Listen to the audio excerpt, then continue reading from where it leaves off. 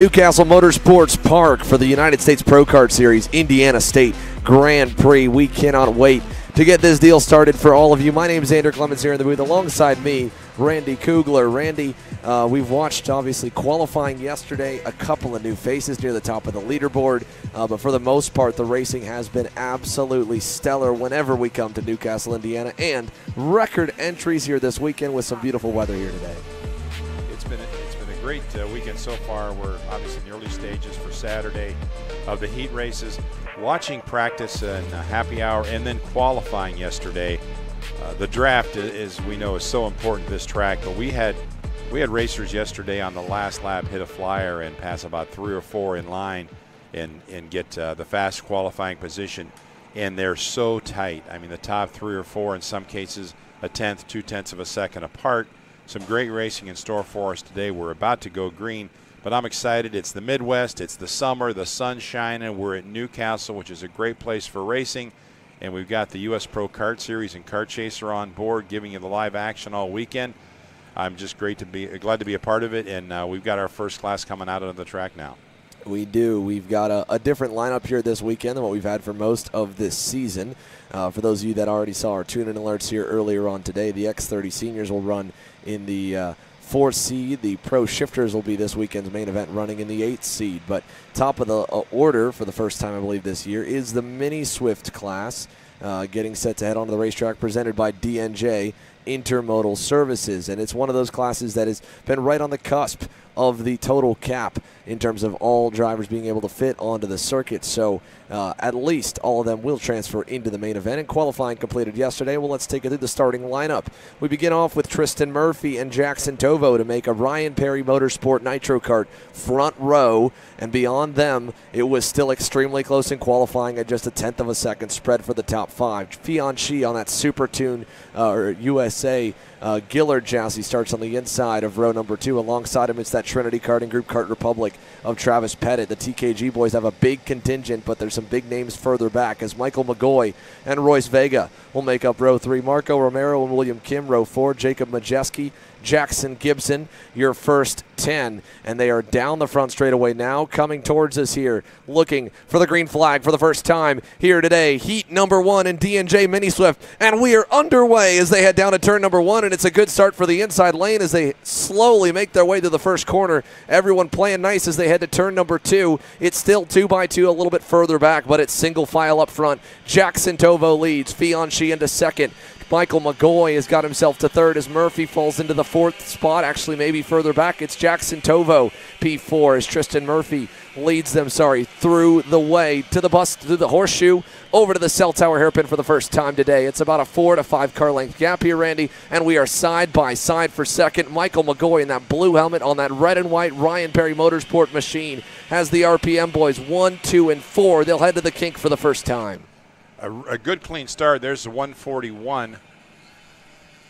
See who 141 is. That He's was Tyrone Kemper Jr. there off the side yeah, of the racetrack already along yeah. with one of the Orsilon racing machines. And there was big contact even further back. We've lost some more coming out of the cell tower hairpin. So the leaders headed down to the I 70 corner for the very first time as we'll put one lap in the books. Nine laps to go. It's Tristan Murphy who leads. Michael McGoy second. Fion Shi is in that red and black Gillard for Super Tune USA in third. And working his way up to fourth on that blue and orange uh, Benik with the yellow helmet is Marco Romero, who had, of course, a big weekend back in Houston where we missed you, Randy, at that one, but he crossed the line first and a pushback bumper penalty took him off the podium. But the top three, a nice little gap here as they head to turn number four. I was just about to say what a clean start we had, and we did. 44 strong. They got through the first half a lap, no incidents, and then we get together towards the back of the pack. Next you know, we're missing about six or seven out of the lineup. Uh, looking for an update on the first lap here, but uh, still a good uh, a good run. We've got them single file now, and uh, tightening up in the front. Yeah, it is uh, still all good right now for Tristan Murphy, who continues to lead the way. Uh, again, we have right behind him Michael McGoy. We'll pick them up to the green corner. No, McGoy going through to the lead and a big pack going back about seven deep to Travis Pettit, I believe, at the end of it in P7 or P8. They'll trade spots again here in the infield hairpin. That's Marco Romero going by up and into third. Here we are coming up the long straightaway to the I 70 hairpin. McGoy and Murphy, little gap. Romero is there. Pettit is there in the mix of it. Jackson Gibson, new colors for Jackson this weekend with the Trinity Karting Group Kart Republic green and white machines. He's back in that sixth spot as they head down the front straightaway. And here's a look as the leaderboard updates there on the left hand side of your screen with one full speed lap underway, one fully completed. So that one did not count the initial lap of the race. This will end up being right around 11 in total as they go through. But here we are through four. It's a Ryan Perry Motorsport red and white Nitro Kart 1 2. Michael McGoy leading, Tristan Murphy second. Fastest driver on the racetrack back in ninth was Benja Fernandez that time by. And we've got some movers. Marco Romero in the 117 up four spots in two laps. Jackson Gibson starting in 10th. He's up to sixth. And also Cameron Marcia, who started back in 17th. Not a real good qualifying lap. He's already approaching the top 10 in 12th. Again, Benja Fernandez is your fastest, uh, running ninth right now, uh, turning the fast lap. And uh, Michael McGoy, and Tristan Murphy still leading the way. Uh, tough uh, start for uh, Jackson Tovo. He's back in 27, so not exactly sure what happened. But Jackson and uh, Tristan Murphy yesterday were one and two in qualifying within one one thousandth of a second of each other. So Tovo certainly a lot faster than what it shows, but he's having difficulty out there. So a tough break for Jackson Tovo running far back in the pack. Marco Romero's pulled out to look for second, pulled out a little bit early that time by to try and go by Tristan Murphy. He could not get the job done, but the top four have absolutely broken away here, Randy, as they come through turn number three. We'll pick them up. Again, it is still all Michael McGoy out front here with three laps at full speed completed, seven laps to go. Tristan Murphy, Marco Romero, and Travis Pettit, your top four. That pack is about a second up the road from Fion Shi and the rest of the midfield with a few movers and shakers. Bigger, uh, big movers right now. Mason Berry is up nine as there is a pass right there. That was Travis Pettit going by on Marco Romero. Pettit aboard that green and white Trinity Karting Group machine leading the, the duo, and they've got a little gap to make up because the Ryan Perry Motorsport guys, I guarantee you right now, telling the teammates one and two here, Randy, work together, don't pass. Hopefully they'll paddle behind you guys, and you might be able to break away. As another move is there, Royce Vega making some noise as he goes by on Jackson Gibson for sixth. And how many times have we seen that you got further back in the pack? In this case, third and fourth, they start racing each other. They make a pass, and next thing you know, they've got a gap where they were in tow in that lead group. Now they got to stay in line. It looks like they are. They're closing back in on McGoy and Murphy. But right now, Michael McGoy leading the way. Tristan Murphy, Marco Romero, Travis Pettit, and Fion Shi, your top five. Through the top 10, Royce Vega runs sixth, Jackson Gibson seventh, Jacob Majeski, William Kim, and Cameron Marcia. That's your top 10. And Cameron Marcia on the move, Xander. Started in 17th, already cracking the top 10. So Cameron Marcia, not a very good qualifying run, but certainly has some speed in this first heat race. Yeah, that's a really good start out of Cameron Marcia. Now, the unfortunate part is when you do have that bad qualifying effort, it, it puts you back for all of the heat races. As we see Travis Pettit making a move in that cell tower hairpin. Him and Marco Romero were able to keep the Ryan Perry Motor Boys together, together as they go side by side in a little bit of contact. Marco Romero not backing down from Tristan Murphy. He wanted that third spot. He has gotten it now, and it's broken away uh, them from the top two. It's also brought Royce Vega and Fianchi back into the mix of it. Vega now making up some time. He started six, fell back on the opening start. As again, we mentioned Jackson Tovo, an update on where he runs. He had that issue off the start line. He's dropped, uh, pushed himself back up to 24th, but got a slow start on the outside lane first, third, and fifth all cycled through to the lead. And look at the gap here, Randy, coming down the front straight away as they battle for P4. The top two locked and loaded. That was a big, big bobble out of Romero and Murphy fighting for third instead of giving way one or the other. The gap at the line was 1.1 seconds. And just two laps ago, they were nose to tail. So that just tells you when you stay in line like this, these guys are going to check out. And they haven't raced each other. They will probably with a lap or two to go but they've stayed in line, using some some uh, patience, using discipline. And McGoy and Pettit right now, it's really their race with five to go, unless that second group can stay in line. But I don't think they're going to do that. They're going to race. They're too wide now coming down the straight. McGoy and Pettit leading the way now by about two seconds. And uh, at the end of the day, here, you don't need to win every heat. You just need to get as many spots as you can. So it's not a surprise to see them fighting as much right now for third and fourth. Obviously, you want to keep that win within the window, window, but it's a short race, so you can't afford to let somebody go and follow behind them because if another guy comes on through, then you're just in more and more trouble. Look at this two by two. How about that in that black and chrome Nitro Kart? Cameron Marsha, the Marsha Motorsports, Ryan Perry Motorsport machine freight trains around Jacob Majeski, and I believe as well the 155 of William Kim. He's now up even further. When mentioned up seven spots to 10th, I think he should cross the line around seventh or eighth. At the line, seventh. Cameron Marsha is up 10 positions, still digging forward. He's got Royce Vega lined up behind him as they start to charge through turns three and four. One of the fastest karts on the racetrack, starting in 17th position, now up to seventh. Cameron Marsha, what a charge! Last lap, a 112.950, faster than Michael McGoy, who's leading the way right now with Travis Pettit. So Cameron Marsha on the move, but as you said, Xander, he's got to work this hard all three heats because he has that 17th starting spot that's going to stick with him through the day. Yeah, so at this point here, a couple, uh, top 10 average between all three is what he needs here. Those finals, of course, longer length, 16 laps for the minis and the micros, 18 for the full size divisions. That's more time. That's almost double again what they're going to do right now in a total of a, a 10 lap heat race. We're coming to see three laps to go this time by. Here's a look at your leaders. Nothing happening yet. Travis Pettit, a loyal pusher, staying smart, driving a very smart race. He had such an impressive run at uh, the Stars Championship Series. Was impressive as well in uh, Orlando, getting his first career national podium and his debut with the Trinity Karting Group boys. And right now, Travis Pettit, who didn't make a ton of noise on Friday practice, had a good qualifying effort to go uh, into fourth, worked his way back up to second and he is putting together a very smart race. Because again, he's in the driver's seat here, Randy. Michael McGoy can do everything he wants to to try and put good laps together, but Travis Pettit is controlling this race in second, deciding not to battle. It's all up to him when he wants to make that move, and I would not be surprised to have him wait all the way till that front straightaway in the run to the checkered flag. I wouldn't be surprised at all. And this circuit gives you so many opportunities for passing that he doesn't have to start racing because, as we know, if, he, if they do get side by side, although right now they've got a, a really good gap on the rest of the field – but that side by side racing will slow you down because you're not running your line, you're not running your fastest lap. Those two have really been impressive in that they've just stepped together. They stayed together, kept their pace, nose to tail in line, and turning you know very fast laps.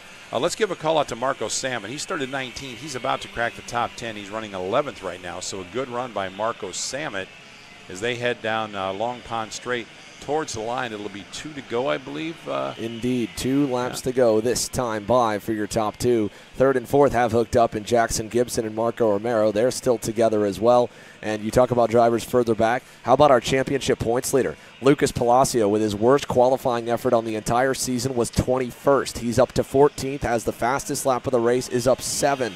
Uh, but the teammate of Travis Pettit, way back, having to come from 21st for all three heat races. There is a lot of points up for grabs in all three heats. They add up to almost the exact same as a main event if you can win all three. So this is a big points opportunity for both drivers here. Michael McGoy, who's in the championship hunt, Travis Pettit as well to run first and second. They don't need to uh, fight for the win. They could still go 1 2 in this first heat and lock a lot of points and start to build into that gap because, of course, Lucas Palacio, winner of the opening two rounds of the championship, dominant. It felt like through that, even though it was a big pack all the way through, most of these last lap battles we've seen in 2023 have gone the way of Lucas Palacio. He's been the kid to beat. So with him out, now we'll see a little change in the lead here. We're going to watch Pettit down the inside take back the take the lead for the first time today, coming to the white flag. McGoy to second, and with the way this start finish line is, look how long this straightaway is. Of course, uh, Randy, that finish line is not until all the way down here by the flagman by turn number one. You can wait, and we'll see a lot of slingshot moves on the final laps. But we're going to battle now. Nice crossover there from McGoy to go through. Michael McGoy getting that top spot back. He lost it uh, in the final turn there at I 70, he gets it back. But we're not over. This uh, battle's going to rage on, I think. And there goes uh, Pettit back to, the, oh, he goes to the high side, can't quite do it. McGoy hanging on.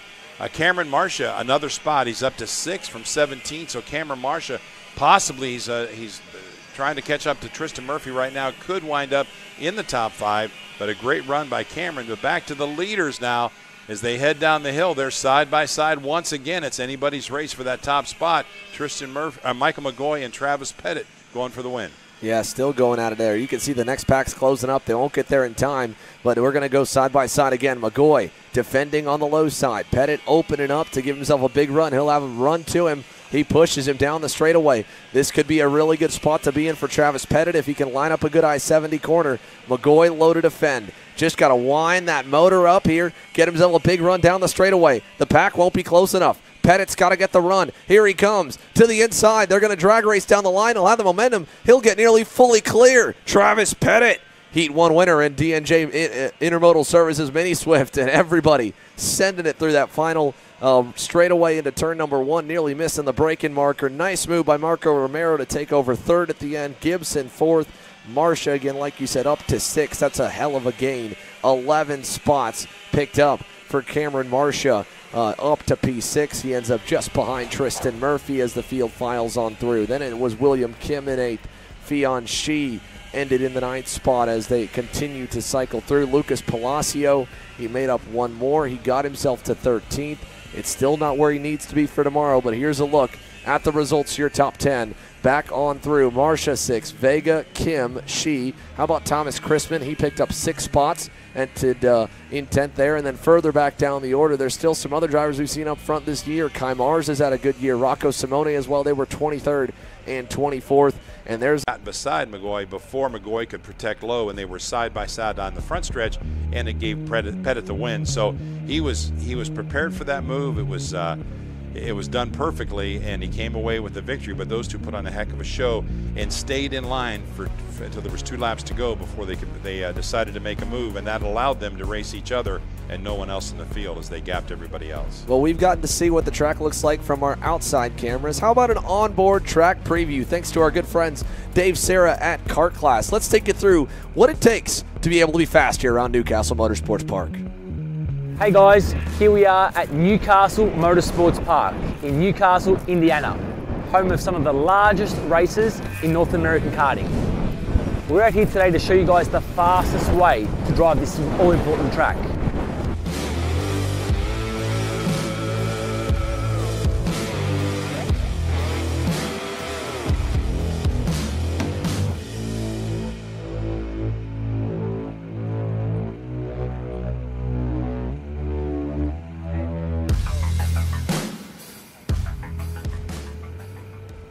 So as we're making our way down the main straight to start our lap at New Castle Motorsports Park, the key to turn one is not overusing the brakes. It's going to be a very gentle trail brake into the apex, but not enough to lock up the rear brakes. You want to be concentrating on the right hand green flag point. This entry point is towards the outside of the racetrack, but it's a corner that you're better off braking a little bit earlier and accelerating way before the apex.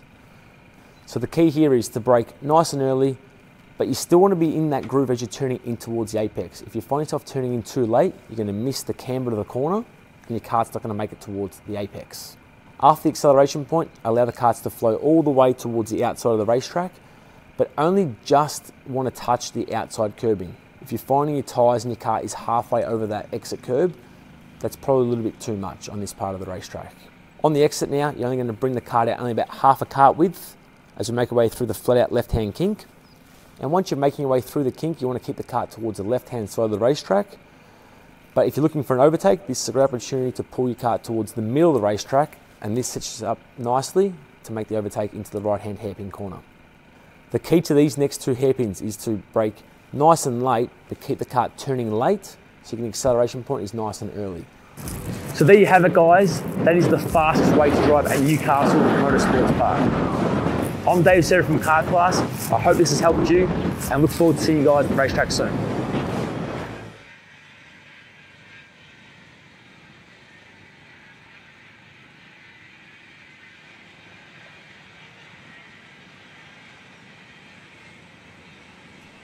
As always, a good thanks to our buddy Dave Sarah at Kart Class for uh, giving us the intel and inside scoop of what it takes to go fast here. Randy, this is the first of two KA100 senior heat races here. They're split in four groups. Two uh, race each other each heat. You race everyone in your group three times, everyone else once. Let's go through the lineup really quickly. Mike Doty Racing, sponsor of K100 Senior, one of our biggest classes. In the front row, it's fast qualifier Austin Jers alongside Peyton Phillips. In row two, it's Brandon Lemke and Braden Eves. Mick Gabriel and Aiden Levy in row three. It's Aiden Rudolph and Eli Warren in row four. Finnegan Bailiff and James Overbeck in row five. Josh Campbell and Alex Feldstein will roll back in row number six as they did not get the green on the first time by. Emery Lida and Dalton Haynes will make up row number seven with Seamus McKendry and Mason Surgener in 15th and 16th. Row number nine, it's Matthew Maccabee and Ian Howell. Vinny Muskelis and Araf Shea in row uh, 10. Row 11, it's Kyle Raymond and Ger- Geronimo Gomez Aza. In row 12, it's Braden Johnson and Clay Robbins. And in row 13, Travis Varney and Carter Thompson. That makes up the starting field in our first of two heat races for the KA 100 senior class. They take formation heading up to uh, I 70, hopefully for a green flag this time by. This division, of course, in the first two races of the year exceeded the total car count of uh, typically 40 to 44. Uh, at this racetrack, they opened the cap up on the circuit to make it up to 50. We ended up right at 52, and the word from the officials has been they will start all 52. So all drivers in KA Senior, while they will be split for the heats, will transfer into the main event. Can't say the same for KA 100 Junior. That'll be later on in the lineup. They'll have to go through an LCQ if they don't make it through the heats. But here we go, an early green flag from Porter Waisensenzel down on the start line. And Austin Jers gets a nice jump. Brandon Lemke will slot into second. Phillips is side by side on the outside there for fourth. He'll fall into fifth, maybe, as they come through turn number three. Here we go. Austin Jers, Brandon Lemke, Mick Gabriel on that blue and white AEM karting EOS kart, Aiden Levy on the Alonso Kart who leads the championship standings is in fourth and there side by side is Gabriel decisively going into second. Braden Eve side by side further back. He goes by Peyton Phillips on that red and white MPG Motorsports Kart Republic. He brought Aiden Rudolph with him. And all the battling already from second on back has given a healthy margin for your race leader and pole man, Austin Jers, who leads them here in his sophomore senior season through the green corner. Once again, that outside row just doesn't get much of an advantage, and they do lose some spots heading into that first turn on the start. But Austin Jers now already with about a five car length advantage. Fast qualifier, Union, Illinois driver Austin Jers, sponsored by Advanced Studio. And Austin right now getting some pressure from uh, that second spot, Brandon Lemke. So we'll see as they uh, as they head up towards uh, the front straight for the first lap. And we'll give a quick rundown here. Lap one in the books. We've got Austin Jers, your leader, right on the rear bumper now. Mick Gabriel as he's closed back in that gap. Running third, Brandon Lemke, Braden Eves, Aiden Levy. That's your top five. Then it's Aiden Rudolph in sixth. Eli Warren, James Overbeck, Finnegan Bailiff, and Josh Campbell. Side by side for the lead. Mick Gabriel quickly tracked down Austin Jers at the end of the lap with the help from Brandon Lemke. And Mick Gabriel now leads the way into the cell tower hairpin. Jers, Lemke, Braden Eves has also gone around Aiden Levy, and Braden Eves on the charge. He's up a couple already from the start after having to start on the outside of row number two. Fell back, worked his way back up to neutral there in fourth on the 951 machine. Aiden Levy trails the end of the pack. It's a little gap from the top five backwards, but Mick Gabriel, your newest leader here in KA Senior Groups A and B, presented by Mike Doty Racing as they rocket up the uh, straightaway to the I 70 corner. And here we go to put two laps complete as they exit and head down that long pond straightaway. Will we see another change in the lead? The pack being this big, you would expect it. But for now, Austin Jers going to follow the veteran Mick Gabriel to turn number one. Peyton Phillips with a really rough start, three laps or two laps in the books, and Peyton Phillips, who started second, is all the way back to 12. So he's got his work cut out for him to regain some of the positions he had when he started. He was on that outside line and lost a lot of ground when the green flag flew. So Peyton Phillips uh, falling back 10 spots already. Fast lap of the race just turned in by Eli Warren, a 109.117. Eli Warren running in seventh has a quick lap so far, two laps in, but they're still chasing Mick Gabriel. Austin Jers now on the rear bumper. They've gapped about three kart lengths over Brandon Lemke and Braden Le- Eves. Yeah, and Eves, uh, part of the reason for that is he went by Lemke back in the cell tower. So Braden Eves to third, Lemke's back to fourth. Levy still fifth. Now they have to work together, whether Lemke wants to or not, to keep those leaders within striking distance. That pass has allowed more drivers to join the fray. How about Eli Warren, fastest driver on the racetrack last time by, in that red and white uh, uh, Red Speed chassis here on their own, pitted out of their garage. The local kid from Indiana in seventh, right behind Aiden Rudolph, and everybody is single file down to turn number one here in the lead pack. No changes, quick laps coming all the way through, and it goes to Aiden Rudolph that time by just ahead of Warren in sixth. So you can see all the leaders coming through. Let's see if Braden Eves has enough speed and help from Lemke to track down the top two. Once again, or will Lemke have to go back around him to keep them within distance for the moment? Single file through the horseshoe and over to that cell tower hairpin. Mick Gabriel still leading the way, but uh, everybody kind of minding their own business right now. In line, uh, no uh, no passing at this point, and that's allowed uh, that second group to close in now just a, less than a second, probably, uh, and uh, on the naked eye, probably about three or four kart lengths difference between second and third. But uh, it's still Gabriel and Jers leading the way, but now closing in almost to the rear bumper. Braden Eves and Brandon Lemke. So we're going to have about a five card battle here before long as they head up towards I 70.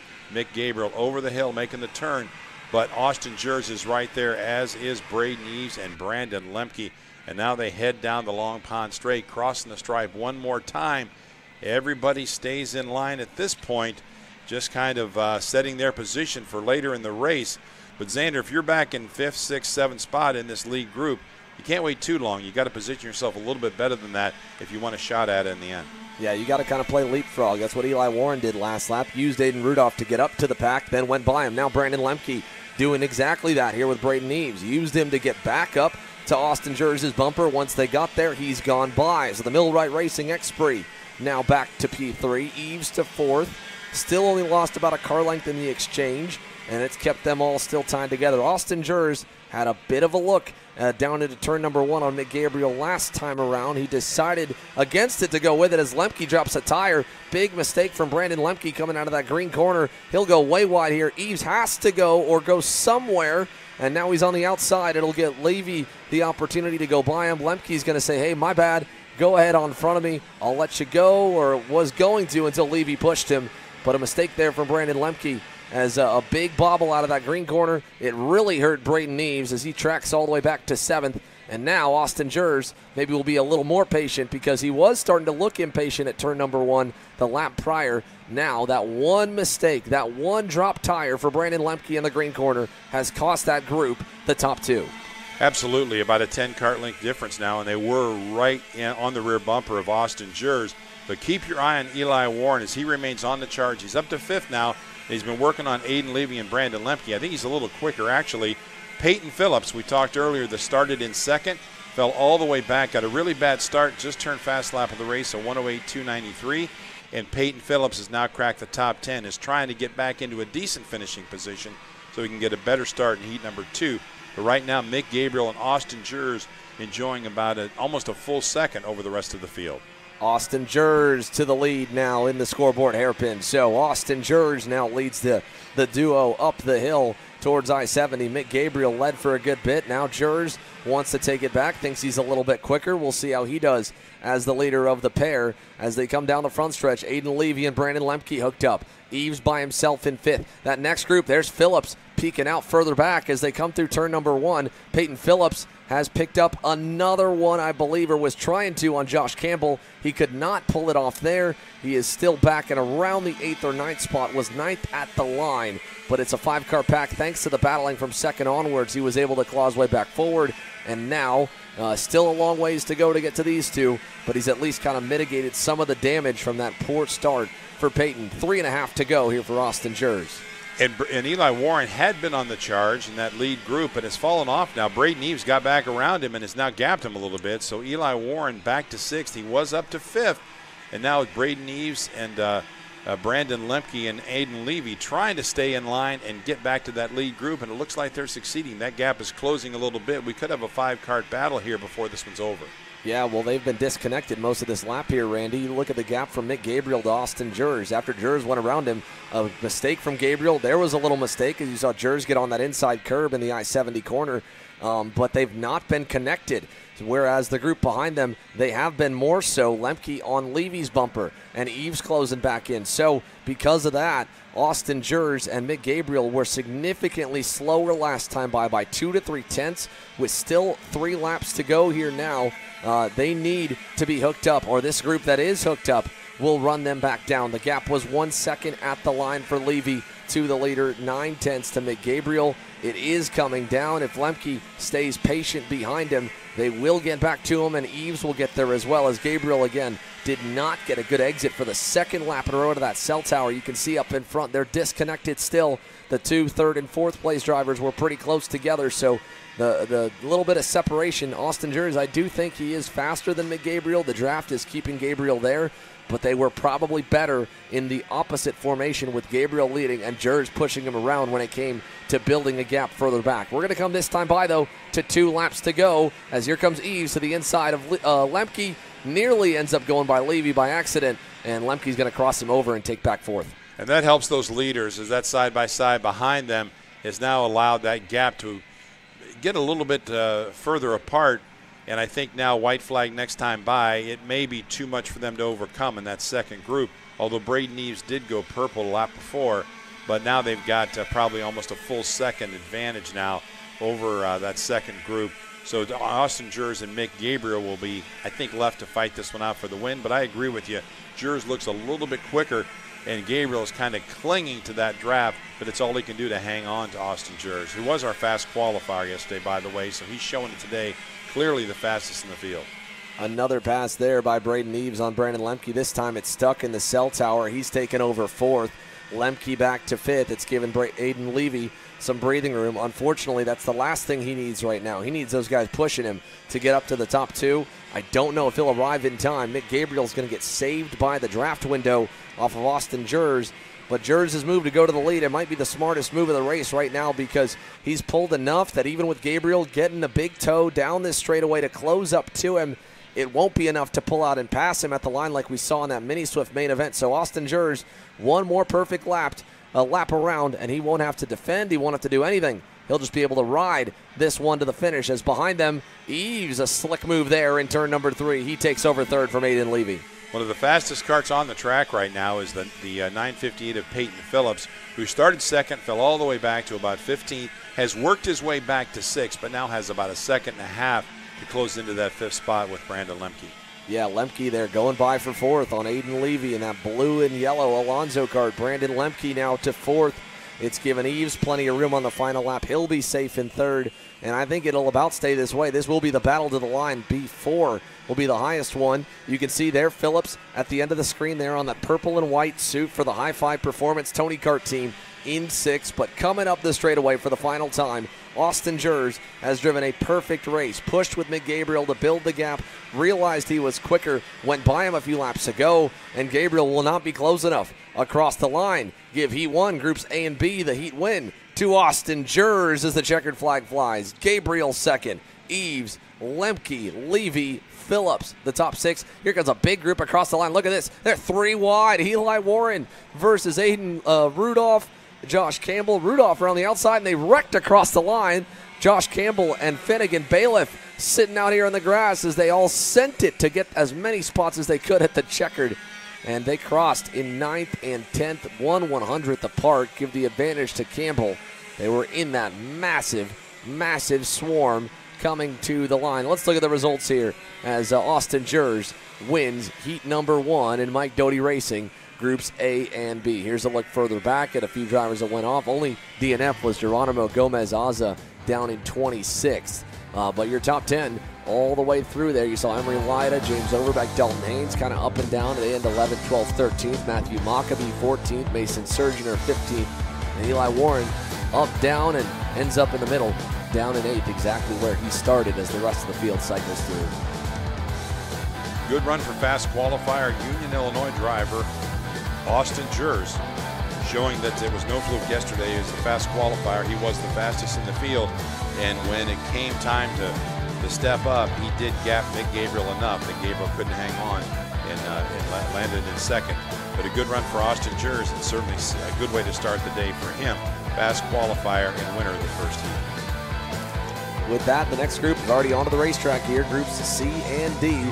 So this is uh, third and fourth on back through qualifying. The way that they split the groups up is uh, based off of uh, one, two, three, four, A, B, C, D, and then again it's A, B, and C and D in round one. Then it'll be A and C, B and D, then A and D, and B and C as they kind of mix and match.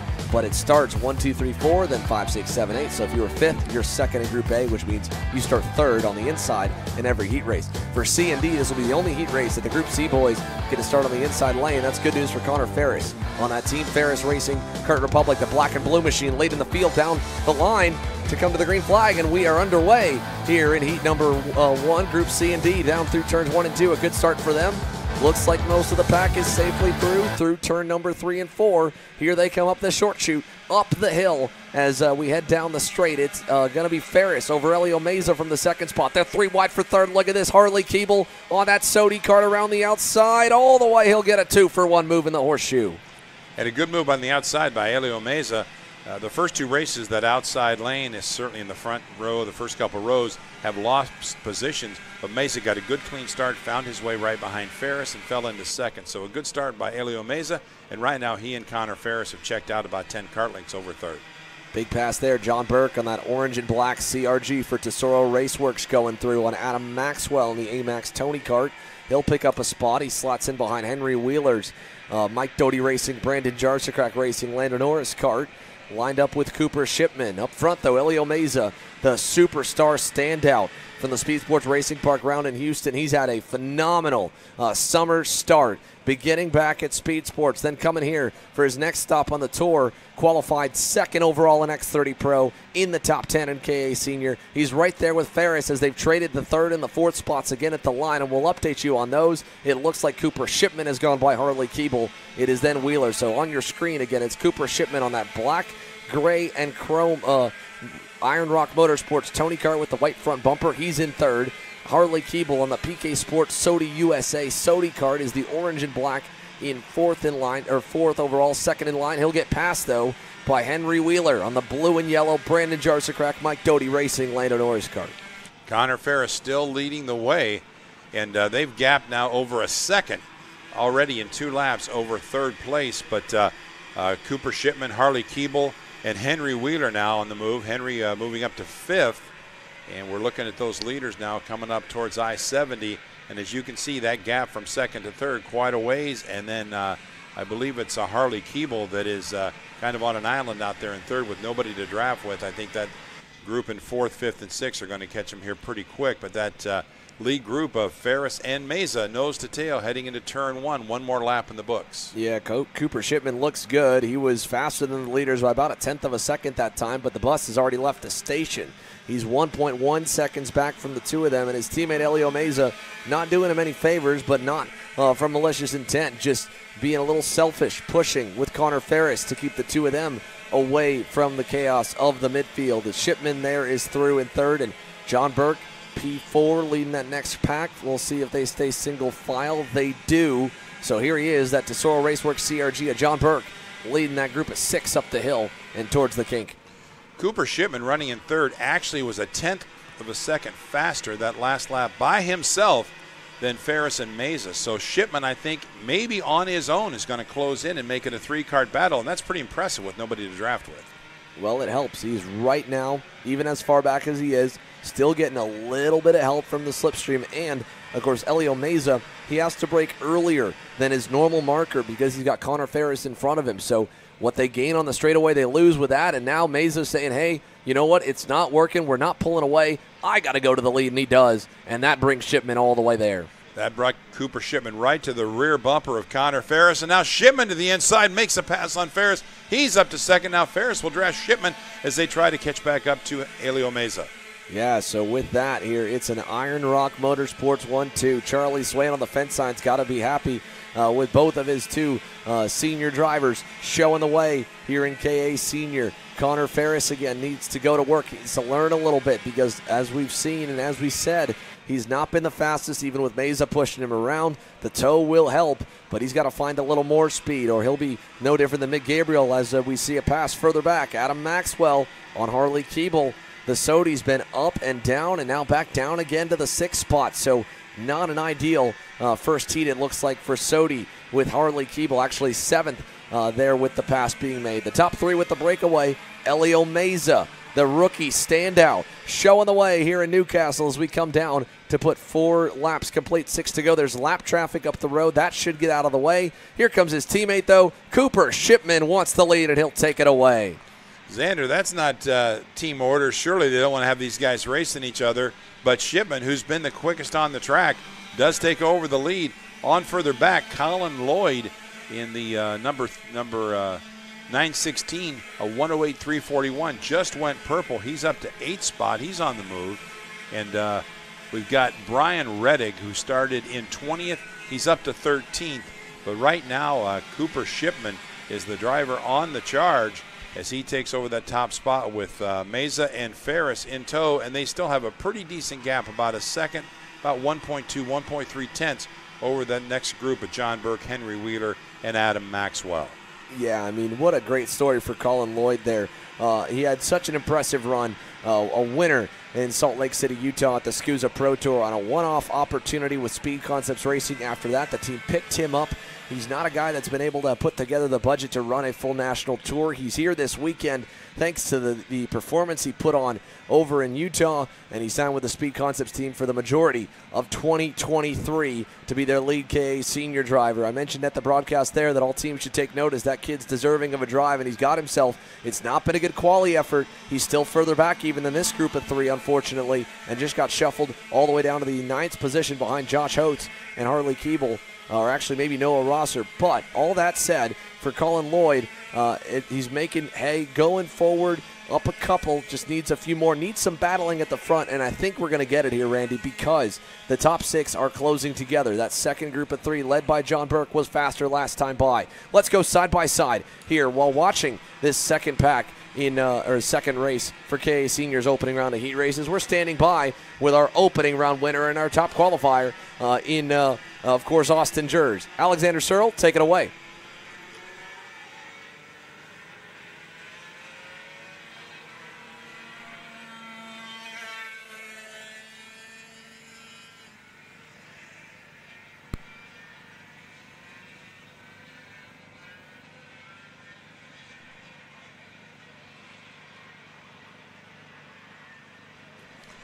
Cooper Shipman now has uh, about a two kart length advantage over Elio Meza and Connor Ferris, but that second group has closed in. It's a six kart battle right now for the lead. John Burke in fourth goes purple with a 107. 586. Henry Wheeler, Adam Maxwell, they're all on the charge, and you've got a six kart battle for the race win. We're past the halfway point. A pass for second, and Connor Ferris trying to get around uh, Meza for that second spot backs it out at the last minute. But with those two racing, Cooper Shipman now gaps him about three kart lengths side by side for fifth. And Adam Maxwell makes the pass. He's up to fifth spot as he gets around Henry Wheeler. Maxwell up to fifth. He's on the charge. We're side by side now for fourth as John Burke tries to make a move to move up to that third spot. A lot of battling going on in that third, fourth, fifth position. Maxwell to the outside. He's going to lose a spot as he tries to make his way around John Burke but loses a spot to Henry Wheeler. So now we're three high and three low, headed down the Long Pond Straight into turn one, and everybody stays back in line. Cooper Shipman with the lead, but John Burke goes purple with a 107.586 on his last lap. Yeah, that CRG continues to move. Let's try that one more time here. We'll send it down. Alexander Searle, he got us down on pit lane.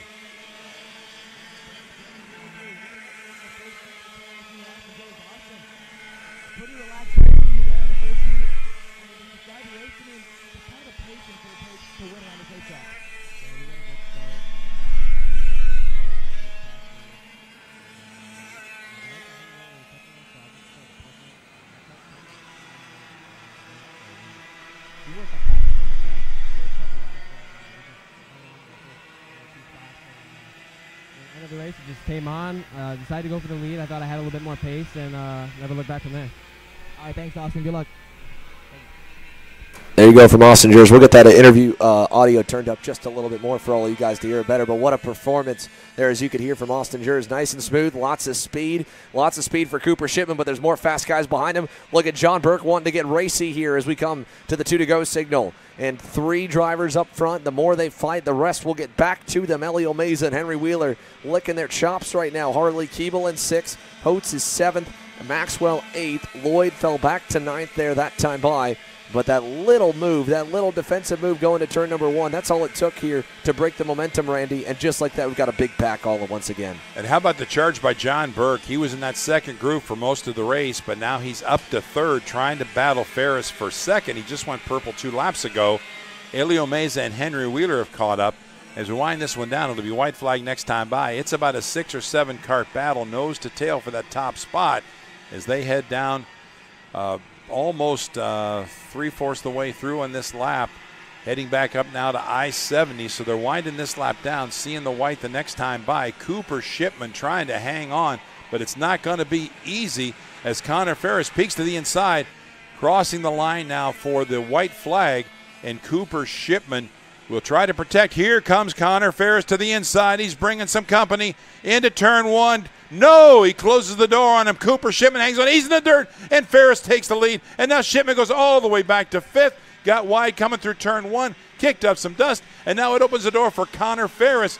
Ferris now up front with John Burke now to second. He'll try to make the move on Ferris to take the win before this one's over. It'll be checkered flag next time by. They're all chasing Connor Ferris. This one's getting wild in the last lap, Xander. And it continues further back. Look at this next group here. You got uh, Lloyd, Holtz, Keeble, Shipman back to fourth. Meza is up to third. Little gap for the top three for the moment with half a lap to go. Connor Ferris down to the inside to defend. Burke has to follow because Meza is there, so Meza can cross him over. And here he comes with a run, not enough to the uh, infield hairpin. Burke will block, and that'll give Connor Ferris the separation he needs. Will it be enough? They're going to get a big run down this straightaway here. John Burke taking him to the low side. Ferris should be safe as they block for second and out of the I 70 corner. Connor Ferris looking to pick up the heat race win, but it's going to be a mad dash for second across the line. Heat one, Group C and D, side by side. Meza, with help from Shipman, will take second, and Connor Ferris wins his opening heat race. Meza and Shipman both getting around Burke at the line, and look at that, Henry Wheeler on the BJR MDR LN kart going for a ride in the spin cycle there in turn number one as he sent it for sixth to hold off Josh Holtz. It pays off. He holds him off. But man, that one got a lot more wild there at the end as we put more and more players into the mix as the race kind of went on. You got to hand it to Connor Ferris. He started off early in the race leading, fell back to third, fourth, fifth position a couple of times, was uh, just kept his pace, stayed with the lead group, and then made the most of it. Slipped inside of a Shipman on that uh, white flag lap, got to the corner. Shipman got wide coming off of turn one. Ferris dipped down low, made the pass, and then, as you said, Xander, they started racing behind him, and that's all Connor Ferris needed as he brought it home victor in heat number one.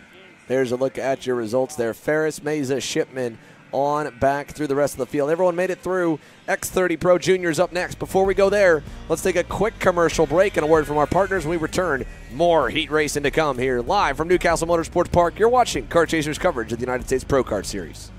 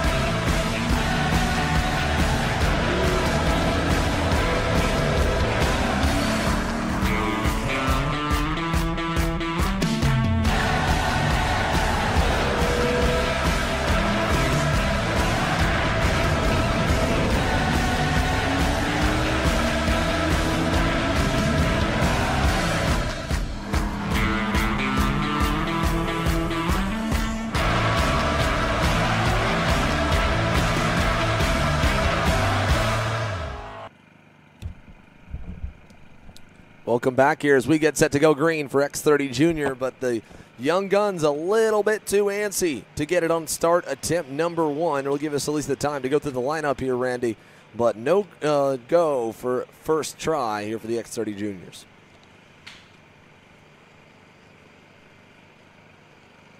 Starting lineup for X30 Junior, fast qualifier Anthony Martella on the pole. Ernest Rivera outside front row. In row number two, it's Charlie Smith and Jensen Burnett. Row three, Jackson Walney and Diego Guay. In row four, it's Nathan Dupuy and Stephen Miller. Row five, Ethan Tovo and Oliver Weld. In row six, Sarah Bradley and Davin Roberts. Row seven, Enzo Vidmontien and Wesley Gunler. Row eight, Carter McMurray and Frederick Lemieux.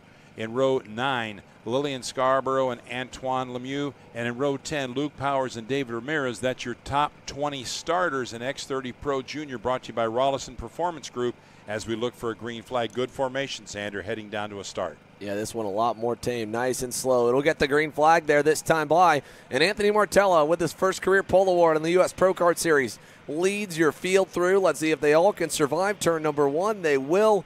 And we're good through over to turn number two and three. Single file for the top four to five, and then everyone's got to try and find their way into line by turn number four, and they do. And we're full throttle down the short chute to the horseshoe for the very first time as Martella defending already here from Ernesto Rivera. He's feeling the pressure. It's bringing Charlie Smith right up into the mix as they go to the cell tower. No change up front. Martella still the leader, but they are hot on his heels as they go up the hill. Great start for Ernesto Rivera. Coming from that outside front row, you've got to be positioned well. If you green flag drops, if you know you're not going to have a shot at the pole at the uh, top spot headed into turn one, you got to find a spot quick. He did, and now he's running in second. Slips to the inside, makes the pass. Rivera is now the new leader. He gets around Martella. Well, let's go side by side. While X30 Junior races on on the racetrack here, coming to put one lap in the books, we get set for X30 Senior action, and we wrap up KA 100 Senior. Let's send it to David Land down on pit lane. David?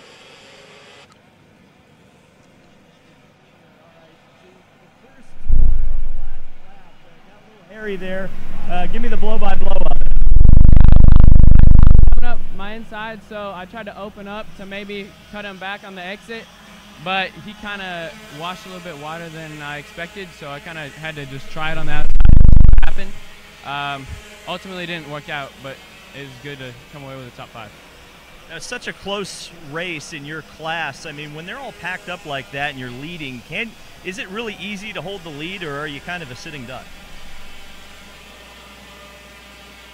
You got nobody to draft off of. Um, but in my opinion, in the heats at least.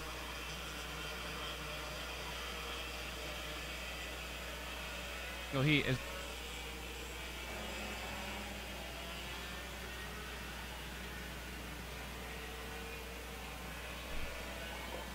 Try and stay out of trouble, bag a couple of top fives, and hopefully start somewhere inside the top five for the finals. That's the story down here. Back to you, Xander. Thank you, David, there again. And uh, we go back to the on track action for X30 Junior. and Ernesto Rivera making his way around Anthony Martella. Hasn't seen a challenge yet back on lap number two, but the pack is still close, and we've got a pass for third. How about Stephen Miller on that red and yellow DAP kart for the Chad Dawkins Racing Camp up another position? The uh, perpetual contender, it feels like, with Ernesto Rivera. These two, we think back to Orlando, Randy. They had an absolute bloodbath in X30 Junior. Stephen Miller and Ernesto Rivera. They're getting close together again. But more than that, we've got a lot more new players at the front of the field. Jensen Burnett is there. Jackson Wolney is there. Oliver Weldon's on the end. And again, Charlie Smith having a heck of a run. Here comes another change for the lead. Martella through and Miller through as well as we go side by side for third for a second. Oliver Weldon uh, just went purple the last lap. He's up to seventh. He's moved up about three spots. And also on the move, Enzo Vidmontien, who started in 13th, already up in the top 10 in ninth. So a couple of drivers on the charge. Oliver Weldon in that lead group. So Oliver running uh, running well early and moving up some, uh, advancing some spots from his starting position. But Ernesto Rivera still leading the way in that lead group of five or six, still awfully close together. So it's anybody's race at this point. We got about three laps in the books right now. Well, Rivera fell all the way back to fourth by the end of the lap there. We saw Miller go by for the lead on Martella just off screen, and then Martella took it back there down the front stretch. So Anthony Martella, he wants to stay out front. He doesn't want to even fall anywhere further back than the top spot. He's passed everyone at every opportunity, no more than a lap beyond the lead to uh, command the pack, and it's bringing more back into it, like you said. Vidmontien on the way forward, Diego Guillot, uh, even fast lap that time was Ethan Tovo on the RPG Cosmic down in thir- or down in 12th. So this whole group, as we see, Weldon has gotten around Jackson Wolney. Here's a look at where they run right now. Third place under fire. Charlie Smith's blue Nash Motorsports machine falls back to fourth.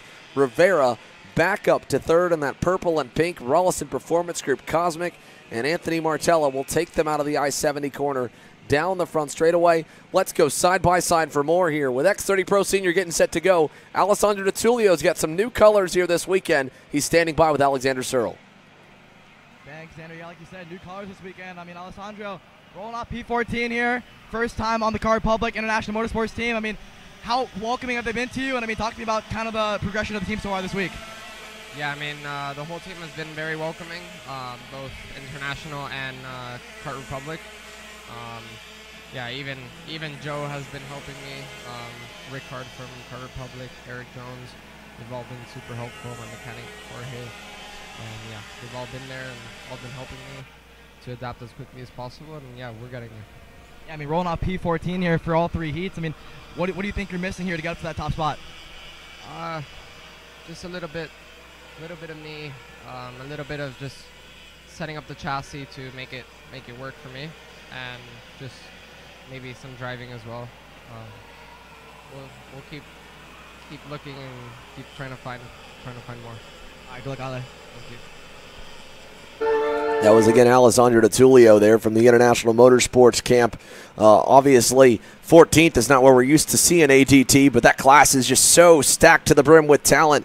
And we've got a great feeder program with the X30 Juniors here, uh, looking like we've got a lot more faces this weekend in New Castle that could contend. But while we were side by side, that pack has kind of exploded. It's allowed Enzo Vidmontien to move his way back up the order once again on that Kart Republic to get to six behind that bright yellow Tony kart of Jensen Burnett, and he's going to take fifth away right here, or he's going to try to. There it is, fully clear for the Motaz Sport driver. Two fastest drivers on the track right now, Oliver Weldon and Enzo Vidmontien. They're moving through the pack. Both of them have advanced seven spots from the start, so they're really improving their position in the case of not having too good of a qualifying session. But right now, they're really uh, on the charge. Change in the lead. Ernesto Rivera going by on Anthony Martella there. He'll take over the spot as they go up to the I 70 corner. Side by side further back, Charlie Smith trying to fend off Nathan Dupuy. That's back for P8. Anthony Martella and Ernesto Rivera have been swapping the lead back and forth uh, most of this race. Rivera now back on top, fast qualifier. Anthony Martella runs in second. Oliver Weldon trying to close that gap in third. Stephen Miller, who just went purple with a 106.5, runs fourth. Jackson Wolney fifth through the top 10. Enzo Vidmontien in sixth. Jensen Burnett, Charlie Smith, Nathan Dupuy, and Diego Gio is the top. That's the top 10 currently. We've got four laps to go, three next time by. And Ernesto Rivera leads the way, but he's got company as Anthony Martella, Oliver Weldon, and Stephen Miller are right there. Anybody's race amongst that top four. Ernesto Rivera trying to hang on. Uh, Martella was fast qualifier. Martella coming down from Toronto, Canada to race with us this weekend here at the U.S. Pro Kart Series. And Anthony Martella now trying to chase down Ernesto Rivera. We'll come to three laps to go this time by for a little more intel. How about it from Harley Keeble? It's a busy day from KA Senior to X30 Pro. He's standing as well here with David Land. David. And, uh, you know, X30 Pro, it's so competitive. What can you do in the heat races coming up? I think it's more about of just trying to push away with the right people and then battle it out towards the end. You know, you don't want to cause a you don't want to cause a fight at the beginning and then there's seven, eight karts for the win and then you're just making your your job much harder for yourself. Three heats in one day. I mean, this is a pretty big workload for anybody. You know, what are you looking forward to? I mean, what can you really get out of the first heat? Is it really just kind of reconnaissance, or is there there's something to gain from uh, one heat early on? It's just all about consistent heats, you know. Like if you if you have a crash or anything like that, you're already on the back foot for the final. So you got to keep yourself for um, consistent heats and carry on going. One of the big storylines everyone's been talking about has been the temperature fluctuations. It's been cool, it's been hot. Looks like it's going to be pretty warm today. What's that going to do to your kart? Um, I think we're good with the kart. You know, It's going to be an exciting one. Uh, heat number one, X30 Pro coming up.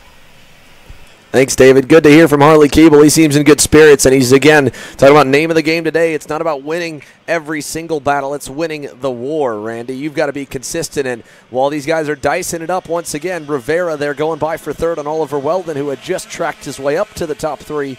You want to make up spots. You don't want to go backwards, but you don't want to have a wreck or a big blunder that sends you down the order in any one of the three because they all count to your starting spot on Sunday. Well, I think there's a fine line in these heat races, but between, between being aggressive enough to advance if you got a bad starting spot, but being too aggressive to where you knock yourself out. And a couple of races ago, we saw two or three drivers in the top 10 that crashed on that last lap for position. To me, that just shouldn't happen. You know, settle where you're at, but don't put yourself out with a couple laps to go because that's going to haunt you all day. And more importantly, it's going to haunt you Sunday for your starting position. You've got to have solid finishes, even if it's not if it's not first. And we got to pass now Rivera slipping back inside of, uh, of Stephen Miller, it looks like, for second. But uh, Anthony Martella now gapping about three kart lengths, and we're four wide across the line.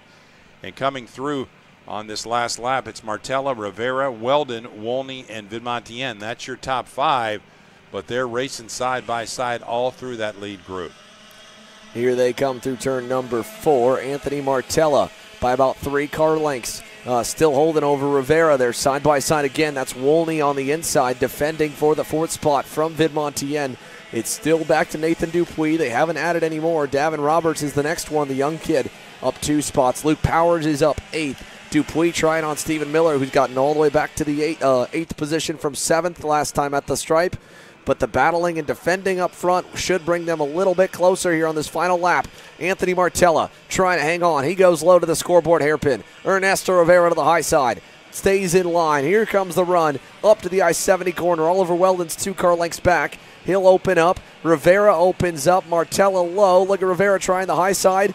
Now back in line. Here comes the slingshot move. Who does Oliver Weldon push to the win? As they come to the line, he wants to go himself. Rivera's going to be the one he helps out, and Ernesto Rivera will easily clear Anthony Martell, and Weldon almost got there. 19,000 shy for Oliver Weldon uh, off Anthony Martella at the stripe. And how about the run for Vidmontien? He gets around Jackson Wolney at the end as well to take over fourth. So an impressive run uh, for, uh, again, Enzo Vidmontien. Nine spots gained to position number four for Enzo. Ernesto Rivera and Anthony Martell, again, your winner, uh, top two. Uh, all race long, it felt like it really netted out to the two of them. But for uh, the run to the line, let's look back to the results right here. Again, your uh, full field, a couple of issues for Ethan Tovo, who was quick early, as well as Frederick Lemieux. But your top 10 on back Burnett, fifth, Wolney, Miller, Dupuy, Charlie Smith, Davin Roberts, your top 10. And again, Luke Powers, one of the biggest movers there, eight spots gained to 11th. And then you go down the rest of the grid for more drivers looking for a little bit more. A big turnout for X30 Junior after what's been not the best year for them. Let's put them in a good spot. And uh, let's take a look back here as I believe, do we have, uh, well, we'll take a look uh, up forward actually, up to X30 Pro. The starting grid as they begin to release onto the racetrack here. The first of the two headline divisions competing for 5,000 big ones here this weekend, presented by Franklin Motorsports. Look at the full outlap on the racetrack to warm the engines up, which will give us time to run you through the lineup. Diego Ramos, the Brazilian aboard the PSL Karting Birel ART, snags what I believe to be either his second or third pole award on the 2023 Pro National calendar. Uh, he will start alongside rookie standout Elio Meza, who was our pole winner back in Houston, and uh, a near winner in X30 and a winner in KA Senior to complete row one. Then you go back. Row number two, Blake Nash was a pole award winner here for the SKUSA Pro Tour going the other direction a year ago. He lines up in the third spot, and we spoke with Harley Keeble aboard the Sodi kart. David asked him, of course, is there anything you can take away from these heats? He said, well, we're not taking away too much. The biggest thing is just being consistent on the results. You can't test too many different setups and potentially go backwards. Row three's got the reigning series champ, Mr. Seven time. Ryan Norberg is fifth on the lineup. And alongside him, it'll be Braden Eves on the MPG Motorsports Kart Republic, who we just saw in action in KA Senior a few moments ago. Paulie Massimino in the MDR BJRLN kart with a decent qualifying effort. He starts along uh, veteran racer Austin Garrison, and that's Speed Concepts Racing Red Speed. Brandon Carr leads the championship point standings after a couple of consistent runs and podium finishes at both rounds of the season thus far. He lines up in the ninth seed. Alongside him, reigning OK Senior FIA World Champion Mateus Morgado, who is still looking for that elusive first X30 senior win of 2023. He was dominant at the Florida Winter Tour in the Rock Senior class, but nothing in the IAME power plants for Mateus. Joe Turney has been a winner at nearly every single American race weekend he started at this year, all but one. He's back in 11th. Alongside him, rookie Caleb Gaffaro in the BJR MDR outfit for the first time. Aiden Ingrata, ADT, and Alessandro Tullio on row 7. Aiden Fox rounds your top 15. We look to the flagman. No green that time by. Too early on the power for Diego Ramos, Randy. Not uh, not a clean enough start for our uh, starter, and they'll go one more time around. That's uh, that's three now. This will be their third try going by. Diego Ramos, uh, a little bit of a jump on the inside line over uh, Elio Meza. It's uh, it gets even harder when you're you're going by and you think you got to start, then it's a false start. You come by again, another false start. Uh, nerves get uh, start to come into play. A little anxiety. Uh, these guys need to get going. They need to get under green because the more false starts we have, so to speak, uh, the more I think we're apt to have some uh, some attrition in these first couple of turns. So these guys need to get racing here pretty quick. Hopefully, we can see some good formation as they uh, get up and line up around I-70 to head down the straight. we're looking for hopefully a start this time by for our Pro X30 Pro Senior class. Well, uh, we go back outside the top 15. Last year's uh, double winner, Hayden Jones, with the Trinity Karting Group Kart Republic, was fastest in happy hour. He was 16th. But here is the green. We're underway down at turn one, and the inside line will get at least one. No, Meza hard around the outside is going to get into second. Nash back to third. Keeble is fourth. Still side by side through turn number four and three and four. Braden Eves gets one over on Ryan Norberg to get into fifth. And there they go down the short chute. Everybody cycles down to the low side to block. Eves goes high on Keeble. Norberg pulls alongside him, sends it deep in the horseshoe, but Eves will get back clear, and it's no change into the cell tower hairpin for the very first time. All out front chasing Diego Ramos on that PSL karting factory Birel ART. Up the hill we go for X30 Pro for the first time today, and into the green corner. Any move here? Nothing yet. They all stay on the low side. Single file. Ramos still trying to keep the field at bay to the infield hairpin. Great start for fast qualifier Brazilian Diego Ramos as he is uh, leading by about four kart lengths right now. Oh, man, it just got wild there. Blake Nash taking over second. Eves gets the worst of it. He loses two or three spots. Massimino's going to go by. Keeble's on the high side as well. He's going to get shuffled back a little bit. Look at the rest of the pack there. That was going into the corner. Here's the run down the front stretch for the first time. Elio Meza goes low to block as he pounds the limiter. And Massimino getting one on Norberg, who crosses him over through one. And Ryan Norberg holds net even. Massimino trying again. Turn three, can't do it. And it's going to bring Harley Keeble alongside who nearly gets him, but he's almost off the racetrack, and that'll bottle them all up as Eves now pulls alongside. Well, it's getting crazy there. Not it's a wide racetrack, but still not wide enough. Sometimes they were side by side. You get in the corner, you take the wrong line, and a lot of times unintentionally you, you slide out. Next thing you know, the guy beside you is in the grass, and you know one thing leads to another, and so on and so forth. It, it can always uh, haunt them later in the day if the two get together. But uh, things are clean right now, in line. Uh, Diego Ramos still with a good clean start and running a good clean race right now. Third place there, Ryan Norberg going by on Elio Meza. The reigning champ has picked his way up here after falling to sixth off the start to avoid that chaos, and he's got himself in a great position here in heat number one. Still looking for that first win of 2023. Ryan Norberg, it feels weird to say it, but he has yet to get that first win of the season in all the racing that he's won over the last couple of years. It's been no more than about a couple of months since his last victory. His last one came all the way back at Trackhouse Motorplex in North Carolina for the IAME USA Grand National Championship in October and he is hungry to get that first win of 2023. He's right there on Blake Nash's bumper, and Nash as well, looking for his first career major U.S. win. Well, he's not going to be in the best spot as Norberg takes over second. And keep an eye on Braden Eves, who continues to close up the order as well. It's a five kart breakaway. Massimino is sixth, and Joe Turney carving his way forward is seventh, with Elio Meza defending just a tick from Eves. He knows he's got company. Here we go into the infield hairpin. Meza again blocks low. Eves has to go for two of them, and he gets it done as Nash really gets the push to the wayside back to fifth. Tyler McIntyre starting in 25th position, already advanced 11 spots. Ryan Norberg, now your new leader through the I 70 corner. Norberg now the new leader. What a run by Norberg, starting back in fifth. He's slowly but surely uh, found his way to the front, and now a two car breakaway with Diego Ramos. So Norberg got really uh, surprising a little bit. Wasn't as fast in qualifying as he wanted to be, but has certainly found the groove now. And he's actually got about two kart lengths over Ramos. Yeah, he's pulling away a little bit thanks to them battling behind. Braden Eves was equally quick, but he did not have the best navigation through the pack, it felt like, for the uh, MPG Motorsports machine. Here's fourth with Blake Nash under pressure from Paulie Massimino. And just as always, creeping his way up the pack.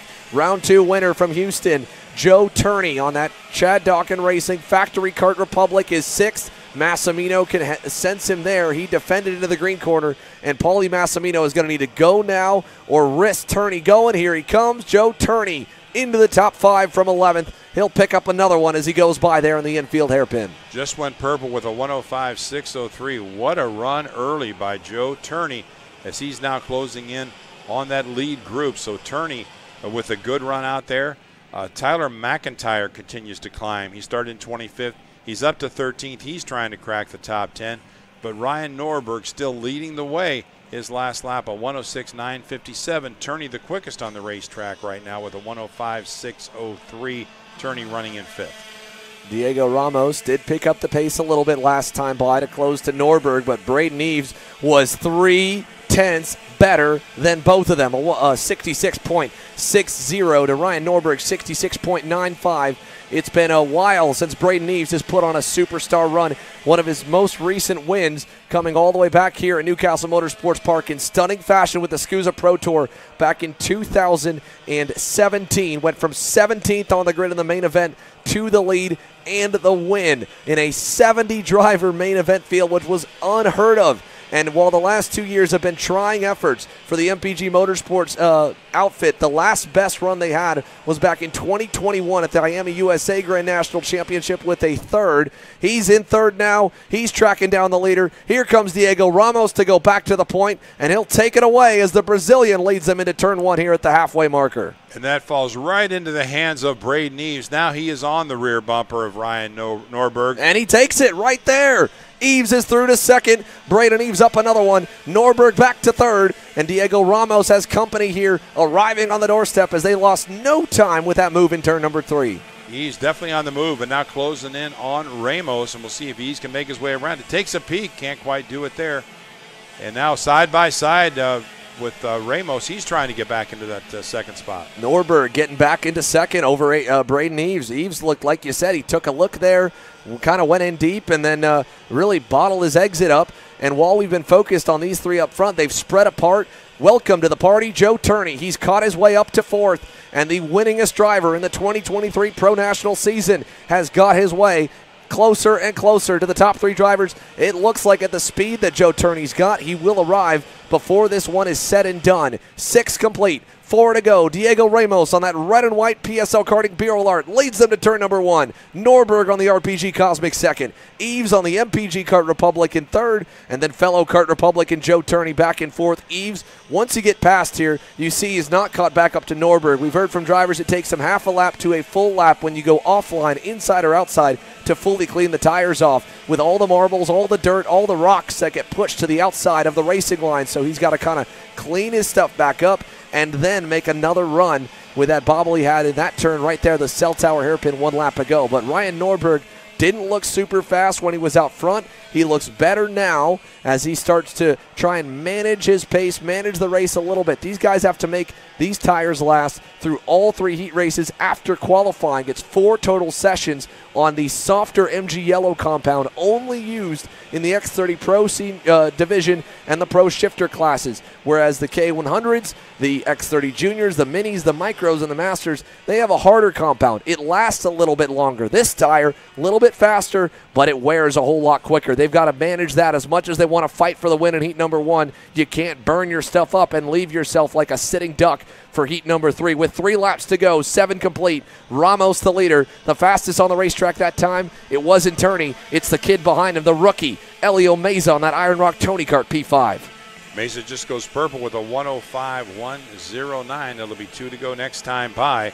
They're still chasing Diego Ramos, but Ryan Norberg is right there. Norberg to the inside and uh, looks like makes the pass. And we've got uh, Eves. Braden Eves that uh, gets inside of Norberg. He gets the top spot. So slicing and dicing in that top three, and that allows Joe Turney and Elio Meza to close the gap. It's a five car battle for the front. Well, with Eves narrow in that cell tower corner a couple laps ago, that allowed Norberg to cross him up. He learned from that move and to put it right back on Ryan. Ryan passing Ramos opened the door. Turney there on Ra- uh, Ramos up the hill. Here comes Norberg all the way to the inside on Braden Eves. Joe Turney to the high side, trying to keep the momentum spooled up. And now Eves back to the lead. Ramos and Turney will freight train Norberg. He goes low. Here comes Ramos back to the lead. He'll bring Joe Turney with him all the way to second from 11th on the grid as Norberg gets the door. Slammed shut by the rookie of Elio Meza and that black and chrome Iron Rock Motorsports Tony Kart. It's Diego Ramos with two laps to go who leads them up the short chute and Joe Turney right there here at the end of it.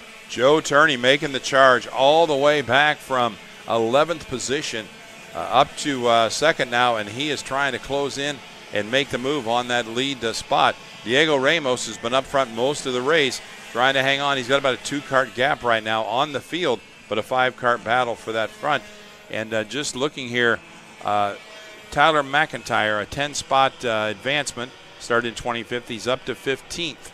Oh, I thought we were going to have a battle for the lead there. We had a battle for third. Joe Turney looked like he would have had the opportunity on Ramos. He didn't take it.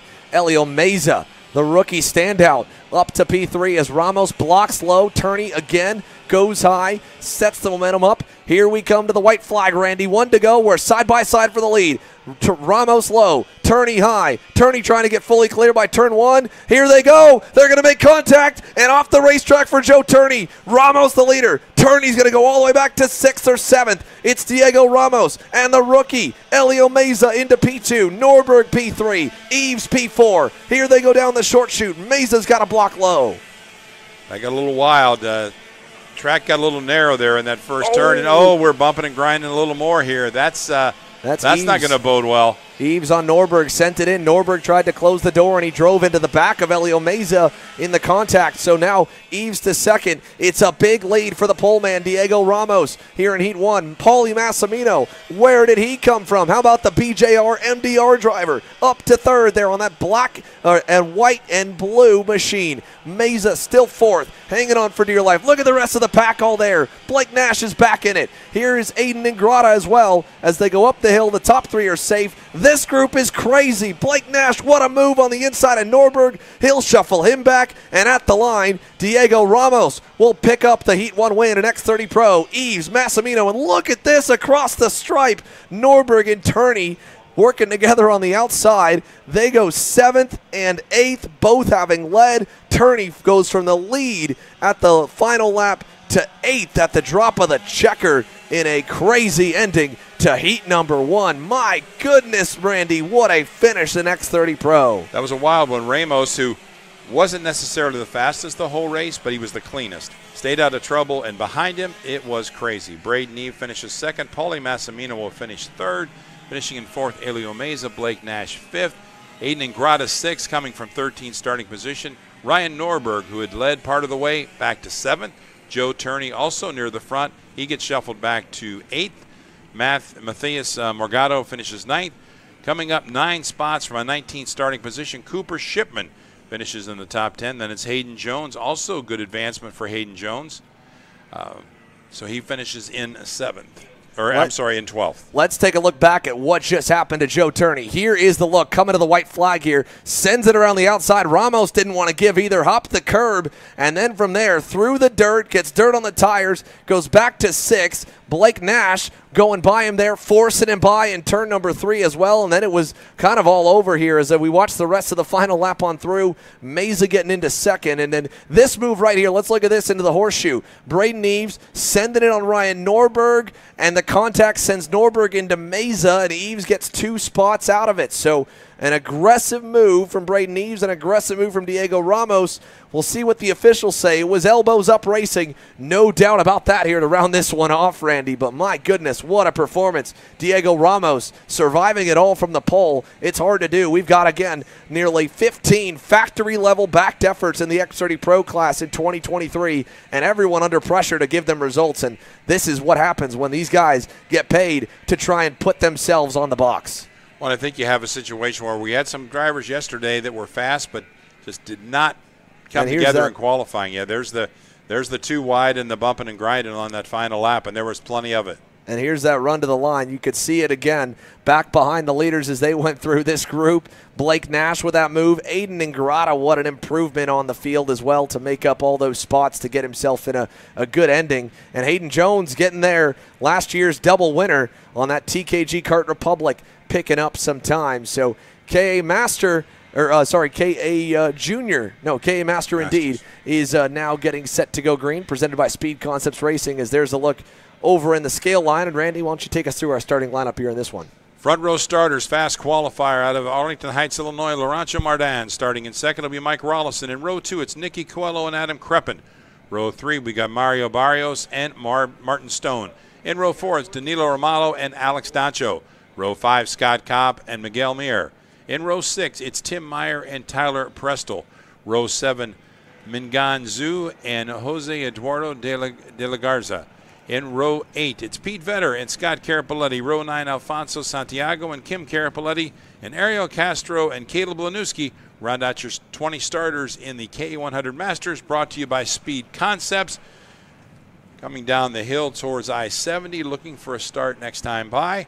And Laurentiu Mardan, fast qualifier yesterday. He's he's been running this series really since it started back in 2013. One of the uh, one of the real regulars of the U.S. Pro Kart Series, and just as strong as he ever was now, leading him down for a start. Mike Rolison, who's been strong all year, he's on that outside of the front row, and a good formation for these 20 drivers. We should see a start as they come down the hill.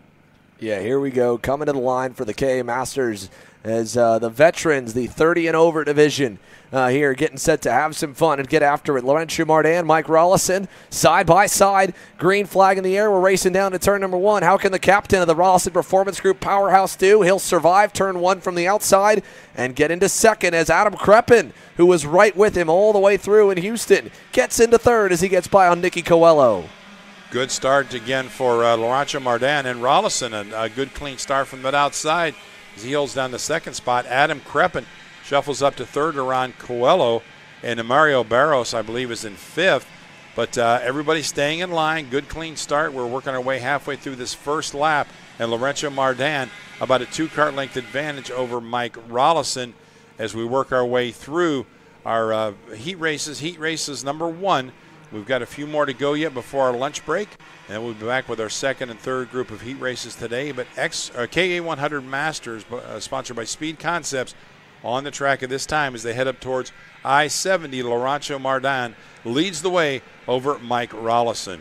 Yeah, Laurentiu Mardan by a car length through the I-70 hairpin here. Spoke with the Technokart USA uh, uh, team owner here last night. It's a small effort for the Technokart boys, just himself and one junior driver and his father. A very old school style pit setup with a trailer and two pop-up canopies. As we see a pass further back with Barrios going by on Coelho. But Laurentiu Mardan proven one of the beauties of this sport is that at the end of the day, you do have these factory backed efforts, but the equipment all the way through the single manufacturer classes you can buy it right off the showroom shelf and take it in the back of your pickup truck. And if you know what you're doing on what setup adjustments to make, you can go lead at the highest level here in North America. And he's doing that right now, even though, again, he's got the experience. Don't get me wrong, multi time national Team USA and Team Romania member and multi time national winner. He's got the experience but he's just, uh, again, a nice layman setup here, if you will, this weekend, Randy. Three card breakaway for the top spots with uh, Mardan, Rolison, and Creppen. About a second advantage over Nicky Coelho and Mario Barrios. So a good clean run by those top three. They're behaving themselves, not racing each other just yet. Coelho and Mario Barrios back in fourth and fifth. then a little further back, it's Danilo Ramillo, uh, Martin Stone, Alex Doncho, Miguel Mir, and Scott Kopp. That's your top 10 running order as we head down for one more lap in the books. No changes to the front. A three card breakaway now, a little bit further. Uh, going purple in the pack, uh, seventh position, Miguel Mir, a, a 111 065. So he's uh, trying to close in a little bit, but he's in that second group. As we look now, we see those leaders uh, heading into uh, the cell phone area, the, the, cell tower area, and Lorenzo Mardan is still the leader, bringing that group of Mike Rolison and Adam Creppen along with him. Now, Crepp, uh, back Barrios. further. Yeah, Barrios. Oh, Coelho off the racetrack coming out of the cell tower. So Mario Barrios getting his elbows up a little bit as he kind of shoved him a little wide. Look at Creppen. How about that on Mike Rolison? Adam Creppen up to second there on that green and white Tony Kart. Good move by Adam Creppen. Slips around Rolison. Rolison gave him the space. These guys know they've got to just keep it clean in these heat races and have a good finish. But I think they don't want to race too much because Mardan has not missed any of his uh, any of his spots. Let's say he's run a clean race so far, strong. He's going to be he's going to be hard to beat. They're trying to draft up to him, but he's actually keeping a gap. It's uh, it's about a kart length now. Crepin closing in a little bit. Uh, Danilo Romalo, a fast lap, a 110.577. He turns purple the last lap. He's trying to close in on third place. Rolison got a little bit of a gap there to do that. But right now, Mardan is trying to hold off Adam Creppen, who's moved up to second. Rolison closes back in, but Creppen right on the rear bumper of Laurentiu Mardan as they head down to the cell tower area and head back our way around the green corner coming up here shortly. But Laurentiu Mardan leading every lap, fast qualifier. But Adam Creppen starting back in the uh, fourth position has moved up to second and wants to see if he can take a peek at that top spot. Yeah, he's uh, getting closer and closer. Laurentiu Mardan has not seen a challenge for the lead just yet here in heat number one. And keep your eye again on the reigning series champion, Danilo Romalo, on that black and orange Sodi for the PK Sports North America camp. He's creeping up on this group. He was fastest last time. He's faster again this time. He's a car length away from Mike Rolison as they come down the front stretch. Rolison pushing on Adam Creppen. Four down, six to go. Creppen all the way up to half a car length away from Laurentiu Mardan at the line. And Danilo Romalo continues to be the fastest car in the racetrack, and he's closed in to the point he's at the rear bumper of Mike Rolison. So Romalo, who started back in seventh, is now in that lead group trying to challenge for that top spot. Laurentiu Mardan, not much breathing room. It's inches now between him and Adam Creppen. But right now, Creppen seems content, holding his line in second to the inside, trying to get around Rolison, and Danilo Romalo makes the pass. Romalo to third, Rolison back to fourth. They lose about three kart lengths over second spot, Adam Creppen. And now side by side, Creppen inside makes the pass around the green corner, headed to I 70 now. And now they're side by side one more time, but it's Creppen with the lead. They come around to I 70 and head back up that long straight. Creppen with a two kart length advantage over Mardan. Uh, Romalo and Rolison, that's your top four. And through the I 70 corner and down the long straight. And it's Creppen by a kart length over Laurentiu Mardan. Yeah, Adam Creppen here. Now going to have Mardan pushing him down the front straight. A white cross flags shown. That's halfway in, halfway home. Five laps down, five to go. And Adam Creppen Laurentiu Mardan, Danilo Romalo, Mike Rolison. They've still got, even with the battling, about a second back to Martin Stone and Miguel Mir, who are uh, uh, back up a couple spots. Mir up five from his starting position at 10th. Uh, but if they battle more, that next group could get there. But look at the gap already for Adam Kreppen on the Gillard. My goodness, he's pulled a couple car lengths on Laurentiu Mardan in the most technical section of the racetrack, coming out at turn four through that horseshoe. It's the least draft dependent. It's really where you get to see these guys flex their muscle, or especially if they're running a gear ratio with a little more bottom end speed, is what a send on the inside for Danilo Romalo. He locked the brakes up. We was full on sideways right there, Randy.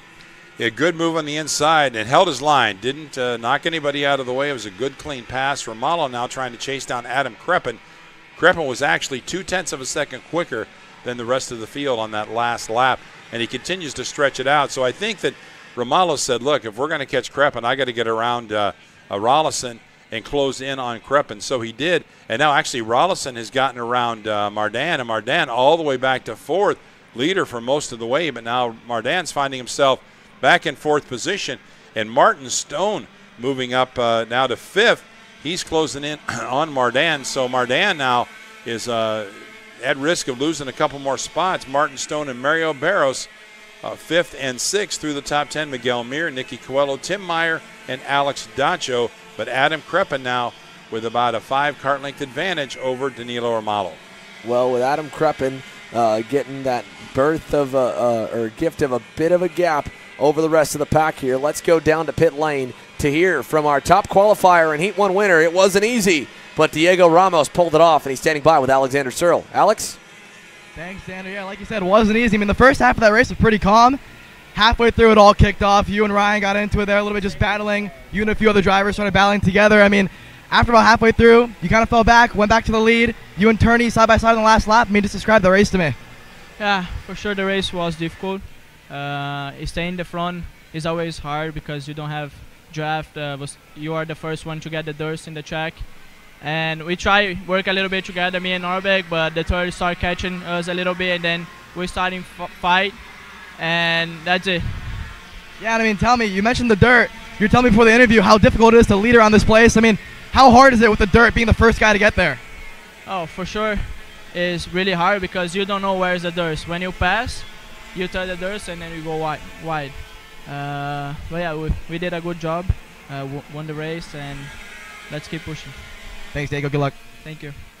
There you go from Diego Ramos. Thank you to Alexander Searle for that little bit of intel of what it's like for Diego. And he mentioned again they were working together. The guys started catching back up, and they kind of had to go uh, as much as you want to break away in a two car draft here, it doesn't always pan out. We go from Diego Ramos here from another driver who really had to work through that chaos to get himself up the order. How about a third place heat result for Paulie Massimino? It's not been the best of years for 2023. It's been a trying one, but this weekend starting off strong for the North Carolina driver. David.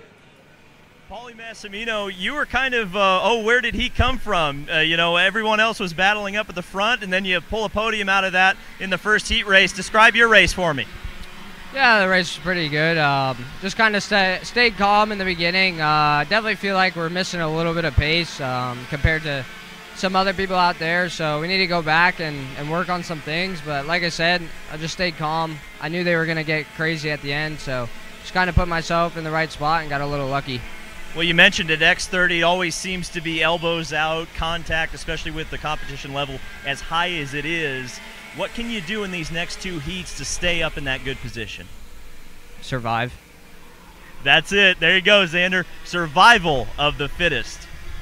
All right, Paulie Massimino. Never uh, too many words, but definitely you get the message from him. Survive the idea of it. We saw that one was crazy. This race still has been a little more tame here, Randy. You've been keeping an eye on it. Adam Kreppen, he hasn't really seen much of a challenge. They battled behind him enough, and he's put good laps together. That gap is a good half second coming to the white flag here.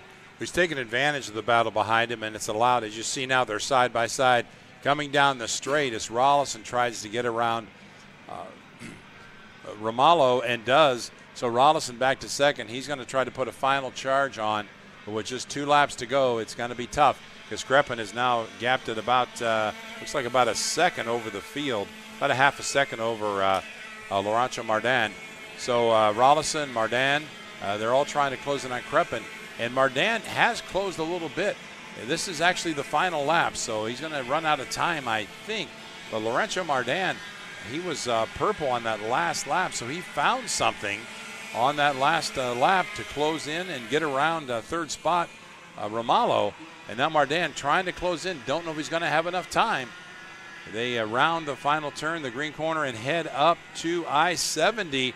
Does Laurentiu Mardan have enough to close in on Kreppen? He's drafting up. I don't think he's going to be close enough to make a move. I don't know. He's awfully close. Man, where did that horsepower come from? And down one final time for the checkered flag. Not going to quite be able to do it but a good run back by Laurentiu Mardan to finish second. Adam Kreppen with a strong charge, your winner. A Mardan second, finishing in third is Mario Barrios. Danilo Romalo finishes fourth. Mike Rolison fifth. Through the top 10, Miguel Mayer finishes sixth, followed by Nicky Coelho, Tim Meyer, Alex Doncho, and Scott Kopp.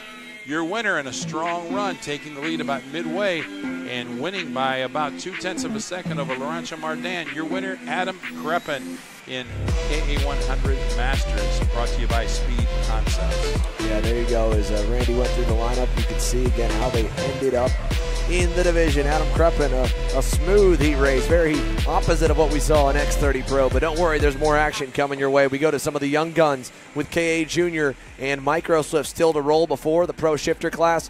Before we get to all that, though, another word from our partners, and we'll be back with more action for the U.S. Pro Kart Series live from New Castle Motorsports Park. You're watching Kart Chaser. Here at MPG Motorsports, our main goal is to provide the best pathway to professional motorsports for our entire team, drivers and mechanics alike.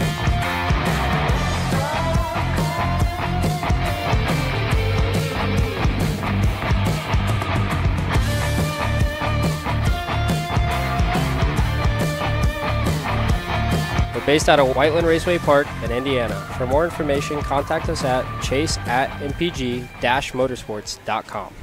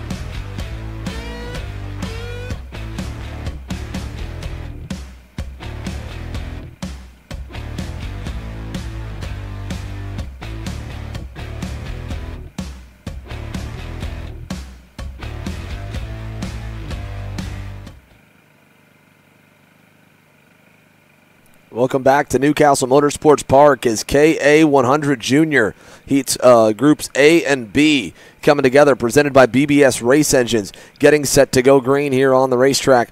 It is uh, Fernando Luque on that Super Tune USA Tony kart that got the overall pole award in qualifying. Second overall and first of Group B, Austin Olds on the MPG Motorsports Kart Republic. Isaac Melcutt, the privateer aboard the Gillard chassis, rolls off in third. Home uh, Midwestern kid getting set to go on the inside of Sebastian Garzone's Orsilon Racing Tony kart. Max Weiland and Ernesto Rivera make up row number three. We are on the power now, and we are underway down to turn number one. Fernando Luque leads the field through the first corner. Can all the young guns make it through? 11 to 15 years old on your screen, and they've survived turn one, turn two, turn three looks okay. Turn four might be a bit of a trouble spot if they're still side by side further back, but for the most part, we're single file as we go to the horseshoe for the very first time. Down to the inside, Isaac Melcutt defending from that Orsilon Tony kart to Sebastian Garzone, who stuffs him in the horseshoe. Sebastian Garzone up to third, but out in front. Fernando Luque as Melcutt back on Garzone. Rivera now alongside. Not enough. It's given the leaders a big breakaway, big opportunity already here, Randy, for Austin Olds on the MPG Kart Republic and for the race leader as well to get further away in Fernando Luque on that green and white Tony kart. You know, I watched these kids in, in happy hour and qualifying yesterday, and they were so close. Now, you see a gap now, but it's only because that second group is doing some racing back and forth. But that lead pack of two, uh, Luque and looks like Luque and Olds, have, have checked out quite a bit. Battle for third there with Malquit as we cross the line now for lap uh, number two. And we'll see what we uh, have as they cross the line here. Uh, Luque still your leader. Austin Olds, Sebastian Garzone runs third. Isaac Malquit, Ernesto Rivera up to uh, fifth. And Jackson Wolney, Anthony Martella, Max Whelan, Braden Zervas, and Landon Skinner. That's your top 10 in the early going with one lap in the books. But fast qualifier out of Mexico City, Fernando Luque leads the way, but Austin Olds driving a smart race right now, just staying in that draft. Yeah, he's just riding right there behind Luque coming out of the cell tower corner. Fernando Luque uh, leading here. He's a both drivers well into the championship chase here. They've had a consistent run in the opening couple of rounds, so they're looking to get some major points. And again, just like we mentioned in the mini class, Austin Olds is in the driver's seat right now. He's controlling whether or not we're going to battle for the lead or uh, if we're going to have a runaway. Unfortunately, as he looks back there, Sebastian Garzon in that bright yellow helmet on the Orsilon Racing Tony kart is closing in, even with the two working together. So if I'm Austin Olds, I'd wait probably maybe a little bit more, and then I'd go to the lead because here it is. There we go. Seeing that they're not breaking away, it's not going to work. He's got to get out in front and try to drive away on his own. Luque not fast enough to lead them away from the field as Garzone pulls up. Smart move by Austin Olds. We'll see if he can break away a little bit now. And Sebastian Garzone's wasting no time. He gets around uh, Luque. He's up to second. Uh, Garzon just went purple the last lap, a 110 173. So he is the fastest kart in the racetrack. And he sneaks inside of Austin Olds and makes the pass on the lead. So all the way up to the top now, Sebastian Garzon is taking the lead. Uh, Olds and, and uh, Luque third. And now that second group with uh, Malquit and Rivera has closed in. It'll be a five kart battle now as they're staying in line and closing in on that lead group as that front group starts to race each other. Yeah, they are closing in there to make it a five car party. This will help some more. How about Austin Olds with a little send down the inside to retake the lead? So it's Olds on the red and white MPG machine. Garzon on that bright yellow helmet and the Orsilon Tony Kart second. Now going back to the lead. Luque behind him. Then the, the purple and white of Ernesto Rivera is about to be third as he's side by side with Olds. He'll get clear. And Isaac Malkut, the little guy there at the back on the uh, all black helmet, and red and black go kart is up to fourth as Olds goes from first back to fifth in one straight away. Again, when we looked at these guys in qualifying and happy hour, they were so, so close, and it shows right here. When they race, the lead group, if they're in line, is going to check out a little bit. But Isaac Malkwood, who's been lurking back in fifth position, now up to third. He's got a little bit of clean racetrack, and he'll try to close in on Luque. But Sebastian Garzon uh, trying to check out a little bit. I don't think there'll be any checking out because there's about seven or eight drivers now that are so equal, and if they stay in line, they're going to kind of like a slinky. That slinky's going to get a lot tighter, and we'll see some more racing for that top spot here before long. Yeah, we definitely will see. I think even more. Uh, pulling up now as we've got tagging onto the train. Jackson Wolney is there. Braden Zerves is there. Landon Skinner has also arrived there. Landon Skinner up even to seventh as Olds going by Rivera back for fourth. Malcutt now going to get a little bit of a gap from third on back. And it's Sebastian Garzone over Fernando Luque. Garzone, the Colombian, uh, leading the way here, based out of Aventura, Florida. And Luque back by him in one. Fernando Luque from Mexico showing the way through turn number three as side by side back behind Olds versus Skinner. Olds gets it back in three all the while it just lets these guys get further away. Isaac Mockwood slips up into second around uh, Garzon, so Mockwood now will try to chase down Luque. Isaac Mockwood on the charge. A couple other movers, Oliver Weldon up five spots, as well as Justin Music. Both drivers advancing five spots to 10th and 11th position. So those drivers on the move. Landon Skinner just goes purple the last lap with a 109.755. Side by side there into the green corners. Garzon getting through on Isaac Malcutt once again. So he takes that second spot back. Malcutt gets into the back of him there, maybe a little bit unintentional, but it messed them both up. And here comes the RPG teammates. Ernesto Rivera looks back to Jackson Woolley, says, Yeah, it's go time. Follow me. It, it, not close enough there. Ernesto Rivera looking to go up to third. Will he have enough of a run at turn one? I don't think he will. Malcutt's going to still be in the tow. It's Luque, Garzone, Malcutt, Rivera, Jackson Wolney. Look at Malcutt, last second at the line to go to second. He caught him off guard, and he'll take the spot away at the halfway mark. I like that move by Malcutt because he didn't show his hand too early. He waited. And just at that last second, got the right amount of draft, but he's going to lose. Oh, he doesn't lose the spot again. He almost did. But, oh, uh, off nice the racetrack move. for Rivera. Look at that. Way wide for Ernesto. Oh, man. He was trying to go by on Malcutt, like you said. Malcutt held that third spot after losing second right back to Garzon. And Ernesto Rivera just had no racetrack left. He drops all the way outside the top 10. Not good news for your championship contender in Ernesto Rivera right there. It is good news for Fernando Luque and Sebastian Garzon because those two now have checked out a little bit. Good battle out there for third, though, as Rivera try or uh, was Wolney, I believe, tries to get around Malquit. Yeah, Jackson Wolney trying to get around Malka. Now he's got Austin Olds back on him again. Landon Skinner right there. Look at these two up front, Sebastian Garzone and Fernando Luque. Garzone, you saw the hand signal. He said, let's get away from everybody. Olds now going to go by on Wolney. He'll bring Skinner with him. Landon Skinner is now up four spots, I believe, to either fifth or sixth on the racetrack. And down the line we go. Malkut in no man's land in third. Olds fourth. Skinner fifth. Wolney, Zerves, Weldon up seven. Rivera back to ninth there at the stripe. And Justin Music in 10th here with four laps to go.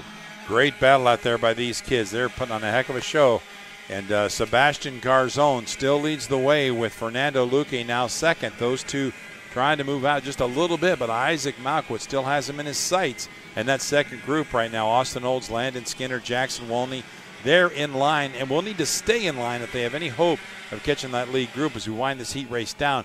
Malquit now kind of out on an island a little bit as he's got about 10 kart lengths behind him and about five in front of him of nothing but clean air but he's going to have to get a little closer, I think, to get a toe with that lead group to catch back up.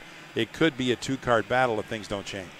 Yeah, it, they need to uh, really get going. This fourth, this second group of the five of them looks like it's kind of calmed down for now. I think Landon Skinner's content to follow Austin Olds if it works. With three laps to go, time is of the essence, though. They cannot afford another pass further back if they want to keep the leaders within shouting distance. And Isaac Malkut needs a good lap. He got a decent one. He held the gap even. Olds and Skinner a tenth quicker that time by as they come through three and four. That group behind there battling at the end of it. That was, uh, I believe, Oliver Weldon getting around Brayton Zerves. He takes over seventh, but Landon Skinner there on the bright white helmet for the Allen Rudolph Racing Academy Tony Kart.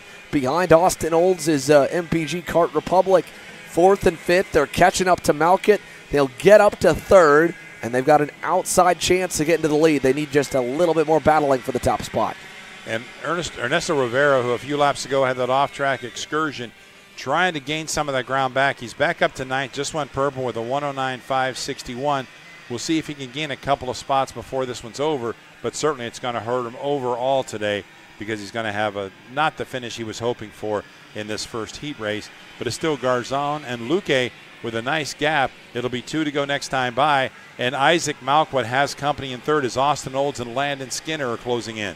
Yeah, here they come. Watch this. Big run coming for Austin Olds down the straightaway. Big push from Skinner. Is it enough to get there? Malka thought it was, so he blocks low. Olds had to follow as the two to go signal comes out.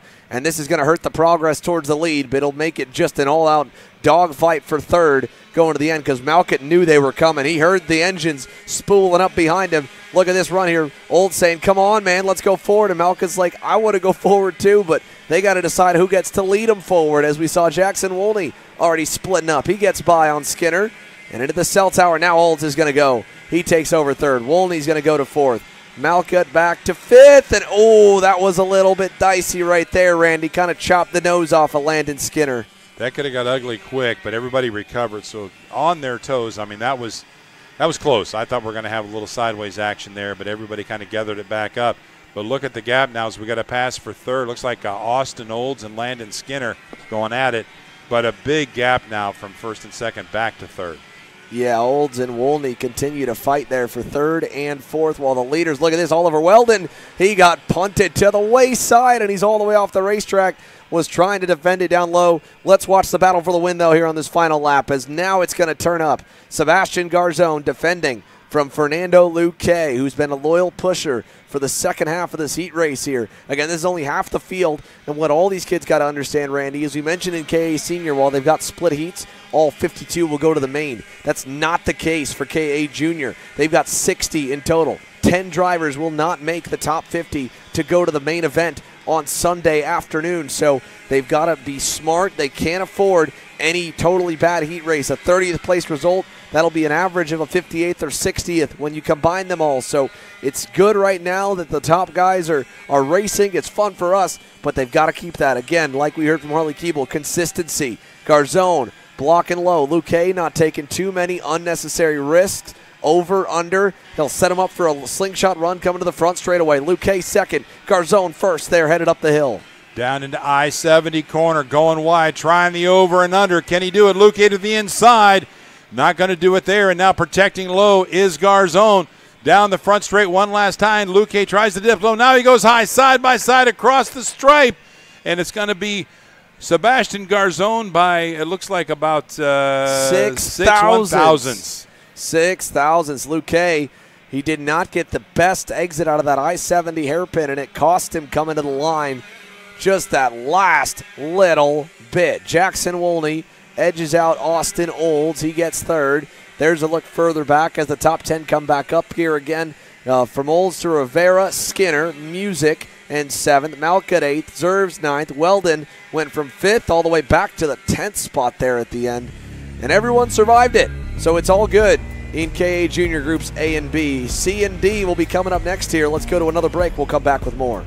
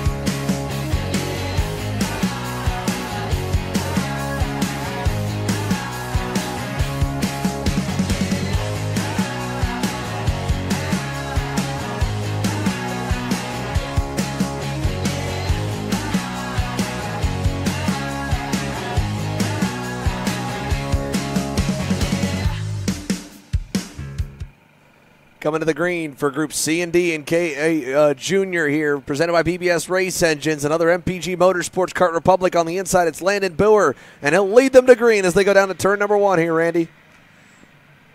Through turn one, pretty clean. We've got a couple high, nipping the edges of the grass, but everybody stays on track, headed in the right direction. And uh, Caleb Tarter is your early leader. The uh, 873 is Stephen Miller. A good, uh, good start from the outside. Holds down second spot.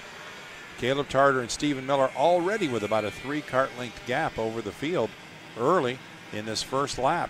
Uh, Caleb Tarter leading the way. Stephen Miller, Diego Gu- Gu- Diego Gio. Gio. Thanks, Xander. I got you, Randy. yeah, my mistake on Landon Boer. I apologize there. Fellow MPG driver. It's Caleb Tarter indeed who leads there. Stephen Miller on the Kart Republic in second in the blue suit. And then you've got that uh, chrome and black and white Iron Rock Motorsports machine of Diego Gio in third on the 848. Look at that red and yellow Giller. That's the Team GWR of uh, entry of Chase Buscaglia is for the lead. Stephen Miller wants to take the top spot away, and he will. New leader coming to the uh, end of lap number one as we'll bring the leaderboard up and see where they all stack up at the end of the first lap. Stephen Miller, your leader through the end of the Long Pond straightaway. Stephen Miller, Caleb Tarter runs second. Diego Gue runs third. Chase Buscala, Buscaglia, Buscalia is oh around Gons Turner Brown. Turner Brown on that speed, Concepts Racing red speed and contact there inside the top 10. He was seventh between himself, Quentin, McPher- uh, Quentin Macpherson, and Mayor DeHonorin all coming together. That was a wild ending to lap number one and going into turn uh, lap number two. It's now kind of spaced out the top four and sixth on back as well as a gap. So it's Miller over Tarter, and then back you go to Gio and Buscaglia with a little gap further away to Peyton Westcott there in position number five. Quentin McPherson, Turner Brown, Mayor Diener, Luis Alessandro Yamana, and Enzo Vidmantien uh, round out your top 10, but they're all chasing Stephen Miller. Stephen Miller on the charge. Good start from the outside. Uh, moves up to that top spot. Caleb Tarter uh, runs in second. And Diego Gio runs in third. But that's uh, those top four Chase Buscaglia in fourth. They have broken away from the rest of the field by about a second. Peyton Westcott holds down that second group. They're two laps in the books now. And going purple, Chase Buscaglia with a 109.848. Uh, going purple in that lead group. He's in fourth, but closing in ever so slightly on those top three. Stephen Miller now closely pursued by Caleb Tarter for those top two spots as they work the back part of the race circuit now and will start working their way back towards the tower as they uh, go around the, uh, the cell tower area and then head back down over the hill to that nice left hand 90 degree a good gap between Basagli in fourth and Peyton Westcott, who currently runs fifth. So uh, those top four right now with about uh, looks like about uh, a 1.2, 1.3 second advantage over the field. Another pass made by Diego Gio. He going, he's gone back to third as Buscaglia went to third, then lost the spot just as quickly in about half a lap. So out of the final turn, We'll come and put three down, seven laps to go. This time by Stephen Miller continuing to lead here over Caleb Tarter, Gio, and Chase Buscaglia through turn number one. Another uh, lap in the books for Stephen Miller out front. The, the update there is Peyton Westcott making up any time as the Nash Motorsports EOS kart rides in fifth with Mayor DeHonorin right there in sixth. She did not. Lost a tenth of a second to the leaders. As long as they stay single file in this formation with Stephen Miller leading the way, this could be the only four drivers with a shot at this heat race win. And it sounds early to say that. Only got three laps completed, seven still to go. But again, they are the fastest drivers. Nobody quicker further down the order. And what shows right now is that, and I'll probably jinx it, they'll probably be passing as soon as I say this, but everybody seems content where they are in that lead group right now, staying in line with those top four, and they are a little bit quicker. If they stay in line, I think they can gap far enough where with a few laps to go, it'll be up to them to settle it.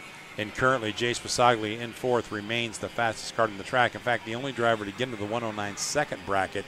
So those top four, slowly but surely, checking away from the rest of the field, and that will uh, make it very difficult for Peyton Westcott and Mayor Dienerin to uh, to catch up to that uh, lead group.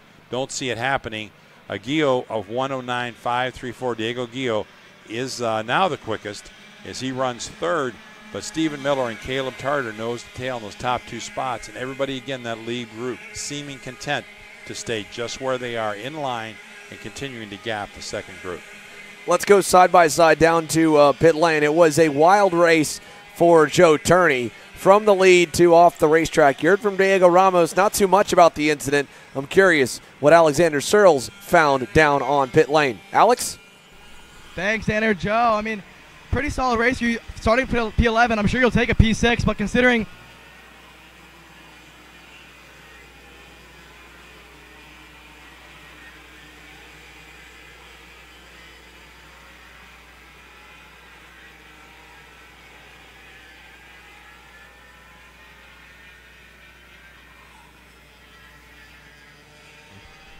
solid race for you overall.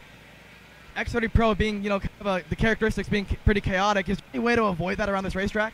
No, not really. I mean, like, uh, the first guy can't get away, and then everyone's trying to get to the first guy, but then when people close, it, it, it checks the race up. Um, so I think uh, that one was pretty messy then, but I don't think it will get much better through the week. All right, go. Thank you. Apologies about a little bit of technical difficulties there on that first answer, but again, you heard it from Joe Turney. He's like, I don't think it's going to get any better. We've got too many good guys on too big of a racetrack to keep everybody together, and it's just going to stay pretty wild and pretty gnarly. And we're seeing that again here in the 100cc classes, even less horsepower. This is a 22 horsepower restricted engine for the junior drivers from ages 11 to 15 years old.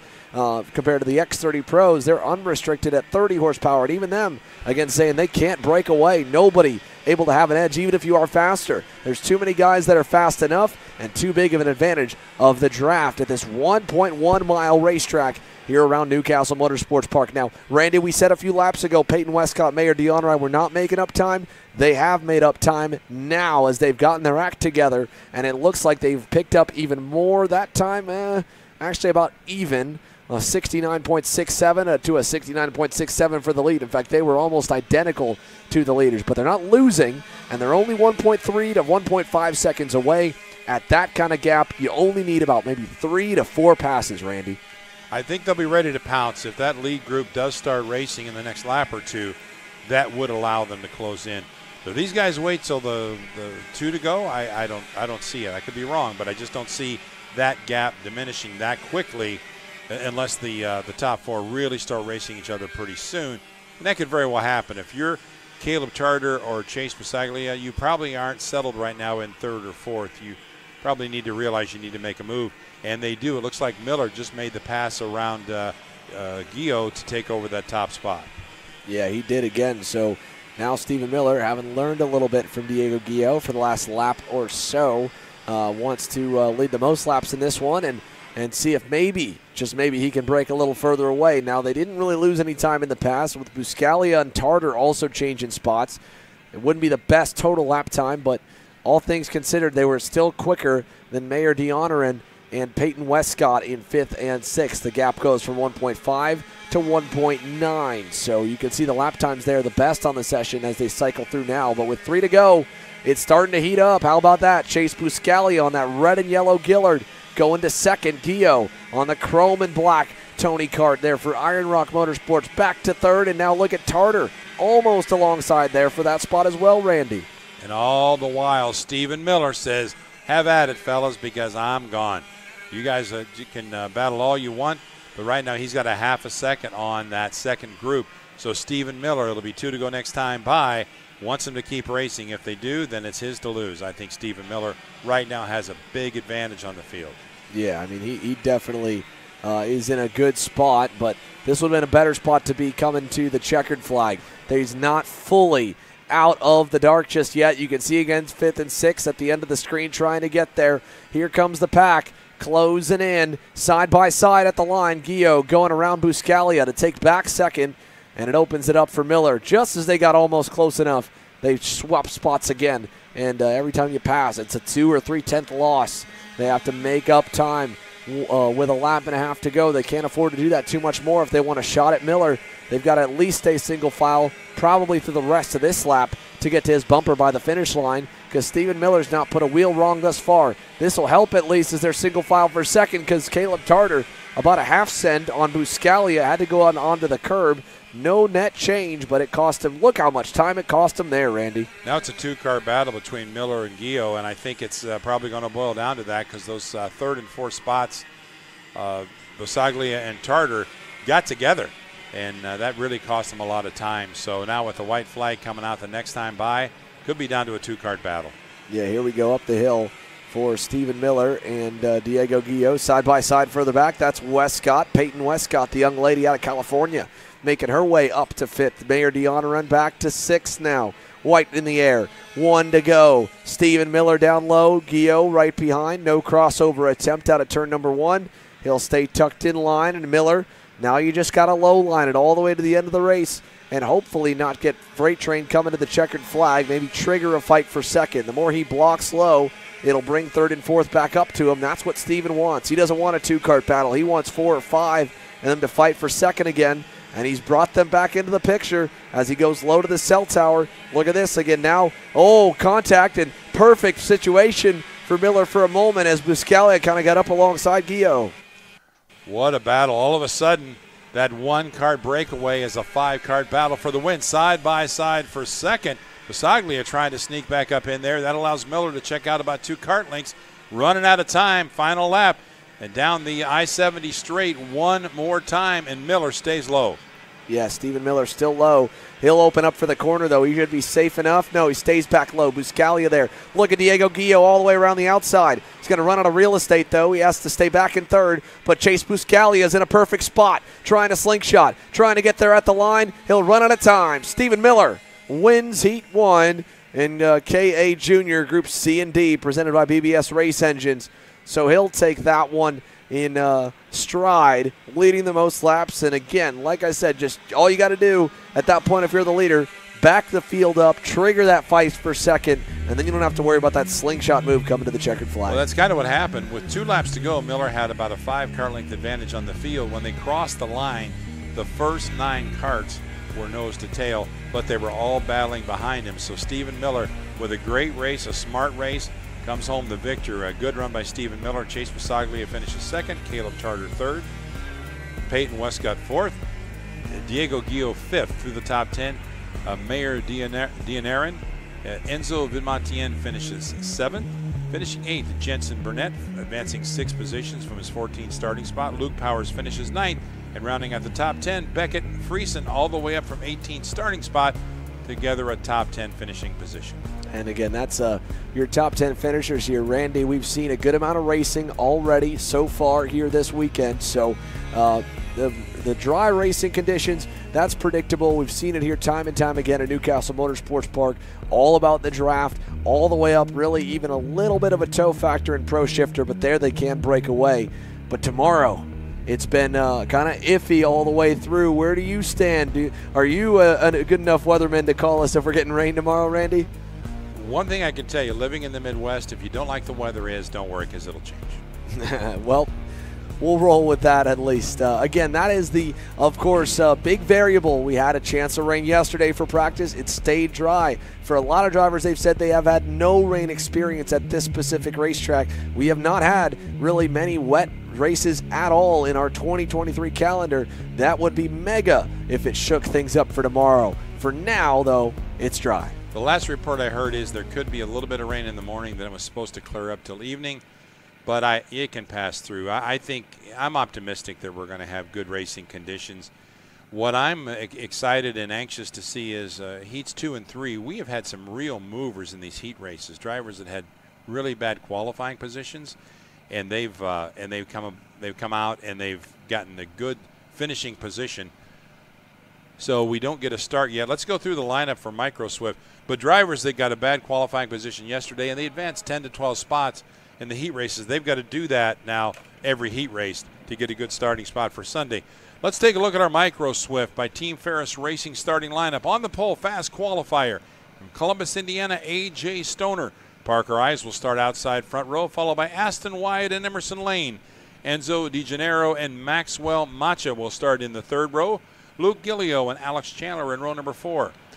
Jake Manalio and Colton Schnigenberg will start in row number five. In row six, we've got Nicholas LaRusso and Zane Burgess. In row seven, Liam Nakawati and Pasha Ali. Row eight, it's Cameron Johnson and Mickey Collins. In row nine, Massimo LaRusso and Oscar Gus Wunderl. And in row 10, Lawrence Perriman and Liam Van Beek and we're coming down uh, I-70 corner right now. Looking for a start. Yeah, let's see if we can get the there green here for Micro Swift, presented by Team Ferris Racing. Looking for it. We've got it. Green flag in the air. They're racing down to turn number one as the field goes through turns one and two and uh, all the way through. Uh, single file for the top couple, side by side further back as they go through. Good start for A.J. Stoner. That inside row really moved out. Parker Ives got shuffled back from that outside starting position. But A.J. Stoner with an early gap of about 10 kart lengths on the field. Talked to A.J. yesterday. He's pretty excited about that pole qualifying position. Really solid run out there by the local Indiana driver, actually. But A.J. running for that AMAX Racing Group. A good, solid qualifying run and now trying to duplicate that in his heat race. Right now, a good clean start as we round up our first lap. A.J. Stoner with a nice little gap over the field. Yeah, AJ Stoner, of course, what a great run for him in uh, uh, this race, just uh, or this track a few months ago at the Route 66 Sprint Regional Series. Battled for the lead and the win almost all day long, side by side, lap after lap. Now there he's going to get freight trained here as the national regulars send him to the wayside and back to third goes the Amax Racing Machine. Is up to the front for Aston Wyatt. A couple of Texans working together. Aston Wyatt there, the leader. Emerson Lane on the TKG Kart Republic right behind him in the number 50. Fourth in lines, Maxwell Macha in that bright yellow helmet on the orange and black Sodi kart. One lap complete, nine laps to go. Crossing the stripe for the first lap, Aston Wyatt is your leader. Emerson Lane runs second. AJ Stoner gets shuffled back to third. Maxwell Macha and Parker Ives your top five running order. Enzo Di Gennaro runs sixth. Jake Manalio runs seventh. Luke Gillio runs eighth. Alex Chandler ninth. And Colton Schneigenberg runs tenth. Uh, mover already in one lap. Mikey Collins started in 16th, already up to 12th, advancing four spots. So a good start by Mikey Collins. But Aston Wyatt leading the way, starting from that third position up to the front with Emerson Lane and AJ Stoner uh, in tow. Right now, a little bit of a two car breakaway, actually a four car breakaway, with Wyatt leading the way, Lane, Stoner, and Maxwell Macha, your top four. And then you've got uh, Parker Ives trying to reel them back in. Parker starting from that outside front row in the first turn. That outside row did not move as quickly as the inside, so he lost a few spots there, but he may have pace to go ahead and, and catch up to that lead group. But Maxwell Macha to the inside makes the pass on A.J. Stoner. Now Macha up to third. Pole sitter A.J. Stoner back to fourth, and that allows Parker Ives to close in ever so slightly on that lead group. It'll be a five kart battle for the lead very soon. And peeking to the inside was Emerson Lane, but he backs it out of there. Aston Wyatt still leads the way. Going purple, Parker Ives back in fifth with the 114 4 6 7. Yeah, Parker Ives uh, now will get all the way up to this pack by the end of the lap with battling like this. How about Emerson Lane? He wants the lead once again through turn five. Emerson Lane is through on Aston Wyatt. And Maxwell Macha with a big run to the cell tower. Look at that already. Parker Ives on the silver helmet there in fifth and a coming as well. How about it for Enzo De Gennaro on the Team Ferris Racing black and blue Kart Republic in sixth. It's made it almost all six drivers into frame. Seventh looking on is Luke Gillio in the Ryan Perry Motorsport Nitro kart. But for the Trinity Karting Group camp, their boy is out in front. Emerson Lane leading side by side. Parker Ives picks up another one. He'll get back up to fourth as he claws his way towards that original starting spot of P2. Qualified second, just missed the pole position yesterday, and Parker Ives now up to fourth, showing he's got some steam. And uh, Parker Ives now up to fourth in that lead group, trying to make a move now on third, and that would be Maxwell Macha. Ives takes a little peek to the inside, but backs it out of there. So in line, that top four, trying to, to gap a little bit over fifth spot, Enzo De Gennaro. AJ Stoner now, our pole sitter, back to sixth. Yeah, Enzo De Gennaro at least got himself up to fifth at the very end of the lap, getting around AJ or uh, uh, Stoner, like you said, the pole sitter going back all the way down to the edge. The problems now for the 19. That's the Racing Edge Motorsports Kosmic. Um, I believe I'll try and figure out who we had in the nine, one nine uh, that went all the way down there. But Nicholas, nonetheless, Nicholas Larusso. Nicholas Larusso going down the order up front. Emerson Lane, Aston Wyatt, Maxwell Macha, Parker Ives. Still no change yet to the green corner. We stay single file here. Early in the going, though, just settling in really for these micro swift drivers presented by Team Ferris Racing as they go to that infield hairpin. How about it for Emerson Lane on the bright yellow helmet in the green and white group? It's only his second race weekend aboard a Kart Republic chassis and working with the Trinity Karting Group camp. He had such a good run, winning the main event of the Stars Championship Series. And uh, his dad and him uh, mentioned to me at the end of the day, he said he's ready for an interview. He's got his words together. Well, don't put the cart before the horse. You got a long weekend to get there, but he's doing a good job right now. He leads him to one as a near pass there for third, but Maxwell Macha just ran out of steam right at the end of the uh, they, straightaway. They took a peek. He had some help from Parker Ives, who looks to the inside but can't quite make the pass on Macha. And now joining the party, Enzo Di Gennaro, who's turned the fast lap of the race, is now on the rear bumper of Parker Ives. He's made it a five car battle for the top spot. Pass for the lead. Aston Wyatt takes over the top spot. Gets around Emerson Lane. New leader, Aston Wyatt. And look at Enzo De Gennaro working Parker Ives to the horseshoe. Couldn't get by. Enzo De Gennaro almost there. But Aston Wyatt on that AR Academy Birel ART, the number 21 leads the five car pack. Six now goes to Luke Gilio as AJ Stoner continues to drop, unfortunately. He's down to seventh now. Gilio on the way. He was a tenth better than the leaders last time by, thanks to them cha- changing the position for the lead. Gilio and Stoner are now going to pull within about a second and a quarter. So we could get even more players into this fight for the lead. Down the straightaway to the I 70 corner. Macha, one second, looking for it. Not going to get it from Emerson Lane in the I 70 hairpin. Here comes Parker Ives to the bumper with a big run down the front straightaway. He'll look for third. Not going to have the tow, but Emerson Lane will. He'll pull out a line, and Emerson Lane back to the lead with Macha and nearly Parker Ives. It got messy there as they were all weaving back and forth, and Aston Wyatt holds on to third. I, that I tell you, that was smart driving by all those kids because that could have that could have been a real problem. Ives backed out of it the last second, knew the move wasn't there, didn't send it because he knew he didn't have it. That was just a smart move by Parker Ives to wait for another day and another opportunity. That does allow those top two, Emerson Lane and Aston Wyatt, to, to uh, gap a little bit, but not for long, as that second group, uh, Macha, Ives, and DeGennaro, are right there closing back in. But right on the bumper is uh, a battle for that top spot. Let's go down to pit lane. Pro Shifter, the second of the two headline classes, is coming our way here after this. And Alexander Searle has caught up with one of the members of the Big Three. AJ Myers is back in action, and he's standing by. Thanks, Xander. AJ, I mean, pretty solid qualifying effort for you there, rolling off on the front row, missing by two tenths this morning and tenths in the field. I mean, what'd you guys find from yesterday?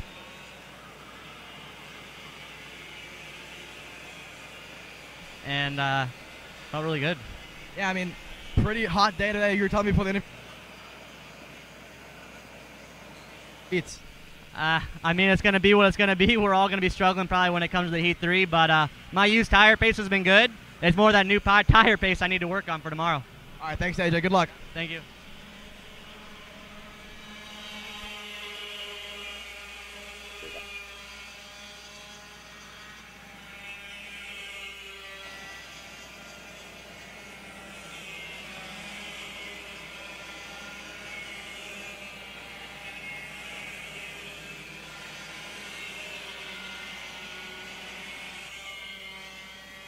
Too bad. On the racetrack here for uh, Micro Swift as we go back to it with three and a half laps to go. Maxwell Macha to the lead. Parker Ives to second. Emerson Lane back to fourth. Aston Wyatt back to third. It is Macha on the peak on the SLA kart racing Sodi kart leading for the first time here in the pre in the heat race. Parker Ives wants to take that spot away already. He'll go through to the I-70 corner and Aston Wyatt a send and a half down the inside. They'll go three wide for second coming out of the corner. Side by side down the front stretch. Look at Emerson Lane. He'll get clear on Wyatt. How about Luke Gilio? Luke up to third down to turn number one. He'll take the spot and get clear on Emerson Lane. How about the run by Parker Ives? Got a bad start, got shuffled back to fifth spot, lost the lead draft, slowly but surely worked his way up to the front, just makes the pass for the lead. Parker Ives now leading the way. Maxwell Macha in second, gap of about five kart lengths to the rest of the field. But we've got some more contenders now, all the way back to AJ Stoner and eighth. They're all relatively close where they could have something to say about this before it's over, but time is running out. It'll be two to go next time by. Parker Ives with about a five kart length advantage over Maxwell Macha. Yeah, now Macha will get a big run on him on the straightaway. He's close enough right now. When you start that long, uh, those two long straights, two or three car lengths back, especially here in this restricted micro swift division, this is the slowest and the youngest drivers on the circuit at a nine horsepower restricted motor, uh, along with seven to ten years old being the age bracket. You lack experience, you lack top speed. It makes it feel like a huge draft fest, and that's why the pack is getting so big because they can really pull up on each other down at the end of the long straights. And for Maxwell Macha, he's going to have an opportunity maybe by turn number one. How big of a closing rate can he get to Luke or uh, Parker Ives? Not as much as I thought. Ives actually pulled away with a great exit out of that back corner. That gap will stay at three car lengths while they battle back for third. Gilio, Lane, DeGennaro, Wyatt. How about Colton Schniegenberg sneaking up into the mix there on that GWR Energy? He's up to seventh. Here comes the pack through turn four. That is DeGennaro over Aston Wyatt, over the blue and red of Colton Schniegenberg, and then your original pole sitter, AJ Stoner, back in eighth. But Macha a little better this time, closes up. Here's that group once again going to the cell tower hairpin. Parker Ives getting a good launch off of I 70 on that last lap. He's got some horsepower now, really close. Macha seems to be stronger, the tighter, more technical part of the course, but straightaway speed, Parker Ives has really got some horsepower, and they head back uh, this way. They'll make the right hander and then go up I 70 and we'll see how close and what kind of a run off of that I-70 corner Maxwell Macha can get, and when does he want to make the move? Uh, right now, he's close, but if uh, if Ives can get a good run off of that corner, he does seem to gap him out of there. And we'll take a look as they head down now around the last corner and down the front straight to see the white flag. And Ives pretty content on running running the high side, and Macha seems to be content on staying right there and not making a move. He'll try to make it on the tighter end of the course. So we've got a pass for a third, and that's Gilio up to, I'm sorry, it's Emerson Lane up to third, getting around Luke Gilio. Yeah, Luke Gilio back down to fourth. Emerson Lane up to third. Look at how much that gap has grown now from first and second on back. Macha and Ives a car length apart. Two drivers that have already gotten multiple race wins on the 2023 national calendar going at it, looking to get every point that they can. We said in some of the other classes, you got to be consistent, especially with the split groups in KA junior and senior. But in micro Swift, when you've got only a couple of championship contenders, every position, every session matters. This is again a about a 10 to 15 point gain from first to second in every heat. Parker Ives knows it. Maxwell Macha knows it. They're trying to race as clean as they can. Macha got a terrible exit there out of the infield hairpin that we got kind of knocked backwards off the bumper. So up the hill towards I 70. Final time. Parker Ives by a car length. Can Macha get the exit he needs to pull alongside by the front straightaway at the finish line? Here we go, coming to it. It will not be enough. Parker Ives will take heat number one in Micro Swift. Good solid run by Parker Ives, showing his strength out there and a big gap on the rest of the field. Maxwell Macha finishes second. Luke Gilio, Aston Wyatt, and Emerson Lane, your top five, followed by Colton Schneigenberg. Zane Burgess, AJ Stoner finishes eighth. Uh, Liam Nakawada finishes ninth. Finishing in 10th, Enzo Di Gennaro. Zane Burgess with a nice little run out there, finishing in seventh, advancing five spots from his 12th starting position. And how about Santiago Diaz de la Vega? Started in 22nd, almost cracked the top 10, finishing in 12th. Good run by Santiago, your winner, and a good solid run out there, Parker Ives. Yeah, another good performance out of Parker Ives on the Ryan Perry Motorsport Nitro Kart. There's only one more session before the lunch break, and that is, of course, the heavyweights in Pro Shifter. They're on deck as we get set to go green. We'll be right back.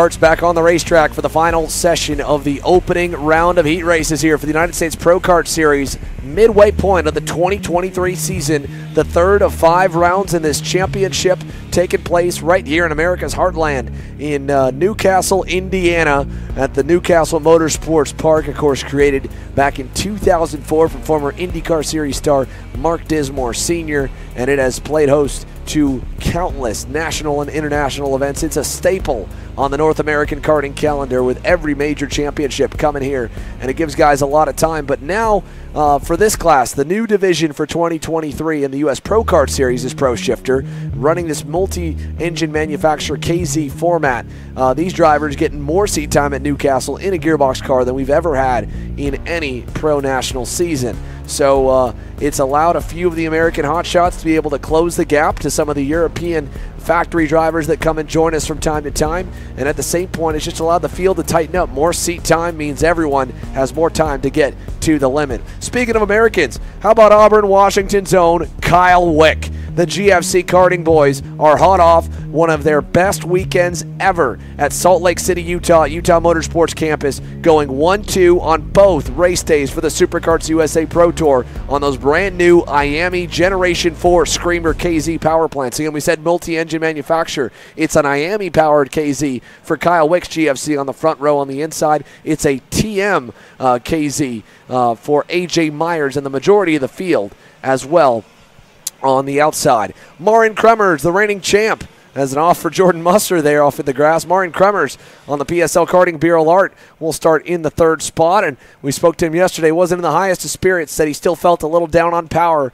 and that was no different than him uh, fighting what with probably one less bullet in the gun than the GFC boys in Utah. He was the next best in third there. Here he's third again, but Myers a little better than him in qualifying. Jacob Gulick joins him on the outside for that 1-2 GFC punch at the pointy end of the field in fourth. Talon Yockel and Hunter Pickett, two drivers on the Magic Cart and the PSL karting camps, have two apiece for each of the three major race teams and major manufacturers inside your first three rows. Then it goes back to Ethan Boer, the rookie, in seventh. Justin White in eighth. Giorgio Carrara and Ayrton Hernandez, your top 10. We go to our head flagman for the first standing start of the weekend. Porter Wiesensetzel. Let's see it. Who gets the whole shot off the line? AJ Myers will, and he'll clear Kyle Wick through turn number one. From the outside of the front row, AJ Myers leads through turn number three. What a hole shot for A.J. Myers around the high side. Gave plenty of, of a racing room to Kyle Wick, but gets a good clean starter on the high side, gets a good line into turn two, and takes the lead by about a three kart length gap already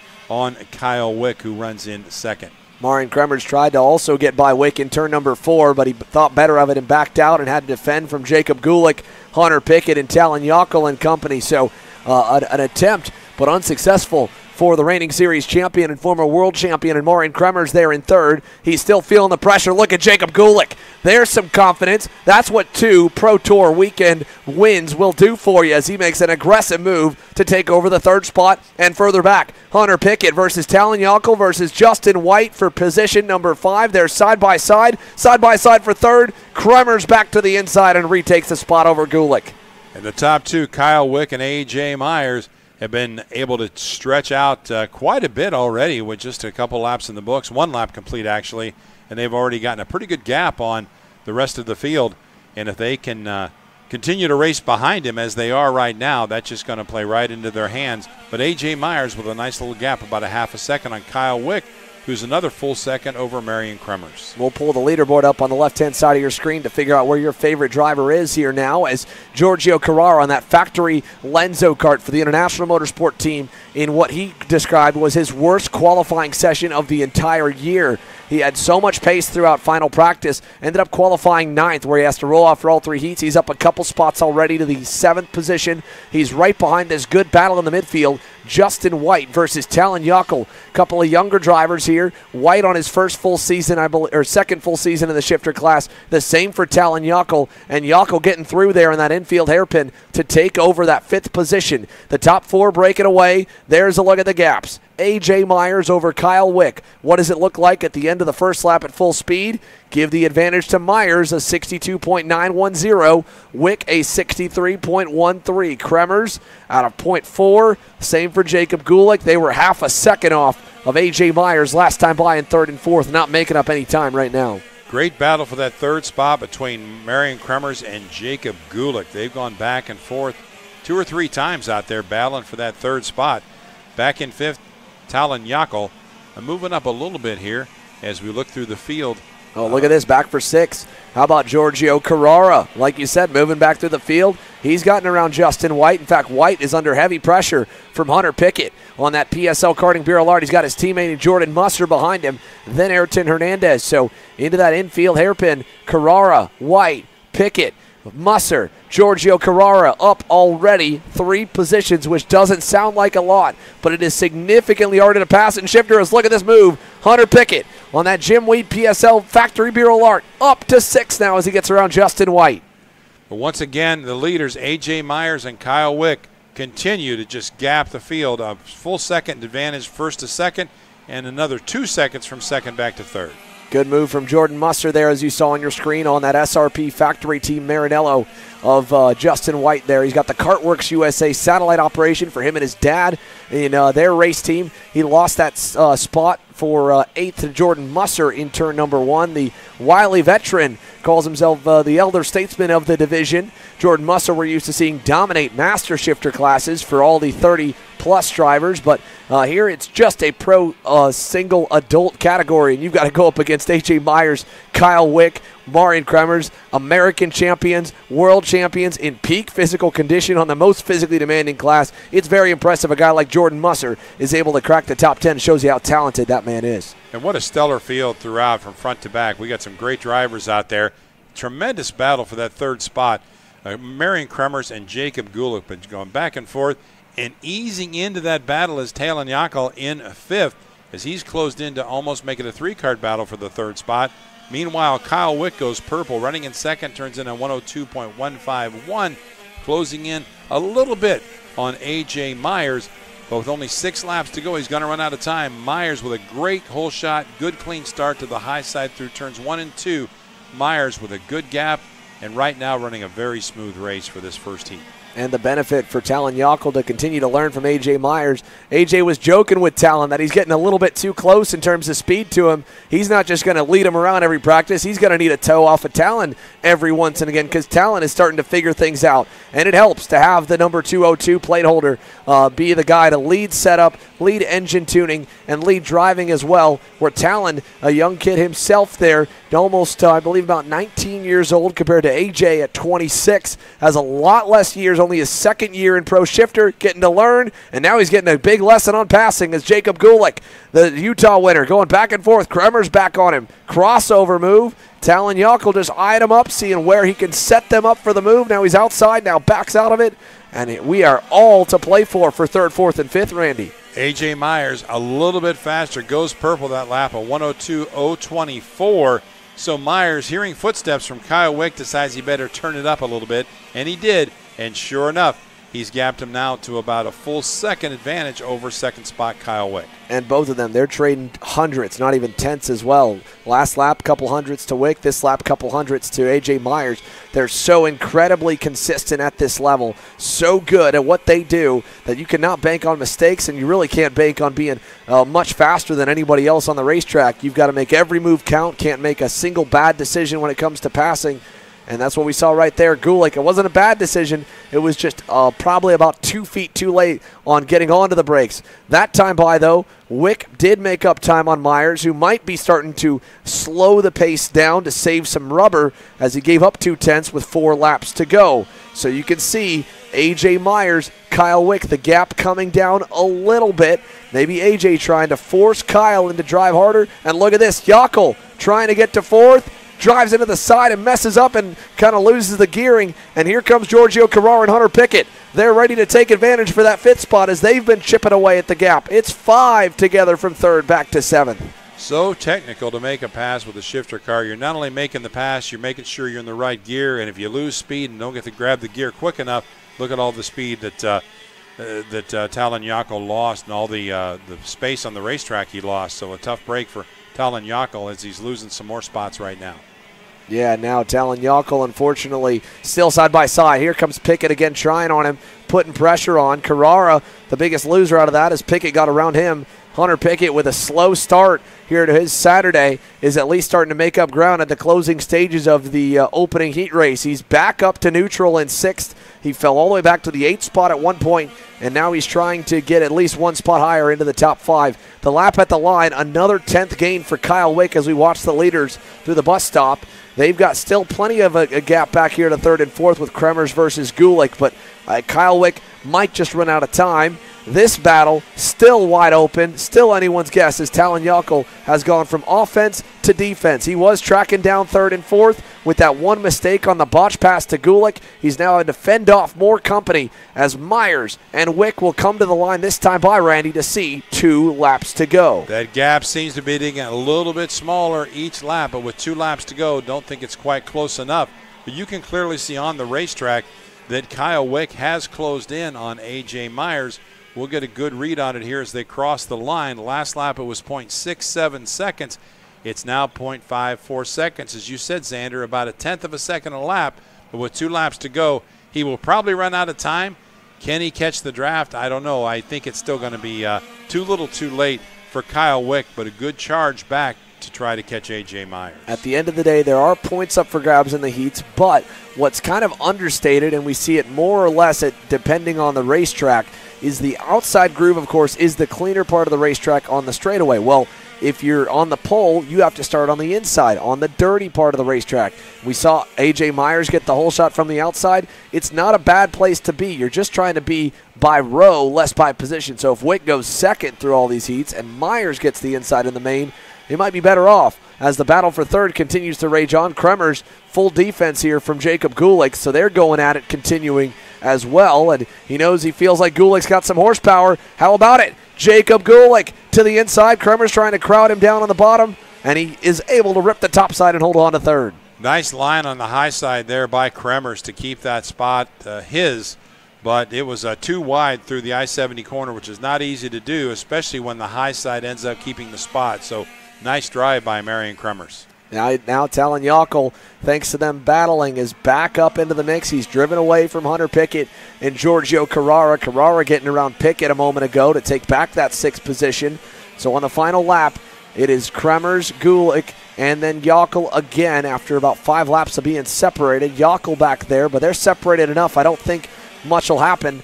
And for the lead, probably not too much either. You can see Kyle Wick closing in, but AJ Myers is a smart race driver. He knows how much of his gap he can kind of use up and slow down to kind of manage his tires without throwing the race away. Wick is going to get all the way up to a car length back. He might have a slingshot on him, but I think it's still not enough. AJ Myers will collect a close Heat 1 victory. Oh, look at that at the line. Wick almost there, and I think it probably caught AJ off guard. Kyle Wick by eight shy of the win, going purple on the final lap. AJ Myers started to cruise to the end, slow the pace down by about two to three tenths, and Kyle Wick turned it up, and he, man, almost stole one right there from AJ. What a finish by Kyle Wick, making that charge. Uh, A.J. Myers, though, got the good start and led the entire way. Uh, through the rundown, A.J. Myers is your winner. Kyle Wick finishes second. Marijn Kremers third. Talon Yockel now up to fourth as he does get around uh, Jacob Gulick for the uh, fourth position. Whoa, Gulick. look at this. Someone lost a right front tire, and they're still driving. Are you kidding me? That's a 272. Who Riley Pegram has lost her right front tire. Wait, watch this. She was trying to Oh, now she'll finally pull off. She drove to the finish. Never give up, Riley Pegram. She drove all the way across the line and through turns one and two without the entire right front tire on that go kart. A three wheel expedition for Riley Pegram there, Randy. Good, good job by Riley under some uh, real tough conditions. Uh, through the top 10, Giorgio Carrara finishes sixth, followed by Hunter Pickett. Let's pull up that replay here. Check this out. Taylor's got it for us. Watch this. The right front tire must have come off coming onto the front stretch, and Riley Pegram on that Trinity Karting Group uh, Kart Republic is just cruising with no right front tire to make sure that she turns all the laps and completes it. And uh, again, cool look, but man, I'm sure that chassis is grinding against the ground there for the last couple corners. Then finally, she pulls it off into the grass at the end of it. Wild scenes there to end the pro shifter race. That was a, a, something to give us a little bit of excitement after a bit more of a anticlimactic run outside of Kyle Wick nearly stealing it. Good concentration by uh, by Riley to uh, to be able to get by with that because uh, that, that could have been uh, that could have been a problem. Well, with that, folks, now we've got post race interviews coming for Pro Shifter, but the on track action takes a bit of a backseat until we go uh, for another 35 minutes. We are back green, I believe, at 12:35. Uh, with the next uh, round of heat races going back to the top of the order with the mini Swifts. So uh, we've got two full rounds of heats coming this afternoon. 12:37, my correction, 12:37 uh, Eastern time. Again, that's in about 45 or 40 to 45 minutes from now. We will go to commercial break now. We will come back with post race interviews from Pro Shifter, and then we'll take our lunch break as well as we get set for a full afternoon of action from New Castle.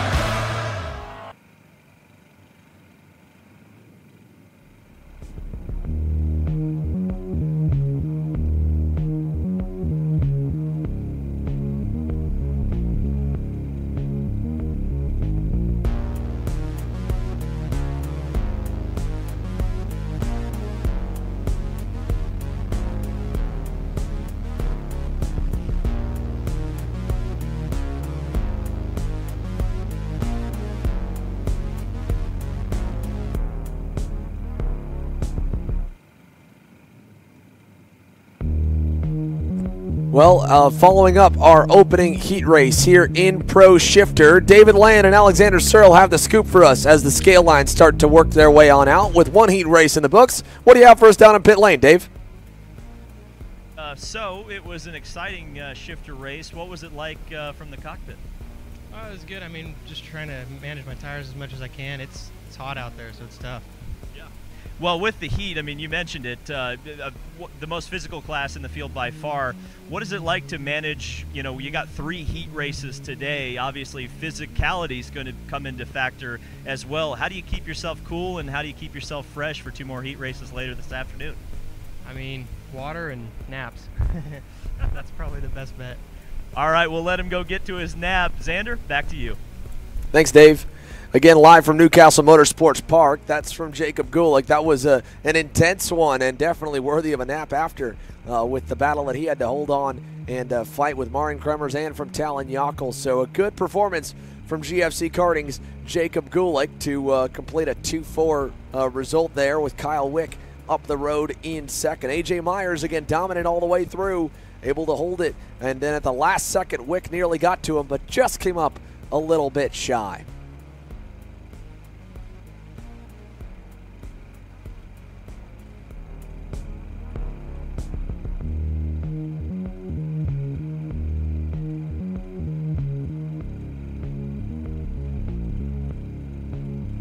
So again, that was from one half of the GFC karting camp. Kyle Wick nearly stole one at the end uh, of that heat race here. A good run to come up 8,000 shy from AJ Myers, and uh, at least setting the fast lap of the session in the process is a good boost to confidence for the pole man who just lost the jump off the line. Let's see as he makes his way over here to Alexander Searle. Hear from it. Uh, 8,000 shy of keeping the sweep going, but hey, pole and qualifying P2 with the fastest lap. Not a bad way to start your Saturday. Alex? Yeah, thanks, Xander. Kyle, I mean, oh, so close to first heat race. You know, just didn't get the hole shot off the line that you would have wanted, but slowly, methodically worked your way up to AJ. Missed it by eight thousandths. I mean, talk to me through the heat race. Um, AJ was really quick at the beginning, and I just slowly caught back up. I wasn't expecting necessarily to get there, but I was able to get to him at the end and almost got there, but not quite. Yeah, I mean, the pace that we saw at the end of that race, I mean, that, was that you pushing really hard? Is the kart just really good towards the end of that race? I mean, you know, with, with, with, three heats coming up, tire progression, right? The heats coming throughout the racetrack. I mean, were you just pushing really hard? Is the kart feeling really good right now? The kart's feeling really good right now. I feel like at this track, there won't be that much tire dig like we saw in Utah, so I think it'll be less important to keep the tires really good because we're not seeing the wear that we saw in Utah, and I think we'll be able to push through all three. All right, thanks, Kyle. Thank you. Kyle Wick just, again, 8,000's close, but definitely the message sent and received to A.J. Myers and the rest of the Pro Shifter field. The black and white GFC karting boys are here to play here this weekend, so they've got a good run with all that. And now we'll take our short lunch break off the air. We'll keep the live stream up, so uh, grab yourself something to eat for those watching along at home. A nice, uh, uh, tasty be- er, beverage as well, and we'll be back at 12:37 p.m. local time here, East Coast time in North America, with the next round of heat races.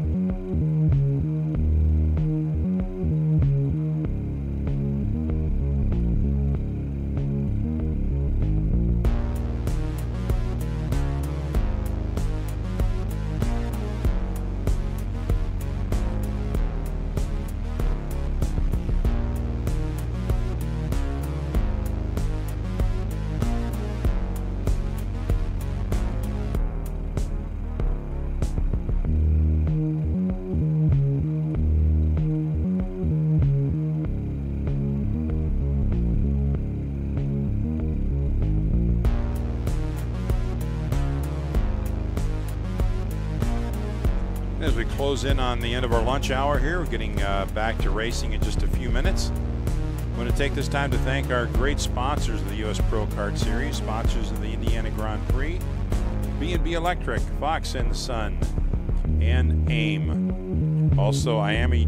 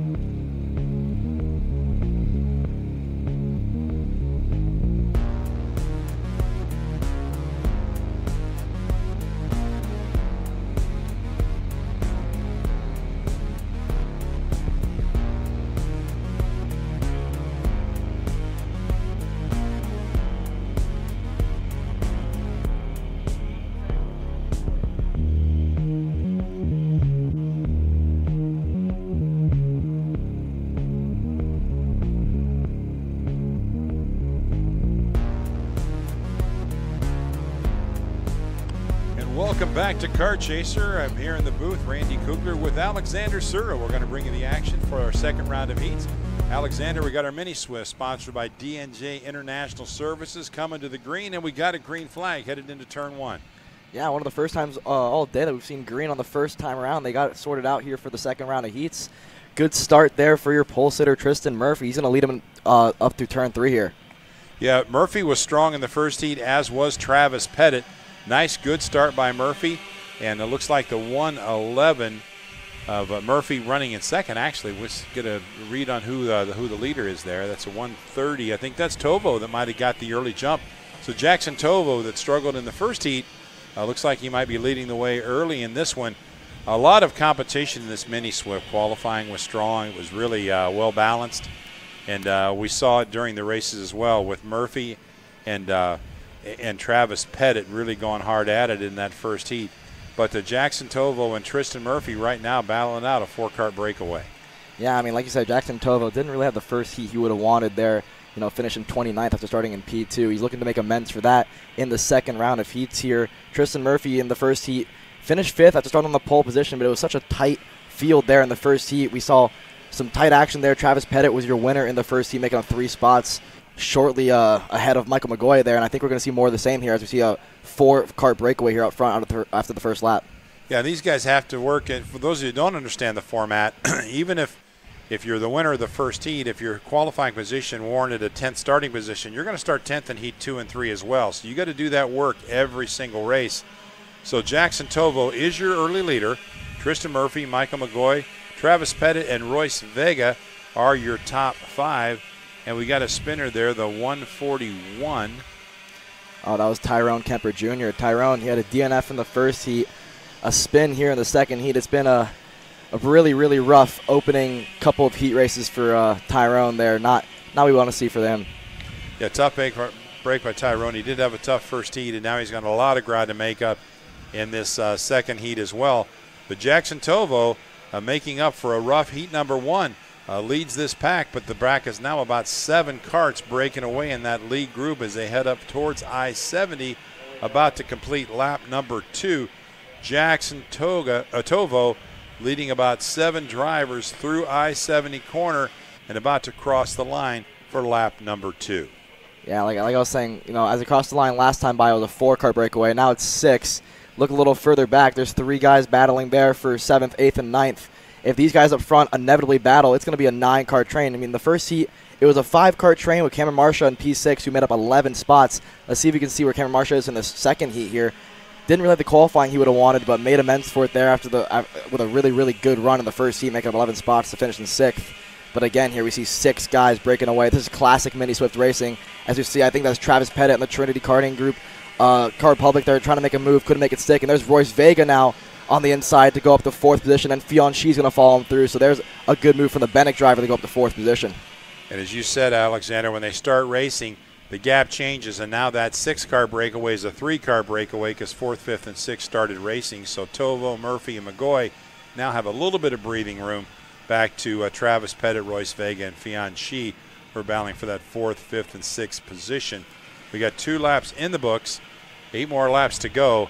And right now, Jackson Tovo is leading, but we've got a pass for second. Michael McGoy makes the pass in I 70 corner, moves up to second, and now we'll try to reel in Jackson Tovo.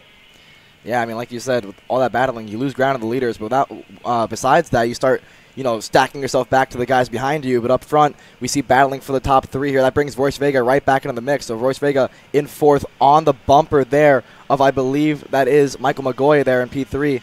No, Michael McGoy's up to the P1 now, sorry. So Michael McGoy, good run for him. He was your second place finisher in the, in the first heat.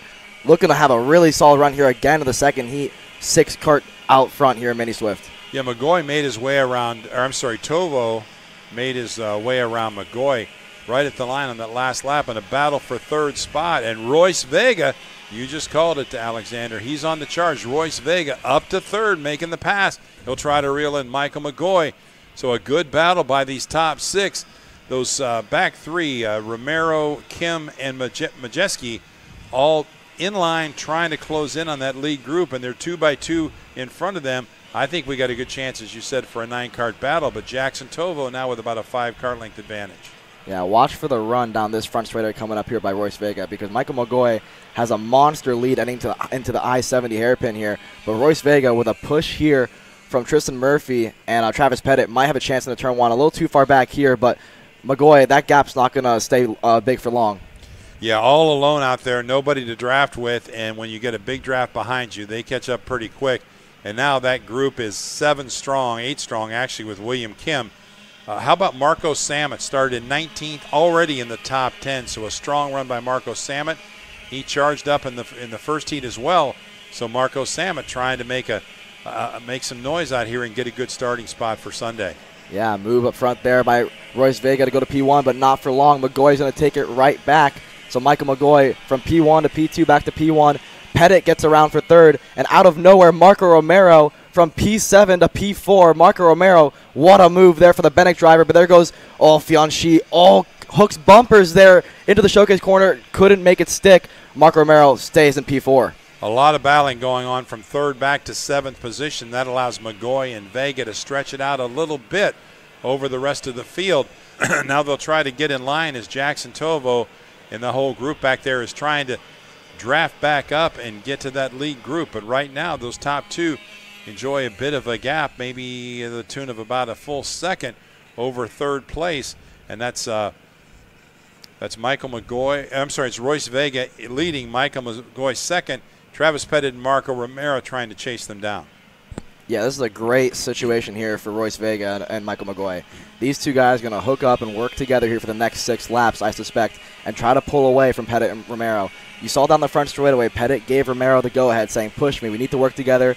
You know, the two are faster than one here, and they see these two guys up ahead working together really, really well right now. Really patient driving from Michael McGoy. He's going to stay behind them for the upcoming laps here, but Pettit and Romero seem to be closing that gap. Martin Jaramillo in the number 189 just went purple with a 113.383. Jaramillo started in 13th up to the top 10 right now, so a good run by Martin Jaramillo. Marco Salmon, who did crack the top 10 back in 11th, but Royce Vega and Michael McGoy still enjoying about a half a second advantage over the field. Travis Pettit leading that second group as they try to reel in the leaders, winding down the second half of this heat number one in Mini Swift, brought to you by DNJ International Services. I tell you, keep an eye out for Tristan Murphy here. He he was pretty far back from Marco Romero last time by. This time he's closed the gap here. I expect a pretty good lap out of Tristan Murphy. He's about to make it a three-car battle, and there he goes. Tristan Murphy goes purple at 112.8. Just like I said, he is flying right now. He's closed the gap on the bumper now of Marco Romero, and Pettit is actually – making the jump. He's pulled away from Marco Romero just a little bit, and he's closing the gap now to Michael McGoy. Travis Pettit two to three tenths faster, and Murph and McGoy knows it. McGoy knows it. He goes to the inside of Royce Vega. He knows he has to get around him. He wants to lead this heat race right now. McGoy hears the footsteps, makes the pass around Royce Vega, takes over the top spot, checks out a couple of kart links on Vega.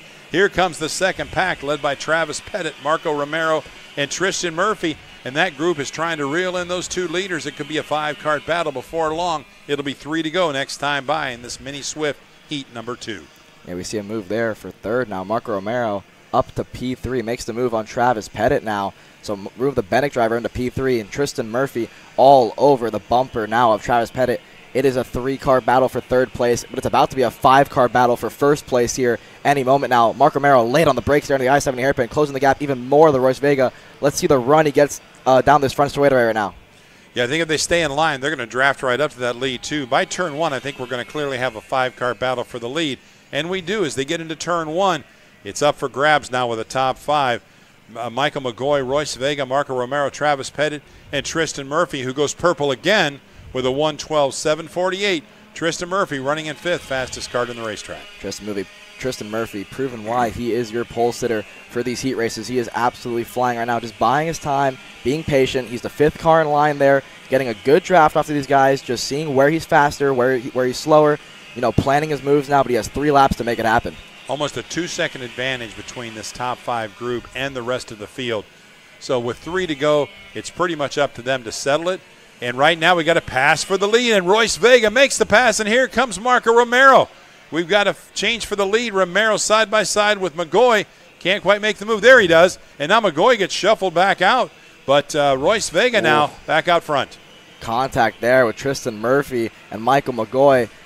Good, uh, good driving there for both those guys to stay on to stay on the on the racetrack there. But contact there for sure. Michael McGoy, how easy it is to go from first to fifth around News- New Castle Motorsports Park here. They're going to get the two to go signal here. Royce Vega on the Benik uh, back in the P1. Marco Romero, it is a Benik 1 2 now. Good run for those drivers. Travis Pettit, he's been patient all race long. It is coming to him now. He's in third place. As you said, Alexander, it's so easy to get shuffled out in freight train. If you get somebody underneath you heading to a tighter corner and it's a freight train of two or three karts, nobody's letting up. You're there and you're there till there's an opening. So you can lose three spots just like that. Yeah, it is super easy around this track, especially with the draft being so prominent. I mean, if you just pull out a line, more than one kart's going to go by uh, most of the time there. As you see, these th- uh, five drivers just being super patient right now, but there's two to go. You want to keep it clean, though. Like you said, right? The heat races, where you qualify, is where you have to start every single race. You don't want to have a bad finish. It sets you back for the for the final tomorrow. These guys is driving real well. Royce Vega putting together a solid heat race. You know, finished seventh in the first one, making amends for it here in the second one, showing the true pace of that Benik kart. Royce Vega leads a pack of five up towards I 70 corner. Vega with the lead, but it's anybody's race amongst this top five. They'll see the white flag this time by. They round I 70. Nobody makes a move off of I 70. Good launch by Royce Vega, nice and clean, but they head down the long straightaway now. Seeing the white flag, I have to believe somebody's going to try to make a move on this one. Yeah, let's see. Surprising there. I mean, Royce Vega has the luxury of his teammate being behind him, right? So his teammate could play blocker for him just a little bit in this heat race. He gets a little bit sideways in the turn two, but I believe that's why we didn't see a move for the lead there because his teammate Benik one two. They want to keep it that way in this heat race. Let's see if they work together now. Down to turn four, no move from Marco Romero. Pettit's going to have to defend a little bit from Murphy. Murphy's going to the inside. That's going to create a little bit of separation now for these top two. The two Benik drivers could try to pull away here. Late move there from Michael McGoy in the turn five. Moves Pettit wide. So Pettit from third to fifth now in two corners. Tristan Murphy on the charge, and you mentioned earlier he is very quick out there. He's went purple a couple of times, and Murphy could very well have something to say for these two leaders, but he's running out of time. He's going to have to make that move here pretty soon. They come over the hump, the left-hander, then the right-hander that leads him to I-70 straight, and here's the move for the lead, and Marco Romero makes the move around Royce Vega, takes the top spot, and that brings Travis Pettit right up. We got him too wide headed into t- to I-70 corner. Oh, yeah. Oh, Royce Vega, late move to the inside of I 70. That is teammates battling there for the win of Heat 2. Vega goes wide. We're three wide down the front straightaway. Somebody's going to be in the grass. It's going to be inevitable contact, and there is. Marco Romero's going to win Heat 2. Royce Vega holds on to P2 here, and Travis Pettit might get P3 there. Oh, across the line, Tristan Murphy holds on to P3, but Murphy and McGoy make contact. Luckily, they both stay on the racetrack. What a finish there in Heat 2 for Mini Swift. Wild finish in Mini Swift for heat number two. These guys have been racing hard all day and uh, had some really good qualifying runs yesterday. Good movement. Uh, Marco Samet started 19th, finishes in the top 10. So give you a rundown here in just a moment. But Marco Romero with a great job out there. Yeah, no. here's the replay there. I mean, I saw it happening, right? Because there's a bit of a dog leg that happens as you uh, cr- crest that hump a little bit, and there was three wide. Somebody's going to turn left, and the guy on the inside is always going to be having to avoid the grass, right? So he's turning right. The car on your on your right's turning left. They make contact. Luckily, they keep it on the racetrack there, but you never want to see two tires in the air. There's only so much real estate to deal with, right? Yeah, exactly. Let's get a quick rundown here of the results for Mini Swift. We're going to have Marco Romero, your winner there, making up six spots. It's a good run for the Benik driver. It's a Benik 1 2 there with Royce Vega second. Tristan Murphy, your pole sitter for all three heats. He's going to finish third. Pettit fourth. Michael McGoy in fifth there. We're going to run down here uh, through six, through 10th here. William Kim, Fionn Sheen seventh. Jackson Tovo two, uh, rough two heat races for him. I mean, he's had two uh, heat races where he you know started second, fell back a little bit, finished the eighth. Marco Samet, good run for him, up 10 spots in the ninth. Lucas Palacio up 11 spots in the 10th here, and then 11th is going to be uh, Jacob Majewski, Jackson Porter 12th, Landon Boer 13th, Martin Jaramillo in 14th, and rounding out your top 15 is going to be Jackson Gibson. That's going to round out your top 15 in Mini Swift. When we come back, KA Senior Groups A versus C. Don't go anywhere. Here at MPG Motorsports, our main goal is to provide the best pathway to professional motorsports for our entire team, drivers and mechanics alike.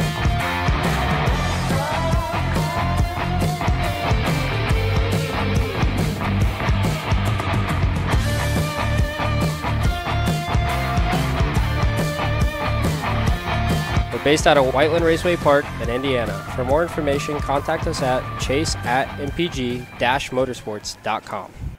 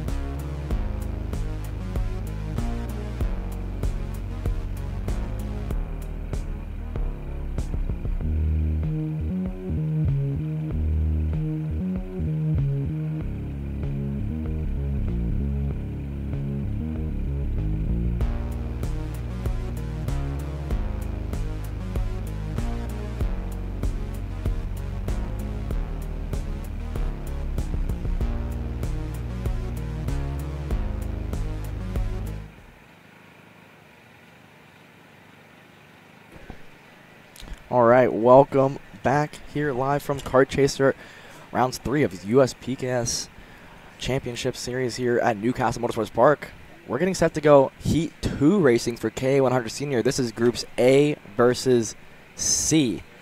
Let's take you quickly through our starting lineup, or at least the top 10 here. Austin Jers going to be your pole sitter for every single heat race that you see for Group A.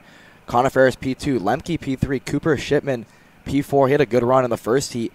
Mick Gabriel should have started P5 in this race, had to do a last minute motor change. He's in the back of the grid, so that's going to move Henry Wheeler into fifth, Aiden Rudolph sixth, John Burke seventh, Finnegan Bailiff is going to be in eighth, or ninth, sorry, Josh Holtz, or eighth, yeah, Josh Holtz ninth, and Josh Campbell in tenth with the green flag here.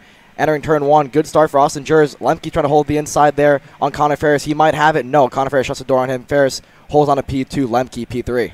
Good uh, start by Connor Ferris on the high side keeping his line and then finding a space. So he runs a solid second right now. Austin Jers with a good clean start.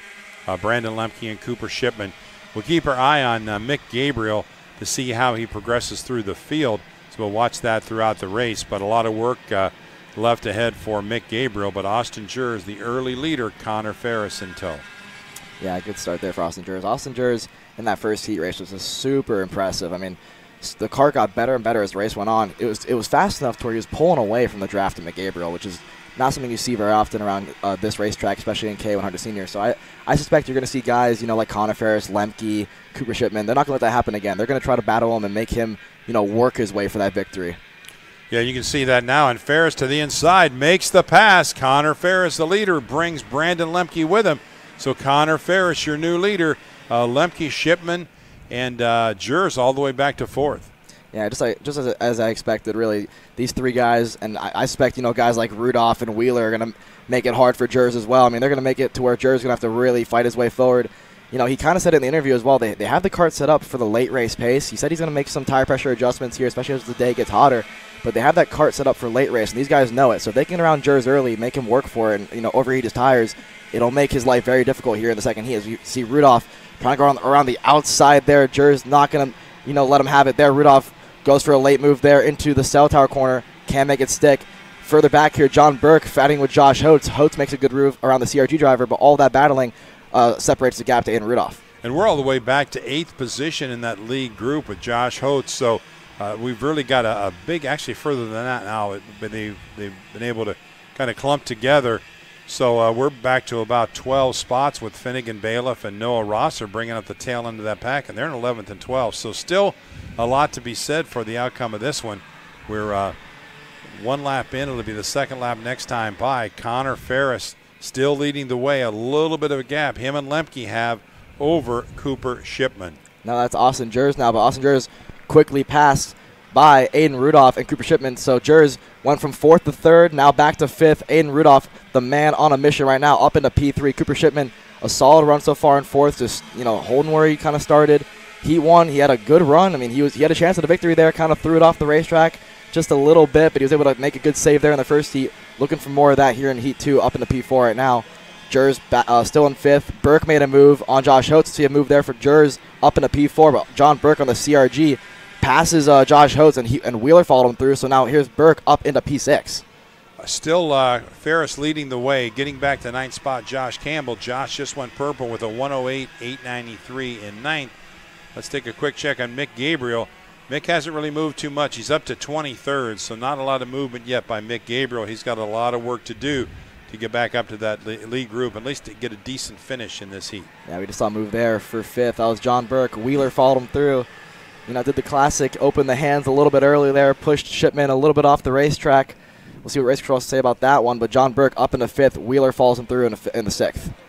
Connor Ferris, Brandon Lemke, Aiden Rudolph up to third from seventh starting position, Austin Jers in fourth, and John Burke through the top 10. Henry Wheeler, Cooper Shipman, Josh Campbell, Josh Holtz, and Emery Lida cracking the top 10. Matthew Maccabee on the move, started in 17th. He's up to 13th. Still looking at Mick Gabriel. Now he's up to 21st, moved a couple more spots, and we'll keep following Mick Gabriel, who ran so strong in heat number one. Had to start at the tail end of this one. We'll watch his progression through the field. So Jers peeking nose there. A little bit of an impatient move there in the cell tower. Didn't make it work. That's going to bring John Burke back into play here uh, for fifth. He, he knows his kart's fast. He needs to, you know, buy his time, He has a good first heat under his belt. He needs to just keep it clean. Running in fourth right now, he, he knows the kart's fast, and it'll come to him uh, later in this race. Further back, uh, we see the guy going purple is Colin Lloyd. He's the kid who's had a real breakout year this year. You know, has he had a real solid win there in Utah uh, a few weeks back. Got a got a ride now with Speed Concepts. Um, you know, really happy for him, and he's he's right now purple. Hasn't been the weekend he would have wanted. He said they made a couple setup adjustments uh, from yesterday to today. Said the motor's looking good. He said he's driving good, and that they, they, they found a few things in the kart, and he's feeling good for this race coming up. Uh, 14th right now, but we'll see what he can do there. Up into 12th now for Colin Lloyd. Brandon Lemke seems content right now, just drafting Connor Ferris. But that third and fourth uh, tandem of Aiden Rudolph and Austin Jers right there about to pounce. In fact, Oof. Jers looks to the inside. Oh, and they get together. Austin Jers and Aiden Rudolph collide into turn four. That move was happening for a few laps now. Austin Jers was being really impatient with the Birel driver there. And again, at the turn four, made a you know a move that maybe shouldn't have been made. Late move. Rudolph was already turning into the corner there, and now Austin Jers and Aiden Rudolph are out of this heat race. Yeah, it's a tough break for both of them as they were that second tandem, and now that opens up for uh, John Burke, who he moves up to third with uh, just an opportunity there for him with the carnage in front of him. Uh, Henry Wheeler and Cooper Shipman fourth and fifth, so a little gap there now for the leaders back to third. Connor Ferris and Brandon Lemke. John Burke just goes purple with a 108.217. Uh, Mick Gabriel up to 20th. So slow move there by Mick Gabriel. Got a lot of work left to get up to uh, a good scoring position. But back to the front with five laps in the book. It's still Connor Ferris and Brandon Lemke leading the way, but going purple in third, trying to chase down the leaders, John Burke. Tell you, really impressive stuff here from John Burke. I mean, to be two tenths faster than the leaders last time by by himself. He had no tow that entire lap, and here you, can see him there, the, the CRG driver, John Burke, absolutely flying. He has no help of a draft, but the kart is just on rails right now. Cooper Shipman behind him. We'll have you know we'll inevitably catch him with the help uh, from Josh Campbell, I believe, behind him. So yeah, no Henry Wheeler now. Henry Wheeler pushing Cooper Shipman up to John Burke. There they are. It is a three kart train now for third place. If these three can work together, they'll inevitably catch Brandon Lemke and Connor Ferris up front. Yeah, I definitely. I think they've got enough time to do it. We're not quite to the halfway mark. We may have just hit halfway. So they still got a lot of racing left and only a separation of about a second. And now they've got the uh, benefit of a draft now with John Burke and Henry Wheeler together, Cooper Shipman and Josh Campbell. Those four drivers, if they stay in line and draft each other, I think, as you said, Alexander, will be able to uh, run down Connor Ferris and Brandon Lemke, which would give us a six kart battle. But right now, uh, Ferris and Lemke behaving themselves, staying in line. No threat right now by Lemke. He's happy just staying there and drafting Ferris. Yeah, I mean, I, I mentioned him a few laps ago, but I'll mention him again. You're Colin Lloyd up four spots now into PA. It's a move there for Josh Campbell and Henry Wheeler. Josh Campbell moves, moves himself into the top five now here in Heat 2, but Colin Lloyd up four spots to PA. He's only 1.4 seconds from the lead right now. They must have found something in that go kart from yesterday. Oh, there's a bit of a gap now to Josh Holtz, so something must have happened there uh, from last lap to this lap. Yeah, Colin Lloyd now four seconds back uh, when they crossed the line, so something must have happened there with Josh Holtz. But Colin Lloyd flying right now. Entering, Heading- entering showcase corner here, Connor Ferris still your leader over Brandon Lemke, but Lemke looks back. You're going to see him get a little bit, you know, antsy now here with Connor Ferris. He sees John Burke has closed that gap. He and Cooper Shipman have worked really, really well together this lap. They might even go purple this lap with how much they've closed that gap. I, I, I wouldn't be surprised if I see a move here from Brandon Lemke into turn one. I agree. I think that Lemke hears footsteps and he thinks, you know what, I, I gotta I gotta lead the way here. I've I've waited long enough. I can't uh, I can't have these uh, these other drivers catch up with me, which they almost have. Burke going purple 108 217 a couple laps ago. It'll be three laps to go next time by, and John Burke has chased down Brandon Lemke. It's a six kart battle now for that top spot. Yeah, John Burke has closed the gap. He is now in the draft of Brandon Lemke. It is a six kart train out front here in KA Senior. Brandon Lemke really experienced here in this class. So is Connor Ferris. These two guys know what it takes to win around this racetrack. But Brandon Lemke here was three to go, two and a half laps to go. Gets the curb there a little bit, entering uh, Uh, over there up the hill. So Lemke's now going to fall into the clutches of John Burke, who might make a move here to showcase hairpin. John Burke might peek a nose. He won't. Lemke lost ground a little bit to Connor Ferris here, but down this back straightaway, John Burke's going to close the gap over Brandon Lemke. You see John Burke pointing to Cooper Shipman saying he's going to go for the move. There he goes. John Burke on the CRG to the inside of Brandon Lemke. Makes it stick. Shipman's going to follow him through. So there goes John Burke to P2. John Burke on the move, allowing Connor Ferris to get a little bit of a gap, but they'll draft up to Ferris very quickly. Two lap to go sign, and it looks like uh, Josh Campbell maybe slipping inside of uh, of uh, Henry Wheeler on that uh, last lap. But uh, Connor Ferris now maybe a tenth of a second, one kart length, not much. As John Burke, who's been on the move the entire race, has now closed into the rear bumper of Connor Ferris. They'll see the white flag next time by. Mick Gabriel on the charge now has moved up to 12th position, may crack the top 10 before this is over. Yeah, Mick Gabriel absolutely flying right now. I mean, we knew he had the car underneath him with a P2 finish in the first heat. Must have saw something in the motor there to make to you know have to change it. Uh, but man on a mission right now, Mick Gabriel up in the P12 from last on the grid. So good run for Mick. Out front though, John Burke didn't really have the infield he would have wanted. You know, the gap kind of extended there to Connor Ferris, but down this back straightaway with the help maybe of Cooper Shipman, he might have a run into I-70 hairpin if not the front straightaway. Connor Ferris, not a lot he can do right now. Late move there for Lemke on Josh Campbell. He's going to make it sick. Lemke goes a little bit wide, but he's going to hold on maybe to P4. Yes, close the door on Josh Campbell. Josh Campbell's going to peek a nose for fourth. We see up front, though, white flag here for Heat 2. Connor Ferris defends slightly on over John Burke. Shipman goes for the crossover, couldn't make it stick. Campbell's going to hold on there to P4, Wheeler P5, and Lemke now falls back to P6. John Burke running out of time to make a move around Connor Ferris. Connor Ferris driving a flawless race so far. Really been hitting his marks. Nice uh, entry and exit uh, through the cell tower corner. And now heads back. Uh, we'll see him here in just a little bit heading over the hill. They'll be coming up our way. And uh, J- Connor Ferris now about a two kart length advantage, stretching it out. A little surprising over John Burke on his own, pulling away some and Burke is not close enough to pounce just yet. So now they come around the uh, hill and down to the showcase corner, turning right up to I 70 corner. Time about to run out for John Burke and Connor Shipman. This is it. And Ferris protects low down the I 70 straight, and they go high to try to make a crossover move. And now they're side by side for second. That's not exactly what they wanted to do, and that played right into the hands of Connor Ferris. Ferris coming down for the checker, and I do believe Connor Ferris will pull it out. They were racing behind him. Winner of heat number two, Connor Ferris. Connor Ferris, solid run for him, and we, we saw how strong he was in the infield of that final lap. I mean, they have that kart on absolute rails right now. Shipman with a good move on John Burke on I-70 hairpin to finish second, and John Burke, good run for him, up five spots, a solid run in the third. Josh Campbell up seven spots to finish fourth, and Brandon Lemke lost a few spots there. He was in the mix, you know, got pushed off a few, pushed wide a few times. Rounds out your top five, and Wheeler in P6 Solid run for the speed concept driver of Colin Lloyd to finish in seventh. Holtz in eighth. Emery Latta P9. And Mick Gabriel from the back of the grid to finish in 10th position.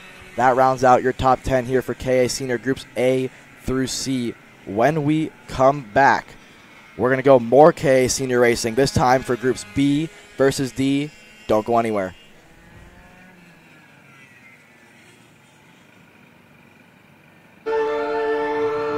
Here at MPG Motorsports, our main goal is to provide the best pathway into professional motorsports for our entire team, drivers and mechanics alike.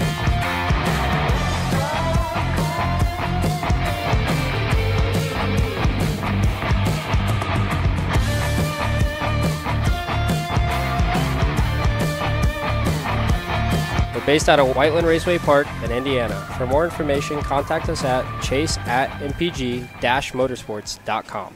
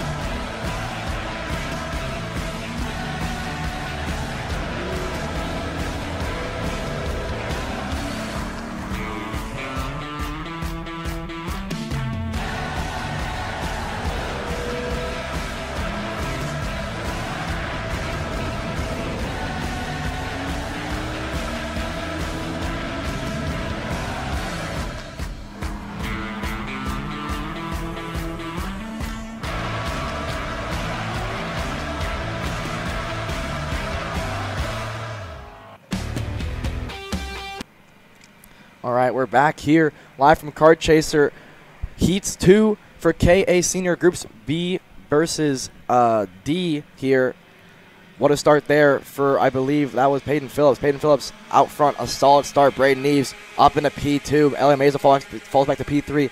Slight defending there from Adam Maxwell on Aiden Levy. Not going to make it uh, work, though. Aiden Levy up into P4 now. We see a little bit of contact there from Harley Keeble on Adam Maxwell. Harley Keeble's going to push Maxwell into the grass, and that's going to have his tires all dirty. He's going to push Harley Keeble wide, and now Keeble, that looks like a bit of a retaliation move there from Adam Maxwell. He wasn't happy what Keeble did to him in turn five, so he gave it back to him in uh, Cell Tower. But all that's just going to ruin both their races, and they're both going to fall back now to the clutches of these drivers back in the 10th. Yeah, a lot of stuff going on in mid pack, and that's allowed the leaders to already kick out and uh, gap the field without even one lap in the books. They've already got about a second or second and a half on the rest of the field, those top three or four. Checking out early as we cross the line for lap number one, and we'll get a rundown here in the early uh, lineup. But we're side by side for the top spot as they cross the stripe. And it's uh, Braden Eves, Peyton Phillips, and Elio Meza, one, two, and three. Aiden Levy and Eli Warren. That's your top five.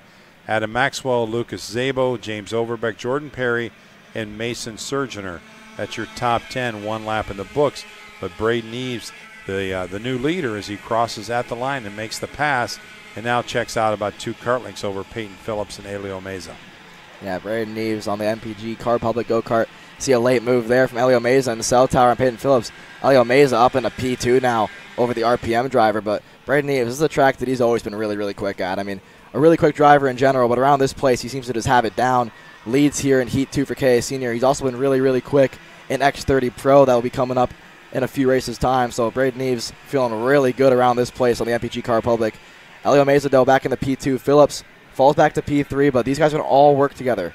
You know, here comes Aiden Levy now in the fourth, and that is, I believe, Eli Warren now uh, in fifth place there. He's uh, coming to the clutches there of Aiden Levy now. So there's a five car breakaway up front, K Senior. They have at least a two second advantage now over what I believe is Adam Maxwell down at P6. Rafe Shaw up to 13, started at 19, so he advances six positions in the first lap. And uh, uh, Harley uh, Keeble, a tough start, started uh, in sixth all the way back to 13, so he's trying to recover a little bit. Uh, going purple, Eli Warren, 109.073. So a driver to watch out there, Eli Warren, closing the gap on the leaders. There's a move there for P4. Aiden Levy on the Kart Republic there, making a move on Peyton Phillips. So he's going to go to P3. Peyton Phillips falls back from pole position now to P4. Now Eli Warren just buying his time, sitting there in fifth place, just seeing you know where he's quicker than these guys ahead of him. But this battling now, see Eli Warren makes a move on Peyton Phillips. So Phillips falling back even more from third to fifth in one lap. Again, all this battling gives Elio Meza and Braden Eves just a bit of breathing room they may need. Phillips goes back into the showcase hairpin on Eli Warren. So Phillips doesn't want to fall back to the back of this group for much longer. Goes back to P4. Again, this battling, though, look in the background. You see Adam Maxwell on the OTK go kart. He's closed that gap. It was two seconds up to Eli Warren. This time by, I expect much less. Yeah, they've got to be careful because if they start battling too much in third, fourth, and fifth, these two leaders, which are running very disciplined right now in line, are not uh, are not racing each other, at least not yet. So Braden Eves and Elio Meza leading the way. Slowly but surely, Aiden Levy closing the gap. Peyton Phillips and Eli Warren trying to reel him in as well. Alex Feldstein goes purple on the last lap, a 109.027. Alex running in ninth. But uh, Braden Eves still leading the way. Uh, three laps in the books. Oh. We got seven to go. Elio Meza with a late move in the L Tower corner. Got the left rear, Braden Eves. Good driving from both of them. They're going to go side by side through the dog leg up the hill here. Elio Meza is going to make it stick, but he drops a tire in the dirt, and he's going to fall back to P2. Aiden Levy takes advantage of that and goes to P1. So Elio Meza stays in P2 somehow. Has to defend now from Braden Eves. but That defense turns into offense. Makes the move of Aiden Levy. Braden Eves going to push Levy into the dirt now. And Eli Warren's going to take advantage of that. He's going to go from fourth to second. And here comes Peyton Phillips now around the outside. Eli Warren around the outside of Elio Meza too. Peyton Phillips. Can he do it from third to first? He just might. Through the dog leg. Peyton Phillips on the outside here. Oh, he's going to lose a couple spots here now because of the push from Eli Warren. So Phillips briefly to first, now to fourth, maybe even fifth. Here comes Adam Maxwell making a three wide in the turn two. Adam Maxwell from sixth to fourth, and Peyton Phillips down to P5 or P6, sorry. So Peyton Phillips abo- aboard the RPM from first to sixth. And here comes the group from seventh through 11th. That is Jordan Perry on the DAP kart Kart Republic. He's brought this entire group, and it is 11 karts now here in KA Senior. Elio Meza and Eli Warren leading the way, but so much has happened this last lap. A lot of side by side, a little bumping and grinding, and it shuffled a lot of people around, some dust flying. But everybody has now seemed to settle in a little bit. But as you said, Alexander, we've got about 10 drivers now that are relatively close together. Pass for the lead, Eli Warren. Now we're three wide, heading around that left turn and down into the showcase corner, and it is not settled yet as they go single file finally up towards I 70.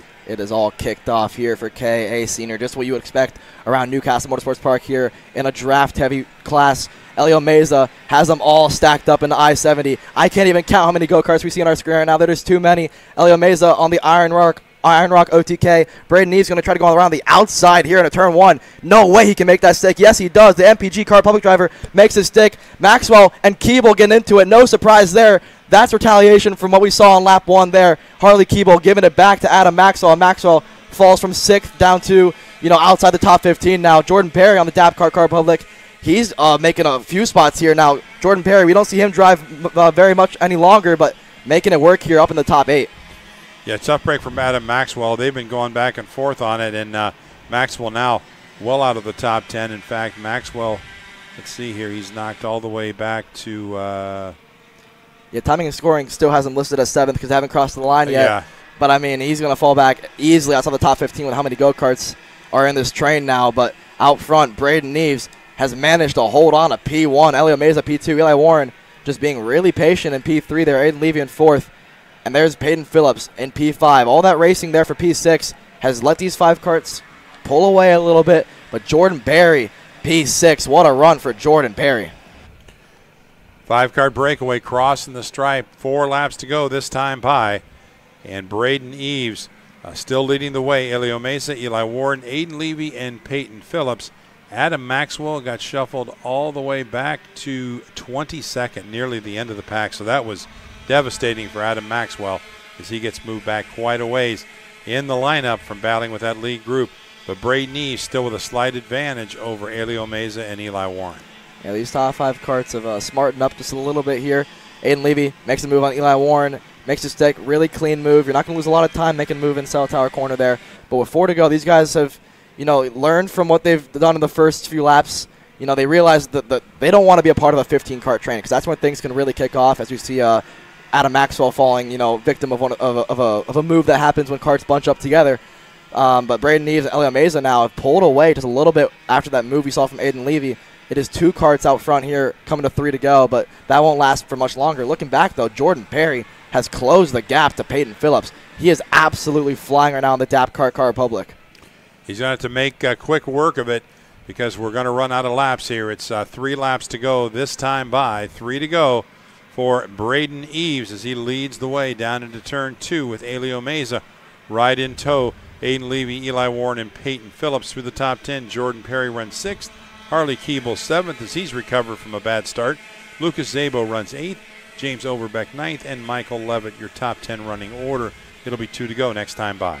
Yeah, let's see what Aiden Levy can do here. He's, he's leading this second train here. He's pulling away just a little bit from Eli Warren. Gets a good run out of Cell Tower corner. That's going to give him enough of a, of a breathing room here to get the toe here on Elio Meza just enough to when they head through this uh, uphill right-hander and heading into showcase corner. If Aiden Levy can just get that corner right, he'll get a good enough exit to get the toe entering the back straightaway here. Elio Meza might have to start thinking about making a move on Braden Eves. And Braden Eves right now, he's punching a big hole in the air. You know, he has he has no draft, but he's towing everybody around the racetrack. Uh, so the MPG Kart Republic driver right now out front, but it's really difficult to lead around here, uh, especially in KA Senior. Yeah, definitely. And uh, and Braden Eves is having to do it on his own, as you said. Uh, Elio Meza taking advantage of that draft. Two to go, and we'll see if Meza makes a move. He does not. He's still content running right in the rear bumper of of uh, Braden Eves. But you got to think that maybe Aiden Levy's going to try to make a move now because he wants to be up there challenging for the lead. White flag next time by, slowly running out of time. Yeah, two to go here, about one and a half to go now, entering turn four. Aiden Levy has brought Eli Warren and Peyton Phillips with him. Looking a little further on the order, though. If things really kick off here, one and a half, one and a half laps to go, Harley Keeble and Jordan Perry are coming. Keeble went purple last time I had a 108.7. Those two guys have been working together for these last couple laps. Look in the background. Harley Keeble actually has gotten around Jordan Perry now. So Keeble, after a rough start, has clawed his way back up into P6 where he started. Let's see if things happen here to make him have a chance at a heat win. But Braden Eves, still your leader here, exiting the showcase corner and down the back straightaway here. He's ducking his head. He, he wants every bit of pace he can get out of that MPG Kart Republic. Aiden Levy has closed the gap. He's on the bumper of Elio Meza now, entering I-70 hairpin and come to the white flag. Yeah, what a recovery by uh, Harley Keeble as he was well back in the pack after a terrible start. Now challenging for a top five or six position. White flag is out. Final lap. This is where Elio Meza's got to make the move. And if you're Aiden Levy or Eli Warren in third or fourth, the time is now. You can't wait any longer. And already it's getting dicey up front. Yeah, right now, still, Braden Eves, your leader, has to defend slightly into turn four, holds on just enough. We saw just a slight uh, attempt at a move there from Elio Meza, but Braden Eves defends it well. Gets a good run on the double rights. Doesn't have to even defend in the cell tower. A good run again, exiting cell tower. Braden Eves may not even have to defend through the dog leg here. Elio Meza is going to fall to the clutches of, of Aiden Levy, but Aiden Levy has to now worry about Eli Warren behind him. And there he is, Eli Warren to the inside. He's going to make that move stick on the red speed OTK. Eli Warren to P3. Peyton Phillips, textbook crossover, couldn't make it stick. Good defense from Aiden Levy and Warren. So now Warren, Levy, and Phillips are going to be battling for third here. That's going to leave it a mano a mano fight with two with one corner to go. Let's see if Meza can make anything happen entering uh, I-70 corner. Almost out of time. They'll be coming down for the checkered as we speak, and it looks pretty good for Braden Eves. Last chance for Elio Meza. Checkered flag comes out. It's going to be Braden Eves, your winner in the KA Senior uh, C, B versus D race. But uh, three wide across the line. A lot of racing on back in the pack. Elio Meza running in second. Strong run by Eli Warren. He actually went purple on lap 9 on 108.516. Just ran out of time, but good racing out there by all as we finally got things kind of settled in a little bit with about three or four laps to go. Braden Eves, your winner. Elio Meza finishing in second, followed by Eli Warren, Peyton Phillips, and Aiden Levy.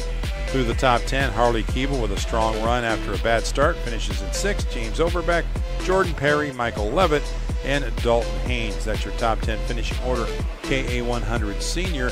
When we come back, we're going to have X30 Junior on track for their heat number two.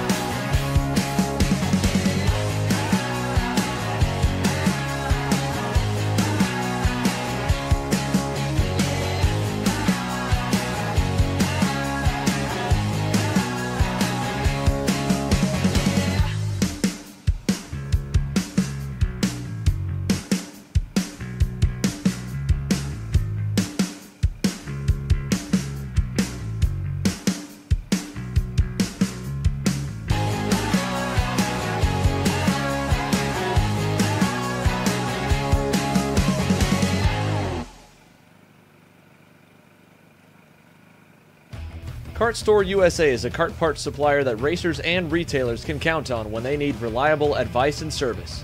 We focus on servicing all racers with honesty and pride while maintaining customer satisfaction. We carry a full stock of Kart Republic and Tony Kart chassis, as well as IAME and Vortex ROK engines. We've also got a host of other parts available and in stock, such as products from Rev Performance Materials, Welcome back to New Castle Motorsports Park for X30 Pro Junior, presented by Rolison Performance Group. We're coming to the green, and we are underway on the first attempt. Anthony Martella leads them into turns one and two, with Charlie Smith slotting into second, Ernesto Rivera into third as they go through the first couple of corners, and it's single file for the top four. You have that black and white SCR red speed of Martella, the all blue and white suit of Charlie Smith, and then the two RPG Kosmics, Ernesto Rivera and Jackson Wolney, third and fourth through the horseshoe. Good clean start by Ernesto Rivera, starting from the outside.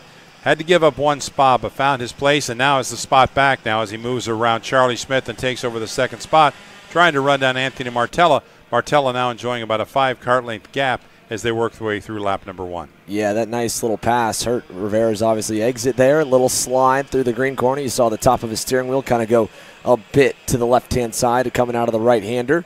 Passing further back, how about Diego Guillo? He picks up a spot there on that Iron Rock Motorsports Tony kart, getting around Jensen Burnett's all yellow machine. So we'll come to the line to put one down, nine laps to go in RPG X30 Junior as we get set for more heat racing action. And if those of you tuning in, you get a whole other round of heats later this afternoon before it goes to KC Premium members exclusively tomorrow for main events and LCQs. Is off the racetrack is Jackson Wolney with a slide job that did not pay off, and now he's got dirt on the tires, Randy, and they are swarming behind him as well. That could have been a lot worse than it was, but it still didn't uh, bode well for Jackson Wolney trying to make that move. Uh, lucky for Charlie Smith, he uh, falls back into that third spot.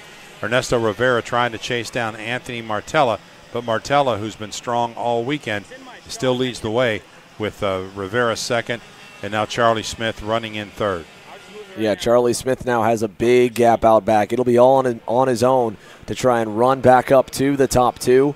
They come out of the green corner towards the infield hairpin, and you can see nobody else in sight from fourth on back with how much they battled uh, just off of Jackson Wolney's one mistake. And these races are too short to afford any one of those, Randy. You just you can't give up too much time. Ten laps. I mean, it feels like a long time around on the lap at a, a minute five, minute ten second pace, but it goes by really quickly, and you've got to be on your game from lap one on.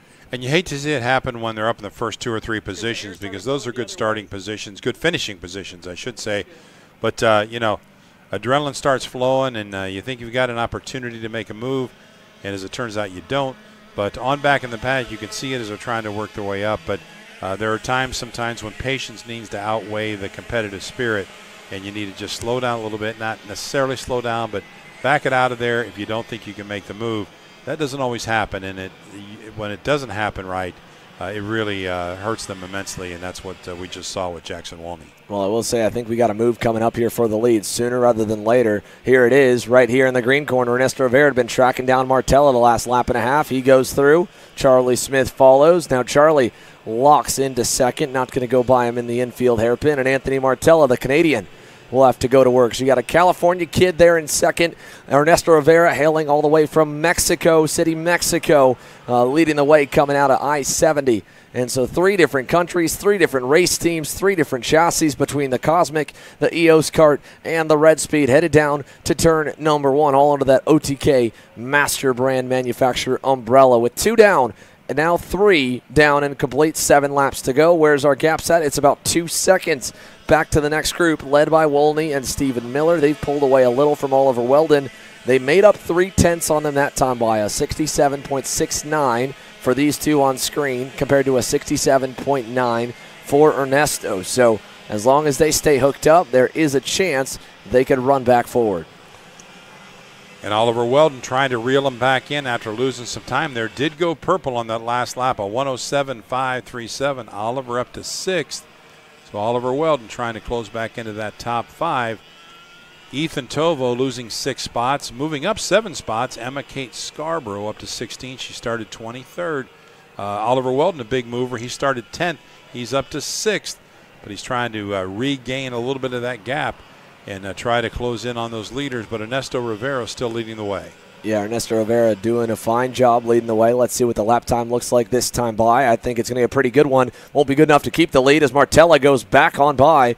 But Rivera, 67.91 as he had to back out of it at the line. Martella, 67.6.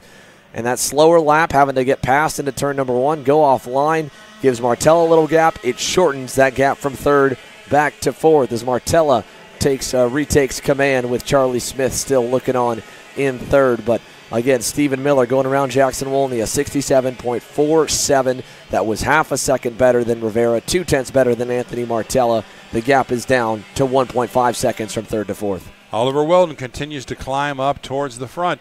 107.475 going purple on that last lap for Oliver Weldon, running in sixth. But Ernesto Rivera, Anthony Martella, and Charlie Smith still the uh, the top three out there that have checked out now about one and a half seconds over Stephen Miller. Yeah, they have uh, again pulled away early off the one mistake from Jackson Wolney. That's what split this whole field up. Was one bobble on lap number two, uh, going wide at right here at the end of the front stretch in turn number one. Now look at the run Martella got thanks to Rivera pushing him. That kind of doubled the distance from Charlie Smith back up to uh, Rivera to make it three or four car lengths. Charlie's on the cusp of losing touch with the top two. Needs to put a good lap together right here to stay with the three and make it still a three car pack. Miller and Wolney that time, 67.1s apiece. The leader, 67.4. This will slow him down more as now Rivera goes back through. Smith to second, make it back to third. Martella quickly with a decisive answer to fight that backward momentum. He'll put himself back to P2. That's exactly what Stephen Miller and Jackson Wolney needed. And as you can see, when they start racing up there, those two have closed in, as has Oliver Weldon. So we could have as much as a six kart battle before this one's over. It'll be four laps to go next time by. Stephen Miller going purple on the last lap, a 107 122. And let's give a call out to Carter McMurray starting in 15th up to 9th. And Enzo Vidmontien, who had a great run in heat number one, also on the charge, started in 13th. He's already in the top 10, running in 8th. Here we go, coming down the front straightaway. Look at fourth and fifth there. That red and yellow DAP kart of Stephen Miller gets bigger and bigger in the picture lap by lap. Now with four laps to go, another 67.1 out of Miller, a four out of Rivera. As Smith, that was a nice move in turn three, take over second.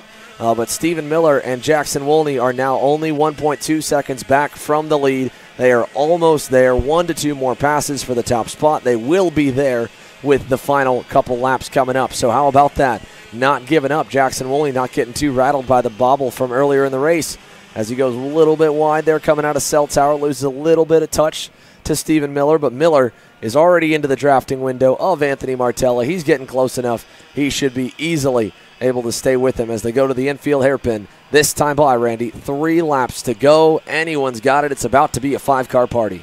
Ernesto Rivera leading the way most of the way here but he's going to have some company now. It's a battle for second and making the pass. Charlie Smith gets passed by Anthony Martella. Martella and Smith. Yeah, but that was Martella going back around Yeah, Charlie right, Smith right. right. there. They'd swapped it already Yep. once in the lap, and they swapped it again. They've continued to swap it. It's hard to keep up. Again, all in the same overall manufacturer. Uh, just a difference of color between them. The black and white there in Anthony Martella. The blue and chrome is Charlie Smith there on the Nash Motorsports machine. Stephen Miller, Jackson Wolney, still fourth and fifth. And again, surprisingly enough, with that pass, whereas some of the other laps uh, they passed in different sections, that one move by Martella didn't lose them any time. They stayed at an even two or three car length gap to Ernesto Rivera, but it did back them up to Stephen Miller and Jackson Wolney. They are there now. Second through fifth are all a car length apart. Oliver Weldon did lose a spot to Jensen Burnett on that last lap. Oliver back to seventh. Going purple, Stephen Miller on the last lap, of 106 874 as they battle it out for that top spot. All very close. That top group, three seconds ahead of sixth place Jensen Burnett. And he now is into third with that nice move in the infield hairpin. How about that for that red and yellow DAP kart on the Chad Dawkin Racing banner? Stephen Miller up to third, still climbing. Had the, held the fastest lap of the session multiple times over. He'll reset it again. 66.71. The only one of the only two drivers in that 66 second bracket. Stephen Miller is flat flying right now through turns three and four. Here we go up the hill. Little bobble for Miller that time but they're going to block for the lead. That'll bring him close. And so Ernesto Rivera feeling the pressure from Martella. Low lining through five. We go through the horseshoe. Over to the cell tower corner here this time. Here comes Charlie Smith back on Stephen Miller. Jackson Wolney trying to get both of them. They will. And Miller's going to go back on Charlie. He'll go all the way back to fifth. Jackson Wolney, the uh, one that really came out on that one as he got around both drivers. And now Miller trying to make his way back up towards the front as well. But Rivera and Martella have taken this as an opportunity to check out and settled the race on their own as they now gapped him about a one second advantage. Yeah, that gap now big time here for Ernesto Rivera and Anthony Martella. And that's good news for Martella. He can open up his entry. He can leave himself vulnerable going into the corner, whereas when you got a guy on your bumper, you can't go wide to set up for the crossover. Here comes the run to the line. White flag in the air. One lap to go. Rivera low, Martella high. Crossover coming out. Not enough.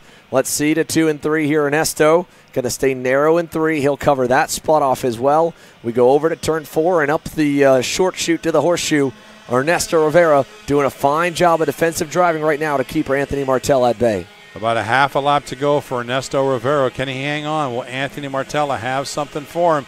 It's down to those two drivers as Stephen Miller, although he's been one of the fastest drivers on the track, has had to battle Charlie Smith and Jackson Wolney and hasn't been able to focus on closing in on that lead group.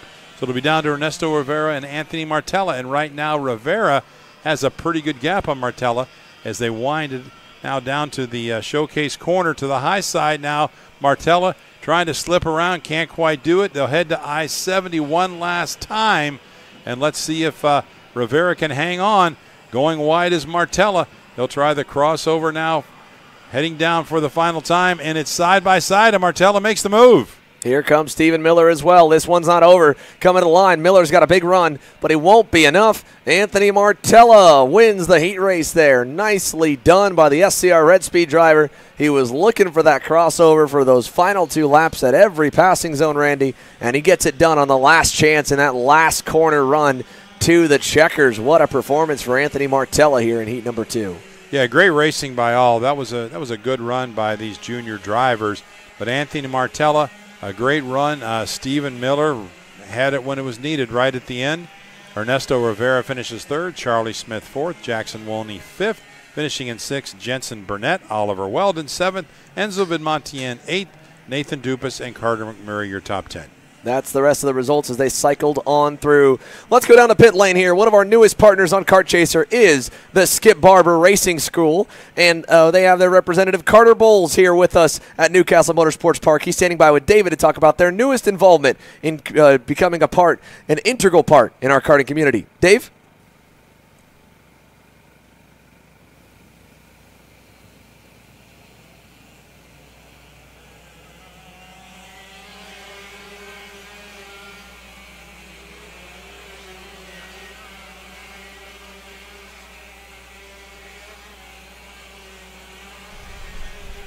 Hello, hello.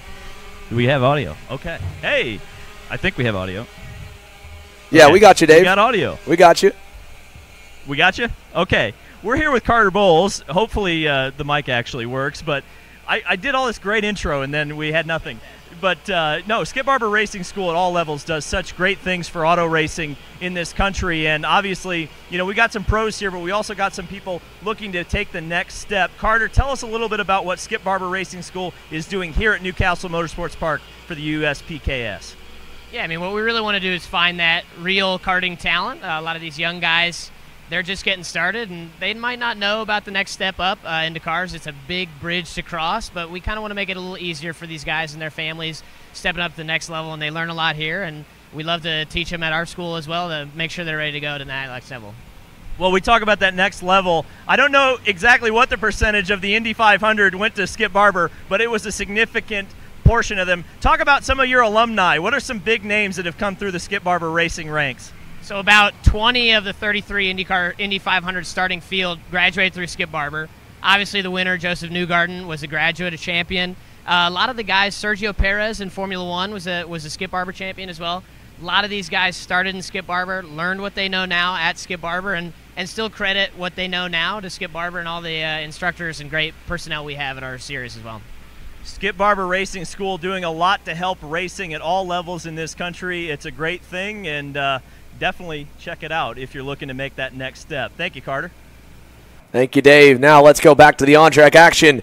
The big boys and girls X30 Pro presented by Franklin Motorsports. Heat number two. It was a barn burner. Heat number one with Joe Turney, Diego Ramos, Ryan Norberg, and everybody getting after it. Ramos lead him to the line, and rookie Elio Meza is going to slot it a second. A better start from the outside groove as it was a slow run to the line for everyone. They'll safely make their way through turns one and two. It's single file for the top seven, and it is Ramos over Meza, Blake Nash, and that Nash Motorsports EOS kart into third. Meza saying, don't block, go forward. Ramos saying, yeah, I don't know if I trust you yet. I'll stay on the low side. Harley Keeble on that PK Sports of North America Sodi kart in fourth. Ryan Norberg is fifth. Paulie Massimino sixth. Austin Garrison is seventh. Braden Eves in eighth. Matheus Morgado is ninth. As they climb the hill over through the kink and into the green corner, it is all behind the Brazilian. That PSL Karting Birel ART's under fire. Elio Meza, the rookie on the Iron Rock Motorsports Tony kart, leading the way to the infield hairpin. Good move by Elio Meza and a good move on the start. When they dropped the green flag, he immediately found a spot on the low side and fell in right behind uh, Diego Ramos and now leads the way with. Uh, uh, Ramos right there Yeah, with Ramos. Nash right there with Norberg going by on Harley Keeble for fourth. Here we come down the front stretch. Braden Eves is on the wayside. He'll lose a couple spots as up for the lead. Ramos wants it back. He'll go with Meza to the inside, and Blake Nash wants to as well, and the rookie's off. Elio Meza off the racetrack. He'll lose four, five spots as he tries to slide in front of Austin Garrison, and Harley Keeble gets an elbow there from Paulie Massimino. He'll go to the wayside, and Keeble's back to about 10th or 15th down the short chute. They are not taking any prisoners here, Randy. It is wild stuff as Braden Eves is off in the dirt. Here's Turney. Crossover. Eves going to go back. Ingrata gets through. It is just chaos all the way through the mid pack. Did the track just get narrower when I wasn't looking, Xander? It doesn't seem to be quite as wide as it was earlier in the day. No, I don't know what it is. Problems for Cade Downs and the RPG Kosmic. The 307 is out going into the turn five horseshoe section. So end of the day for end of the uh, heat race for Cade is Ryan Norberg goes to second and Blake Nash, the California kid, leads them up the hill to the I-70 hairpin for the first time today. Norberg to second. Paulie Massimino on another smooth start is into fourth. He kind of came out of nowhere at the end of that first heat race. He's much closer now. It's Meza fifth, Garrison sixth, Massimino wants third. Ramos looks back, says, I'll give it to you, lets him go into turn number one, and Paulie Massimino now cracks the top three. A little bit of a four kart breakaway now. Massimino on that pass went purple with a 107.200. They're all chasing Blake Nash, but Ryan Norberg right there on the rear bumper. Massimino, Diego Ramos, and Elio Meza, your top five. Austin Garrison, Joe Turney, Alessandro De Tullio, Matthew Margata, and Aiden Ingrata, your top 10. Pass for fifth, pass for the lead. Ryan Norberg takes the number one plate to the point. Coming out of the cell tower, Austin Garrison got around Elio Meza a moment ago. He was nowhere to be found in the top five in Heat 1, and Austin Garrison is there here in Heat number 2. It's Ryan Norberg, Mr. Seven Time, lead into the infield. Blake Nash trying to put one back on the champ. They'll bank tires. Norberg into the dirt, side by side for the lead, and Norberg saying, No, no, no, follow me. Yeah, no one's going to listen. They're still going at it. Three wide, Norberg in the middle, Garrison down low, Nash up high. Paulie Massimino is your leader coming out of the I-70, and there's more contact as Garrison and Norberg bang tires. Here comes Diego Ramos. Back to the lead to turn one. Not enough. Furled black Fly given to one driver there going down the front stretch. We'll find out who that was. It is a 10 car train. It is tough to keep up with, but it's the BJR MDRLN car to Massimino as there's more wrecks further back, way in the back. Brooke Nachman's involved. Braden Domey is involved. One more Tony Kart is involved as well. Over in turn one, that was around the high 20s as the leaders continue to battle. Look at Norberg. Look how far back he is. There goes Alessandro De Tullio, the newly signed Kart Republic driver. And off is Joe Turney. Turney's off in the cell tower. He'll get right in front of his new chassis teammate going to the kink. And everyone just trying to hang on for dear life as Massimino leads. Look at Ingrata to six. Here's Norberg on Turney. He'll go by with De Tullio. And it is so hard to keep up with Randy because there is so much going on everywhere. Is this the, the last lap going for the checkered flag? No, wait, there's seven laps to go. Unbelievable. We do have a little bit of calmness now, if you want to call it that. A four car breakaway with Massimino, Ramos, Nash, and Meza as they head to the stripe. It'll be six to go this time by, but uh, boy, just a lot of bumping and banging going on there. Some off track excursions, and things have settled somewhat. Two karts, uh, Austin Garrison and Aiden Ingrata, fifth and sixth, as they try to draft up to that lead group again. But right now, about a one second advantage for Ramos, Massimino, Nash, and Meza. Diego Ramos has been able to stay out of trouble so far with that pole position starting spot for all three heat races. Your heat one winner already has the best one in the first heat. Now he's side by side with Massimino. He's going to run out of real estate. Nash and Meza will give him room, but they will go by. Here comes the SCR Red Speeds. Austin Garrison in fifth. Aiden Ingrata in six as they go to the green corner. They'll trade the fourth spot. Garrison on Ramos. He goes wide. and Ingrata's trying to follow. He does. And now Elio Meza feeling the pressure for third. He'll block the low side. So it's six and it's Paulie Massimino who is still looking for that maiden pro national win. Him and Blake Nash. Here comes Garrison, multi time race winner, broke a near four year winless streak earlier this year at the Winter Series. He's digging, and on his partial schedule, he's up to third. A much better weekend than in Houston. And with a bent up nose cone after the contact with Norberg, you'd have to think maybe the front end of that go kart got bent as well, as the rear is typically heavier, and it went over the top of Garrison's front tires as Ingrata. Oh, look at that right there. A little more contact as Meza drops back, and here comes the world champ, Mateus Morgado, side by side with Elio Meza, back and forth for sixth. And there's a look. Look at Joe Turney, Ryan Norberg. They are all the way at the back of the second pack headed into the cell tower. Unbelievable changes in this race from start to, to where we are now. Paulie Massimino and Blake Nash with about three quarters of a second, six to seven tenths of a second advantage right now from that second group. Austin, lead, Austin Garrison leading the charge in that second group trying to close in on those leaders. And now he's in the leaders as well. Look at that here as this second group continues to go side by side. Turney throwing a wheel at Braden Eves there on the scoreboard. He'll go wide. Norberg follows through. This is Morgado into Tulio at the front of it. Turney blocking from Norberg, but Mateus Morgado in that seventh position or sixth position. Elio Mays is all the way back. And up front, they are going to trade the lead. Massimino falls to third. Nash up to the lead. Austin Garrison, highest he's been all weekend. Six spots gained now to second for the Davie, Florida native. Four so, laps to go, three laps next time by. Looking at some of the movers, Alessandro De Tullio up seven spots from 14th. Austin Garrison now up to first, and he started in in, in uh, eighth so he's uh, been on the move as well. Great run by Austin Garrison. Uh, Cooper Shipman up eight spots from 19th, trying to crack the top 10. But uh, Blake Nash and Austin Garrison battling up front. Garrison, your new leader. Yeah, Austin Garrison felt really confident about his piece yesterday as now Norberg throws a haymaker on Mateus Morgado. He gets through, and him and Turney continue to carve forward. Massimino losing that third spot. That's Ingrata going by. Ramos is fifth. He says, All right, you can tuck back in line. We're safe enough in the top five. Diego Ramos already with one heat win. He doesn't need to win every heat because it is such a big scramble from uh, guys one heat to another. Again, Turney and Norberg leading that next group there. In the middle of them, I believe, is ADT, Alessandro De Tullio. Three laps to go. Austin Garrison showing the way in this five car lead pack. Blake Nash, Aiden Ingrata, Paulie Massimino in fourth on the blue and yellow LN kart. And fifth in line is Diego Ramos, the pole man. Two and a half left. It's anyone's guess. Do you have a guess, Randy, at who we've got taking this one to the checkers? I'm shocked Diego Ramos is all the way back to fifth. He's been leading the charge all day, but that's just the level of competition.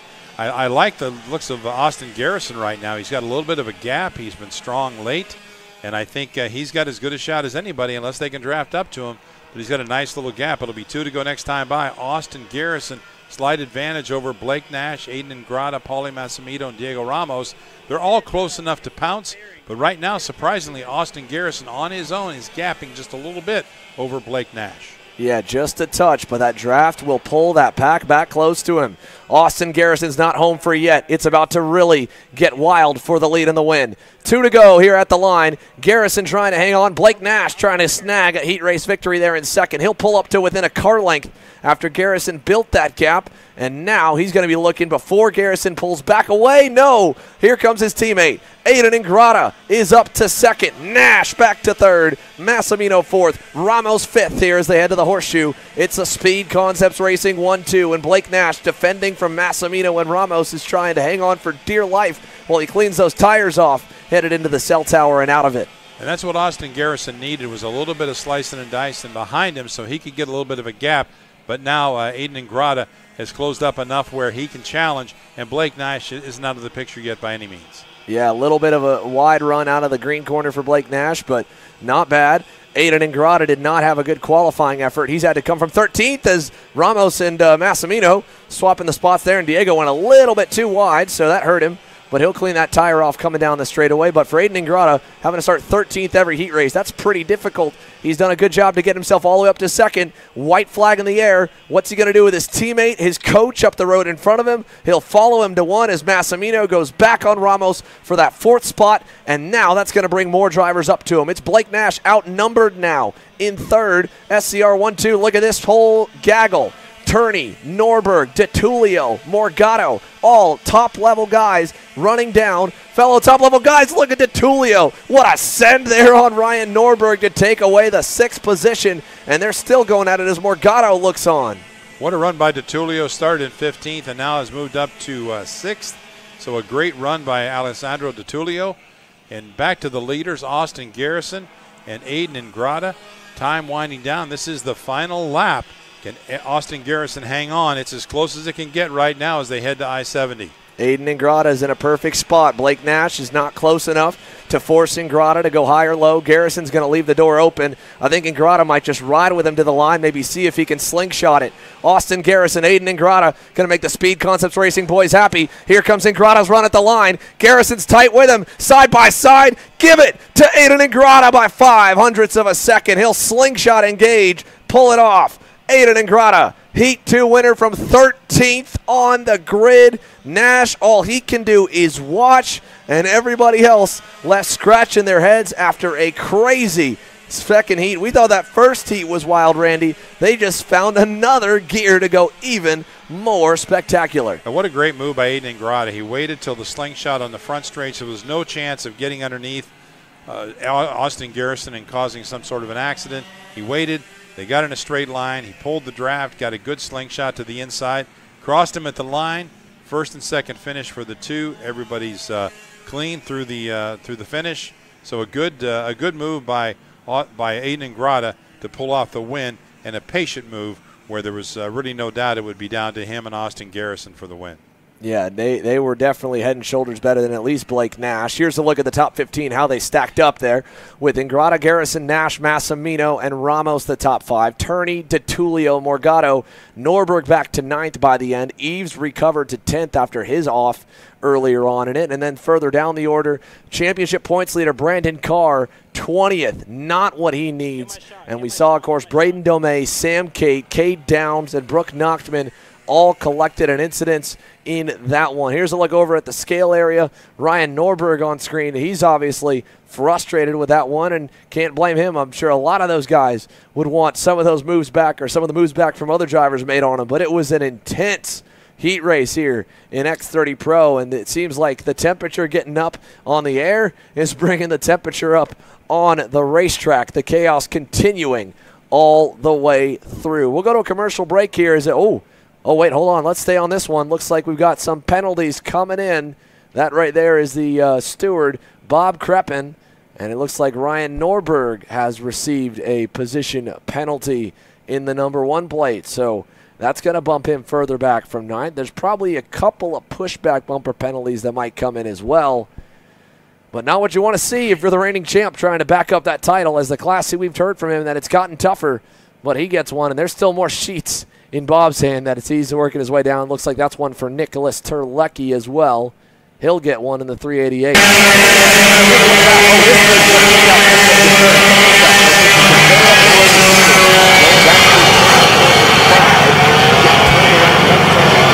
Early on in the session, and what sent Gafera all the way down the order. That was the rookie on the BJR MDR kart that took him out of contention. So that was a, a quick look over there at what happened to Caleb G. So the rookie having a bad run in heat number two after a decent one in heat one. But again, he's starting in that hornet's nest there in the teens. Good stuff for Diego Ramos. See him on screen. He's rolled on through tech and uh, clean, another clean race for him with penalties and chaos around. Diego Ramos able to stay pretty clean in this one. He survives. Turney uh, again, a decent rebound from a not so great quality effort. That's kind of been story of his season. It feels like, unfortunately, with uh, Houston as well having to come through in the heats to eventually get that main event win. And of course, let's look at that finish one more time. Aiden Ingrata pulling it off at the line there over Austin Garrison. Garrison, nothing he can do. That long pond straightaway, so long, so much time. If you're not battling for second, you'll almost always be able to pull alongside and drag race to the finish. And this time it's the, the kid putting one over on the mentor and Austin Garrison. Still a good second place result in a 1 2 for Speed Concepts Racing.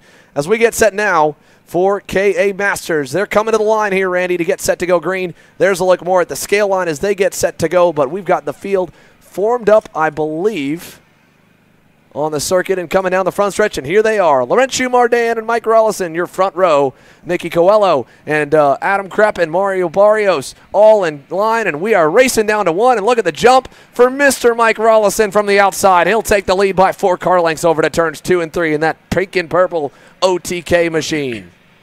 Great jump for Mike Rolison. Already a gap of about five kart lengths over Adam Kreppen and Laurentiu Mardan. So Mike Rolison with a good jump in the uh, K100 Masters class. Speed Concepts, sponsor of K100 Masters. Mike Rolison, the early leaders, they work, work their way through our first lap. The 427 of Mike Rolison working his way through the back part of the, part of the circuit. Now heading down our direction here over the hill shortly around the green corner. But it's Mike Rolison leading the way with Adam Kreppen and Laurentiu Mardan in tow.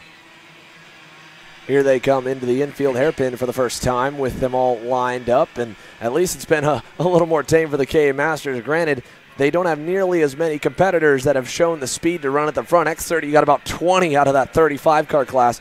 Only about five to seven guys realistically with a chance at the win. We saw that first heat, Randy. It came down to about four of them.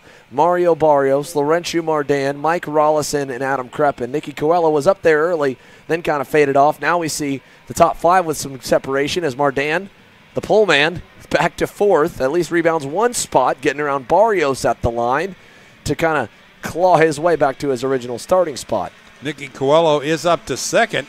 So Mike Rolison now with a nice little gap over Coelho, about a half a second. Adam Kreppen third, Laurentiu Mardan fourth. Mario Barrios in fifth through the top 10. Danilo Romalo, Martin Stone, Ariel Castro, Tim Meyer, and Scott Kopp. But Mike Rolison now with a half a second advantage, but slowly but surely Nicky Coelho trying to reel him in. Coelho running in second. Adam Kreppen runs third. Kreppen was strong in heat number one. But uh, Rolison now, the driver there, chasing as they come by uh, down the hill and through the right hand showcase corner and up towards I 70. And you can see on track that gap from Rolison to Coelho is tightening up as they come around I 70 corner next and down the Long Pond Straight. It will be Rolison with a slight advantage over Nicky Coelho. Adam Kreppen and Laurentiu Mardan. Mardan gets around Kreppen, and he'll now try to chase down Coelho for third, crossing the stripe for lap two your leader, Mike Rolison. Yeah, Mike Rolison putting some consistent laps together. Uh, that second lap still pretty good. He did lose a little bit of time as he goes a little wide there in turn number two. So Coelho closes up. He actually went then up, up and over the curb at turn number three. But for Nicky Coelho, the gap is coming down for the lead. Mardan the fastest by half a second, though, that time by Randy. Laurentiu Mardan, old Larry, is getting going right now here in heat number two. He's been strong. He was strong yesterday. He was strong in heat number one. And a lot of times, if he doesn't get the start he wants, he's more than patient enough to fall back and just let the race come to him. And that's what he's doing right now. And that lead group, all of a sudden, isn't just Mike Rolison, but in fact, there's about five drivers now awfully close together. And it looks like uh, Laurentiu Mardan is closing the gap now on uh, on Rolison, as is Nicky Coelho. It's Coelho second, Mardan third, and then Coelho to the high side, trying to make the pass and does. And it's Nicky Coelho now on top with uh, Laurentiu Mardan following him. Looks like Rolison gets shuffled all the way back to third, and we're too wide across the stripe. And it's Mardan, oh. Coelho, and Rolison. Oh, off the racetrack for Mike Rolison. Coelho was trying to tuck into third there, Randy, and he clipped the right rear tire of Mike Rolison in turn number one, and it sent Rolison into the grass. And now the uh, leader for the first half of heat number two, he's all the way to the rear. Coelho back to fourth. It's Kreppen into second. Rolison's teammate and customer in Mario Barrios up to third. And here's the reigning champ, Danilo Romalo, on the Sodi kart for PK Sports to the inside and clear for position number four. Yeah, some wild racing going on. That Masters isn't as calm as we thought, thought it would be, Xander. But uh, Laurentiu Mardan now back out in front with uh, Adam Kreppen running in second and Mario Barrios in third.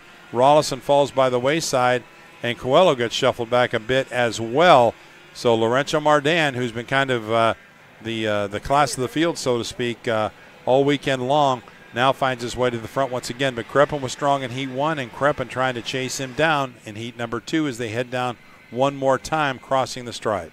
Yeah, Adam Kreppen Four back here, Mario Barrios on the charge. That was a good lap from Barrios there. He was able to make up some more ground uh, on uh, Kreppen, but uh, the, bo- both of them did lose a little bit to Larry. Laurentiu Mardan, fastest on the racetrack that time by. Ariel Castro was even with him as we watched them come on through uh, into turn number five. There's a nice slider from Mario Barrios. He'll take over second. Thank you very much from Adam Kreppen.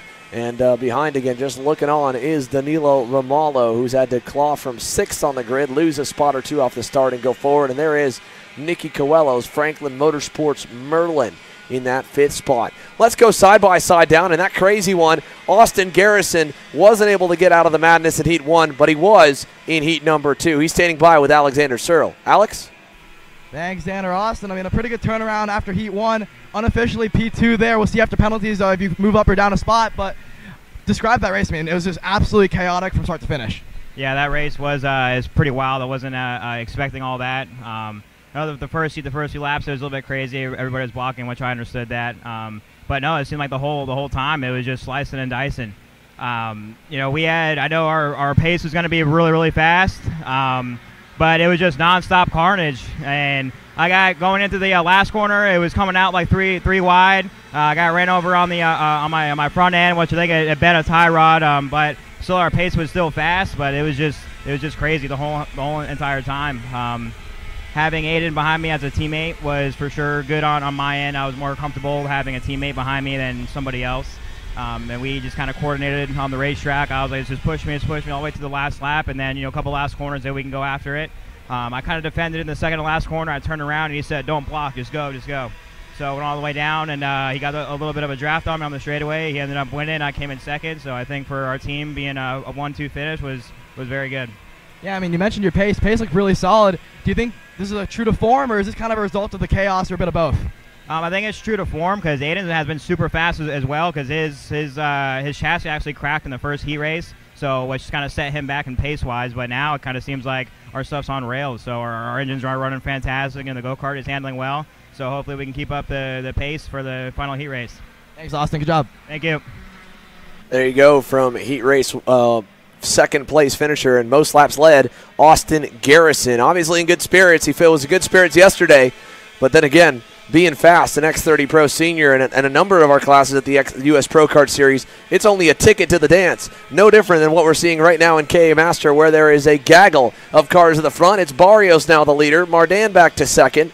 Uh, then you have, of course, Danilo Romalo going through in the third spot on that Sodi kart, and behind him, Adam Kreppen, and then Nicky Coelho, the top five. Yeah, Coelho got shuffled back, but he's got some speed. He's reeled that uh, lead pack back in. He may have something to say about this before it's over. It'll be three to go next time by. Barrios has found his way to the front. Romalo went purple lap five, a 109.638. That has been the fastest lap of the race. And Mardan slips inside of Barrios, makes the pass in I 70 corner, and they'll head down the straight with Mardan, the leader. Barrios back to second. Kreppen uh, back and forth now as Romalo's up to third. And now we're side by side and boy, it, it got kind of wild there for a minute. It looked like we are going to go three wide, but they all settled back in line with Lorenzo Mardan directing traffic, and everybody finds their spot. We're clean as we head back up towards I 70 in the back part of the circuit. Yeah, that was a, a, new hand signal with the arm fully extended. I haven't seen yet this year from Mario. Mario says, oh no! Danilo Romalo trying to send it on him in turn five. Went onto the curb, and Romalo's going to get shuffled back to fifth. And somehow they didn't end up crashing there. That could have gotten ugly, but yeah, Barrios looked like he kind of pulled out to go to the lead, ran out of steam, and was like, "I'm going to back out. Don't try and pass me. Let's keep him in in uh, in reach." And, and everyone listened that time, but uh, we'll see. Laurentiu Mardan now biggest gap we've seen in a little while, coming to two laps to go. Well, the funny part was, like you said, it looks like we got a passer Coelho now working his way through, gets around Kreppen. But not only did Mardan make the signal, but everybody said, oh, all right, yeah, that's what we'll do. And they all fell in line, which I thought was uh, kind of surprising. So Coelho over the hump now and headed down uh, towards the uh, Long Pond Straight and crossing the line. And it's uh, Mardan by about five kart lengths over Barrios. But Nikki Coelho now may have something to say about this with two laps to go. Coelho is one of the faster karts on the racetrack. Right now he's trying to reel in Barrios. If he can get by him, he may have something for Mardan. But right now Mardan's enjoying almost a half a second advantage over Mario Barrios for second. Nikki Coelho is still about a half car back from Barrios, like you said, and Barrios a little wide there. Coelho a little more narrow. Looked, didn't go in the horseshoe, and you could see in frame the gap there from first to second. They've still got work to do to catch Laurentiu Mardan. They're going to have to try a little bit harder. Coelho will need to work with Barrios, and Barrios need to hit his marks perfectly if they want any kind of a shot before this thing is all said and done. Danilo Romalo hoping they fight for second and kind of come back towards his way. Adam Kreppen there. And also coming back into frame, can you believe it? Mike Rolison was wrecked off and in the grass at the start of this one. He's back up to six now at the end of that train in that purple and pink Rolison Performance Group Kosmic. So a great recovery for Mike Rolison and a good lesson to all of his drivers, all of his juniors and minis. Never give up. You can still make up some time, and he's coming to the white flag now with an outside shot at the top five. Nicky Coelho right on the rear bumper of Mario Barrios. Let's see if he can make a move as he rounds that turn two through the right hander and back towards the, the back part of the circuit now as they head up towards the uh, cell tower area. And Nicky Coelho now close enough to pounce on Mario Barrios, and both of them closing in a little bit on Laurentiu Mardan. But with this being the final lap, not sure if it's going to be enough. Barrios is right there, climbing the hill now, making the left hand corner and they're heading right down into the green corner and down over the hump. We look for them to uh, head our direction shortly here. And to the inside goes Barrios, makes the pass around Mardan. They're side by side. Now they head up to the showcase corner, and Mardan back in front. Here comes Barrios. Here comes Coelho. And we've got uh, Romalo, Kreppen all together. Those five, and even Mike Rolison is in the mix a little bit now. And here we go. Kreppen to the inside makes the pass to second. That all works out for Mardan, and spinning is Barrios. We got a big spin. Kreppen's out. Romalo's out. Rolison's out. Oh my goodness, four of the top six off in the I-70 corner. Your winner is going to be Laurentiu Mardan. Nicky Coelho finishes second. Ariel Castro moves up to third. Martin Stone, Miguel Mir, Scott Kopp, Tim Meyer, Adam Kreppen falls all the way back to eighth, followed by Caleb Look at this, Danilo Romalo. Look how bent that rear axle is on the reigning champs car. The number one plate just going to struggle to get across the line with a heavily bent rear axle. Crazy stuff to end Masters. And again, you were right. I called him tame. That was not a tame finish. No, they ran out of racetrack. They were tried. They tried to go four wide on a two wide section, and that's just never works. And uh, four drivers actually lost about six or seven spots over the mix. So tough break for those guys, but Cream rises to the top. And Lorenzo Mardan, once again, your winner, Nikki Coelho, finishes second. Ariel Castro third. Martin Stone fourth. Miguel Mir, Scott Kopp, Tim Meyer, Adam Kreppen, Caleb Lanuski, and Alex Dacho make up your top 10 finishers in a wild one. Laurentiu Mardan, the winner of heat number two in KA100 Masters, sponsored by Speed Concepts. So, KA100 Masters uh, wrapped, sealed, and done. That's, of course, group number five. We'll take a commercial break and come back with more action here live from New Castle Motorsports Park. You're watching Kart Chaser's coverage of the U.S. Pro Kart Series Indiana Grand Prix.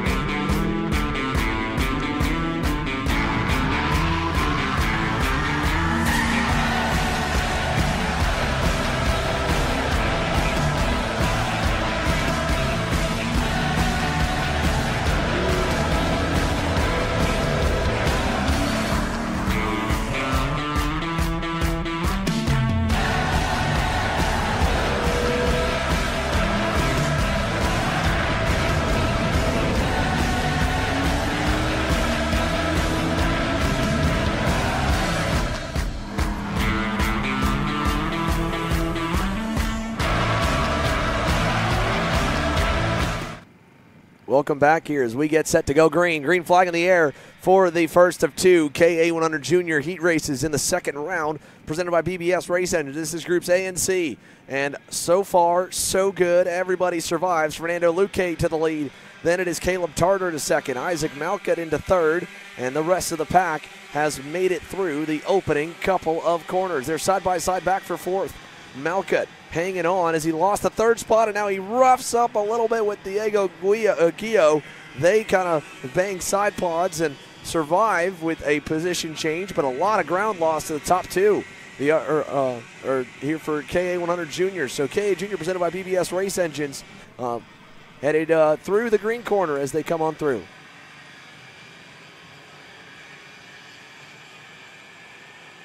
So Isaac Malcutt, Diego Guillo, there goes the rest of the pack. How about a good start for Max Weiland on that magic cart? He did not have the best opening heat race. He's into the fifth spot right now, and they're side by side behind him. So coming through I 70. Fernando Luque, Caleb Tarter, one and two. Isaac Malcutt, Diego Guillo, forced to work together now. Weiland in the fifth spot as we put one lap complete nine laps to go. A little two driver breakaway with the opportunity to solidify that breakaway and make it a two horse race, Randy, which, based on what we've been seeing, is the safest course of action to just finish. Well, it is, and I think uh, we saw in the last race, even the last turn of the last lap, if you guys get too aggressive, know, you're, you're, it's going to cost all four of those drivers. It's going to hurt their starting position for the final for sure. But Fernando Luque and Caleb Tarter now checking out, and Luque has kind of been the driver to really measure how good you are, how fast you are if you can run with them. And Caleb Tarter's doing just that right now. About a second back to Isaac Malcutt running in third. He needs a drafting partner. Diego Guillo is in fourth, and he's trying to uh, help Malcutt get back up to that lead group, but they're not too successful at the moment. Max Weiland runs in fifth, but Luque and Tarter, one and two, still checking out. Malcutt, trying to close in a little bit, eight tenths of a second the last time by. We'll see how close they are. It looks from the naked eye like they're a lot closer as Malcutt appears to be reeling them in.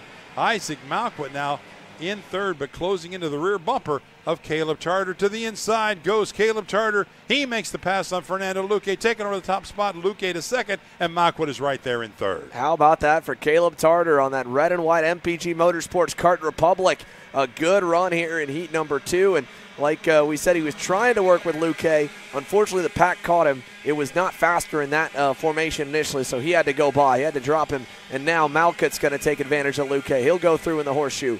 Guillo will follow. And so Luque going all the way back to that fourth spot as they come out of the cell tower. Caleb Tarter, the leader. Here's Weiland and Landon Skinner as that second group kind of shuffles a bit themselves as well. Jackson Wolney in the mix of it. He's trying to get himself going a bit as they come through the kink. Let's watch them coming out of the green corner. Does Isaac Malcutt want the lead? He does. Inside and clear. Isaac Malcutt, your new leader, coming down the back straightaway. Isaac Malcutt from a third position from a third position up to first in one lap. But how about Luque? A half a lap, fourth or first to fourth.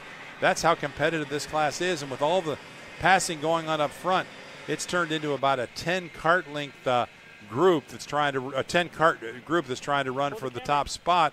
And now uh, Tarter gets inside of Malcutt, makes the pass. Malcutt falls in line into second. Now back to third as uh, it looks like uh, Guillo is back in uh, in second now. So Malcutt gets shuffled high. He's trying to hold on to that spot. Luque to the inside, and they're side by side to the cell tower corner. And now Malcutt really gets shuffled back all the way back to fifth. Yeah, Landon Skinner is splitting him up there. He was able to follow through. He's got that bright white helmet on the AR Academy Tony Kart, and then behind Malcutt, there you see Jackson Wolney in the purple and pink Kosmic up into sixth once again. Chase Buscaglia is seventh on the red and yellow GWR machine. But Diego Guillo, your new leader here as they come to the infield with Caleb Tarter in second on that blue helmet and the red and white MPG car. And then that green and white Tony Kart is the original pole man, Fernando Luque. He's back to third. Look how many of them we got lined up here. We're coming to see four laps completed, six laps to go anyone's guess who wins it, and it's still anyone's race, really, as they come to the line. Nine drivers going all the way back to Max Weiland on that factory magic card in ninth. Landon Skinner, one of the movers, up to fifth. He's moved up four spots, went purple the last time by with a 109.702. Also a mover, Oliver Weldon up six spots from 15th to the top 10 in ninth. And we got a pass for second. Fernando Luque working his way back towards the front. Gets around Caleb Tarter, takes over the second spot. Also, Cash Perkins up seven spots from 18th, trying to crack the top 10, currently in 11th. And we got one off now. Had to get a number on that one. It was, uh, is that Tarter or Skinner that went off there? Yeah, I think Jackson Wolney. Wolney, Jackson Wolney went off there. That's Wolney on your spots, screen. yeah. Yeah, so Jackson Wolney off there. Meanwhile, Diego Guillo, Luque, Malcutt, the updated top three with Wolney going back and Tarter falling all the way to the fifth position. We'll come to five laps in, five to go at the halfway marker here this time by Diego Guillo, Fernando Luque, Isaac Malcutt, first, second, third, headed to the I-70 corner and coming to put uh, another lap in the books. Diego Guillo, let's see if Luque wants the lead back. He hasn't seen it in a couple laps. Here he goes inside with help from Isaac Malcutt. He'll easily clear him by turn one, and Malcutt will follow into second on that black and red Gillard. Some great racing up from it. that allows that second group to close in a little bit further now. But Luque Malcutt get around Gio for, for first and second. Gio back to third. Landon Skinner closing in ever so slightly with Caleb Tarter on his rear bumper, as is Max Weiland. Those six kind of breaking away a little bit on the rest of the field. But uh, Fernando Luque now back to the front. Got shuffled back to fourth, but showing patience, not getting excited. Just picked his way through the field and now leads the way again. Appears to be possibly the strongest card on the course. Isaac Malcutt has some horsepower. He's right behind on the rear bumper of Luque. And is Isaac going to be content on running second? I kind of doubt it because he's getting pressured by uh, Diego Guillo. He wants to get up there. He doesn't want Guillo knocking on the door. He wants to be around and lead, I would imagine. We'll see if he can stay in line or is he going to take a move around Luque. They get around I 70 corner, and Guillo to the inside makes the pass on Isaac Malka. Takes over the third spot, and now Malka being challenged by Landon Skinner for fourth. Malka hangs on. They're all chasing Luque. Crossing the line. Here comes Gio. Here comes Malka to the inside, making the pass. Gio to the lead. Malka second. Yeah, Diego Gio through. Isaac Malcutt second. Fernando Luque is third. Caleb Tarter fourth. Landon Skinner still fifth. Weiland sixth. All the way through up the short chute, single file. Nobody dive bombing here. Buscali at the end of the train. How about Oliver Weldon from 15th up to 7th? Eight spots gained, but look at this. Luque's all over Malcutt. He's got to go. He goes right there. Skinner's going on Tarter. Overshot for Luque, and now Malcutt goes back by, retakes second, and it gives a nice little gap here for Diego Guillo with three and a half laps to go. Strong move by Malcutt. Took him on the outside, on the high side, entering that right hander. So a good crossover move by Isaac Malcutt. Now he's gapped Luque a little bit as he tries to close in on Diego Guillo. So Malcutt in second, but closing the gap, and Luque trying to reel these guys back in. So right now, Luque is falling back a little bit. We've got uh, Landon Skinner and Caleb Tarter in the chase, as well as you said, Oliver Weldon. Great one by, run by Oliver. Caleb Tarter going purple that last lap, a 109.693, but a two-card breakaway for the win. Diego Guillo and Fernando Luque. It'll be three to go next time by. Not able to get through on the inside was Max Weiland. He had to back out of it on Luque, and Buscaglia went around the outside on him.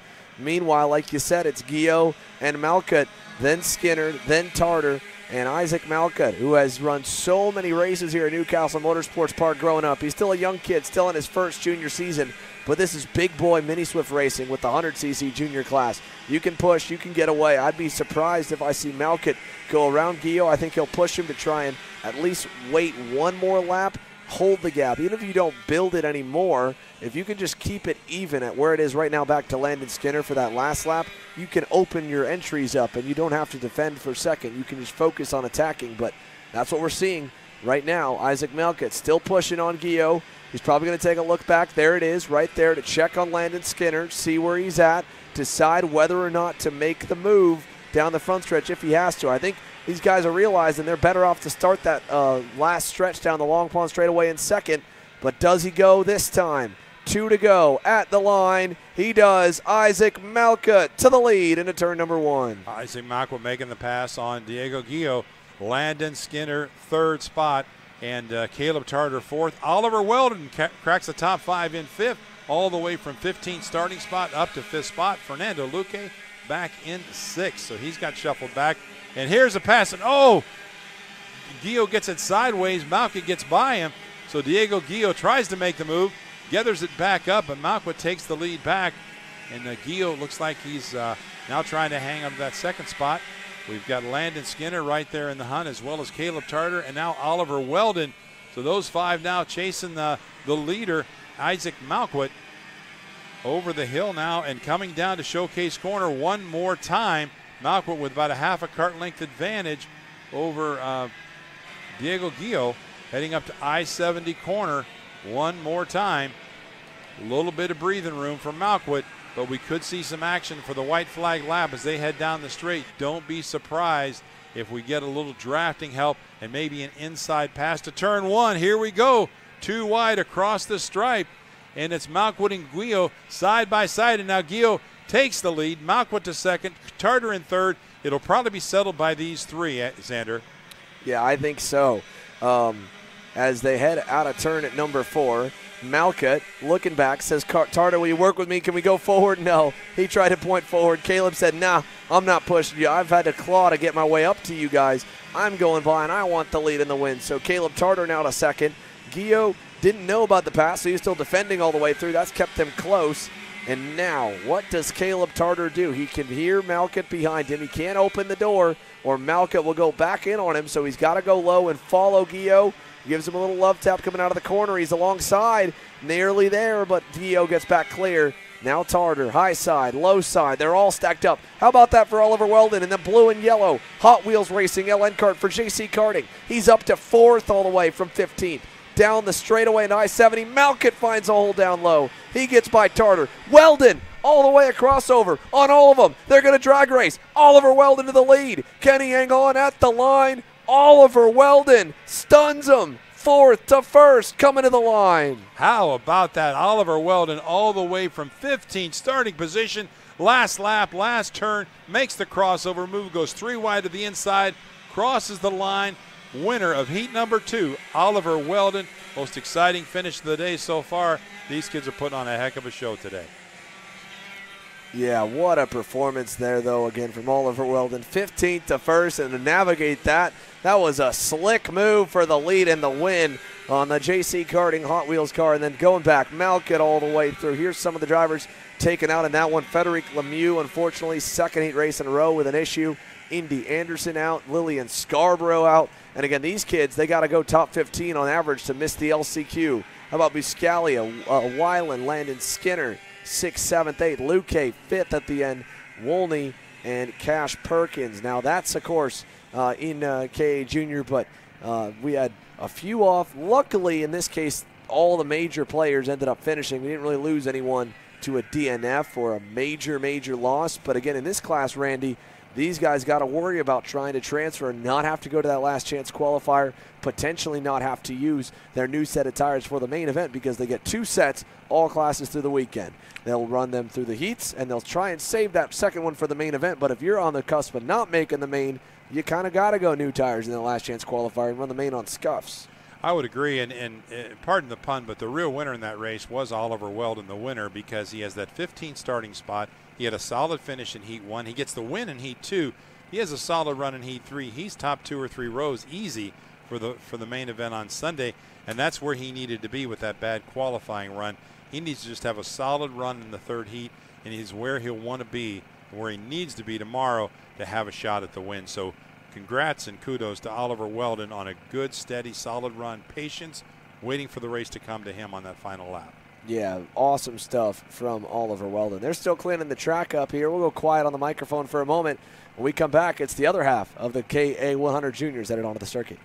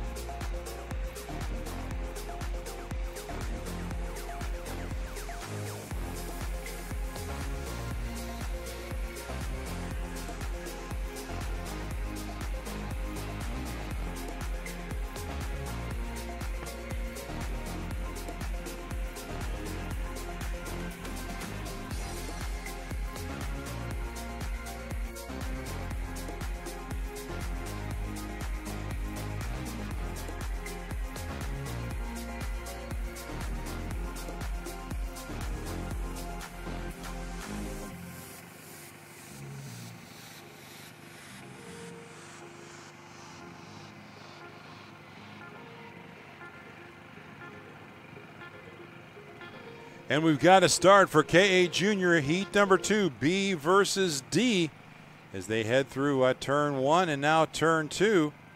And we got a good clean start, actually.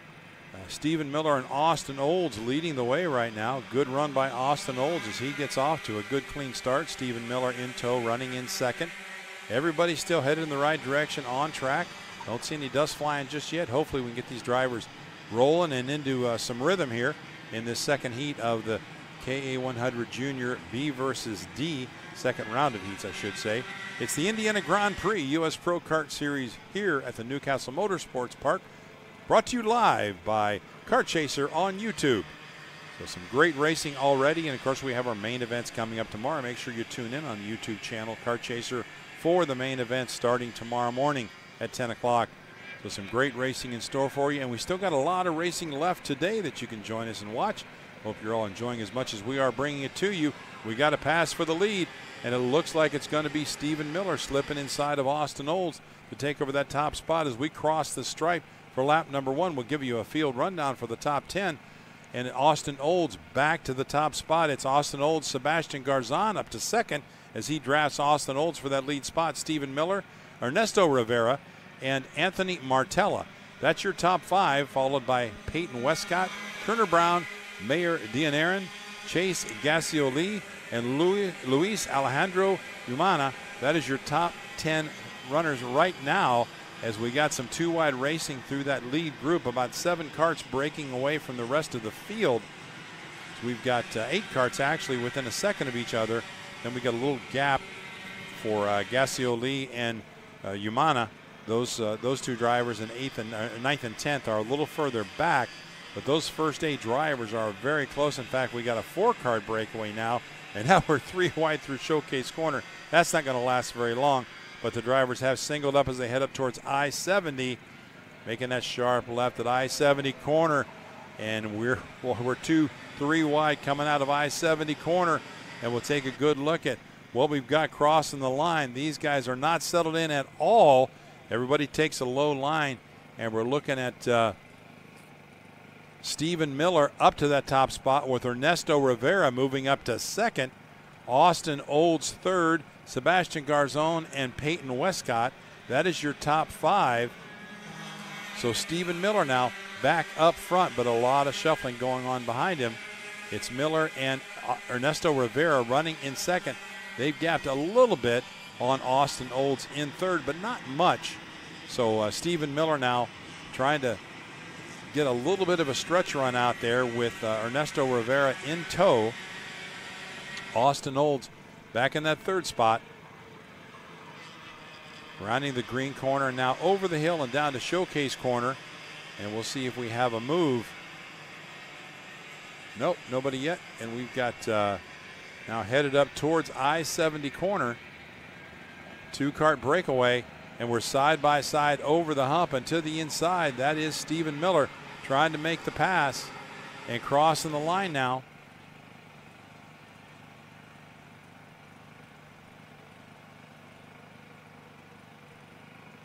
We've got Sebastian Garzon now taking the spot over Stephen Miller.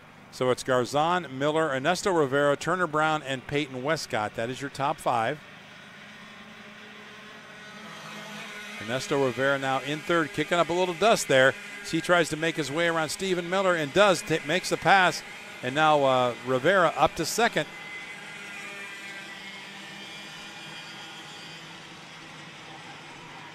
Three laps in, seven laps to go.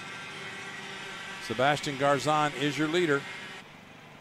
Yeah, Garzon on the Orsolon Racing Tony Kart and that yellow helmet on the green and white machine. Then Rivera, then Stephen Miller working together nicely as they head to the infield hairpin in second and third. Uh, and then a little gap, about an even gap back to Turner Brown. Number Turner Brown had that awful start uh, to his day earlier today with already a, a big crash at turn number two uh, early in uh, the first round of heats, I believe. So now Turner Brown trying to turn it back up, get a little bit closer towards the front, make up for some lost time. Everybody again worrying about that cut line, Randy. That's uh, from what we understand. It's going to be at 40th, so it'll be the top 20 drivers will auto transfer to the main. The top 10 out of the LCQ, I believe, will be the ones uh, that make up the last 50 on the grid out of the 60 total drivers in KA 100 Junior presented by DBS Race Engines. Our largest class of the weekend, largest category, and there will be some drivers that will not make the main event because of it. Right now, Sebastian Garzon in the 855 leading the way ever so slightly over Ernesto Rivera and Stephen Miller. They got a little bit of breathing room back to Turner Brown and Peyton Westcott. Austin Olds just went purple on the last lap as he tries to close back in. He was up front early, but got shuffled back. A 109.571 for Austin Olds, fast lap of the race. He's in sixth, trying to reel Peyton Westcott back in. But right now, a good solid run by Sebastian Garzon. He tries to hang on, but he's got Ernesto Rivera and Stephen Miller knocking on the door as they head to I 70 corner to the inside. And Ernesto Rivera makes the pass and following through is Stephen Miller. They go first and second, shuffling Sebastian Garzon back to third. Fourth is Turner Brown. Fifth, Peyton Westcott. And here comes Austin Olds. He's trying to close in on Westcott to make a move for that top five spot. But right now, the new leader, Ernesto Rivera. Ernesto Rivera there on that RPG Kosmic with Stephen Miller behind him. Miller's been loyal to push him all the way forward to get to where they're at now. Is he going to stay with him or does he try to go to the lead now that he's used him to get all the way up into second? Graham Trammell, a mover, started 17th into the top 10 and just went purple with a 109.451. So how about a call out to Graham Trammell in the 866? Not a good qualifying spot, but certainly one of the fastest drivers on the racetrack. Another solid mover is Beckett Friesen. Beckett started 18th. He's trying to crack the top 10. He's running in 12th. So a good move by him. Ernesto Rivera started fifth, and he has taken over the lead. So Rivera, Miller, Garzon, Brown, and Westcott, that's your top five.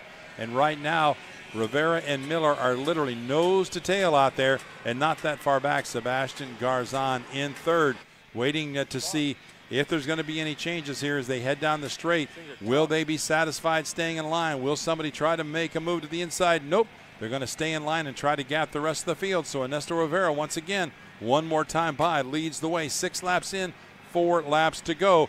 Ernesto Rivera, your leader. So Stephen Miller, Sebastian Garzon, who just went purple, a 109-166, runs third. Turner Brown and Peyton Westcott.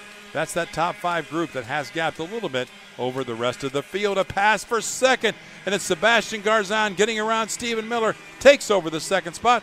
Garzon will now try to reel in Ernesto Rivera. Will he be able to do it? He's right there as Garzon tries to roll in and take that stop, top spot over Rivera. Good move by Sebastian Garzon. Yeah, very good move for Sebastian Garzon to get through. Now he dropped a tire coming out of that green corner, so he lost a little bit. Uh, but Ernesto Rivera over Sebastian Garzon, Stephen Miller, Turner Brown right there, Peyton Westcott again. Westcott, that's first race, her and Mayor DeHonorin were kind of just back and forth, fifth and sixth, while we change the lead. Garzon going through on Rivera, now coming to three to go. Westcott now is in the lead pack. Brown is in the lead pack. Miller right there, just as he was in his first heat race. As we come to the line for three to go, Garzone blocks low, gets a little bit of a love tap by Rivera, and they're side by side to turn two. Rivera on the bump and run is still wheel to wheel to three, and now Miller gets into it in his bumper, gets hooked behind the left front tire, and it takes him both, Ernesto Rivera and Stephen Miller, off the racetrack. Again, not enough racetrack for the areas they were trying to cover. Unfortunate, got a little too uh, tight in there. They locked wheels and obviously it's uh, it's going to hurt them both. So a tough break for those guys. But uh, now we're looking at uh, who. see, our leader now would be Stephen Miller, I believe. Uh, no, indeed, it's Sebastian Garzon. Sebastian Garzon. Turner Brown is next, then Peyton Westcott, then Austin Olds. Miller, he was the guy that went off there in turn number Okay. three, so he went so far wide along with Rivera. Right. It is now Garzon, Brown, the blue cart. That's Peyton Westcott there on the Nash entry. Fourth is the MPG Kart Republic of Austin Olds. Look at Peyton Westcott looking for second. How about that for the young lady? Out of uh, California, the Nash Motorsports EOS card as Sebastian Garzon, the Colombian, continues to show the way down at turn number one. Turner Brown and looking high, low. Westcott now going to get shuffled to the outside as Brown gets by for second, going back on her. And now here comes Austin Olds. He wants third, not close enough. Seven to eight carts now have closed in on that lead group, and it is anybody's race. Sebastian Garzon still leading, but uh, Peyton Westcott has moved up to that third spot. and into second, Turner Brown. It is anybody's race out there. Austin Olds up in there along with Enzo Vidmontien, who's advanced seven spots. How about Justin Music up in sixth? He started 16th, and he's up to that sixth position. Graham Trammell now up to eighth. He started 17th. So a couple of drivers really moving up through the ranks in uh, in bad starting positions, but making the most of it. And we've got the Oh, 841. no. Uh, the 841 Anthony, Anthony Martella. Martella. Yeah, Martella out. That was in the, in uh, seventh. So another one dropping off the wayside. So it's a five car breakaway now. Vid Montien has gone around Austin Olds for fourth. But up front, we're coming to the white flag here, Randy. One to go. Garzone's done a good job to hold the lead. Turner Brown's going to have a big run on him. He's leaving about a lane to the bottom side. Can Brown get there? He won't do it yet. I think Turner might be having watched his Speed Concepts teammates in X30 Senior with Aiden Ingrata waiting till the front stretch to go to the lead and paying off to win the race to the line. So Sebastian Garzone right now not under too much pressure uh, in terms of a pass attempt for the lead. Turner Brown's got to worry a little bit about Peyton Westcott. She's right behind him.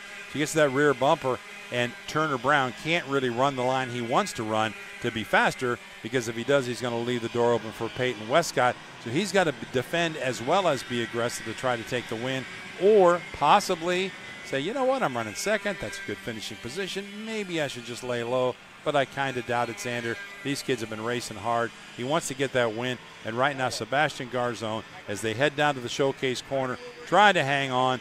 And it looks like uh, Brown tried to make a, a move to the inside, but couldn't quite do it. Now we've got Vin Montien and Olds all together as they climb the hill now to I 70. It's still Garzone with the lead, but we're going to, I'm sure, go side by side down the straight.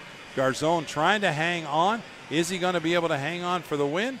Let's take a look, and it's going to be close, but it's Turner Brown. Turner Brown at the last moment, two tenths of a, two one hundredths of a second over Sebastian Garzone. Peyton Westcott finishes third. Enzo Vidmontien fourth. Austin Olds fifth. That is a heck of a finish out there for Turner Brown. The 868 of Turner Brown pulling off right at the end in a side by side finish over Sebastian Garzone. We'll give you the full field rundown or about the top 10 rundown if we can here in just a moment. But Turner Brown, your winner. So uh, Turner Brown finishes first. It's Sebastian Garzone second. Peyton Westcott third. Enzo Vidmontien fourth. Austin Olds rounds out your top five. Through the top 10, Justin Music on a solid run started in 15th, finishes in sixth. Graham Trammell started in 17th, finishes in seventh. Stephen Miller eighth, finishing in ninth. A good run for Jensen Bennett. And finishing in 10th, Luis Alejandro Umana. That is your top 10 finishers in K100 Junior Heat, uh, heat number two, B versus D. Your winner, Turner Brown. Let's take a look further back. We heard in Austin Garrison's interview, he mentioned that his tie rod got bent. How about this replay look at it? Ryan Norberg with a three wide crossover back in that second heat race. Garrison gets trapped in the middle between himself and Blake Nash. And then right there, Ryan Norberg, look at the airtime the number one plate got all over. So uh, Garrison gets his right front tire clipped over by Blake Nash, his left front clipped over by Ryan Norberg. Said he drove that thing uh, to the line with a bent tie rod, and there were a host of penalties in the session. Aiden Ingrata crossed the line first. He spent a lot of time, as a lot of drivers did after that race, over talking to the stewards. He's now talking to us. Alexander Searle, take it away. Thanks, Xander. Like you said, a long protest process there for you, Aiden. Finally got it overturned, though, so P1 there officially now for Heat 2. It's been a pretty good turnaround for you since Utah. You know, struggled a little bit over there. Really quick this weekend. I mean, you made up a lot of spots in the Heat. Describe that race to me and kind of the, the incident that happened with the protest. Yeah, I mean, it was a good race. I mean, it's just so hard in the back. I mean, everyone battling and stuff, bunching up. But, I mean, it was a really good pace. We showed really good pace. Uh, me and Austin won, too, obviously, really good for the team. And uh, I want to thank the USPKS officials for making respectful calls. I mean, obviously, it wasn't great with the two full pushback bumpers. I would be like 16th, 15th.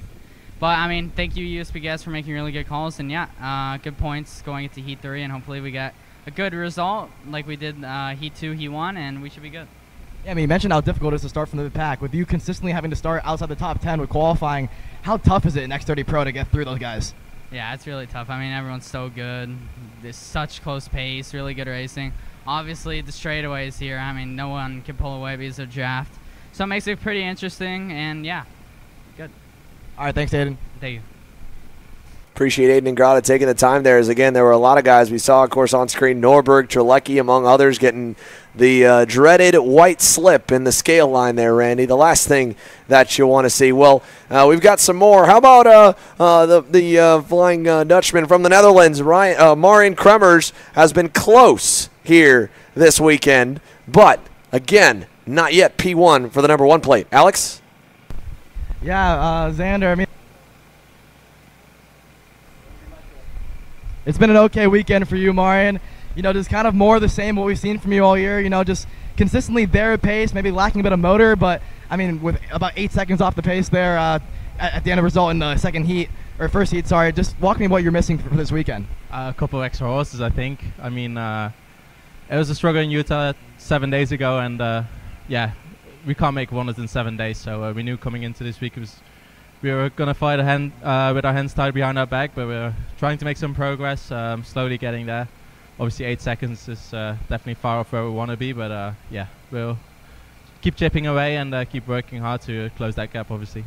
Yeah, I mean, you're saying you know missing a few horses, right? But it's like with the long straightaways and this track is it's pretty good for racing. I mean, do you think you can kind of race your way to the front, or is it just one of those things where you, with, with the motor it's really difficult? Nah, it's it's gonna be difficult. I mean, I'm I'm gonna need some help from AJ and Carl to slow up a little bit. I think. I mean, race-wise, I know I can I, I can mix it in with these guys. So uh, race racing-wise, we should be fine. But uh, yeah, at the moment we're too slow to to contend f- for the win. So uh, hopefully we can find something overnight and uh, and fight tomorrow for the win. All right, thanks, Marijn. Thank you. There you go. You heard it from Kremers again. Everyone's been on the road in this busy summer stretch. Only uh, about a seven days uh, off break, really, for everyone uh, in the trek out from Utah back to Indiana, then about a week off, and then back in action here at the U.S. Pro Kart Series. Barely enough time to refresh the motors with the top end, much less do R and Ds. They'll have a little bit more of a gap uh, for a shifter, at least about a month, till the SKUSA Pro Tour heads here in uh, the end of July to make some more headway. But we'll see. For these kids, though, they have the IAME USA Grand Nationals smack dab in the middle. It's been a busy summer. It's been a lot of fun, I'm sure, for all the micro kids to get all this seat time. And how about the field? It's a big one.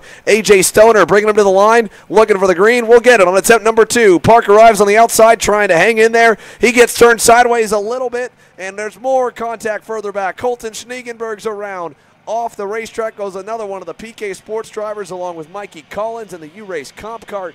Multiple drivers in the mid top 10 to teens going off on the start, but it's clean for the top five or so here, Randy, as they go to the horseshoe. Everybody trailing AJ Stoner. AJ Stoner had a good start the last race, then kind of fell off pace a little bit. Does lead the way in the early going, and now a pass for the second spot. I believe that is that Aston Wyatt. I think Xander could have taken over uh, the, the top spot there. Yeah, uh, yes, indeed. Aston Wyatt, great call there, Randy, on the AR Academy Birel ART. We got one. We got it right. We're not making too many mistakes up here. But yeah, Aston Wyatt, easy to spot there on that red and white Alan Rudolph Racing Academy Birel ART machine over the green and black and white entry of AJ Stoner. Then that black and blue and chrome is Enzo De Gennaro on the Team Ferris Racing Kart Republic. And that big silver helmet, that's Parker Ives, your championship points later. Right there behind, going through for third as De Gennaro goes to second. And just as we saw in Heat 1, AJ Stoner from the pole starting to get swallowed up again by the pack. Here comes Luke Gilio. Here comes Maxwell Macha. Here comes Emerson Lane. Oh, man, AJ Stoner all the way back to seventh as Enzo De Gennaro goes to the lead. Unbelievable racing. One lap in, and these guys are racing like it's the last lap. But to Aston Wyatt, uh, Parker Ives now up to second. Uh, these guys are really going hard at it out here. Uh, but uh, Luke Gilio, uh, Maxwell Macha, Emerson Lane, all these drivers just really going 110% out there every single lap, trying to work their way to the front. The competition is so close out here in this class, and these kids are just putting on a heck of a show. Here we are side by side now as the show continues. How about Aston Wyatt being the next one to kind of get shuffled down the line? He slots into fifth uh, as uh, another couple spots go back. How about Luke Gilio up to third? Macha's back up to fourth. Macha, of course, championship contender, multi time race winner this year, but he's under fire. Aston Wyatt back on the inside in the infield hairpin, and Emerson Lane there, AJ Stoner there. How about a good run as well from Jake or from Alex Chandler in that Iron Rock Motorsports Tony Kart? He's that bright yellow helmet coming into frame there, edge of the top 10. So across the line, Enzo De Gennaro on the KR, the Nitro Kart at Parker Ives. It's a Orion Perry Motorsport 1 2, trailing the Team Ferris Racing entry. And into turn one for the first time in a minute. It feels like we haven't had a change in the lead. All right, Xander, I got a question. You say these two up front are, are in the same team? Is that right? Second and third are. Second and third are in the same team. Because you got to wonder if Parker Ives is going to be content just drafting right now, or is he going to want to have that lead and, and kind of set his own pace? Yeah, it's hard to say, right? I mean, again, the, the main logic with what you do when it comes to being the guy in second is you push the guy for about a lap if you have a little bit of a gap, and then you take kind of a, a, gauge on it. You look back at the beginning of the lap, you look back at the end of the lap. You say, did we pull away? Did they catch us? Did it stay the same? If it stays the same or you pull away, keep doing what you're doing. They're not going to get to you. If they catch up, which right now they're catching up, then you got to go because it's not going to do you any good to push the guy. You're still going backwards in terms of lap times. So if you're Parker Ives, your teammate's behind you, although now there's a battle for third. Oh, and his teammate gets shuffled outside. Luke Giglio way off the racetrack there in the 68. Tough break for Giglio, and that's uh, that's uh, Parker Ives now losing his drafting partner in behind him. So now you got to ask yourself, well, Ives has got a little bit of a gap, so maybe he's going to be content racing where he's at right now if that gap can stay. But I kind of doubt if it will because you got three karts in line in draft trying to close back in in that lead group. Yeah, they're all right there as they go through turn number one. I mean, if Aston Wyatt, I mean, all of them have been able to put some good laps. Everyone in the top seven or eight, once their tires are up to temp, can run around the same lap time. So it's just a matter of kind of getting the guy behind you to, to trust you and work with you and sometimes not even trust. It, it's it's almost like winning an argument is the way I kind of look at it because you know they can pass at about eight to ten different corners on this racetrack at any given time because the draft keeps them so close. It, it's having that patience and that restraint is the right word I should say for the guy behind to say I can go. I will have another chance in another couple corners. I don't need to right now. It's better for me to wait. Um, and sometimes that's it. It's not even working together. It's just waiting. In this case, Parker Ives, he's not really working together to the point that they're pulling away, but he's still waiting. And by him staying tucked up behind Enzo De Gennaro, he'll always have a tow. Let's go side by side down to pit lane here. While the micros are on the racetrack, the pro shifters are gearing up for their second heat race. And we've got Alexander Cyril standing by with more. Alex? Thanks, Xander here with Talon Yockel. Talon, it's been a pretty solid day for you so far. I mean, first heat, oh so close to a third place finish there with the Battle of Kremers. Still, overall, the final result shows, you know, seven seconds off your teammate there, AJ after coming back in the pits and kind of debriefing with him and seeing, you know, the similarities and differences, I mean, what have you noticed that you can improve on for this next heat? Uh, it all just came down to battling from lap one and basically to the finish. But I just learned a few things, how to just get better exits down the straightaway and maybe keep up with him and Wick. They're pretty fast. They know how to get away, keep it clean. Uh, I'm just trying to move my way up fast and not waste too much time. Yeah, we've heard guys in other classes like X30 Pro complain about kind of the dust on the racetrack. I mean, how bad is that for you guys in shifter? I definitely felt it on one of my half attempts out there for passing. My tires were a little bit greasy after being in, you know, the dirty part of the track, but just takes like half a lap or a lap to recover from it, and you just gotta get your move done and try to protect it because I made that mistake during the heat race. All right, thanks, Talon. Good luck out there. Thank you. There you go from Talon Yockel again. Make your move and protect it. Well, Parker Ives, will be were away, made his move and has taken over the lead on the Ives Racing Ryan Perry Motorsport Nitro Kart. Aston Wyatt is second. Third is De Gennaro. Fourth on the orange and black Sodi for SLA Kart Racing is Maxwell Macha. And fifth is Emerson Lane. They've dropped everybody else. Giglio, unfortunately, after getting knocked into the grass, has not been able to recover back in that sixth spot. But we're halfway in and halfway still to go. Five laps down, five laps to uh, uh, still to run, and it is Parker Ives leading over Aston Wyatt coming up the short chute with a little bit of a gap forming uh, from first back to second, even Randy. Slight advantage right now for Parker Ives. Not a lot, but uh, at least a little bit of breathing room right now. Aston Wyatt close enough to pounce, maybe one to two kart lengths, and then a little bit of a gap back to third with Enzo Gennaro. Emerson Lane went purple uh, two laps ago at a 114.239. Yeah, Enzo De Gennaro again uh, a good lap uh, for him was a 114.509 for a guy in the middle of the pack that looked as fast as Emerson Lane. His best lap three tenths off. Now good pass. Maxwell Macha gets through for third. De Gennaro back for, to fourth. Lane not close enough. Still at the end of the train trying to catch up. Parker Ives I think, though, Randy, is probably the fastest of the five of them. The fact that they have not been able to get to his bumper and they're just sitting kind of in the wake of that draft, about a car length or two away. Now, I could be wrong, but right now, no one, I don't think, has anything head to head individual speed wise on the 48. The good part for us to be entertained is this track is so draft dependent. You could be two tenths better. It doesn't mean you get to get away. Well, that's right. And I think even if Ives does get past, he probably has the horsepower to gain that spot back. That's why it's critical.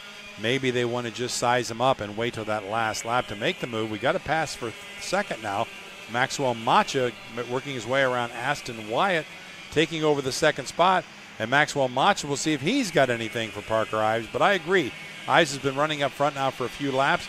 Gets a good launch off the corners. And although they do appear to close in a little bit at the end of the straight, he's really coming off the corners strong. And that bodes well here because if you get a good run off the corners, you might spend the rest of the straightaway just trying to position yourself to pass for the draft. Let's go down to more here on pit lane. Hunter Pickett had a you know decent start, faded a little, and drove back forward in heat number one. What has he got on his mind? We'll find out with Alexander Searle. Alex? Thanks, Xander. Hunter Pickett. I mean, it's been an okay day for you, right? You qualified P6 yesterday, P7 today in the first heat. Pace has been okay, right? Lap time wise, looks all right. But again, you know, nine seconds off the leader there. I mean, what are you guys missing right now? We just got to work on the setup. Uh, we didn't get very lucky on racecraft that, that heat, so hopefully that you know comes to us and we figure out some things on the kart and uh, go from there. Yeah, I mean, you talked to me about kind of how important the gearing is around this racetrack, especially in shifter. I mean, you, have you guys done anything with the gear so far? We we could make adjustments. We'll we'll see how that ends up here, but it could be possible. All right, thanks, Hunter. Yeah, man. Thank you. Short and sweet for Hunter Pickett. We'll see if it's possible as uh, we take a look on the racetrack here for the uh, race lead. Right now in Micro Swift, two and a half laps to go. Parker Ives, Maxwell Macha, Aston Wyatt. Fourth and fifth have fallen, fallen back a little bit as Emerson Lane and Enzo De Gennaro got into it. So coming to two to go, they're almost in frame, almost out of frame as the leaders head through the infield hairpin. Side by side, there's De, De Gennaro going by. And uh, Parker Ives now has some uh, some real company right now. That gap he's been enjoying for the last few laps is gone, and Maxwell Macha and Aston Wyatt have closed into the point where they do have the ability to pounce. But once again, he gets a good launch off of I 70 corner, and that is critical. Two to go this time by. They've got to keep him in line. And boy, that fourth and uh, fifth position side by side, they're getting a little dicey back there. That's Emerson Lane and Enzo De Gennaro. They're well off pace for the uh, lead group, but they're battling it out for that four spot. And now Ives getting through the inside of the circuit now has a nice little gap of about two kart lengths. We'll see if they can close in on him. But straightaway speed for Parker Ives, Xander, has been really strong. And as you said, it's going to be difficult to draft up unless they can get a really good launch off of I 70 corner at the line. But Ives really is strong in that part of the circuit. Yeah, he's kind of been able to keep, you know, about a, a car length to two car length buffer back to Maxwell Macha and Aston Wyatt. So that's been good enough to kind of keep them at bay. Uh, if he can open it up to a two or three car length gap coming out of the final corner, they'll only close up a car length or two. Like you said, it looks good. The entire package for that Ryan Perry Motorsport Nitro Kart has been the one out front the last few bits. But here's Macha, first opportunity in a while. Maxwell Macha down the inside for the lead. He'll take it away in I 70, and Aston Wyatt uh, sees in the moment as well. He'll take over second. White flag in the air. Macha leads. Wyatt's going to have a big head of steam here coming down the front stretch. He'll run with it down to the inside and back to the lead and back to second for Ives as Macha falls to third. And I have a feeling Parker Ives may think he's in the right spot right now because he's got the horsepower to make a move. The question is, how long will he wait? Will he wait till that final straight? Nope. He looking looking left and he passed him on the right. So a good move by Parker Ives around Aston Wyatt. He makes the move, and now they're chasing Parker Ives again. Boy, strong horsepower by Parker Ives. He's got him by uh, just about a half a kart length. Aston Wyatt and uh, and Maxwell Macha. Uh, those two will try to chase him down again. They come over the hill now, and it's going to be uh, just a few more corners, about a half a lap left for Parker Ives. Can he hang on? They're right there where they could make a move around Showcase Corner and to the inside, and they make the pass. So we've got Aston Wyatt up front now. And uh, now Ives to the inside into I 70 corner. Ives makes the pass. Macha follows him through I 70 corner. One more time down for the checkered. Who's it going to be? We've got side by side three, three wide. Oh my gosh. Three wide down the straight, and it's going to be a three wide Indy 500 starting finish. Three wide as you do at Indy, and it looks like Parker Ives by 42 one thousandths of a second over Maxwell Macha. Aston Wyatt finishing third, a tenth of a, a second separation. I'm sorry, one one hundredth of a separation between first, second, and third. Literally three wide across the line. Parker Ives, Maxwell Macha, and Aston Wyatt, and they never touched each other. What a great finish. What a great run by those three drivers. Parker Ives coming out on top.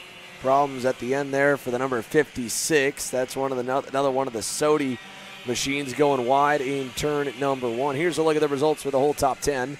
Ives, Macha, Wyatt, top three. De Gennaro, Emerson Lane, the top five. Luke Gilio, in sixth, Liam Nakawati, and Nachawati, Nicholas LaRusso, Jake Manolio, and Alex Chandler, the top 10. There's a look further down the order. We've still got some big name kids who have struggled this weekend, and then a look at the DNF list there. Colton Schniegenberg, 35th. So unfortunate. Colton had a good heat one and a not so great heat number two. We'll take a commercial break when we come back. Pro Shifter coming to life here as we round off the second round of heats and go back to the top of the lineup once again after them, beginning with Mini Swift.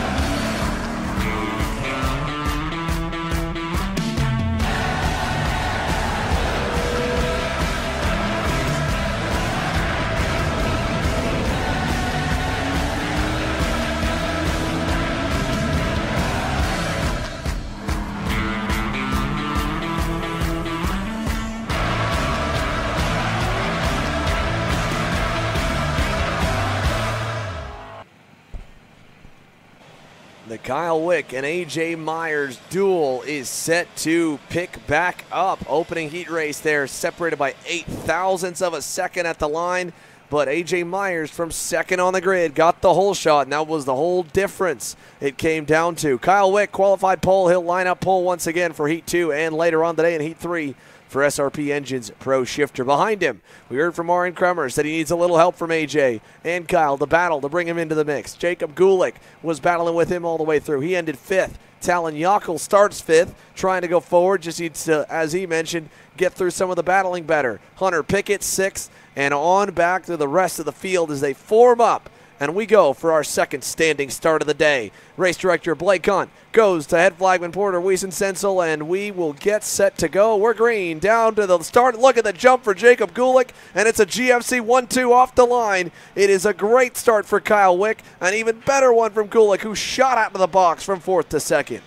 Well, that'll certainly uh, make it a little more uh, difficult for A.J. Myers. Myers tries to make a pass around Gulick, and now they're side by side into uh, turn number four, and they're still uh, bumping and banging. Gulick trying to hang on, and he does. No, no he it's lost Myers. it. He lost Yeah. it, yeah.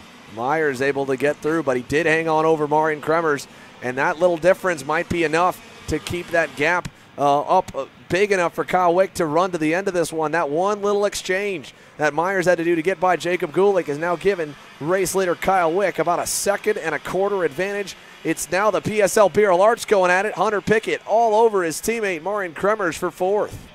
And A.J. Myers hasn't really shaken the rest of the field to close in on Kyle Wick. He's got to worry a little bit about what's behind him and not just what's ahead of him. Kyle Wick with a great start, and they were so close in heat number one. I agree with you.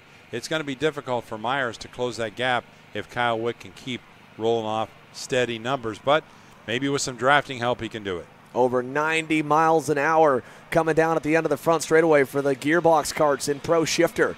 And this is the closest battle we got right now. You saw it going into I 70. Talon Yockel on that black, blue, and yellow Magic Cart trying to go by Hunter Pickett. And he does for position number five. That was a smoother run through. Pickett back to the sixth spot. Ethan Boer with a better start on that GFC machine is seventh. Giorgio Carrara on the chrome and pink and uh, uh, blue Lenzo cart on the International Motorsport Camp. He's up to eighth, looking for P7 as they climb the hill. But Yockel defending a bit from Pickett. Boer's going to have to worry about Carrara. And here's your update on the top three. Myers chipping away and getting uh, away from Jacob Gulick, trying to make up ground towards Kyle Wick, who continues to lead as we go to put two laps in the books and eight laps to go here at SRP Engines Pro Shifter. Nine tenths of a second separation that last lap. It looks like Myers may be closing a little bit. Seven tenths of a second. So we gained two tenths of a second that lap on Kyle Wick. And Jacob Gulick is right there as well. Fast lap of the race. AJ Myers, he's not going to settle for second. He wants to close in on Wick and pressure him and make that move. So AJ Myers on the uh, charge, trying to close in on Kyle Wick. Last lap, he got two tenths of a second. He can knock off a second or a tenth of a second or two every lap. It won't be but about four laps until you'll see a, a race, a, a battle for the uh, lead with Kyle Wick and AJ Myers, and not that far back, Jacob Gulick. And to be fair, AJ Myers against Kyle Wick right now, it's still early. They haven't gotten their tires fully to where they want them yet, pressure wise. Kyle Wick again trying to manage his stuff. You heard in his interview, he's not too concerned with tire deg. Not nearly as an abrasive of a surface is New Castle Motorsports Park compared to where we were two weeks ago in Salt Lake City, Utah, at Utah Motorsports Campus. So he's fine to go at full bore in these heat races. AJ's going full bore right now, trying to run him down, and Jacob Gulick the same. Where's the laps across the line? Two tenths better was Myers again. Two and a quarter tenths better was Jacob Gulick. Big time gains for second and third. At the same time, Marijn Kremers is getting reeled in by Talon Yockel for position number four. Check this out. The black, yellow, and orange of Talon Yockel is reeling up to the reigning series champion. Only his second season in the pro shifter class. Talon Yockel challenging one of the best in the world here for position number four. AJ Myers continues to close in another two tenths of a second on Kyle Wick. And Jacob Gulick in third just went purple with a 102.494. He wants to join the party and is only he's actually less than a second from Kyle Wick and only four tenths off of uh, AJ Myers. So we could have a three-card battle for this top spot. Kyle Wick trying to keep them at bay, but he's losing about two tenths of a second every lap, and looks like they're even a little closer now as they round uh, I-70 and head back towards the uh, start-finish line. One more lap in the books. It's six to go this time by halfway, or actually just over halfway, eh, or nearing the halfway mark. And AJ Myers just went purple again. Now it's a three tenths of a second advantage. He is there, and so is Jacob Gulick. Yeah, he is right on the bumper. Kyle Wick still leading. Look at this. Yockel able to get around Marijn Kremers for that fourth spot. Kremers going to come under fire for fifth.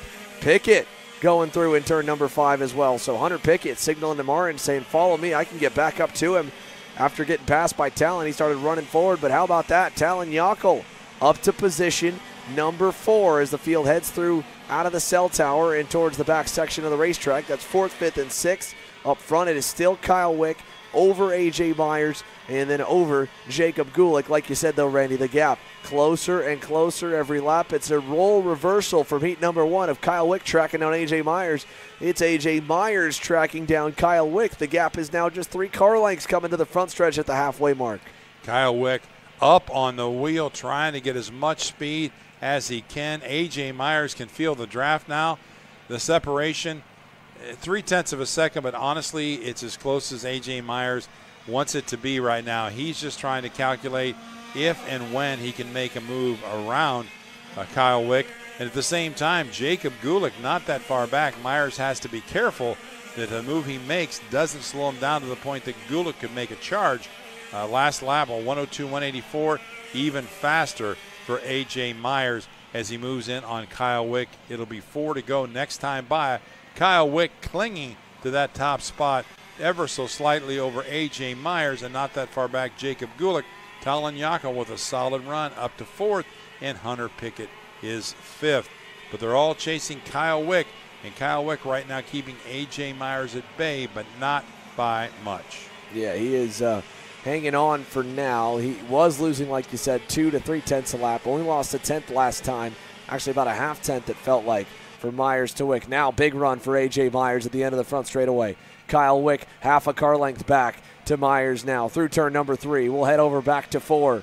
Uh, the leaders coming through the uh, quick, fast 90. We go up the short chute towards the horseshoe. AJ is almost there, needs about one more tenth of a second less, and he'll be close enough to send a big move for the lead in the win. And we're coming to three to go. It's getting hot right at the right time here, Randy. And Jacob Gulick, he's in the catbird seat, only about a half second away. These two get together on a pass, and Jacob Gulick's right there to pounce. The race could come to him. You never know. He is really, really close.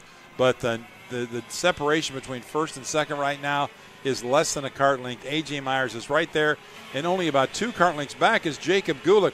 Kyle Wick once again up on the wheel into uh, the I 70 corner. One more time down the straight. Three to go this time. Good launch off the corner for Kyle Wick, and he's got good pace and a good gap as they head down to turn one. Actually, a little better than the last lap. He he increased that gap a little bit, Xander, on AJ Myers on that last lap. I think Myers is starting to hear footsteps. Well, I think it, to me, it, Myers got a terrible exit out of I 70. I don't know if he missed a shift or just kind of bottled the exit up, but it was not a good launch down the Long Pond straightaway, and he paid for it. That whole lap, you, you like you said, he was he was gaining. Now that gap has doubled, and it's at the wrong time to do it. With two and a half laps to go, doesn't have a lot of time to rebound from that.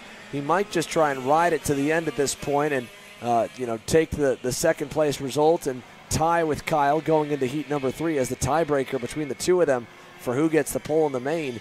Uh, but for AJ Myers again, that's not what you need with this little bit left. He had to be perfect to catch Kyle Wick. He was not perfect there. And I got to wonder, I'm looking at the uh, timing and scoring.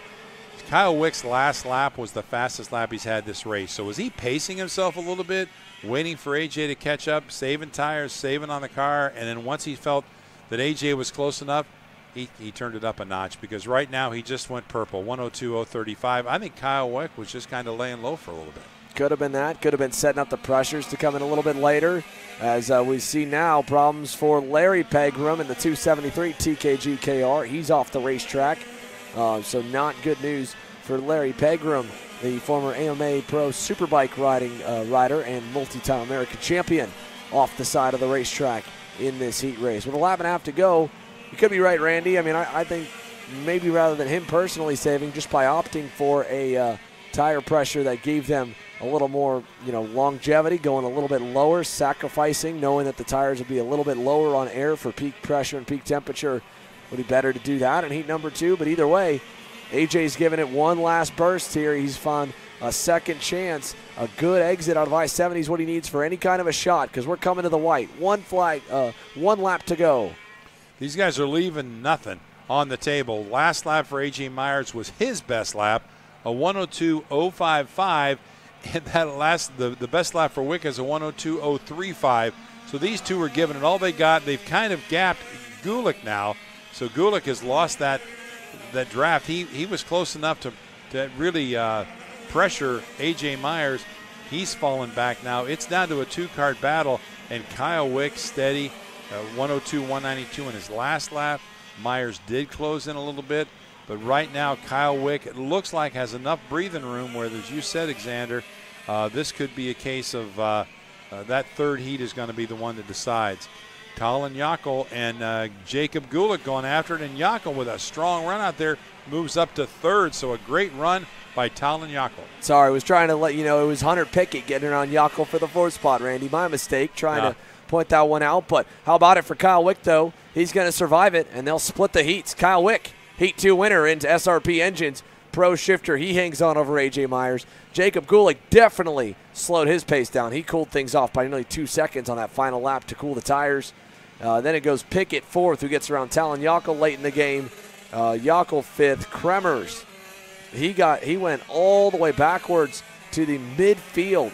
Ethan Boer, Giorgio Carrara, Justin White all giving chase to Marijn, who had to go heavy defense mode to hang on for that one. But the key moment of the race really coming down to the start. It felt like Kyle Wick able to get that hole shot and get the gap that was more than enough to put himself out in front of the field. And here's a look at it again as they went to the, the flagman this time. Wick with a great jump. And again, what a jump it was for Jacob Gulick. Having his teammate jump to second and then AJ having to get around him, that was all the difference in Pro Shifter.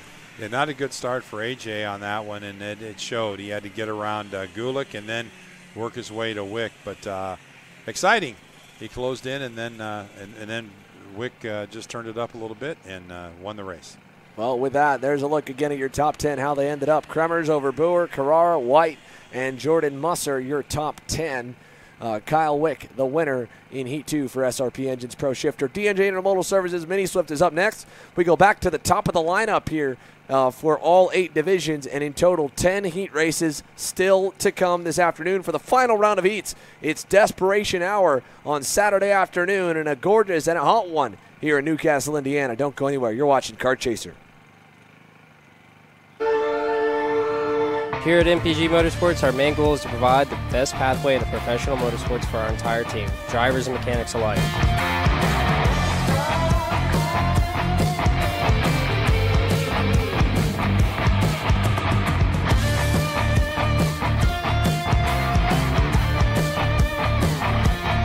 Based out of Whiteland Raceway Park in Indiana. For more information, contact us at chase at mpg-motorsports.com.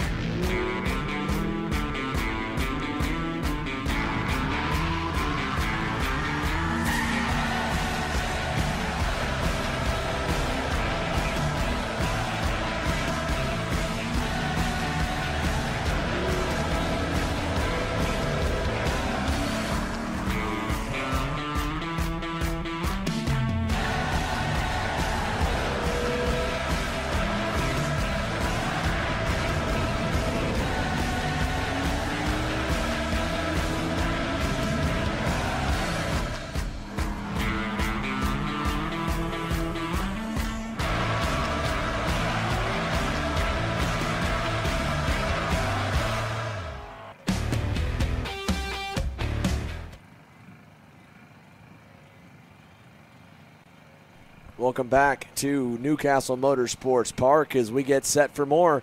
Yellow flags waving, unfortunately, no green on attempt number one for DNJ Intermodal Services Mini Swift. You can see one car at the back still trying to play catch up.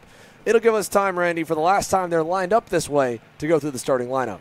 On the pole will be the number 111 of Tristan Murphy. Outside front row, it's Jackson Tovo. In row two, it's Fionn Shee and Royce Vega. Row three, Travis Pettit and Michael McGoy. Marco Romero and William Kim in row four. It's Jacob Majeski and Jackson Gibson in row number five. Row six is Landon Buer and Thomas Chrisman. Rocco Simone and Benja Fernandez in row seven. Row eight is Martin Jaramillo and Bowen Green. In row eight, Ashton Woon and Cameron Marcia. Row 9, Lucas Palacio and Brandon Siraki. Row 10, Carter Barkas and Jackson Porter. Row 12, Marco Sabat and Kai Mars. Row 13, Tyrone Kemper and Mateo Calderon. Row 14, Luis Fernunez and Nicholas Arbeza. And your top 30 starters is Carson Berry and Jude Thermalazami is the row 15 starters as we work our way around to uh, look for a start in our Micro Swift. Yeah, here they come coming out of the final tor- or turn. Oh, do we have more to go through? Sorry, Randy. No, we, I said Micro Swift. It's Mini Swift. Mini Swift for uh, DNJ Intermodal Services. Mini Swift. Tristan Murphy, Jackson Tovo, the Ryan Perry Motorsport Nitro Kart lockout of row number one brings this 40 plus driver field as we got one cone got knocked over there from the uh, outlap, but here we go, looking for the green. We'll get the green down to turn number one, and already one driver at the back spun, but the leaders cleaning through, and what a great start for Jackson Tovo from the outside, making up ground. He goes to the lead there, I believe. No, Murphy indeed leads them. He was able to get clear. Tovo falling back uh, and sliding in to the third spot, it looks like, as they come out of turn number four. I think Fionn Shee might be up to second, but uh, yeah, like you said, a good a good start out there for uh, Tristan Murphy. Indeed, Fionn Shee on that red and yellow Gillard for Super Tune USA is up to second. Michael McGoy is fourth. Marco Romero fifth. Uh, right behind him is Team Benik teammate in Royce Vega, P6. Then Travis Pettit, P7. Again, keep your eye on the leaderboard to watch where championship points leader Lucas Palacio, who had to start 21st in all three heats today, is uh, going to get up to. He's able to get up into the lower teens in Heat 1, drove forward in Heat 2 as well. We go down to the grid here with David Land as he's got both of our top two uh, and our both of our heat winners so far in Pro Shifter standing by. David?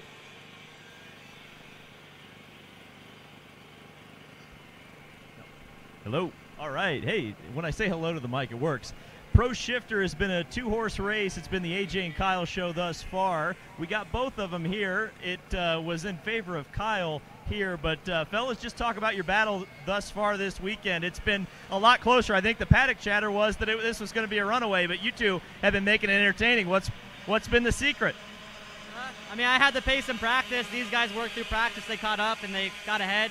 First heat race, I had the gap early and he closed me. He was faster. Second heat race, I messed the start up again. He got to lead. I ran him down this time, but was also difficult to pass. So uh, looking really close. Yeah, I mean, it was the same thing. AJ got the hole shot on the first one, and I couldn't get back around him, and then I got the hole shot this time, and AJ couldn't get around me, so it'll be close. So looking ahead to, to heat number three, who's got the advantage? Do you think? Can you can you get back around Kyle in this thing? Oh, it's 100% on me all day, all day, every day, baby. Woo! All right, Kyle. Now you got to respond to that. How do you feel about the uh, confidence from AJ here? I just got to keep it up front. We'll be good. Ted, I got to keep it mature. We love maturity here. Xander, back to you. All right, we're back uh, on on track action. Uh, Tristan Murphy still leading the way. Uh, one lap in the books, now two laps in the books as they cross the line. We've got Tristan Murphy, Fionn Shee, Michael McGoy, Marco Romero, and Travis Pettit. That is our top five running order. Everybody in line, kind of behaving themselves right now. We got about a 10 car breakaway. Jackson Gibson in kart number 142 just goes purple with a 113.953. But Tristan Murphy leading the way right now with Fionn Shee and Michael McGoy right there in tow, as well as Marco Romero and Travis Pettit. That's your top five. Pass for second. Michael McGoy gets around Fionn Shee and now tries to chase down Tristan Murphy. Fionn Shee will slot into that fifth spot behind uh, Travis Pettit. Romero moving up to third as well. Here's Vega going by on Jackson Tovo. He'll pick up a spot. Royce Vega backed up to sixth. And uh, Tovo goes back down to the seventh position ahead of his teammate and William Kim. But Tristan Murphy, granted, as big as this pack has been, as still big as it is, you would think they would have traded the lead, but they have not. Murphy now is going to get another uh, gap still built as McGoy get loses second. Now it's Romero going through. Pettit alongside for third. He'll get clear down the straightaway. And McGoy will go right back to him as they come down to turn number one. Three down, seven to go. Here's a challenge for the lead. Marco Romero to the point, and it turns one and two. Marco Romero ahead of Tristan Murphy as uh, Romero goes purple on that last lap with a 113.533. Travis Pettit, Michael McGoy, and Fionn Shee. That's that five kart breakaway. And it's not a breakaway by much. In fact, 6th through 10th is right there in that lead group. Uh, Murphy leads the way back through the top 10. Royce Vega runs 6th. William Kim 7th. Jackson Gibson, Jackson Tovo, and Rocco Simone. That's your top 10. Early mover Cameron Marcia from 15th position up to 11th, trying to crack the top 10. And uh, looking through the rest of the field, nobody moving up too much. Travis Pettit, who started seventh, is up to third, but Tristan Murphy still the driver to beat as he leads the way with Marco Romero in charge. And now Romero gets passed by Travis Pettit as Pettit now tries his shot at Tristan Murphy. Travis Pettit up to third. Tristan Murphy still leading the way as they climb the hill and make their way around I 70 one more time to cross the line. Tristan Murphy leads them down to start finish for lap number three. Yeah, here we go. Tristan, or uh, no, Marco Romero leads them down to turn number one. Travis Pettit second. Tristan Murphy third through the first couple corners. And then Michael McGoy is fourth. It's uh, Romero on that blue and orange Team Benik entry with the bright yellow helmet that leads uh, over the Trinity Karting Group green and white Kart Republic of Travis Pettit. He's got that bright blue helmet in the 129. Your update on some of the big movers and shakers. Cameron Marcia had a big drive in that first heat. He's up 5 to 10th right now. Palacio is up 3, uh, actually up a little more than 3. He's up to 15th from 21st, so that's a big gain for Lucas Palacio. Fastest driver is all the way down in 18th with Jackson Porter uh, on the uh, TKGKR. So big moves uh, further back for some fast guys, but need more of this to bring them in the mix. Pettit on Romero for the lead. Murphy still looking on in the third spot. McGoy back in fourth. That change in the lead didn't cost him a ton. Oh, coming together a little bit out of the corner. Michael McGoy for fourth was hanging on as Royce Vega went to the inside to go by him, and he could not complete the pass. And now William Kim wants to go by, and he will for fifth. Three card battle for the front if they stay in line. May be able to uh, continue to check out a little bit. Michael McGoy in fourth is kind of on his own, and we got a driver swinging wide to the inside, trying to gain some ground, and does so. Actually, that was uh, Shee right there in that red and white Gillard uh, for Super Tune USA. Big move, like you said, all the way down to the inside, Randy. Travis Pettit, Marco Romero, and Tristan Murphy still in that lead group. Michael McGoy trying to close in that gap, but hasn't been successful the last couple laps as those three have decided, at least for now, to race together in line and not make any drastic moves. And when they do, they're awfully quick and hard to catch. Travis Pettit leading that group. We're five laps to go, four to go next time by with Travis Pettit, your leader. Yeah, four laps to go at this stripe, six laps complete. Final time on track for these boys and girls. They'll be done early on the day. We're still going to run green flag racing probably till about 6 p.m. Eastern time with that last pro shifter heat slated for 5:45. Uh, these guys, top of the leaderboard, top of the lineup. Uh, they get to get done early. They have to start early tomorrow, first thing in the morning, with their uh, warm-up session for the main events. But this is again last chance of the day to improve your starting position for the main event. Where do you want to do? Um, a lot of them normally like to calculate the points going in to know who they need to beat. For now, Murphy Going to try and go one, maybe two. He'll get one with help from his teammate and Michael McGoy. The Ryan Perry Motorsport Nitro Karts move their way up to second and third. Travis Pettit still leading the way, but uh, he's got some new faces behind him. And I think we may see a little action up there for that lead spot as these two drivers are, uh, Murphy and McGoy, are really trying to close in and make a move on Pettit. They still continue to gap a little bit we're looking at about a second and a half back to Royce Vega in fifth. Nice pass from Marco Romero there for third. Splits that RPM duo back up again. And so it's uh, TKG with the Kart Republic up front. And then Ryan Perry Motorsports Nitro Kart second and fourth. Team Benik's. Uh, chassis are third and fifth. In fact, you've actually got the RPM Nitro Kart back in sixth. And William Kim is there is a, a pass for the lead for the Ryan Perry Motorsports Brigade. Tristan Murphy, the pole sitter, back to the point, back to the lead. It's four drivers together and more trying to catch back up as we come to the line to put seven laps complete, three laps to go. And DNJ Mini Swift, does anyone duck out of line down the front stretch? I don't think anyone's got enough momentum to do it.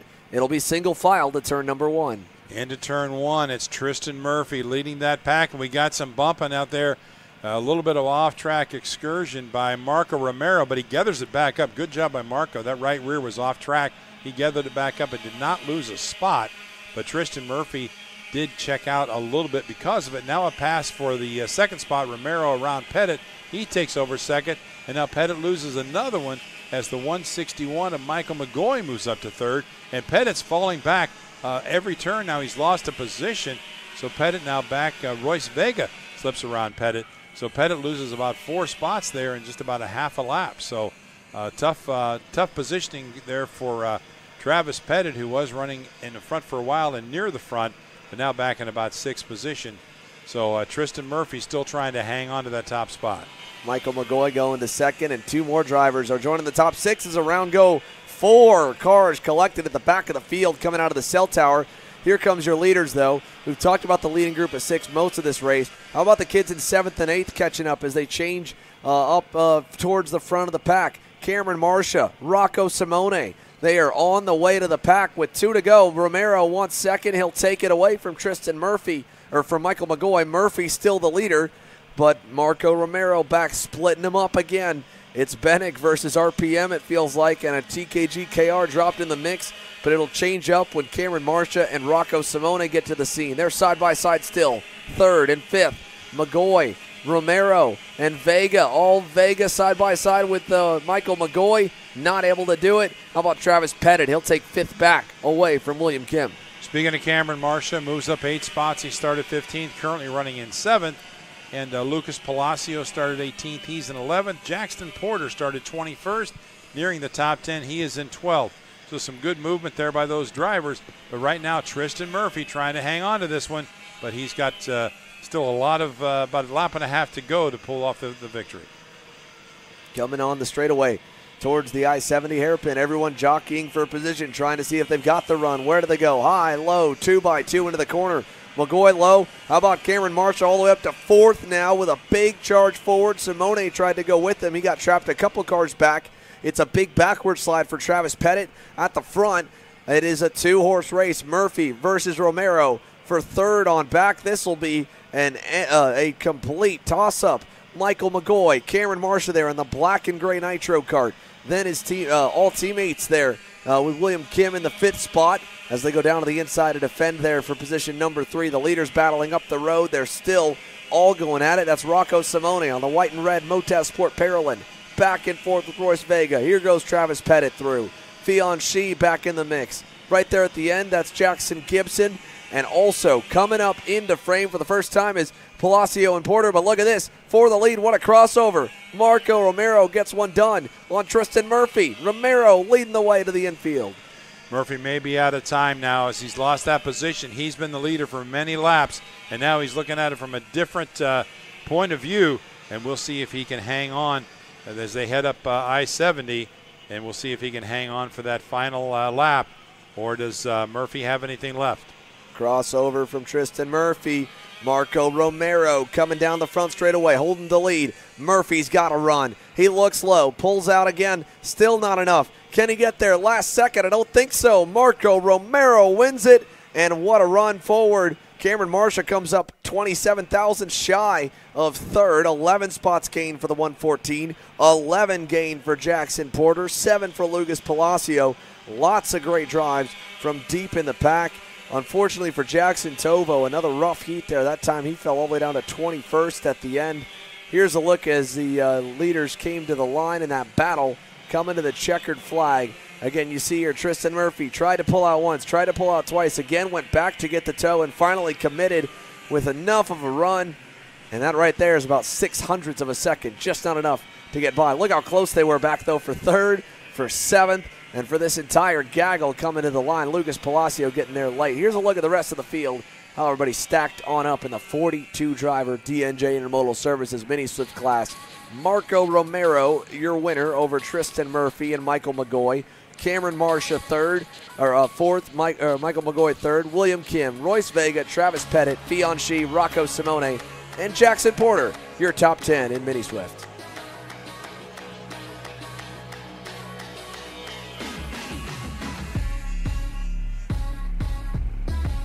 We'll take a quick commercial break. When we come back for more action, it's time to get into the 100cc K100 senior classes, final two heats of the day.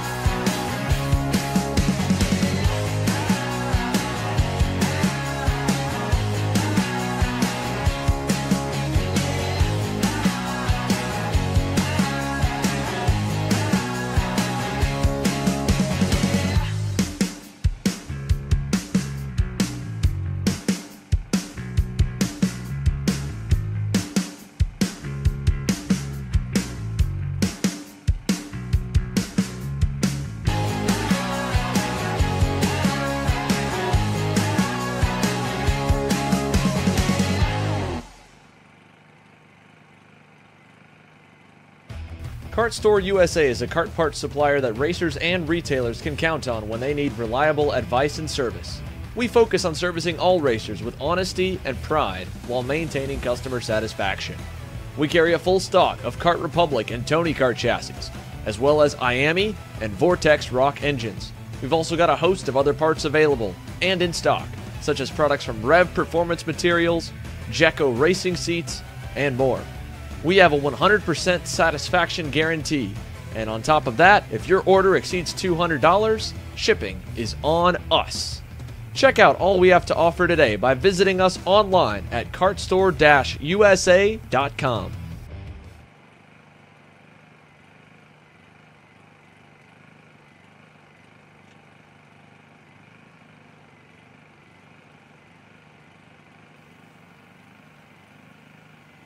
All right, we've got a couple of announcements we'll hit once we get going with KA100 Senior. Groups A and uh, D, I believe, together coming to the green for this one. Austin Jers on the inside, Elio Meza the outside. We're green down to turn number one for the final heat of the day in KA Senior, and it's single file quickly for the top five. We'll uh, uh, hit the announcements in just a couple laps once things settle out for your uh, Mike Doty Racing K100 senior drivers. For now, though, Austin Jers is the leader on the red and white Tony Kart, and they all fan out down the short chute. How about Mick Gabriel quickly going up into second? Brandon Lemke back to third. Elio Meza did not get a great start, but not a bad one. Second back to fourth. Harley Keeble is fifth. Aiden Rudolph is sixth. Adam Maxwell on the AMAX Racing Tony Kart is in seventh. And then a little gap back to uh, the Kart Republic entry of Jordan Perry. Here we go to the infield uh, green corner, side by side. Brandon Lemke takes over second from Mick Gabriel. He'll take that one right back from him. And into the infield hairpin we go. Lemke going to block low. It'll give Austin Jers a nice and big gap as they head out into the uh, back straightaway. Good battle out there for those uh, top spots. Are only really not even one lap in the books. They're heading by this time around I 70 for the first lap. Austin Jers already with a pretty good gap, but the battle rages on behind him as they cross the stripe. Austin Jers is your leader. Uh, running in second right now, we've got uh, Brandon Lemke. Mick Gabriel runs third. Harley Keeble fourth. Aiden Rudolph fifth. Elio Meza, Adam Maxwell, Josh Campbell, Finnegan Bailiff, and Emery Lida. That's your top 10 running order, one lap in the books. But right now, Austin Jers with about a half a second advantage over Brandon Lemke. But Lemke starting to close in with the help of Mick Gabriel in draft. Those second and third drivers are closing in. We'll have a three kart battle with Austin Jers for the lead. Yeah, they'll be there in just a moment's time. So uh, about two car lengths between them. Gabriel's gotten a pretty big gap back to Harley Keeble in the fourth spot. Meza back to sixth here now and still just kind of riding. Same then for Adam Maxwell. Same for Jordan Perry. Although he got shuffled back a couple spots, it's now Josh Campbell and then Finnegan Bailiff as Rudolph by on Keeble. That's for fourth. So Aiden Rudolph taking his PSL Karting AR Academy Birel ART one step higher inside the top five. We'll come to the line this time. Two down, eight laps to go. Austin Jers the leader. And again, uh, through the announcement list here, Randy, you can go ahead and ping them on off as uh, we look for the lead. Brandon Lemke over Jers. He'll bring Gabriel through to second. Lemke the leader. So for KA Senior, there will be no last chance qualifier. Also, want to remind everybody to stop by the U.S. Pro Kart Series trailer and check out the 2023 apparel. If you have fuel tickets you have not used yet, they will expire at the end of the year. It's better to use them sooner than later. We don't want to get to the last race and there's not enough fuel for everybody. So if you have fuel tickets, you should try to redeem them at this race if possible. Podiums will be Sunday following the uh, last final. They'll be for the top five uh, plus the fast qualifier for the podiums, and we'll also have the money podium after that immediately following the finals. Coming through the infield section now as we pick back up the race. Nice pass by Austin Jers. He gets by on Mick Gabriel. Aiden Rudolph followed. Now look at this. Move to the inside. Josh Campbell taking no prisoners here in heat number three, and neither is Aiden Rudolph. Both of them are carving at the moment. Rudolph is now up five spots. Campbell, I think, is up seven.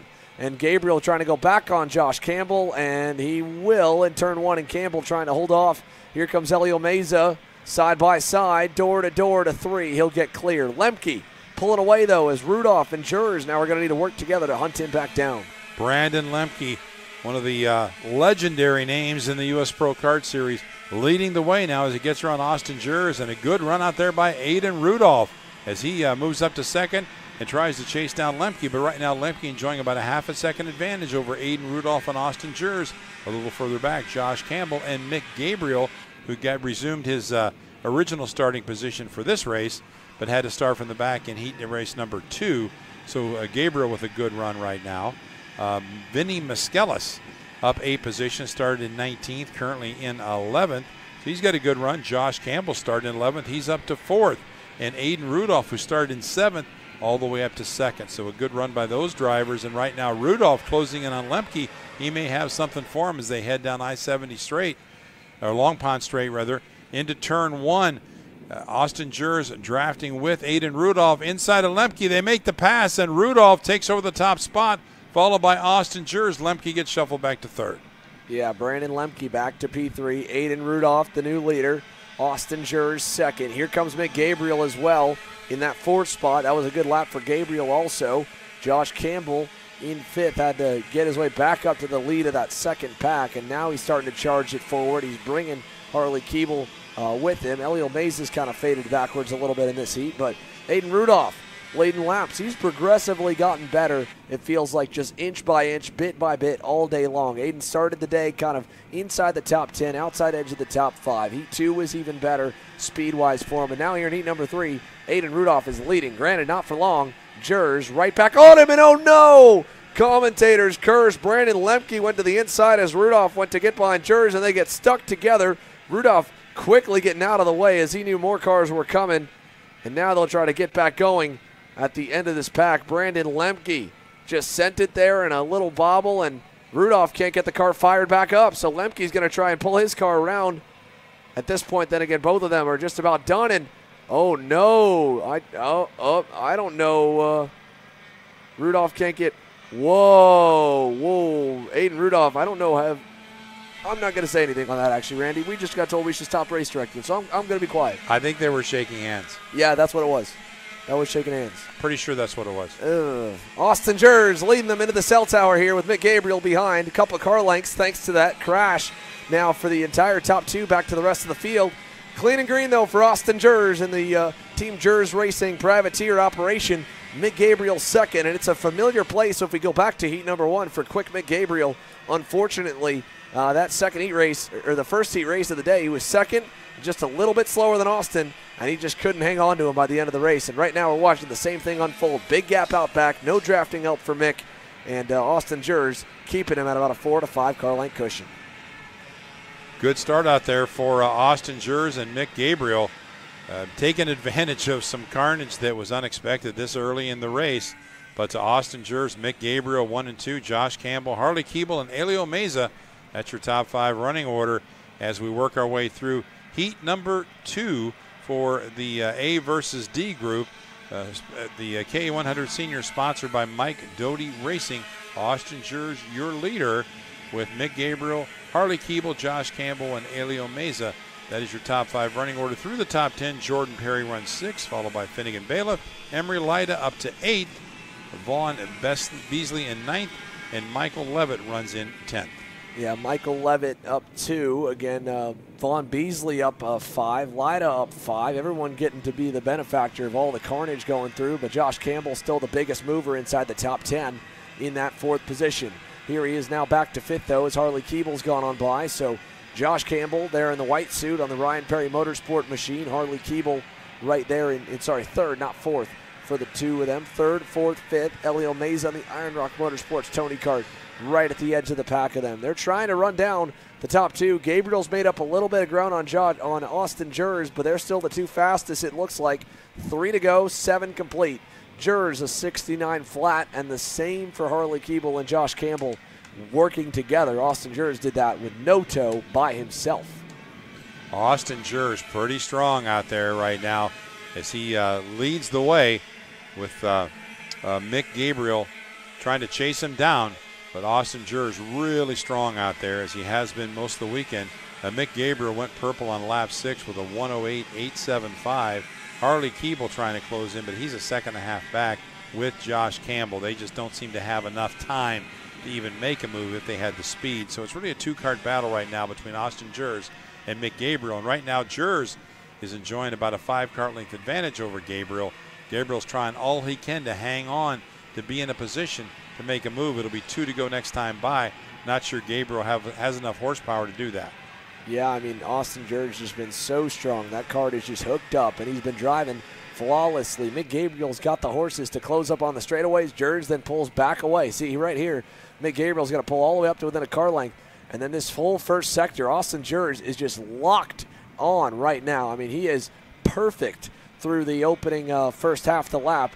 And that's where Gabriel's just lacking just a little bit, it looks like. Because right here again, he loses about a half car length.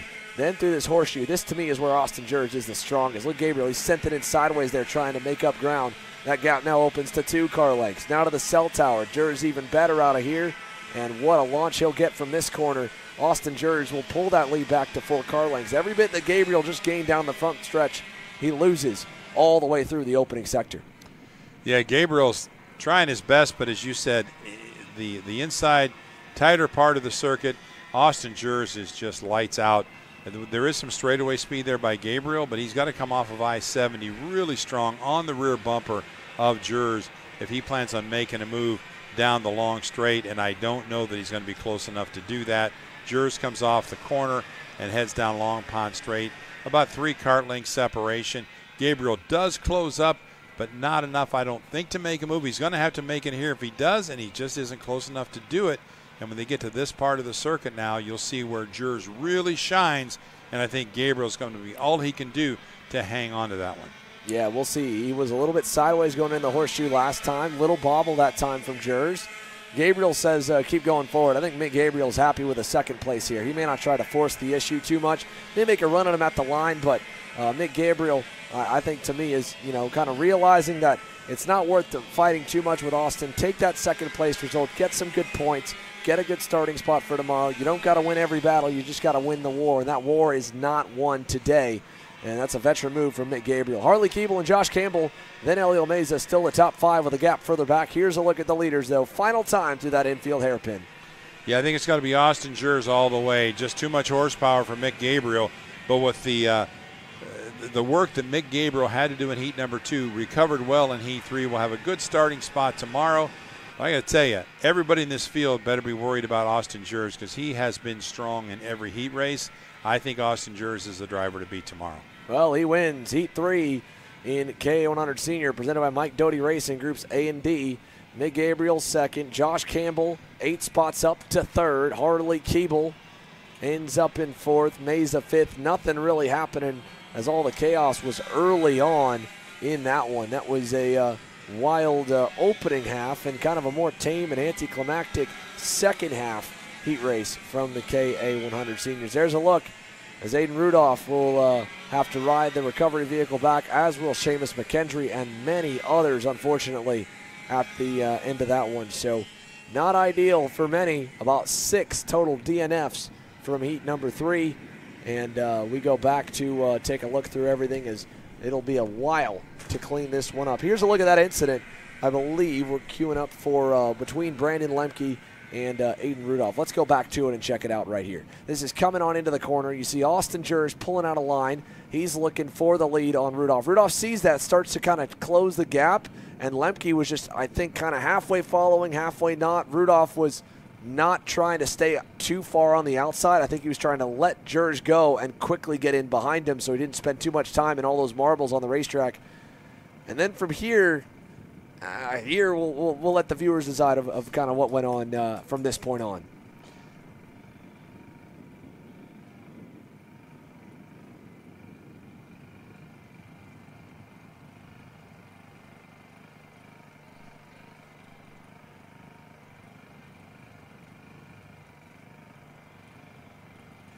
I honestly, I really do think they went like, hey, you know what? It's one of those deals. They kind of just, I, I mean that sincerely. Could have been. Either way, let's go down the pit lane here. Ryan Perry from Ryan Perry Motorsports is having a pretty good day. He's got a lot of fast guys. They had Josh Campbell off a great drive there in KA Senior. He's standing by with Alexander Searle. Thanks, Xander. Yeah, Ryan, um, like Xander said, you guys have good pace in all classes that you guys are a part of. I mean, Josh Campbell just finished third there.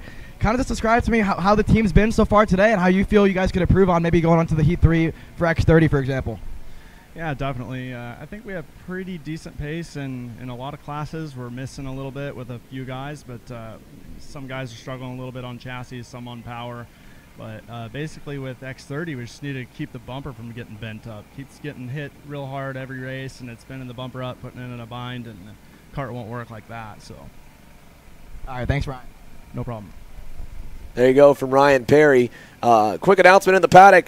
Uh, it's been a good day. We've given a lot of love to the Trinity Karting Group boys, especially with their strong contingent in the mini Swift class. Well, we want to wish a big happy birthday to team owner Sean Bailiff. Happy birthday, Sean Bailiff here. And uh, we'll keep the age to ourselves. Happy uh, 29th birthday. Is that a good way to put it there, Randy? I believe that's a, a fair way to say it. Happy 29th birthday to Mr. Sean Bailiff. I, I think that was the case. Uh, you know, Sean, years ago, Sean used to race at our track in Port Washington, Ohio back in the 70s.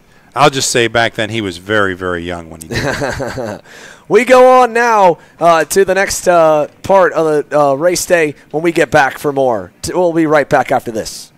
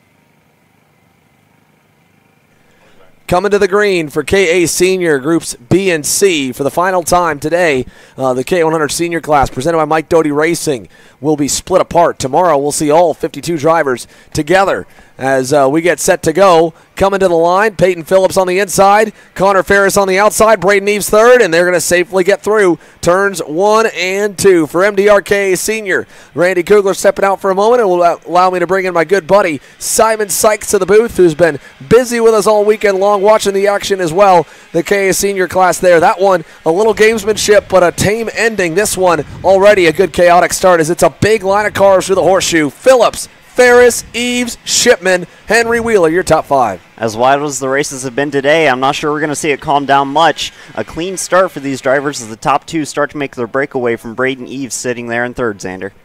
Yeah, they've gotten a nice little gap as they battled further back. How about Henry Wheeler sending it on Cooper Shipman? John Burke going on the inside of Aiden Levy. We saw Levy and Eves get together pretty hard there in that second heat race.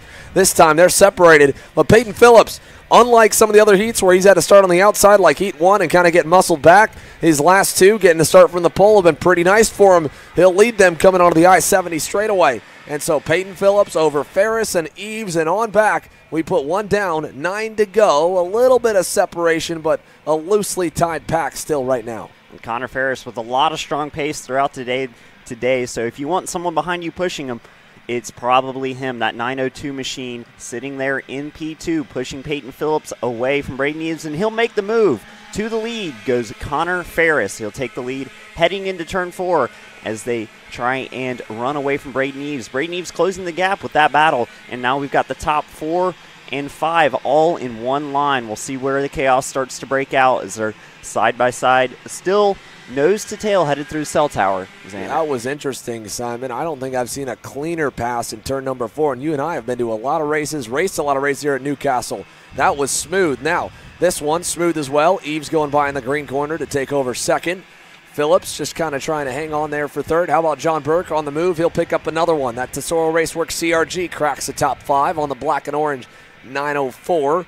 getting around Cooper Shipman. And Braden Eves wants to go to the lead. He'll do so easily in the I 70 corner with a big run on Connor Ferris. And now it's the MPG Motorsports Red and White Kart Republic that leads, but there's a big train coming behind, and they're going to freight train him into turn number one. Ferris, Phillips, Wheeler as well, and even Burke going through for fourth on Eves. And Braden wasting no time going to the lead there, but he'll fall all the way back to P5 in one corner as the whole line drafts by him on the front straight. Connor Ferris looking for a move to the inside, won't make that one stick as they go side by side into turn four. The top seven, eight cars all in a line going side by side through the double right, headed to the cell tower turn here, Xander. Yeah, I think uh, Peyton Phillips cut Connor Ferris a break one time with that pass in turn four. He didn't do it the second time. He held the outside, kept the gas matted, and Ferris had to back out, and it bottled that whole group up. So Phillips now over the blue and chrome of Ferris. Look at Colin Lloyd making some hay there on the SCR Red Speed. Remember, we've talked about him throughout the day at parts where he's had to drive from way back in a rough qualifying effort. Burke is now up, I believe, five spots to third. He wants to go more. Looks Ferris looks back, says, I want to go. Burke says, either you go or I go. And now he goes to the inside in the I 70 corner with Henry Wheeler, who unfortunately can't complete the pass there. Coming on to the longest straight of this track, our Oh! front straight here at New Castle Motorsports Park. What is that that's happened there, Xander? Now, there was some guys getting ramped up on the rear bumper in that final turn at the top of the screen. But John Burke going through to the lead over Connor Ferris with Peyton Phillips there third in line as they go through four. Levy, and then Wheeler, and then Eves. Uh, but uh, yeah, changing the lead. Burke quickly going through. And really, I think the biggest thing to learn from this class is don't pass into I 70 if it's going to be the leader of the pack because they'll just get freight trained in the front stretch the next straightaway later. Is now more contact as they bottle up behind uh, Aiden Levy. And Henry Wheeler gets the worst of it. He'll lose three spots as Eli Warren, Colin Lloyd, and Braden Eves all go through. This extremely competitive KA 100 senior here today. It is a 100cc class, which means the draft effect is going to be a little bit more than that of the X30 seniors. We'll see here in a moment. But Braden Eves running double duty. He'll lose out a spot there as they fall back to about the sixth, fifth, sixth spot as we watch two by two. The first, second, third, and fourth head through I 70 and start to break a little gap to that fifth place kart of Colin Lloyd as Braden Eves looking for a move to the inside of that 918 machine of Henry Wheeler. He will clear him into turn one here, Xander. Yeah, so well, I was I was actually I believe on Lloyd. Lloyd back and forth there on the black and white red speed as Wheeler got away because they traded the spot.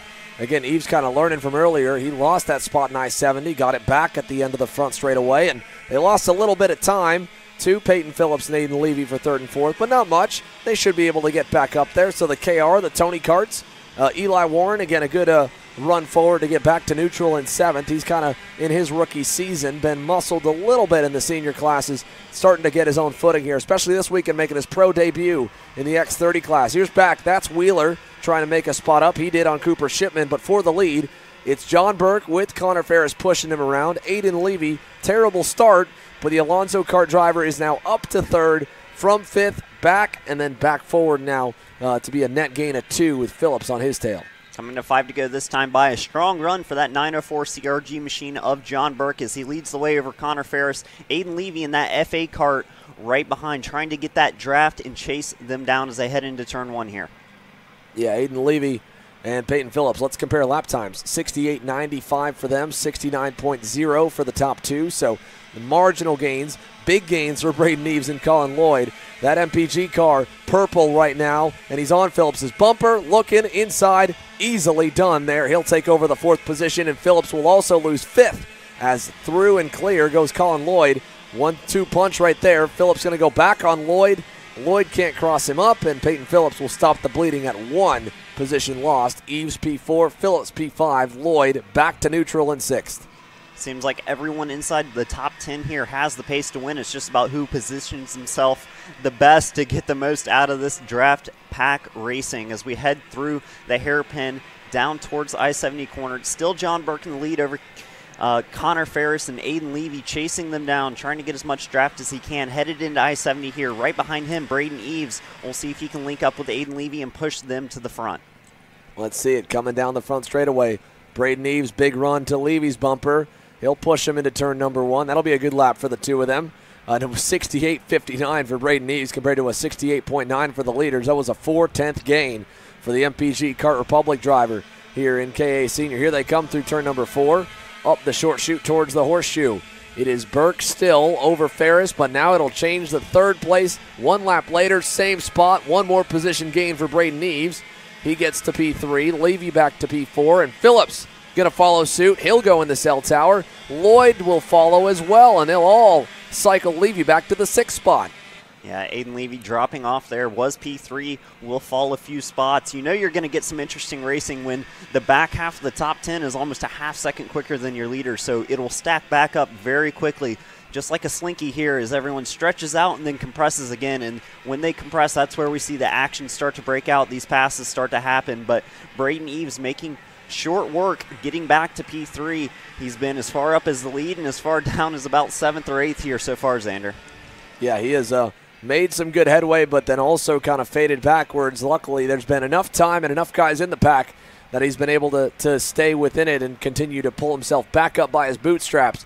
Through turns two and three, for John Burke and Connor Ferris, this race has been pretty boring. They've locked and loaded in first and second and stayed that way for the past few laps. And now I think we may see Ferris make a move soon because Eves is there and he'll go if he won't. And he's going to go now. Braden Eves into second. Another lap, another position made for the 951 in that horseshoe section. And uh, as they come on out, it is Ferris third. He checks the gap back. Still has some cushion room to Peyton Phillips, but the pack is uh, on its way. And John Burke in the Tesoro Raceworks CRG leading the most laps he's led consistently, I think, all year right now, having a really, really solid heat race. He's got a storm coming behind him, about eight to nine drivers strong, that's going to arrive right at the two to go signal and some great racing in this class so far. This is one of the cleanest races I've witnessed here today. Is everyone doing a good job of not making too much contact, making those passes cleanly, and keeping that top 10 all in a line. Everyone fast, everyone looking to push the pace and try and set themselves up to close out this final heat of the day. John Burke looked back to Braden Eves and tapped his helmet said, Go for it. I don't know if he's going to get that much. Eves has been fast enough on his own. He doesn't need to work with him, but if he does, he might be able to keep the pack away for now. John Burke has still put together good laps. That was a 68.7 with no draft and no pushing. So not a bad lap at all. I don't know if Eves feels like he's better uh, in the horseshoe. Oh, he went a little further back to Levy, and we just missed the pass there. But Braden Eves now into the lead over Burke uh, through the cell tower hairpin. Braden starting to feel the pressure from behind. Doesn't want to get mired up in the back half of that top five. Wants to go ahead and take that lead here with two to go left in this final heat of the day for KA Senior, the second group here as we had just watched the first one. A pretty chaotic race there, a lot cleaner here in the second outing, the second half of this KA field.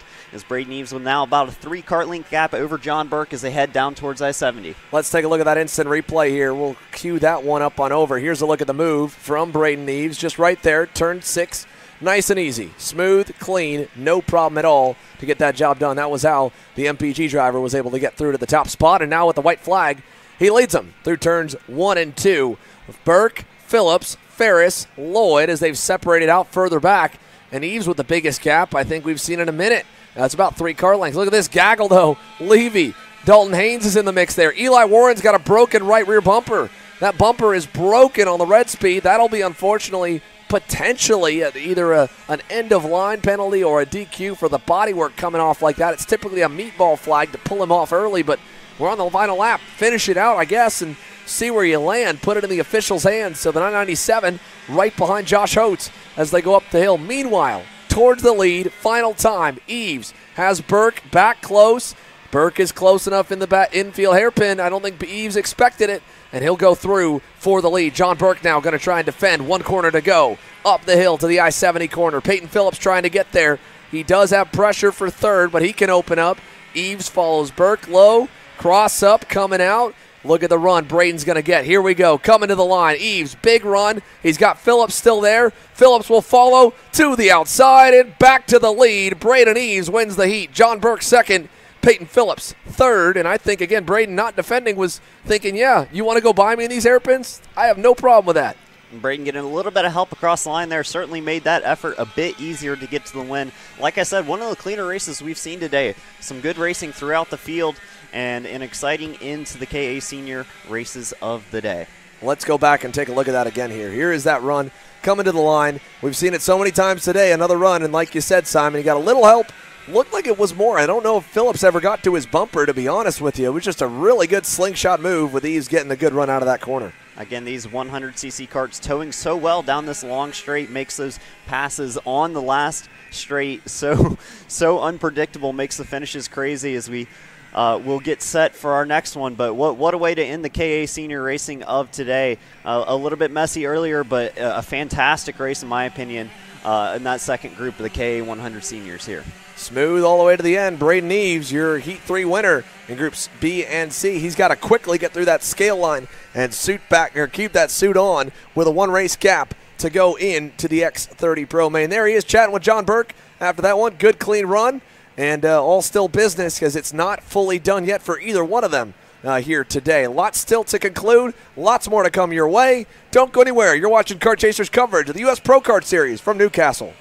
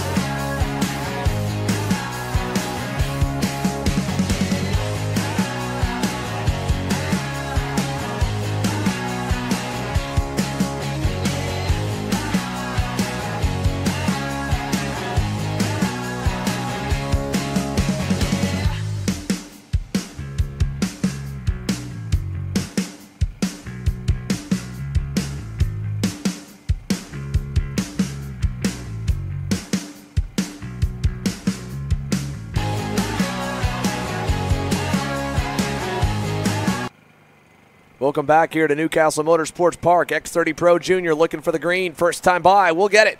Anthony Martella will lead them into turn number one as Charlie Smith gets to second. Ernesto Rivera getting shuffled wide there. A couple hip checks through the pack. Hard to tell who that was there, but a bit of a slam for Ernesto. He'll drop down outside the top five as we come through turn number four here, Simon. Yeah, the outside line not getting quite a good jump there. Ernesto struggling into turn one and then dipping his tires in the grass on the exit will cost him a handful of spots as we work through five, six, and into cell tower corner. Still Anthony Martello with a great start there from the pole. Will lead the field around cell tower corner, up through the kink, and we are working our way through the first lap.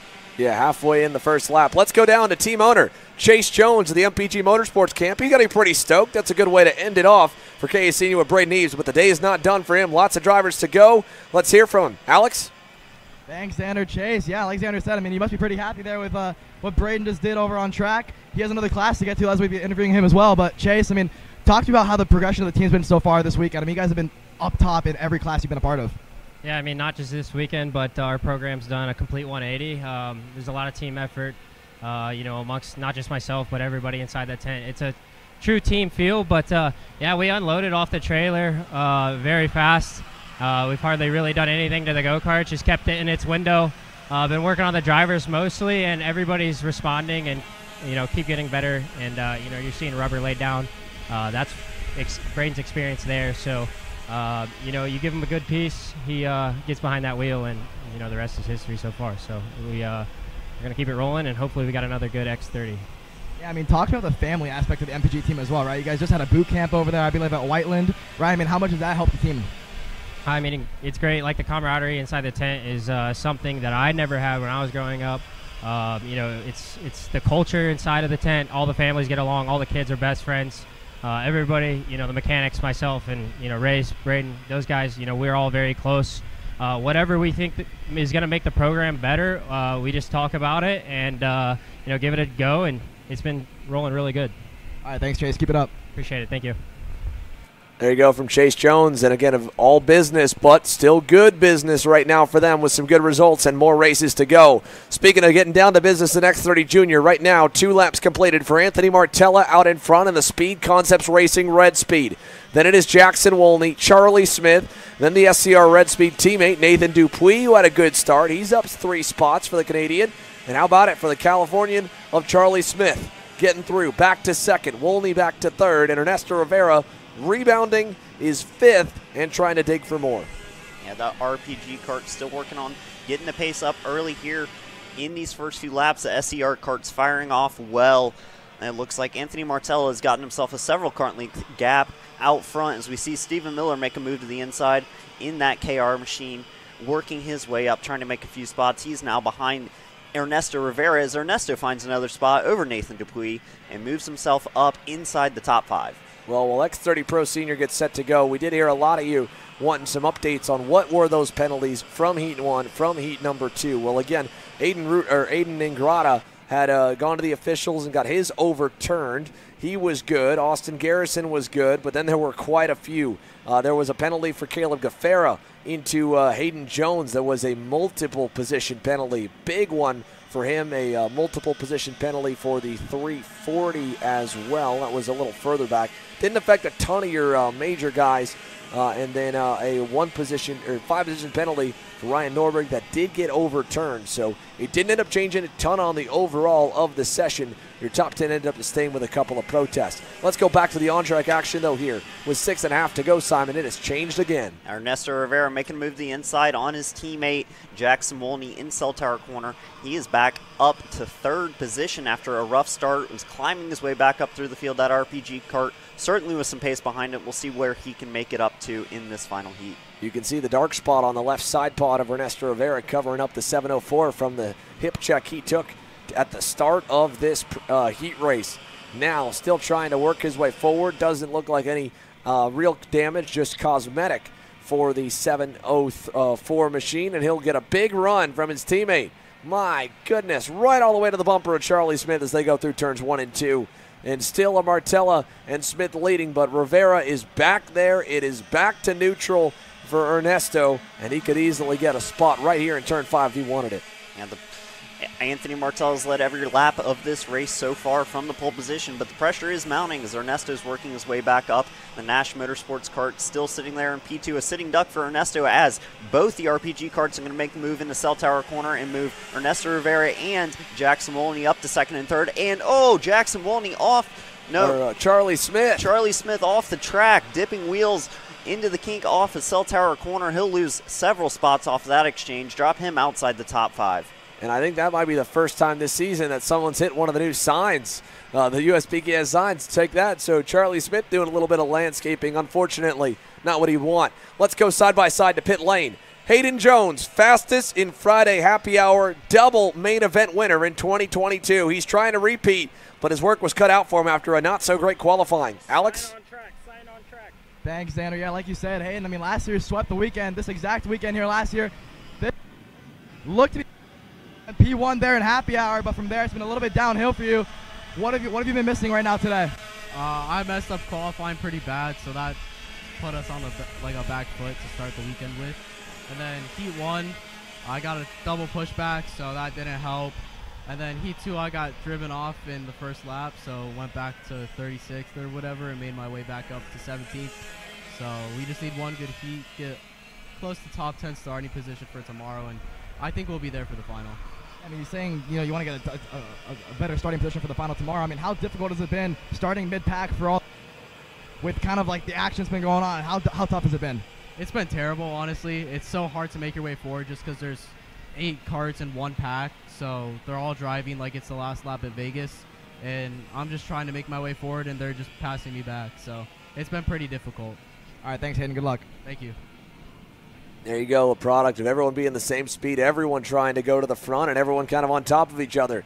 There's a few less players in juniors, so we're seeing a bit more tame racing, but we've definitely seen them get into it in terms of contact uh, over the course of this season. For now, though, it's clean up front with four laps to go. Six complete. Rivera, Wolney, Stephen Miller has entered the frame, five spots gained. Anthony Martello leading when we went to that side by side has dropped all the way to P4 now, several kart links behind Stephen Miller. So he's fell, fallen to the wayside. And the two RPG karts, Ernesto Rivera and Jackson Wolney, making their way into a 1 2 spot right now. And Stephen Miller from fairly far back has driven his way up the grid. Now will make the move into P2, move Stephen Miller up to that second spot. He and Ernesto, the class classes, the field so far this season, will take the lead in this race with four to go. Both asking for a draft. Everyone looking for some help as they head down to I 70 corner.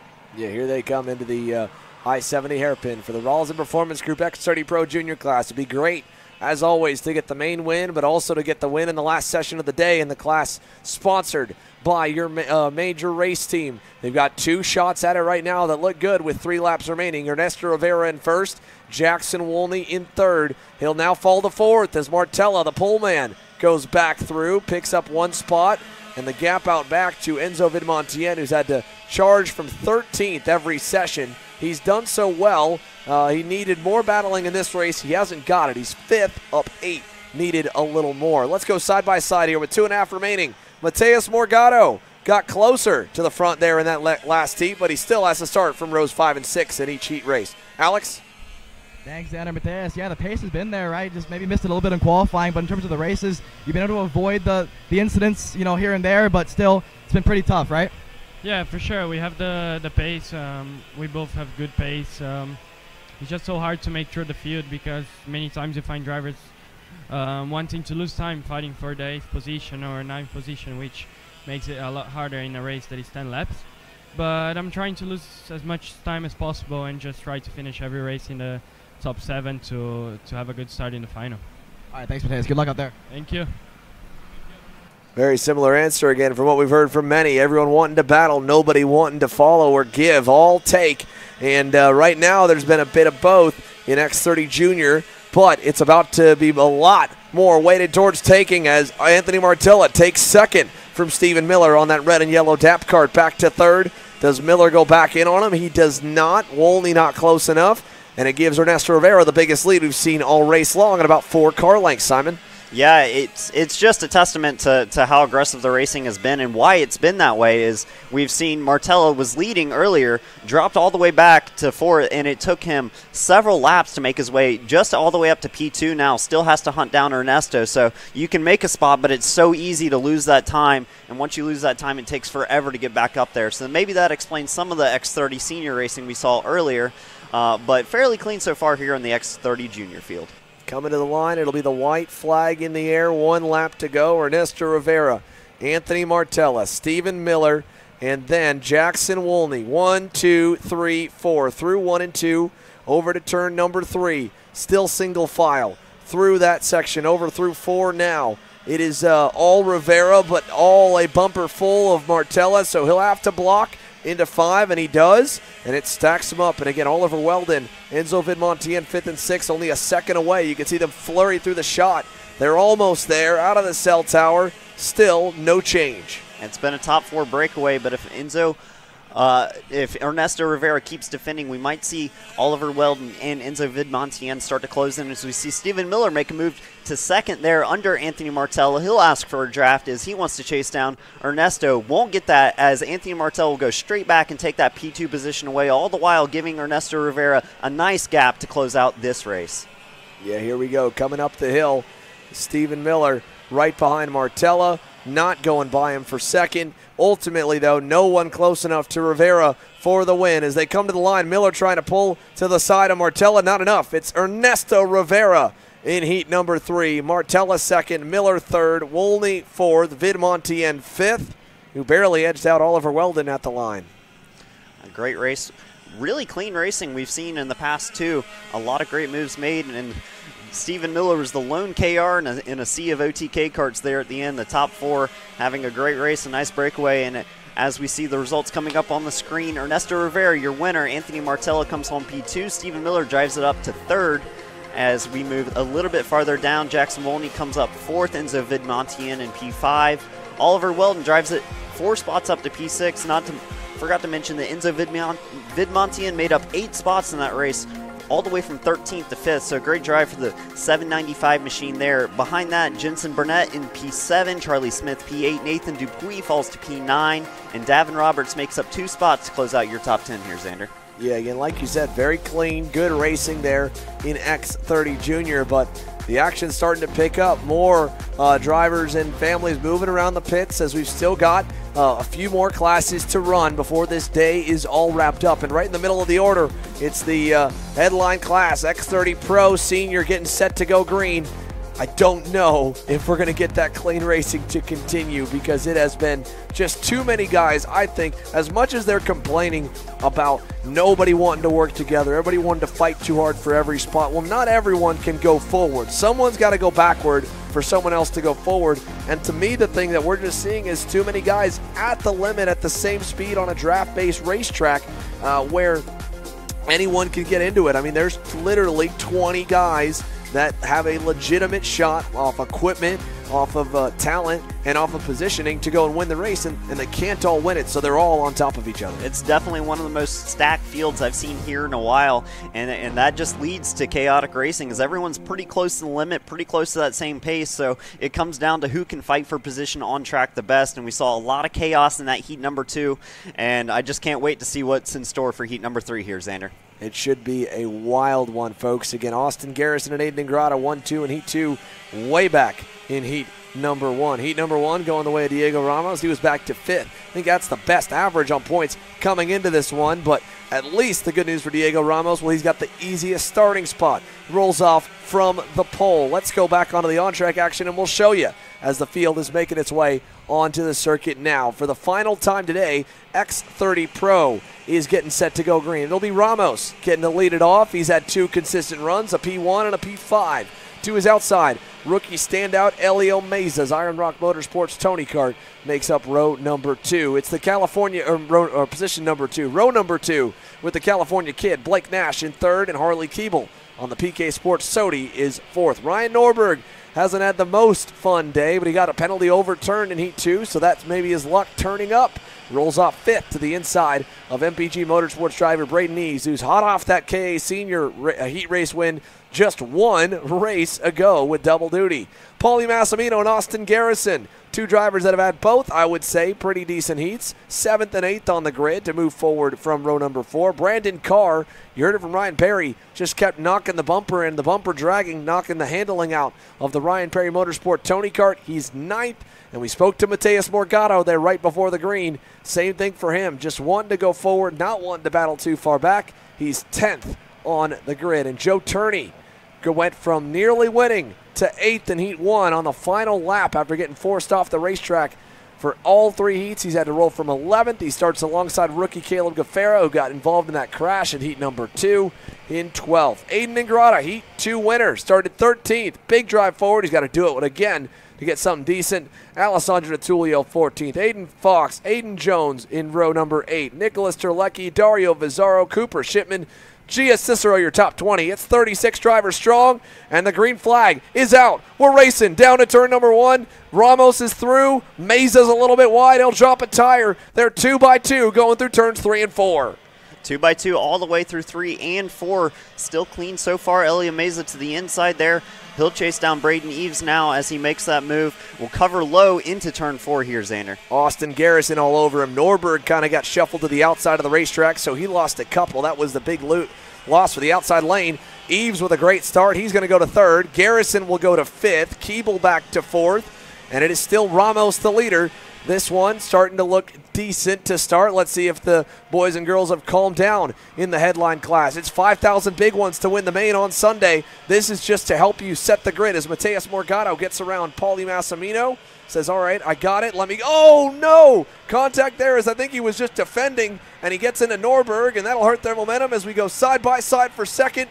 Eves on Nash. Nash, I think, going to let him go, and Keeble going to go through as well for third. Some great racing to start us off here. That certainly didn't look intentional by Morgado, simply trying to defend. Ends up getting just a bit into the side of Norberg as they'll lead that second group down. Now Morgado making the move to the inside of Norberg. Meza will get by as well. Norberg will lose two, three spots as Joe Turney follows through. Yeah, nothing Norberg could do. Just got freight train. And also, how about this? Braden Eves going to the lead. Ramos back to second. Keeble is third. How about that? The 341. Right off a heat race win in KA. Now leading the way in X30 Pro. That double duty certainly doing work here for Braden Eves as he is racing at his strongest track here in the U.S.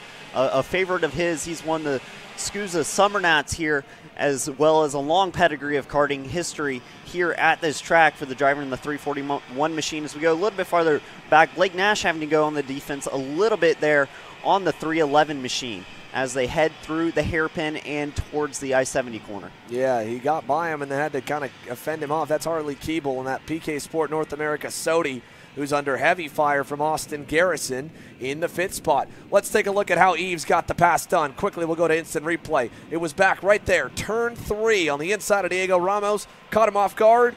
And uh, just slipped right through Braden Eves. That move in turn three a lap ago. He leads them now to turn number five under pressure uh, as they go through turn number four. It's Eves and Ramos.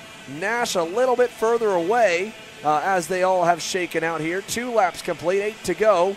And I don't know what happened to Blake Nash because he lost a ton of time in the first couple corners. Yeah, not sure what happened there. The top four seeming to have a bit of a breakaway, but now Diego Ramos and Braden Eves having one of the biggest gaps we've seen out front of this field so far today as they look to try and work together and get away from the rest of this field, stay away from the chaos as we'll see a move to the inside there uh, through the kink and headed towards the hairpin here as we see a shot of Norberg going on the defense. Morgado just there behind him as we come through the hairpin and head down our second longest straight, headed towards I 70 corner. Out front, still Braden Eves over Ramos as they'll come through one and two with about a five kart length gap to P3. Yeah, nice and big gap. Diego Ramos saying, All right, I've already got a first and a fifth. I can push this guy. I'll still get the pole if I get second. Nash there in the third spot. Here's a look back at Norberg and Morgado. As uh, again, Morgado with a little mistake earlier kind of ran into the right rear tire. And then back up front for Eves, Ramos, Nash. Austin Garrison made that move on Harley Keeble. Here's a look at Joe Turney. Driver on the move was fastest last time. He'll go to seventh. Gets around Paulie Massimino just behind this pack of four. So it's Turney seventh, uh, Massimino in eighth. Norberg is ninth. Morgado is tenth. And after a lot of chaos, a lot of frustrating racing, I think, for the whole field. By the leaders getting spread apart, it's now allowed everyone to maybe not battle as much. Well, here's a little battle. Keeble on Nash. Meza trying to go as well. He can't. Nash will defend it in the infield. And now this is where the pack gets this big, it explodes at some point. Your leaders are coming up the hill to 11. And I think everyone's might be a little bit calmer here as they realize the end goal is to get towards uh, Eves and Ramos at the front. We'll see Joe Turney make a move to the inside of Elio Meza through I 70. Keep an eye on Joe Turney. He was the fastest on track by several tenths last time by as he looks to make his way through this field. Elio Meza there in tow, giving him a little bit of help trying to work through this field as they head towards turns two and three and work through with six laps to go. Yeah, plenty of time left still for Joe Turney to go forward. For Norberg and Morgado, there's time, but Massimino, knowing he's going backwards, is starting to defend a bit. And look at this. Look at this gaggle as Meza nearly gets turned in front of the pack. And Joe Turney gets through both Nash and Meza. Massimino is there, and Meza now is getting swallowed up. But great move, great heads up driving from Joe Turney. What a move. Let's see as they head towards that uh, green corner for the field. So here we go, coming towards the back section of the racetrack. Ryan Norberg on Massimino. Can he go here? He was close enough. Meza, Carr, Ingrata's in this mess. Here's Aiden Jones on the outside. He's trying to get up there, and he's just, again, trapped in this midfield battle right now as they go up the hill to the I 70 corner. But back up front, Braden Eves, Diego Ramos, Austin Garrison looks to be maybe a little bit faster than the top two. What's his lap going to look like? Uh, 65.7. How about four tenths faster than the top two, Simon? Austin Garrison in that 392 machine on one here. The fastest driver on track by four tenths of a second last time by. He's going to try and run down these top two, make it a three kart battle for the lead as we look here. As Ryan Norberg still trying to work his way through traffic. Uh, with all these drivers being so competitive, probably the most stacked field I've seen this year, it seems like it's whoever can get their nose clean with everyone being able to run pretty much the same pace once they get into clean air. Well, let's go back. I believe we may almost have it queued up from the incident. Let's go back and check an instant replay of what went down there in the infield. So this was Eves and uh, Ramos. This is, I think we may be a little bit off from it. It's uh, yeah, not right there. Not we'll uh, we'll go back to the live action here. Let's take a look at it. Uh, coming down the backstretch, we've got a change coming for the lead. There's too much. There's a ton going on, and now it's heating up. With four laps to go, Diego Ramos retakes the top spot. He worked with Braden for a while. Said, "All right, now Garrison's here. Keeble's on the way. I got to go. And he knows that Austin Garrison, after that second place result in Heat 2 and a decent result in Heat 1, has an outside shot at the front row and maybe the pole if he wins this. So he's got to get ahead and uh, still try and take uh, two Heat wins on the day. Ramos with some heads up driving, recognizing the imminent threat of that speed concept machine of Austin Garrison closing in on the back of them. Wants to take a chance at leading this one, see if they can't break away even more. Eves still there in second, and Austin Garrison all the way up to that rear bumper now. He's made that gap up as they head through the cell tower corner. So four drivers up in this front pack. Joe Turney's gotten to the lead of the second group. They're about two and a half seconds away. I don't think these guys are going to let them get close, but this will help a little. Garrison, second over Eves. Austin Garrison moving forward now as they go to the infield hairpin. And they'll come to the line this time. Three laps to go for the top four. Three seconds back is the rest of the pack here with a second group that's formed.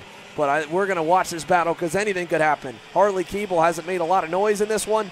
He's uh, had to survive the start, but he looks really good in these final few laps right now. Keeble silently making progress there. So we'll see him move to the inside. Austin Garrison will take the lead of this one. Braden Eves will follow him through, and Ramos will fall to third. Garrison, the fastest driver on track, uh, all but last time by. Harley Keeble throwing in a purple lap on that one. The top four now checking out from the rest of the field. It is a massive gap behind him, so this is going to be your fight for the end with three to go here in this final heat race of X30 Senior. I don't know if you caught that, but Diego Ramos just full on waved Harley Keeble by there on the short chute. Saw Keeble had a nose out and just completely let him go.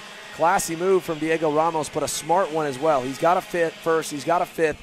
As long as he rides in fourth, that's still going to be a top three, top four starting spot, and it could still be the pole in the main as well. So he's in a great position. He'll just ride and watch these ones and let the these three guys ahead of him who've had one good heat and one not so good heat battle it out for the top spot. Yeah, again, more heads up driving from Diego Ramos, realizing he has two strong results already and will just cruise to the end of this one, get himself a good starting position for the final tomorrow. One of the strongest drives we've seen from Diego Ramos this season as Braden Eves goes back to the lead over Austin Garrison as they head through turn one. Two to go this time by. Braden Eves, Austin Garrison back and forth. Austin Garrison back on him in three. Two laps remaining.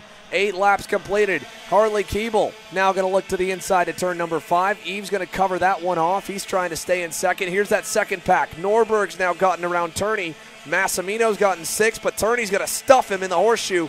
They'll go side by side. Look at that battle coming through. Oh, wait, went a little too far back. Here's our leaders coming back up the hill through to the left hand, kink towards the green corner. Austin Garrison by three car lengths over Eves. Keeble still third, and I think if I'm Harley Keeble after the way Ramos treated me, I'm almost opening up for every corner. I don't feel like I'm going to block it all because I don't think Diego's even going to send it in. And we come to the white flag this time. Austin Garrison, Braden Eves, Harley Keeble, Diego Ramos. One, two, three, four. White flag in the air. They come through I 70 coming towards the white flag onto the longest straight here at New Castle Motorsports Park. Still Austin Garrison, your leader, as Braden Eves will look to the inside. Won't make that move. Was looking to get some help from Harley Keeble. Not quite close enough this time. We'll save it for later in the lab, but still a top four breakaway. We'll see who comes away with this heat race win. I, am guessing it's going to be one of the three karts in the lead. Diego Ramos just not needing it. He's already run two strong heat races, recognizing that he just needs to get to the end and he'll be set for tomorrow. These other three, though, going to look for a heat race win. Braden Eves sitting there in second, not quite close enough to make a move into cell tower corner. It's still Austin Garrison, your leader, over Eves, Keeble, and Ramos, your top four breakaway. Half a lap remaining. Ryan Norberg, you can see, starting to come into frame on that purple, pink, and white Kosmic for RPG. He's not going to get there in time. He'll be there just enough to witness the finish. Ramos now not going to do anything, still fourth. He's still riding there. Eves, I think, probably wanting to wait till the last straightaway. Garrison, I think, knows it. He's going to leave the door open. Eves is actually no, going to go in I 70. Keeble will send it in as well. Kind of gets into Garrison. It bottles them up. Now, can Harley Keeble get the run? He's got a big run on Eves. Coming to the line. It'll be side by side at the stripe. Give it to Braden Eves by one one thousandth of a second. Braden Eves over Harley Keeble in the smallest of margins, the smallest on the day. one one thousandth that MPG Motorsports Kart Republic holds on at the checkers. Keeble uh, ends up P2, Garrison third, Ramos fourth, Norberg in fifth. That was incredible. You cannot ask for a closer finish than what we just witnessed. One one thousandth of a second. Our timing doesn't even get any closer than that. So an excellent finish there. Braden Eves capitalizing on the opportunity in I-70 corner to go under Garrison. Harley Keeble follows him through, and they'll drag race to the finish for an excellent end to the X30 Pro Heat Racing this weekend. So we'll run you back down through the order. Braden Eves coming away with the win. Harley Keeble P2 as we saw that photo finish. Austin Garrison P3. Diego Ramos sitting there in P4. Nice finish for the 303 Birel ART Machine. Ryan Norberg recovers to P5. Paulie Massimino P6. Mateus Morgado P7. Joe Turney comes up to P8.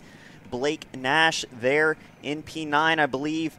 Aiden Ingrata rounds out your top 10. Outside that, Aiden Jones, P11, comes up five spots. Elio Meza losing several spots will fall back down to P11, P12 there as we'll run you through the rest of the field. A nice shot of the scale line.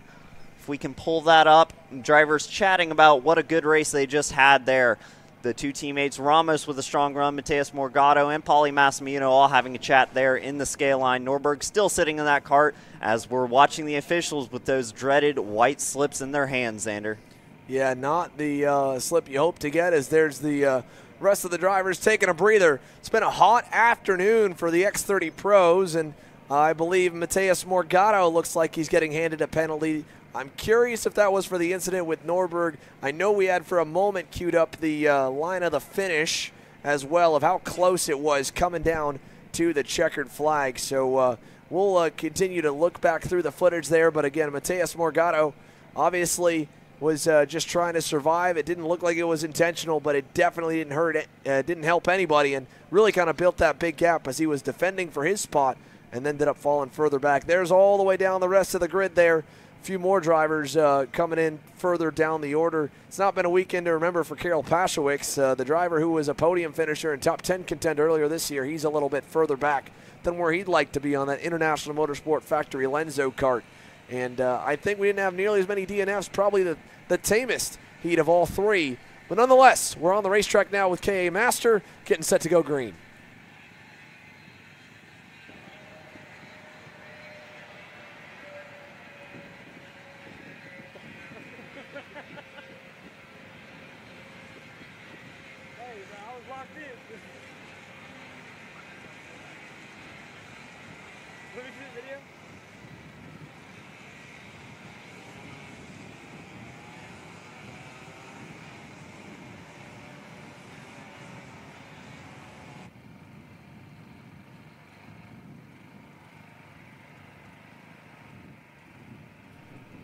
And welcome back here to New Castle Motorsports Park for USPKS.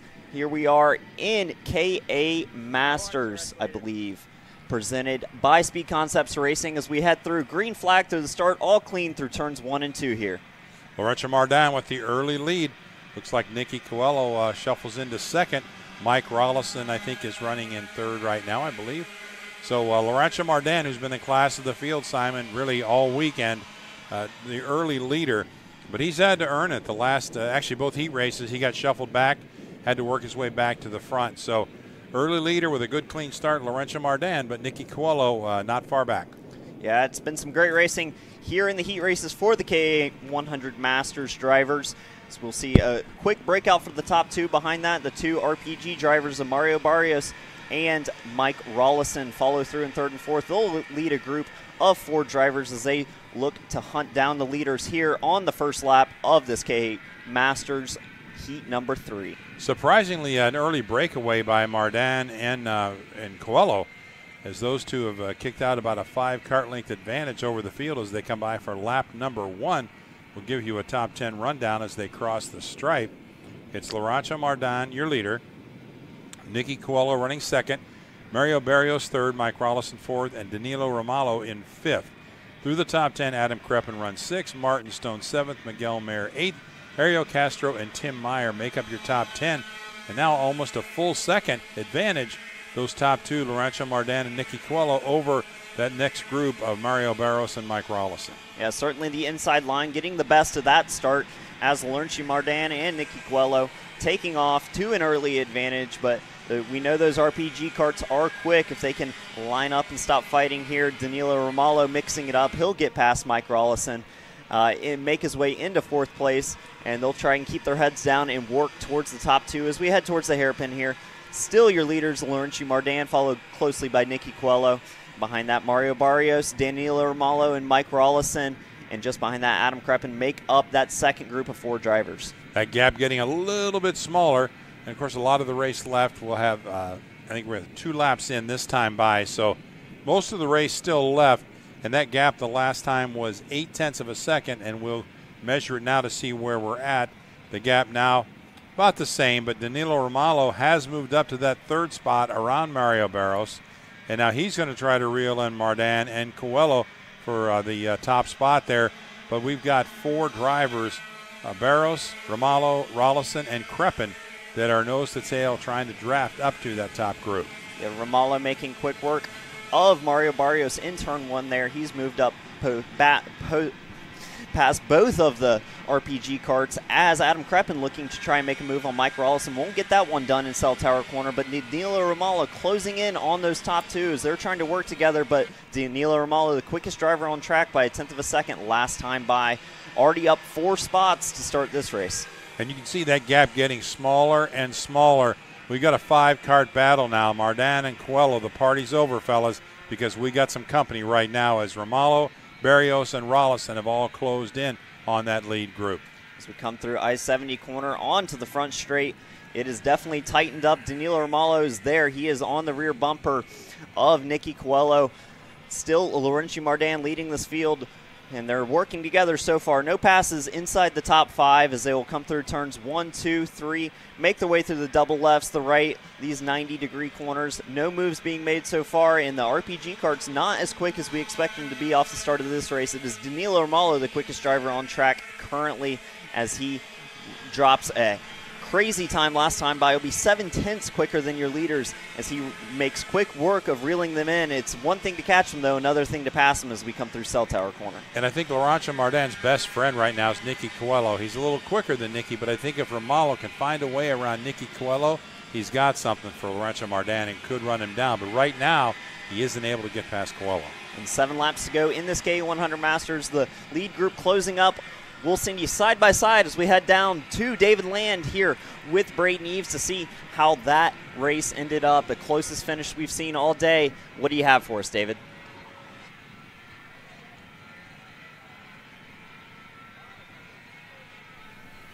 didn't even know you won that race in X30. Tell us about that because uh, that's a career milestone for you. Yeah, I mean it was that was the closest finish I've ever been a part of. Uh, especially because it was like he, I thought he was ahead of me, and then all of a sudden I was like creeping forward on him.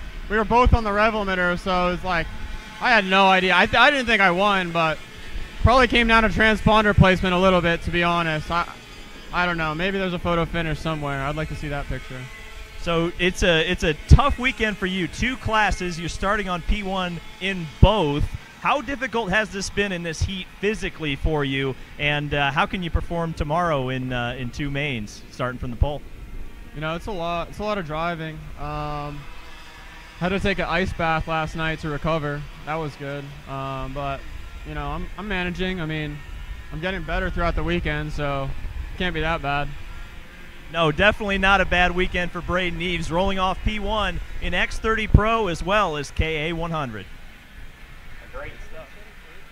A great drive there for Braden Eves, winning both KA Senior and X30 Pro Heat number three, and, a, and an insanely close finish. Like you said, it could have been any number of things that, that gave him that thousandth of a second advantage over Harley Keeble as they come to the end. And as we head back to the KA 100 Masters action, we'll see Danilo Romalo making his move to the inside. He'll take over the P2 spot as they head through the corners. And off track goes Nicky Coelho. Not too happy about that one as Mike Rolison forces his way by. And Mario Barrios going to follow Nicky Coelho, hands in the air. Definitely not happy with how he's being raced currently.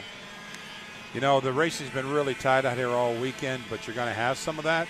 I don't exactly know uh, what went wrong there, if anything, but uh, certainly when the heat gets up and you're in the third heat now, you got to get the best finish position you can for the main tomorrow. You know, you get a little anxious, but uh, all in all, I think the race has been pretty good today. Uh, Adam Kreppen, who's in that back group, uh, just turned a 109.857. That's purple. That's the best lap of the race. And he's run good all day, but they're so close out there, Simon. Even though they're they're close enough, you would think they could make a move. Uh, it's really difficult because they're so well matched.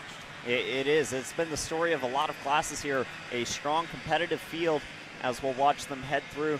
Five laps to go, make it four this time by the line. We're going to send it back down side by side. Alexander Searles waiting by with Brandon Carr. Let's see how his race went. Down to you, Alex. Thanks, Simon. Here with Brandon Carr. Brandon, it's safe to say it's not been the day you would have wanted, right? Entering this weekend as the points leader at X30 Pro, had a few rough finishes outside the top 10. I mean, what are you missing right now? What do you need for tomorrow? Yeah, we just haven't got the kart dialed in yet, but I think we're starting to get somewhere. Um, we just got to go on and keep pushing because you can't give up. It's senior X30, you never know what's going to happen. So I think we just got to keep chilled and go again tomorrow, and hopefully we find something overnight and see if we can be there for the final tomorrow. I thought it was really interesting, you know, walking toward, walking with you towards this interview. Uh, most of the drivers have been kind of complaining about how rough it's been X30 Pro, but you you seem to love this stuff, don't you? Yeah, it's proper racing, really. You're not just pushing each other to the win, but you actually have to race for it, and it shows who the good racers are. So, um, yeah, in my opinion, it's a bit better than just pushing each other, but some people may like it, some people may not, but we'll have to see. All right, well, there you have it, Brandon Carr. Not the day he would have wanted so far, but tomorrow's another day, right, Brandon? Yep, just got to keep pushing. All right, thanks, Brandon. Thank you. Awesome hear from Brandon Carr, one of the many drivers in a strong field. Danilo Romalo looking for the inside move into turn one there. Won't quite compete, complete it, but he and Laurentiu Mardan stretching out an advantage over P3 and Mario Barrios. So a top two breakaway with three to go here in this KA 100 Masters. And Mike Rolison gets shuffled back to six as Adam Kreppen and Nikki Coelho get around him. Mario Barrios in third. Laurentiu Mardan still leading the way, but Danilo Romalo right there, ready to pounce. But whether he's got enough to do it, well, we'll find out as we wind this one down. It'll be two to go next time by. Laurentiu Mardan is your leader. Danilo Romalo, five position movement from seventh to second. Another mover, Tim Meyer, moved up five spots from 12th to seventh. And uh, Scott Carapoletti started in 17th, and he's about to crack the top 10. He's currently in 11th position. Fast lap of the race so far has been Adam Kreppen with a 109.857. Two laps to go next time by for Laurentiu Mardan. I'm not sure what happened to Mike Rolison there, but he's fallen off the lead group. It is Danilo Romalo taking the fight to Laurentiu Mardan. Mardan leading most of this race so far, but Danilo Romalo's been the driver on the move. He's already made up five spots. He's looking for one more to see if he can get this Heat 3 num- win in KA Masters. Two to go this time by the flag. We'll head through turns one, two, and three. Danilo Romalo still up on that gearbox of Laurentiu Mardan. And Mario Barrios bringing Nicky Coelho and Adam Kreppen along with him as they try and reel down this lead group. Yeah, it's still a good battle out there for third, fourth, and fifth, but that group is running out of time to catch those two leaders. And Mardan and Romalo have been racing pretty smart. They've stayed in line. Romalo hasn't tried anything crazy to get around Mardan. I have a feeling he's going to be waiting, and the white flag next time by will probably see an attempt by uh, Romalo, whether he's got enough to do it. And here it is. It makes it through the right hander. Romalo makes the pass. He takes that top spot over Mardan, and now Mardan is in the catbird seat with this final lap coming up. And that allows third, fourth, and fifth to catch up to the group. We've actually got six drivers now in that lead pack. Rolison side by side up to I 70, or I'm sorry, Mardan, and Mardan makes the pass back, heading to the white flag, Simon. Again, Mardan gave up the lead for about two turns, but didn't like it. Didn't like the scenery. He's back in front. No, he took that move straight back. Danilo Romalo with a slick pass in a corner you definitely don't normally see defended. Will capitalize on that, but will imme- immediately lose the spot back to Laurentiu Mardan as they head through the first couple corners on the white flag lap. Mario Barrios closing in the gap. It is a 5 6 driver fight for the win here in heat number three of KA Masters as they'll head through the double rights towards Cell Tower Corner. It's anyone's game here on the last lap. I think it may get a little crazy before this one's over as they make that left turn and head back towards the uh, pit area and that right hander. They'll climb the hill and then they'll go a left and then a right, and that right hander will take them uh, right down over the hill and into Showcase Corner, and only I 70 will be left. Once they round this right hander, inside goes Romalo, and he makes the pass on uh, Laurentiu Mardan. takes over the top spot. Here comes Mario Barrios. He's close up, and they're two wide coming up here now for uh, that fourth and fifth spot. Coelho gets shuffled to the outside. Rolison up to fourth, and down for the win. It's side by side. Romalo and Mardan. Who's it going to be? And it looks like, boy, this is another close one, Simon. It is Laurentiu Mardan by three hundredths of a second. We'll take that win over Danilo Romalo. It didn't look like he didn't even come out of the last corner in the top spot. We'll get that run to the finish line and we'll take it out. Like you said, we are going to see the action break out, and it did as they went three wide into I 70, the last turn on the last lap of this heat uh, for a great finish here in the KA 100 Masters. Let's run you through the lineup real quick. It was Laurentiu Mardan coming home with the win. Danilo Romalo made up five spots to come home P2. Adam Kreppen worked his way up to finish P3. The two RPG cards, Mike Rolison and Mario Barrios, come home fourth and fifth. Nicky Coelho falls a few spots, uh, all the way up as far as second this race will fall to P6. Tim Meyer, Meyer up five spots to P7. Ariel Castro comes home P8. Miguel Meyer P9. Scott Kopp will round out your top 10 here. we had a good run there and uh, a lot of really close, tight racing, but uh, hopefully tempers will stay in check at the scales and we'll uh, move on to our next race. But it's, uh, yeah, it's it's uh, it was a close one. Let's put it that way. A lot of uh, a lot of hard racing out there, but hopefully everything will settle down, and we still got uh, racing tomorrow. So uh, the main event lining up tomorrow, but for uh, but uh, Laurentiu Mardan again, the class of masters comes up on top. We'll see uh, Rolison and Barrios there having a discussion with a couple other drivers about that last corner move, the three wide into the I-70 turn, coming home to finish that heat. It seems like uh, tempers may be high, but the feelings are good. As as everyone survives that one, they'll close it out in a in a top five. It, it doesn't matter who finished where. With three heats, it's going to average out pretty decently for all those drivers. Being inside the top five is where you want to be to line yourself up for the final tomorrow. As we'll give you the last shots of the scale line, and we'll uh, get ready to go racing. We're going to cut to a short break, and when we come back, we'll have more of Heat Three. Stay tuned.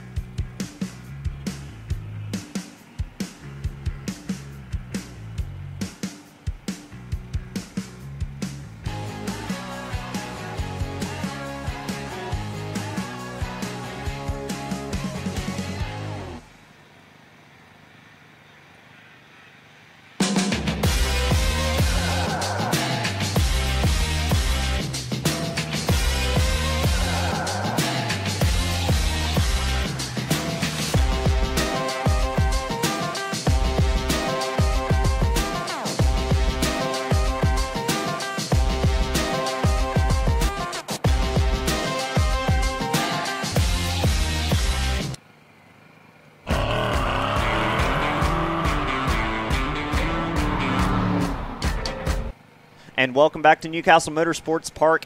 KA Junior getting ready to take the green flag. It is green for groups A versus D as they head through turn number one. It's all clean for the first couple of rows as they head side by side through turns one and two. Uh, it looks like Stephen Miller will take over the P2 spot, and Fernando Luque holding on to that pole position. He'll start off in first, will lead the field through the first couple of turns here in the KA Junior field. One of the cleanest starts I've seen today. The uh, the pole sitter Fernando Luque uh, took off, and uh, actually Miller found a spot right behind him going into turn one. Isaac Malkwood up there in third. Those three checked out a little bit. We got uh, uh Peyton Westcott up there. Oh, we got 8 11.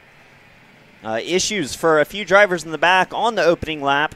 That'll be the 811 machine. Uh, we are currently David Martinez. David Martinez will will suffer issues there on the opening lap as we'll tap back to the leaders as they head through the hairpin. Still, Fernando Luque, Stephen Miller, and Isaac Malkuit will lead your field uh, through the first lap. It, typically, we've seen the inside line get uh, a, quite a jump through turn one, but Stephen Miller able to slot himself from P2 into P2 after turn one. Not not a move we've seen many drivers be able to pull off so far today, but excellent work from the young driver to, to hold his position and maintain that P2 spot as he chases down the Tony Kart in front of him, Fernando Luque, and that 825 machine will lead them through. We got nine laps left of racing here in KA Junior, and I'm sure the action's just starting to heat up. Oliver Weldon was quite the story in heat number two.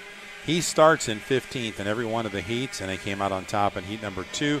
He's already moved four spots. He's up to 11th. We'll keep an eye on him, but already moving one lap in the books. He's passed four drivers. Yeah, I see it. He's had a strong run in the heat races so far today. We'll see what he can do in this last race of the day for the young driver here in that Hot Wheels machine. As they come over the hill, headed towards the kink, he'll head towards the hairpin. It is still Fernando Luque uh, leading the way. Stephen Miller will actually make the move. Luque will fall back to third, and Isaac Malcolm will follow Stephen Miller through, and they will take over the top two spots. Luque losing more positions down to the P5 spot. There's a lot of action cracking off here in the KA Junior field, but we're going to cut to side by side action to hear down with Alexander Searle. I believe he's with Harley Keeble, and we'll see what happened with the action in the X30 Pro field. Down to you, Alex. Thanks, Simon. Here with Harley Keeble. Harley, I mean, good race for you. I mean, finally put it together there in the X30 Pro class. You know, stayed out of the chaos a little bit. Oh, so close to a win. One thousandth of a second. I mean, describe that race to me.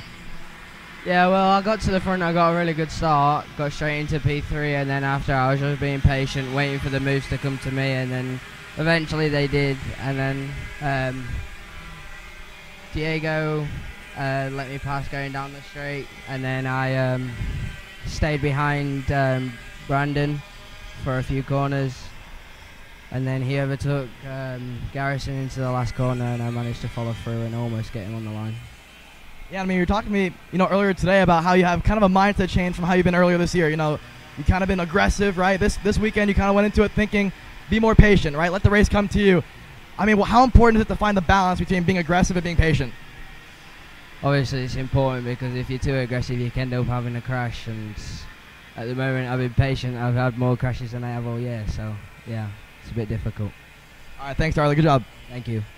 Great to hear from the driver that was on the other side of that photo finish, coming home P2 by the absolute slimmest of margins. As we'll see, the, a lot of action breaking out in KA Junior so far. Stephen Miller will lose that spot. It is Pey- Peyton Westcott in the Nash Motorsports machine making up several spots. He'll drive it all the way from fourth or fifth, makes a lot of moves, and will take over the lead here early in this KA 100 Junior race.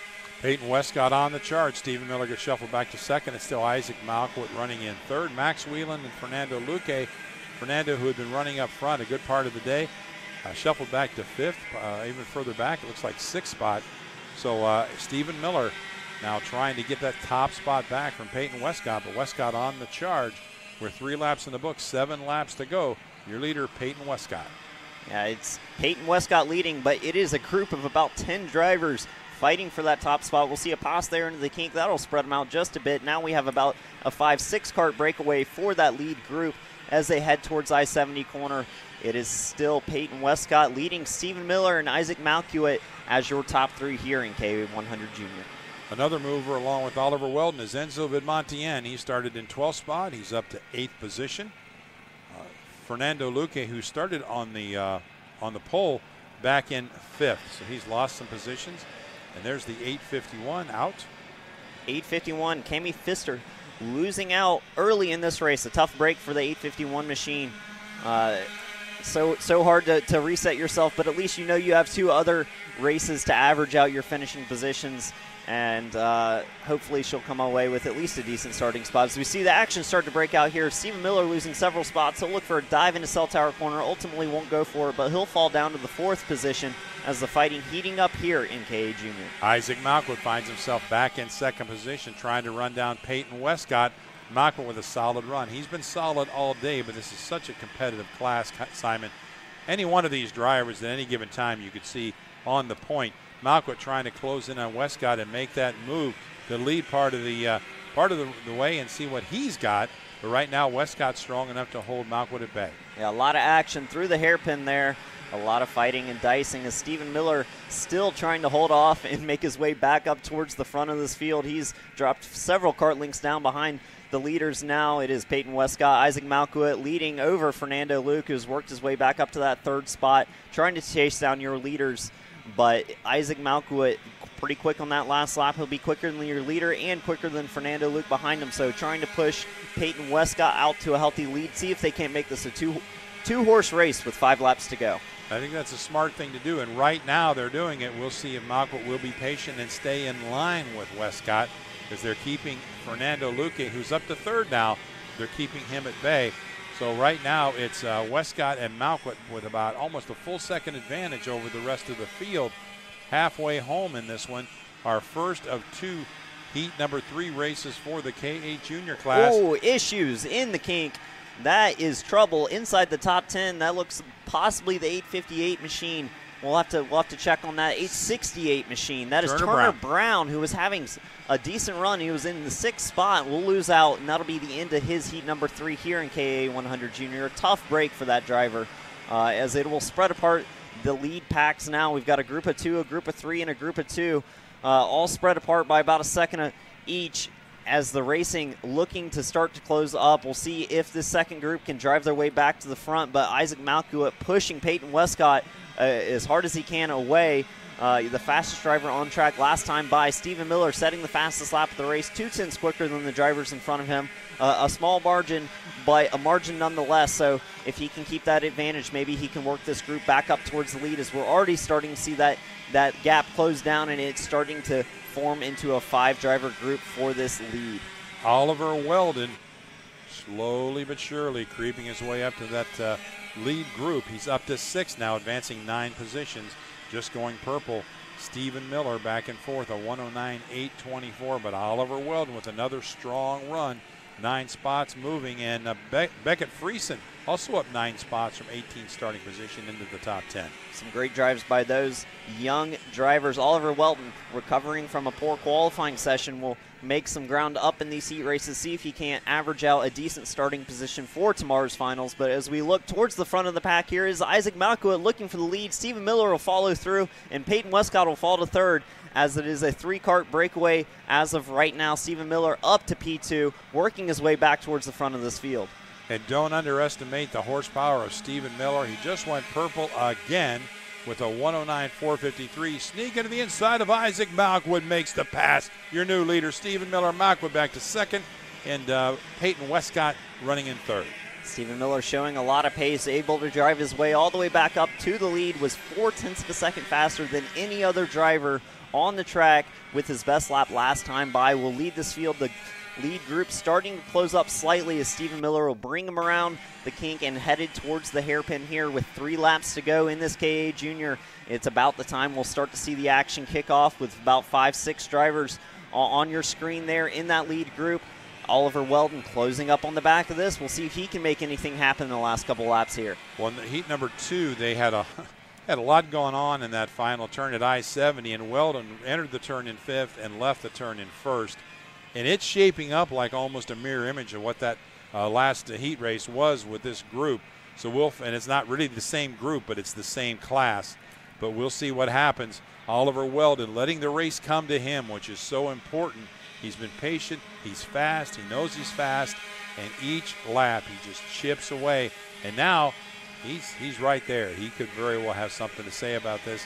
Oliver Weldon up into sixth, but less than a second off of that lead group, side by side for the lead. It's still Mackwit by about a half a kart length. And the action certainly heating up here as we see the drivers start to fight inside this lead group. It'll give uh, Stephen Miller a, a healthy lead heading into this lap. He'll we'll come back to the white flag next time by. So if he can hold on, it might be an easy victory here for Stephen Miller with all the fighting behind him. But Oliver Weldon set your purple time last time by, the fastest driver on track by several tenths of a second. So trying to capitalize on what he can. We'll see if he can repeat heat number two, have a strong end to this race as they're fighting heavily in front of him. He'll go to the inside, looking to make up another spot as they come onto the front straight, and they'll take the white flag this time by Stephen Miller, your leader, and a big group behind him, defending, fighting. Isaac Malkuit to the bottom of the track for defense. And oh, a big crash there as we'll see the drivers just outside the top five take a ride. That is the 820 machine, your pole sitter, Fernando Luque, out of this race on the last lap. Yeah, it's up break for Fernando Luque, and right now the battle's for second. Stephen Miller almost a full second over the rest of the field.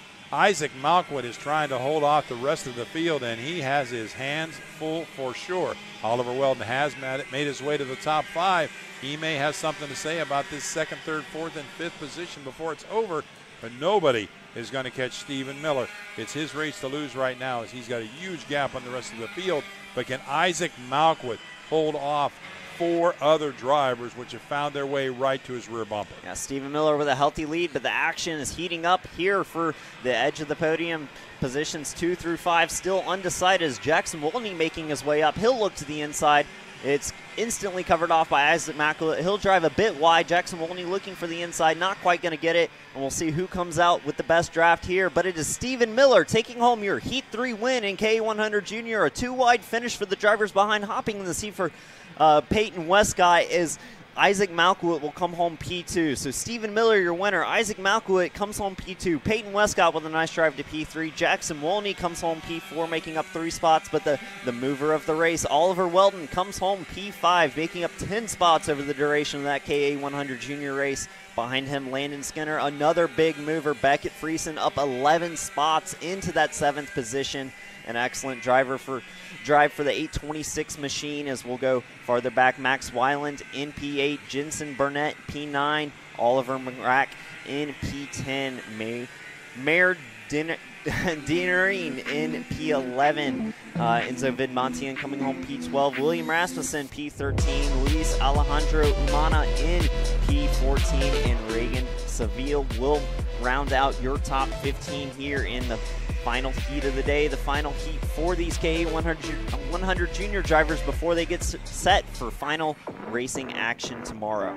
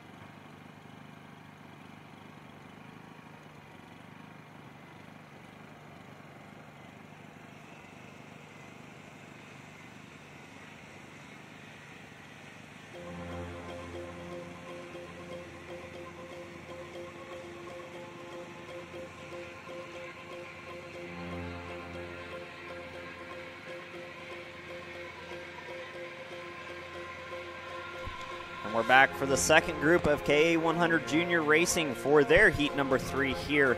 It is the B versus C groups.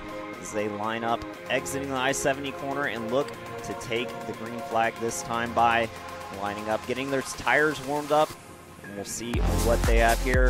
Two MPG Motorsports machines will lead your grid off as they get set, head towards the tram lines, and are looking for the green flag. Good formation. Watching our flagman. And the green flag waves, then that inside row really gets a strong run. And Braden and Peyton Phillips to the inside take over those top two spots. Issues farther back, the 849 machine going to have troubles into turn one as we'll look back towards the front of the field. Austin Olds with a great launch. That MPG Motorsports machine will go low into the defense for turn number five, but unfortunately won't be able to hold that. The 855 machine is going to capitalize, take over that top spot as the MPG Motorsports machines will fall to second and fourth. And we'll see possibly Ernesto Rivera crawling his way up into P3 as they cycle through through the kink and uh, work through lap one here of the second group of K100 Junior. As they head towards the hairpin, that Orsolin Motorsports machine, the 855. Sebastian Garzone. Sebastian Garzone taking the early lead here. He'll have a couple kart length advantage over Austin Olds as they cycle through, headed towards I-70 turn, and still holding that advantage. Several kart lengths over Austin Olds and a hefty group behind that. The next four drivers, the top five, all fairly nose to tail. A small group behind that, battling side by side as they head down towards turn one to complete their first lap of heat number three. No real separation right now by anybody. There's a pack of five that's checked out a little bit. Sebastian Garzone does lead the way. Austin Olds runs second.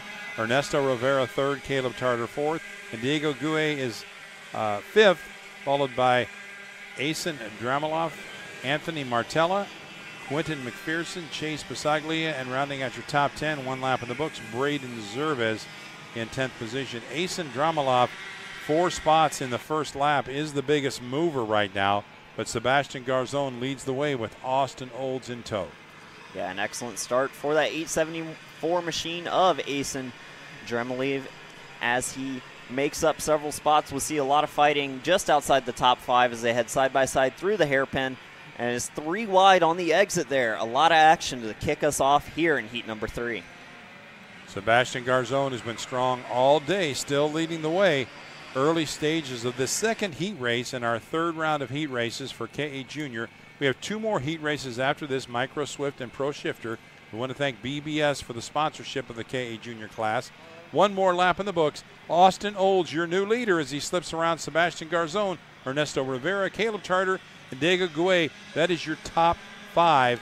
Three laps in the books, two laps in the books, rather, eight laps to go. Yeah, the top five nose to tail as Ernesto Rivera followed Austin Olds through. Now he'll capitalize, taking the lead of this race early. Ernesto Rivera, your new leader over Austin Olds, Sebastian Garzone, uh, Caleb Tarter, and Diego Gal.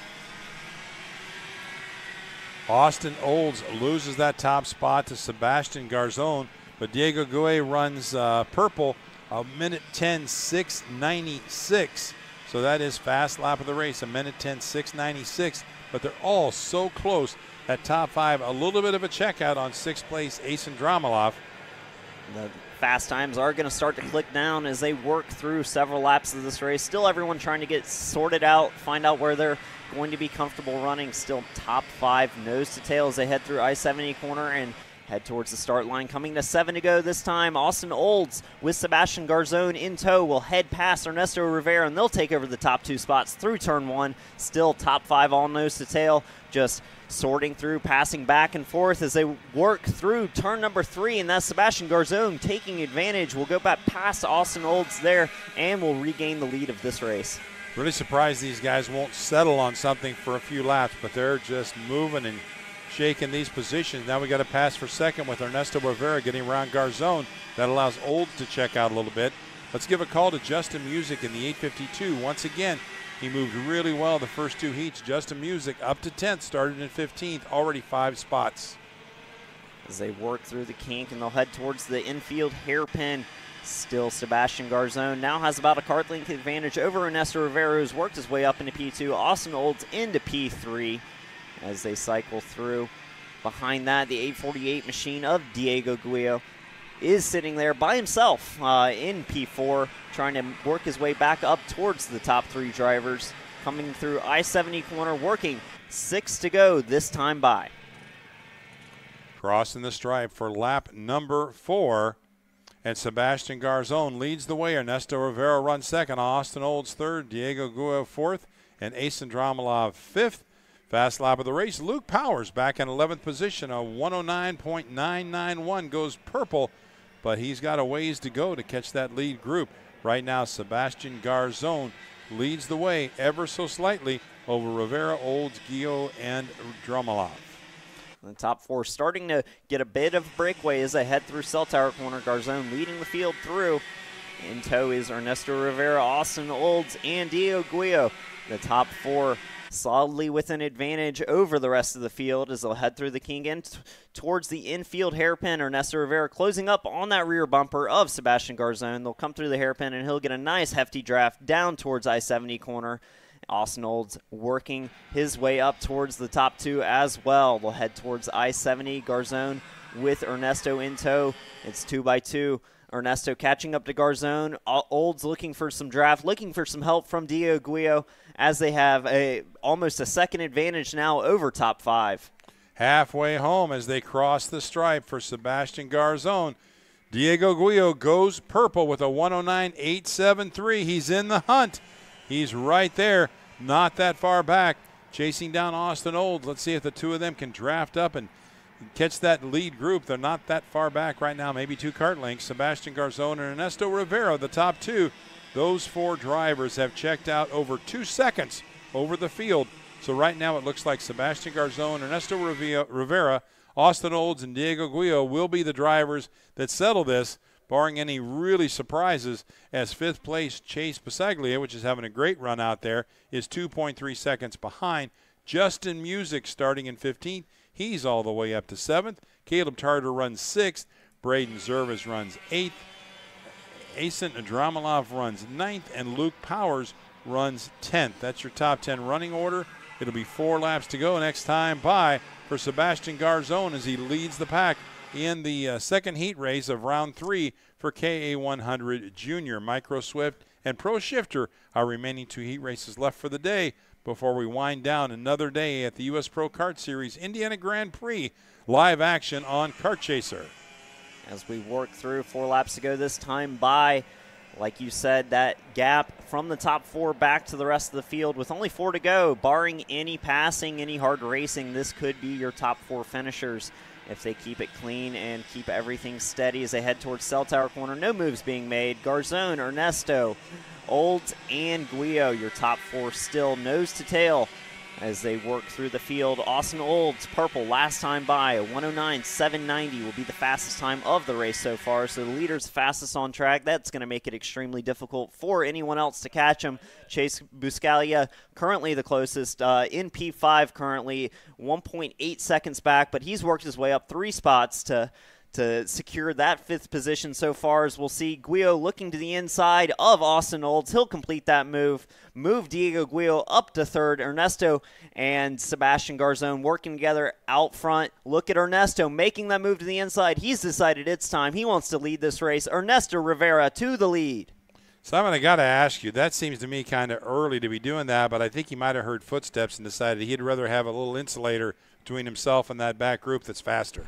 Yeah, when you see that you have a, a massive advantage out back, it, it doesn't hurt to make one or two passes. What what really gets you is the is the hard defending and the racing every corner. Is they might start doing that as Garzon will take back the lead over Rivera, and it tightens up this top four. Rivera not going to let that slide into cell tower corner. He'll take that position back, but immediately gets crossed over by Sebastian Garzon. So some impactful fighting here inside the top four. That might let the others run them down. Three to go though, and a healthy advantage, two seconds back to P5. So the fighting's heating up, but they still have an advantage. Rivera still leads this one. Garzone to the outside. He'll fall all the way back to P4. Diego Guio into P2. Austin Olds P3 racing hard into I-70 corner in the back of the frame. You're starting to see P5 close in. As the Garzon will go to the inside of Olds. He'll complete that move back up into P3. So the top four switching spots almost every corner now and with two to go this time by, the action certainly heating up here in KA 100 Junior. And believe it or not, I, I I'm shocked, but they've lost almost a second to that second group. If they keep racing like this for another lap, that second group might just catch them. But right now, Ernesto Rivera is saying, guys, race all you want. I, it's time for me to just go ahead and check out on you. I want to win this thing. And they aren't holding back moves every other corner. It seems like Garzone will work his way back up to P2. Diego Guio into P3 and Austin Olds rounding out your top four as the lead group. And in the back of the frame, uh, Caleb Tarter and Chase Buscaglia working their way towards this lead group with two to go. One and a half laps remaining. We'll see if they can make any headway into this lead group, see if they battle any more. Rivera still your leader as they head towards the infield hairpin. He'll go on heavy defense defense over Sebastian Garzone and Diego Guio coming out of the corner. We'll see if he defends down into I 70 corner. This type of fighting is what lets P5, P6 back into this race. Ernesto Rivera down to the inside. Garzone will follow him. Diego Guillo went up high to try and get the crossover, but the positions remain as they were as we head back to the white flag, this time by Ernesto Rivera. Download or defend? Unbelievable racing. White flag is out. Let's give a call to Cash Perkins. Cash started in 18th. He's up to 8th position, advanced 10 spots, and he may not be finished yet. Cash Perkins on the move. But right now we go back to our lead group. Ernesto Rivera about a half a kart length advantage right now. It's anybody's race. Diego Guio, Sebastian Garzon, and Austin Olds. Those drivers are close enough where they could pounce. And sure enough, we've got Caleb Tarter and Chase Buscaglia two and a half seconds like three laps ago, and all of a sudden they've caught up because they're in line and the drivers in front were racing. And now we got a six kart battle, but a little breathing room right now for Ernesto Rivera. It's happened. I feel like we almost foreshadowed it talking about it. Garzone will make a move back to the inside of Guio. He'll take over that P2 spot. We're on the final lap into the last hairpin, and Austin Olds making a move to the inside. Diego Guio getting run off just a bit on the edge by Caleb Tarter. So now those P5, P6 karts into the mix here. Rivera with a nice healthy advantage. Garzone P2, but to the inside, Austin Olds trying to defend. It is three wide for that P3 position as we head down two by two now. We'll see who gets the better draft. But look at Garzone looking for the lead here. We'll see if he got it. It is not. It is Ernesto Rivera by nine thousandths of a second. Some incredibly close finishes here. Ernesto Rivera will clean that one up. We'll take home the win over Sebastian Garzone, like we said, by nine thousandths of a second. But then it was back a second to Austin Olds in P3. Caleb Tarter in P4 managed to catch that top group, secured himself a spot up, and Diego, Diego Guio fell back to P5. Chase Buscaglia in P6, Luke Powers P7, Justin Music up seven spots to that P8 position. Quentin McPherson up to P9. Cash Perkins worked his way up eight spots to P10. That'll round out your top 10 here in the final heat of KA 100 Junior. Micro Swift will be up next as we wind down today's uh, timeline. We've got two heat races left Micro Swift and Pro Shifter. We're live on Kart Chaser. Stay tuned for the final heats of the day coming up next when we return.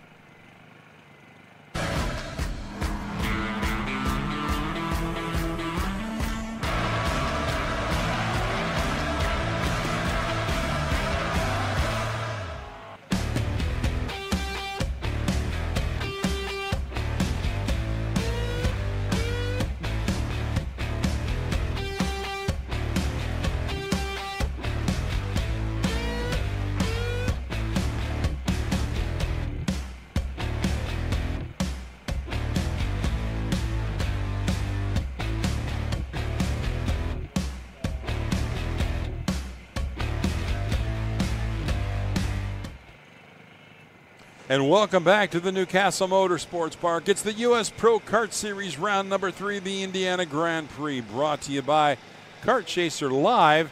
And we've got a great set of heat races left. AJ Stoner and Parker Ives, front row starters. We'll have one more warm up lap here. Aston Wyatt and Emerson Lane in row two. Enzo De Gennaro and Maxwell Macha in row three. Luke Gilio and Alex Chandler in row four. Jake Manalio and Colton Schnagenberg in row five. Row six is Nicholas LaRusso and Zane Burgess. Row seven, Liam Nakawati and Pasha Ali. Row eight, Cameron Johnson and Mikey Collins. Row nine is Massimo LaRusso and Oscar Gus Wondrell. In row 10, it's Juan Diego Garciars and Lawrence Perriman. In row 12, uh, row 11, it's Liam Van Beek and Grayson Walcott in row number 12. Santiago Diaz de la Vega and Sterling Mulata. In row 13, Kima Ahmad and Marcelo Flores. In row 14, Byron Bornman and Asher Ferris. And in row 15, Isaac Payne and Kason Hendrickson. That's your starting lineup. Top 30 starters, I should say. It's about all we can get to because we're coming down in formation for a green flag. Hopefully to see us start this time. It's A.J. Stoner and Parker Ives bringing them around for a green. Not this time. Through the rest of the field. Starting in 31st position will be Dutch Westbrook and Hudson Howard on the outside of that 16th row. Luca Beckerel and, and AVAX Captain Garano in uh, the row 17 and starting 35th in the field, William Vitor. That is your starting lineup for Micro Swift, sponsored by Team Ferris Racing. AJ Stoner, fast qualifier, and Parker Ives, fourth fast qualifier, or second fast qualifier rather, bringing him around for a start in this Micro Swift. They've had a couple runs at it, didn't go so well. So we'll see if they can get a better uh, start and a better formation this time by, and we can go green for one of two more heat races. We got Pro Shifter waiting on the grid for their final run.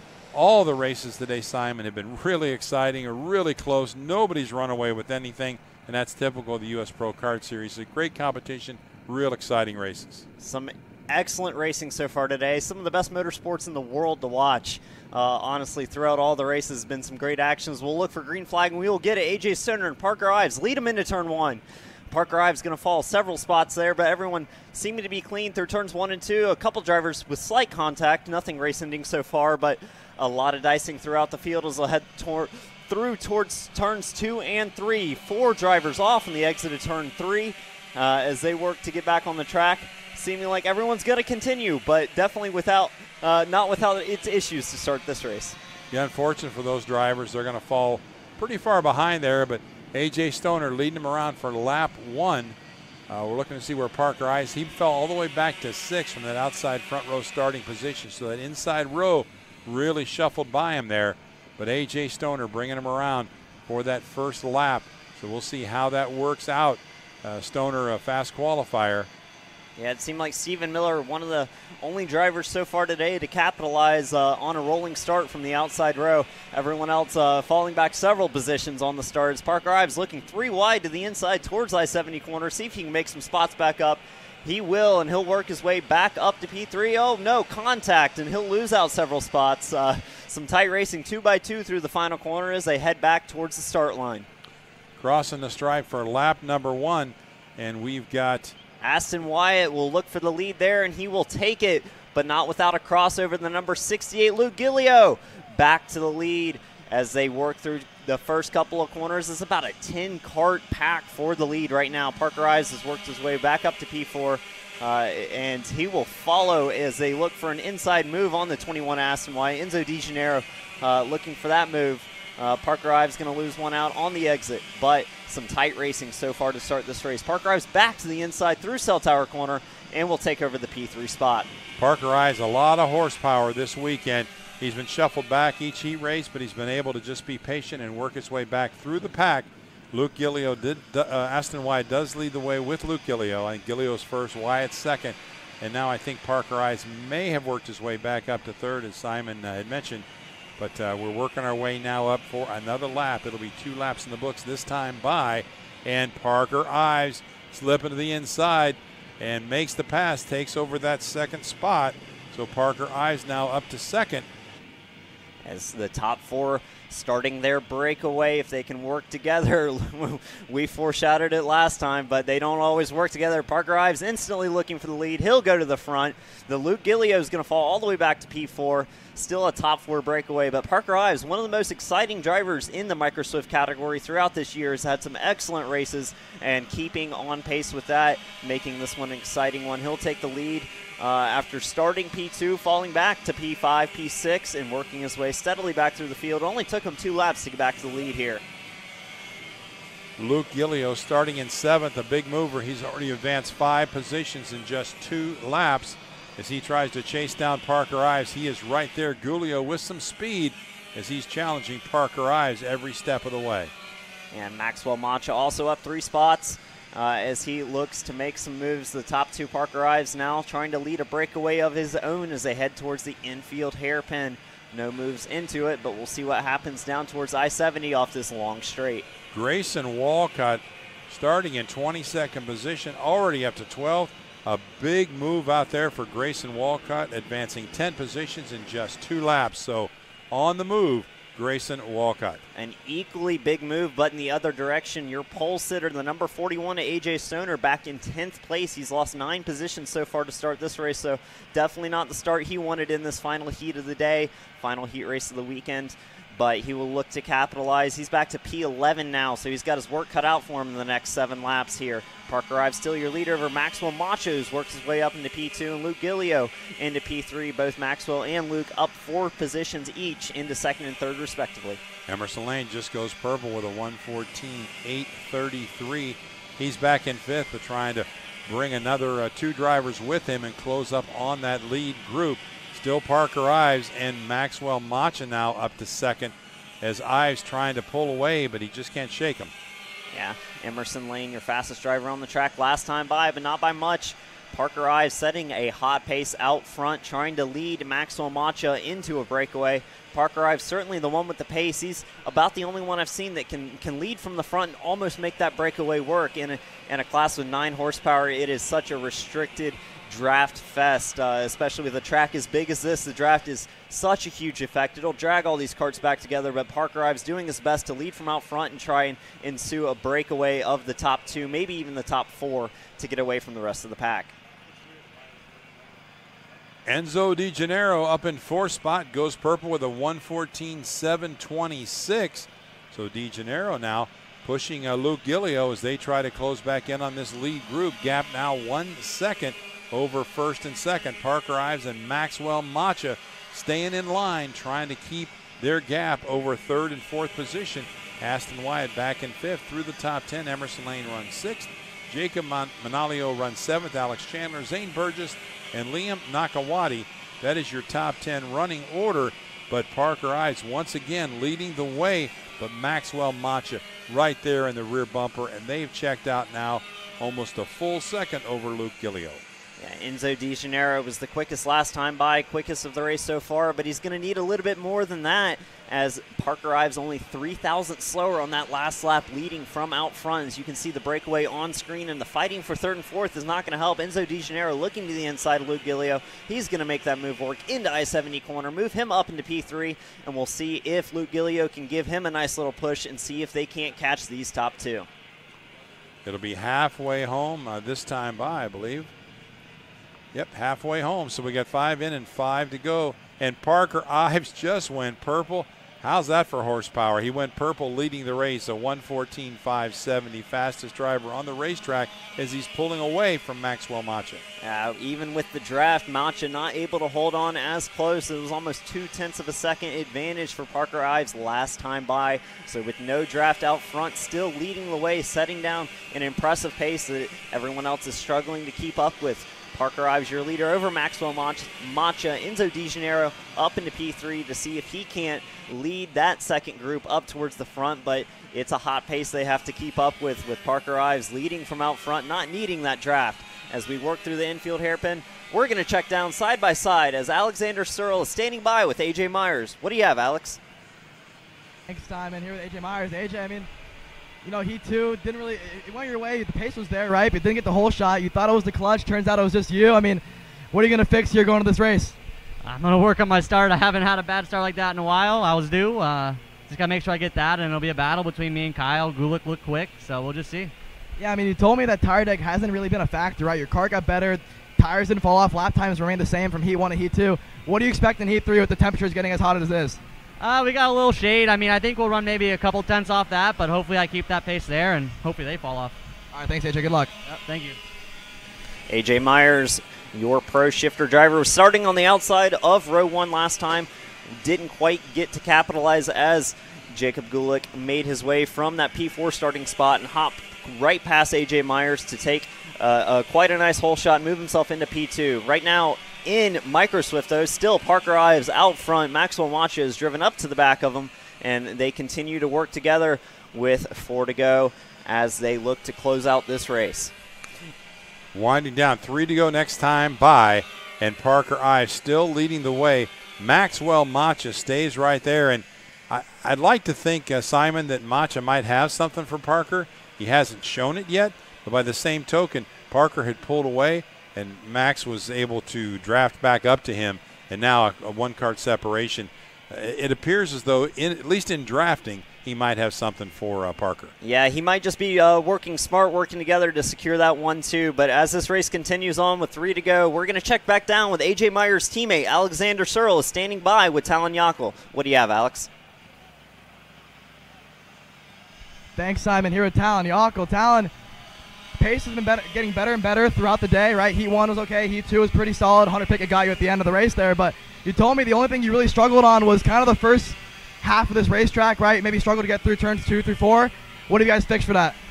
Uh, we just changed the rear rims and we're trying to get more grip in the rear, get rid of the lateral slide, and hopefully it works for this heat race and we should be pretty fast. So watch out for me.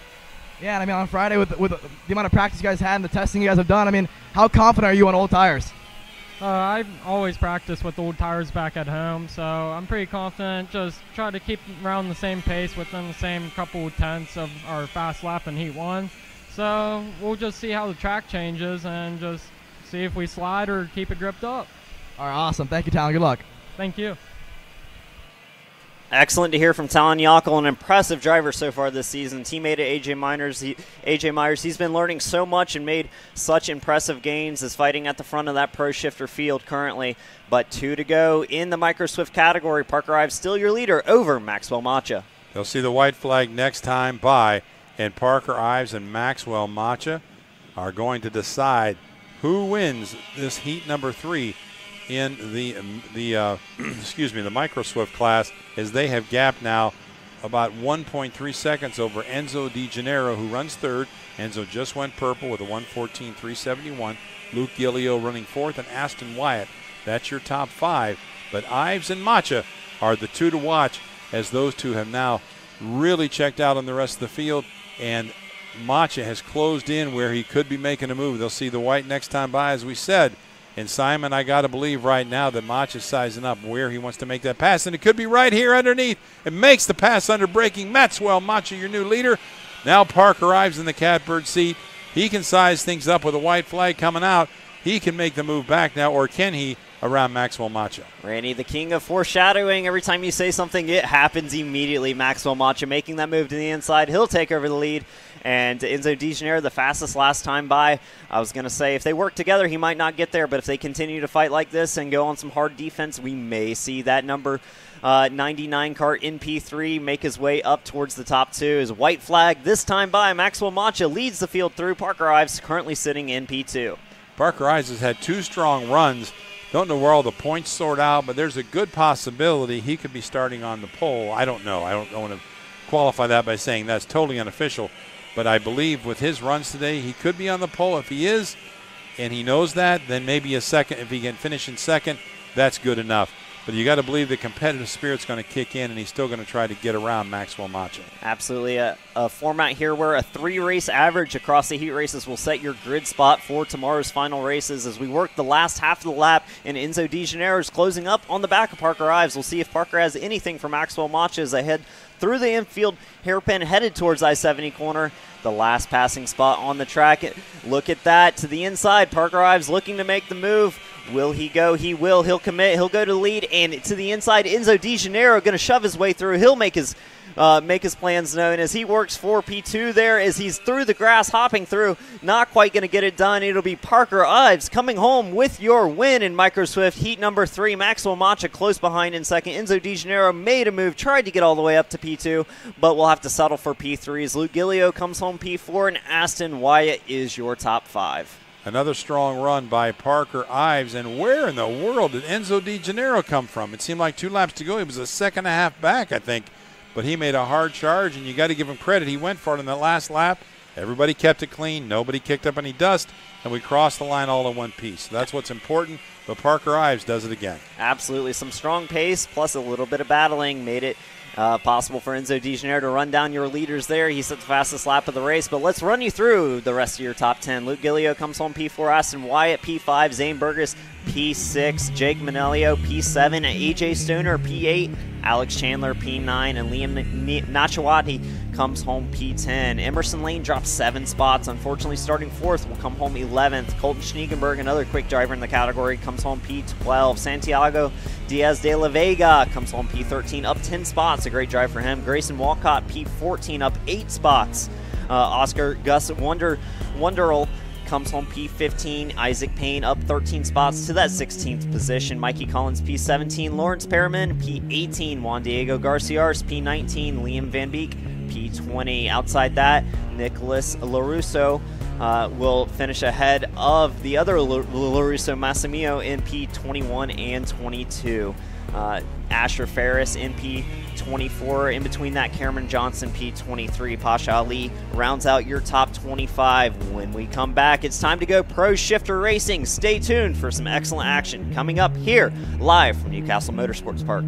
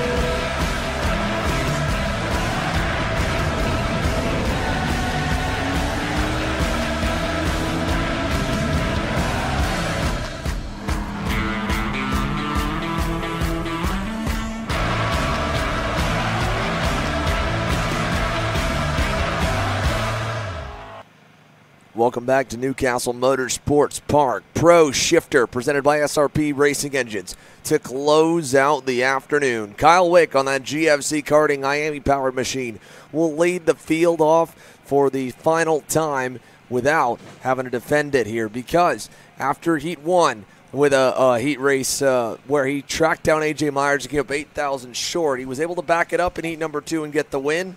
AJ kept him honest. Both of them in good spirits, but they are tied in the points coming in. The tiebreaker would go to qualifying. That would go the way of Kyle Wick. But with three heat races, if they flip again, if AJ Myers gets two of the three, he'll get that pole starting spot for the main event tomorrow. Marijn Kremers and Jacob Gulick will make up row number two. Talon Yockel, Hunter Pickett, row three. Ethan Boer and Justin White, row four. Giorgio Carrara, Ayrton Hernandez, row number five. For the SRP Racing Engines, Pro Shifter Division. We've got the last few coming into the lanes. Race director Blake Hunt there at the start. We get set to go for the signal from the back. The flag goes up, and now we pop it into first. Pull that clutch lever in. Pro shifter for the final time today. Porter, Wiesensenzel. We're underway, and look at Gulick again with a good start. Wick with the best one. AJ Myers got a terrible launch. His teammate Talon Yockel with a good one. He'll go to third. Kremers to fourth. Here they come. Look at the gap already for Kyle Wick over AJ Myers and Talon Yockel.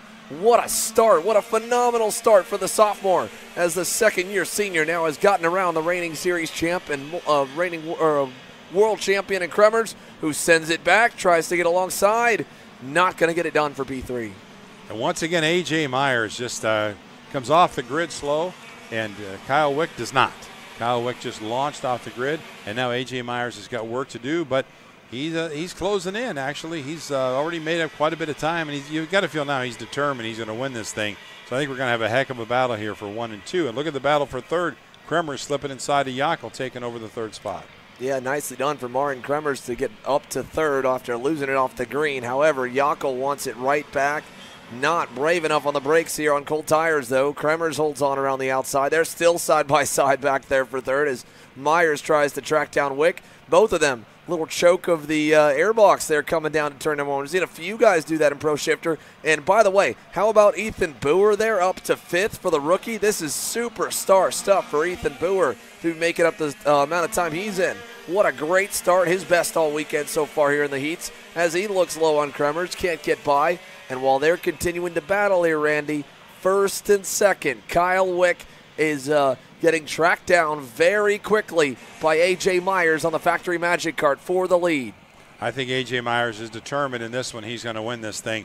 So we should see a heck of a battle coming up really any time. He's already caught Wick and now closing in, looking for a spot. We're only, uh, what, one lap in. It'll be two this time by, so plenty of time. A.J. Myers with a terrible start, but certainly now he's got the speed to make a difference. Looking not going to be able to do it there, but maybe down the straight. Will he peek inside? I have a feeling it'll probably somewhere inside the circuit under braking where he makes the pass. I think so as well. Not going to be able to be close enough in turn number one. So AJ Myers will spend the second lap fully, completely behind Kyle Wick at the moment, and he's got to again take care of his equipment. Um, there's you know a little bit of understeer they get by not getting the full uh, force of the wind in the air on those nose cones that they've got with the evolved uh, evolution to kart bodywork. It's just a touch of downforce or in lack thereof, as they call aero wash, when there's no air on the front nose uh, when they run behind, and it'll work those front tires a little more and maybe overheat them running behind Wick. Here's a look back though as well. We saw them coming through. That's changed up again. Talon Yockel and Ethan Boer have gone by Kremers. In fact, so has his teammate Hunter Pickett. He's back there. Jacob Gulick got a terrible start, probably his worst all day and he's back there trying to get around Kremers and make up for lost time. They're wheel to wheel coming out of the corner, side by side. Looking on there is Giorgio Carrara. So up in the front, they're battling, changing the lead almost, and then back further. Oh man, Jacob Gulick just got completely used up from the back and the front there. Both sides, the car just got kind of piled into the air. So one GFC leading the way, the other one mired in traffic one kart length separation between Kyle Wick and A.J. Myers. Myers sizing them up. Wick didn't really uh, didn't really show any sweat in the last race when Myers was running him down, and we'll see if he can hold on. He's got seven laps to go in order to hold that position and have that prime starting spot tomorrow for the main event. Myers closing in, and now Wick stretches it out a little bit. Wick was quick with a 102 859 so a tenth of a second faster than the purple lap that uh, Myers had the uh, lap before. These two both clicking off fast laps of the race, one after the other. And you got to believe they're at their best game. They both want to win this thing to have that prime spot for the main event tomorrow. Ethan Boer under fire. Hunter Pickett will go by. That'll be position number four. So good stuff for the 236. While Martin Kremers continues to slip backwards, his teammate Hunter Pickett is going forward. I don't know what's wrong with the number one plate, but he's going to lose even to spot now to Michael Riccio in the 219. He dive bombs him back, gets him back. Must be something of an engine issue, I think, for Marijn Kremers. You'd imagine the go karts would be set up the same between him and Hunter Pickett. So, uh, Marijn Kremers, look at him all the way back there, still fighting with Riccio, side by side to the bus stop, through, or through the horseshoe, really. And you've got Jordan Musser there. Kremers now on the outside. He's got Musser looking to go through. Musser will go by his teammate, and then here comes Jake Donald on that Trinity Karting Group Kart Republic, and there's Jacob Gulick. I thought he wrecked. Gulick is still on the racetrack and running just outside the top 10. And now, changing the lead, just missed it. We'll pick it up here. AJ Myers has gone by Kyle Wick, and Wick wants it back, and he'll take it back in the I 70 corner. We got a race on our hands, Xander. This is awesome. Down the long pond straight now. Wick with Myers on the rear bumper. And Myers, will he peek to the inside? Yes, he does, and makes the pass in turn one. Crossover move by Wick. Can't quite do it. Now the big question is can Myers gap him? Yeah, can AJ get away from Kyle Wick here? He's already pulled a couple car lengths as he caught him off guard there. So good stuff for AJ Myers. Four laps to go at the line. He's not got a ton of laps that he needs to uh, just, uh, you know, run the clock out essentially and just get a gap big enough that he can have Wick, you know, lose a bit this lap. This is the lap to take advantage, really, for AJ Myers. The lap you make that pass, your tires are cleaner than the guy that you just passed, and this is where you need to get away, build the margin up, and hope that he can't get back up to you. And they're doing that. They've both been up on the wheel, lap after lap, turning faster and faster laps. But the last lap for AJ Myers was certainly his best one as he made the move around Kyle Wick, and right now enjoying a little bit of a gap on Kyle Wick. Talon Yockel with a really strong run solid in third position. Hunter Pickett runs fourth, and Ethan Boer with a solid run in fifth. And look at Kyle Wick closing in back on A.J. Myers. And you said it, Xander. It's that one lap that A.J. needed to gap him because once the uh, tires get a little dirtier, he's not going to be as fast. And here comes Kyle Wick. Can he close in? Will he have a chance to get around A.J. Myers? It'll be three to go next time by. Is it going to be A.J. Myers to pull off the win in heat number three? Will Kyle Wick recover and pull off the victory over A.J. Myers? Xander, we're going to find out real soon. Again, Kyle Wick now finally having to clean the tires off for the second half of that last lap. Can go back to work, can put some good laps together, and more importantly, these two are really feeling each other out most in this session than any other one because this is uh, the, the longest they've run this close together. They're getting a really good glance at how the other one's driving, especially in this case, Kyle Wick getting a good look at A.J. Myers. Myers had a good look at him in the first half of this heat race. Now, Wick can learn maybe a couple things from AJ's line, from AJ's markers, what he's doing getting into the corner, and now he's got to run all the way to the bumper. He'll give him a little love tap down by turn number one to remind him he's right there and keep the pressure on with three laps to go. What a run by Kyle Wick to recover from that pass by AJ Myers, reel him back in, and we got a race on our hands. There'll be three to go next time by. A little bump in the road there by Kyle Wick as he gets uh, right front off track, kicks him up in the air, loses a little bit of time. Myers hits his marks, and now Myers with about a two kart length advantage. Wick just went purple with a 102 261. AJ Myers with about a two kart length advantage now over Kyle Wick. Stretches it out a little bit more, but then Wick closes in as they get to the tight part of the circuit. I got to give a lot of credit to Marijn Kremers and to our viewers as well for hanging on. They picked it up before even I did. That Marijn Kremers' right rear bumper is rubbing against the tire. So the contact with Ethan Boer, I think, going by since then, he has just slipped backwards and uh, it is rubbing against the tire heavily. It's affecting the handling and the straight line speed. That's why you've seen the reigning series champ drop so far down the order. Look at the run for Kyle Wick. He won't be as close as he was last time. He might be uh, uh, regretting not pulling the trigger and instead pushing AJ at the end of the straightaway. He wants to get another run at it. He'll have to work a little harder because Myers was better than him last time by by about a tenth of a second. A lap and a half to go, and there is a good look at the bumper. It is tucked behind the right rear tire uh, after some contact. So that's what's hurting Marijn Kremers right now. Here's a look back up front. Myers, Wick, one car length apart. He needs a good exit here. AJ got a little bit of a better one. It's getting really close, and Kyle Wick is running out of time. AJ just running a perfect race out there. Once he got by Wick, he's hit his marks on every lap. Wick is right there, but is he close enough to make a move? It's going to be probably under braking in one of these tight corners. But uh, Wick coming by now, looking to the inside as they head up to I 70. Not going to be able to do it there. Let's see the run he gets off of uh, I 70, heading down the long straight for the white flag. Awfully close. Now Myers protects low. Wick to the outside. It'll be a crossover in turn one. Can he do it inside? No. Not enough in one. He won't be close enough in turn three either. Here they go, single file, but Myers hurt him. He knew he was closer. Kyle Wick forcing AJ to get to the low side. This is a battle for the pole position in the main event tomorrow. AJ a little bit narrow there into turn number five. through the horseshoe for the final time today. Kyle Wick still close, still digging, trying to find a way around to get creative because he's going to have to. AJ Myers knows this place very well. He's won an X30 championship back when it was on the Leopard Power plants in 2015. And beyond that, he has won numerous titles in the shifter categories here at New Castle. He knows how to defend around this place, he knows how to get the job done. And by a car length and a half, Kyle Wick is going to need to hope that he gets a slingshot engage Talladega Nights type moment to pull it off because out of I 70, he's still too far back. Here we go, the run to the line. AJ Myers, the leader. Here comes Kyle Wick at the stripe. Give it to AJ Myers by 19 thousandths of a second. Wick sends it in the grass, but he comes up shy once again. That was a close, close run to the stripe, but it wasn't enough. Talon Yockel ends up third. There's a look at Kremers with that heavily bent right rear bumper. And uh, a great recovery and, and, just hanging on for dear life. He gets all the way back up to eighth, gets back around Riccio, back around Jordan Musser. And there's a look at the results as they come across. AJ Myers wins out over Kyle Wick in the duel for pole tomorrow. Talon Yockel with his best run of the day in, in third. Hunter Pickett fourth. Carrara with a good drive forward of fifth. Ethan Boer sixth.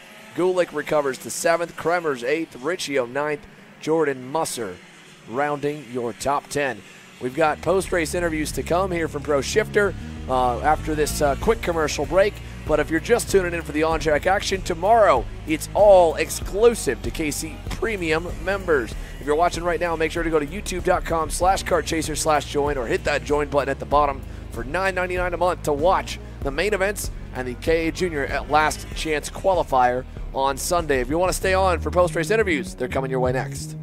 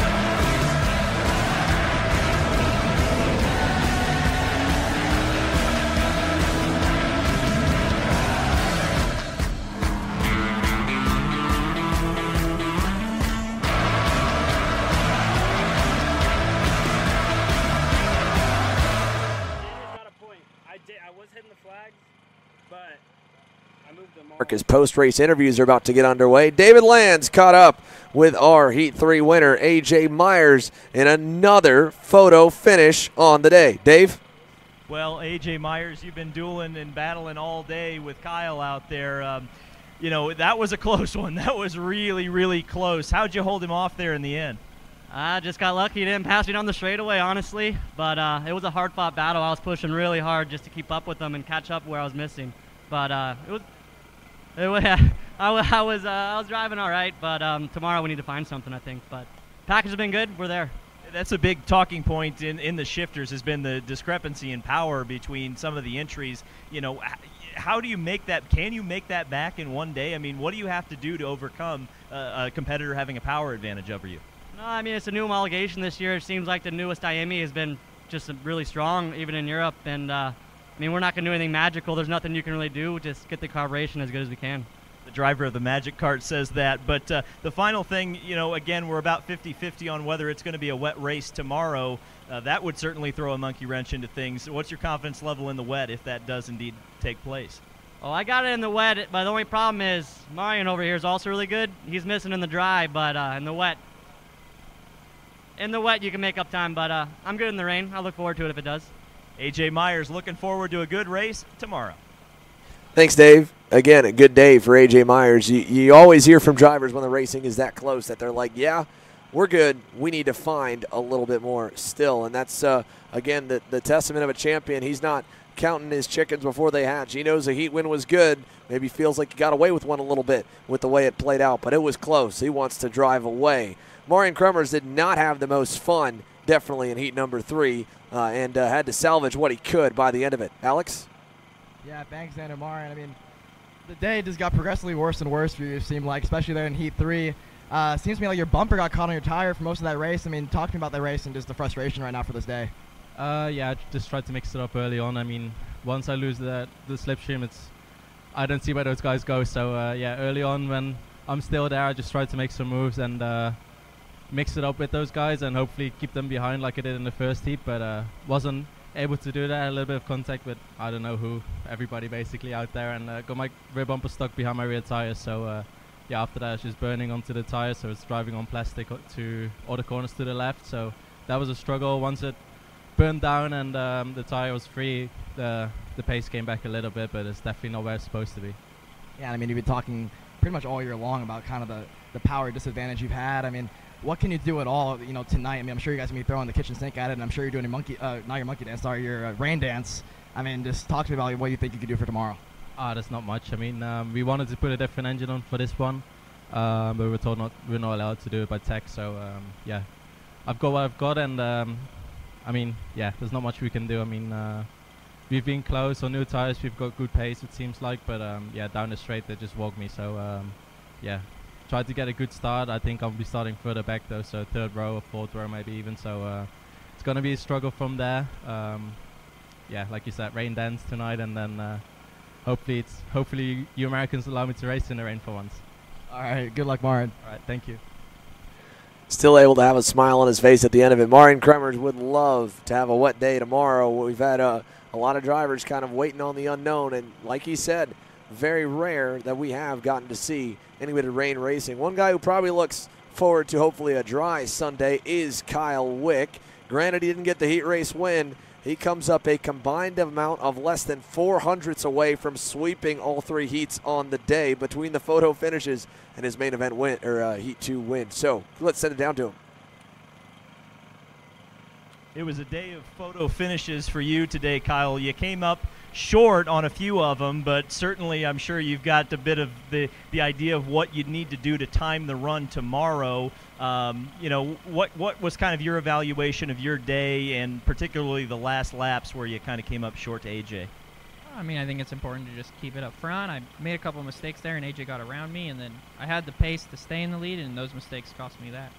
So there's been so much talk about the horsepower your team may or may not have. I mean, what's what's your comment on that? Because a lot of your competitors are talking about it.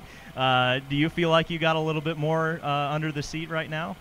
Yeah, the Sweet Tech IAME is really good, but also the GFC kart's working really well, so it the combination works, and that's why it looks so good.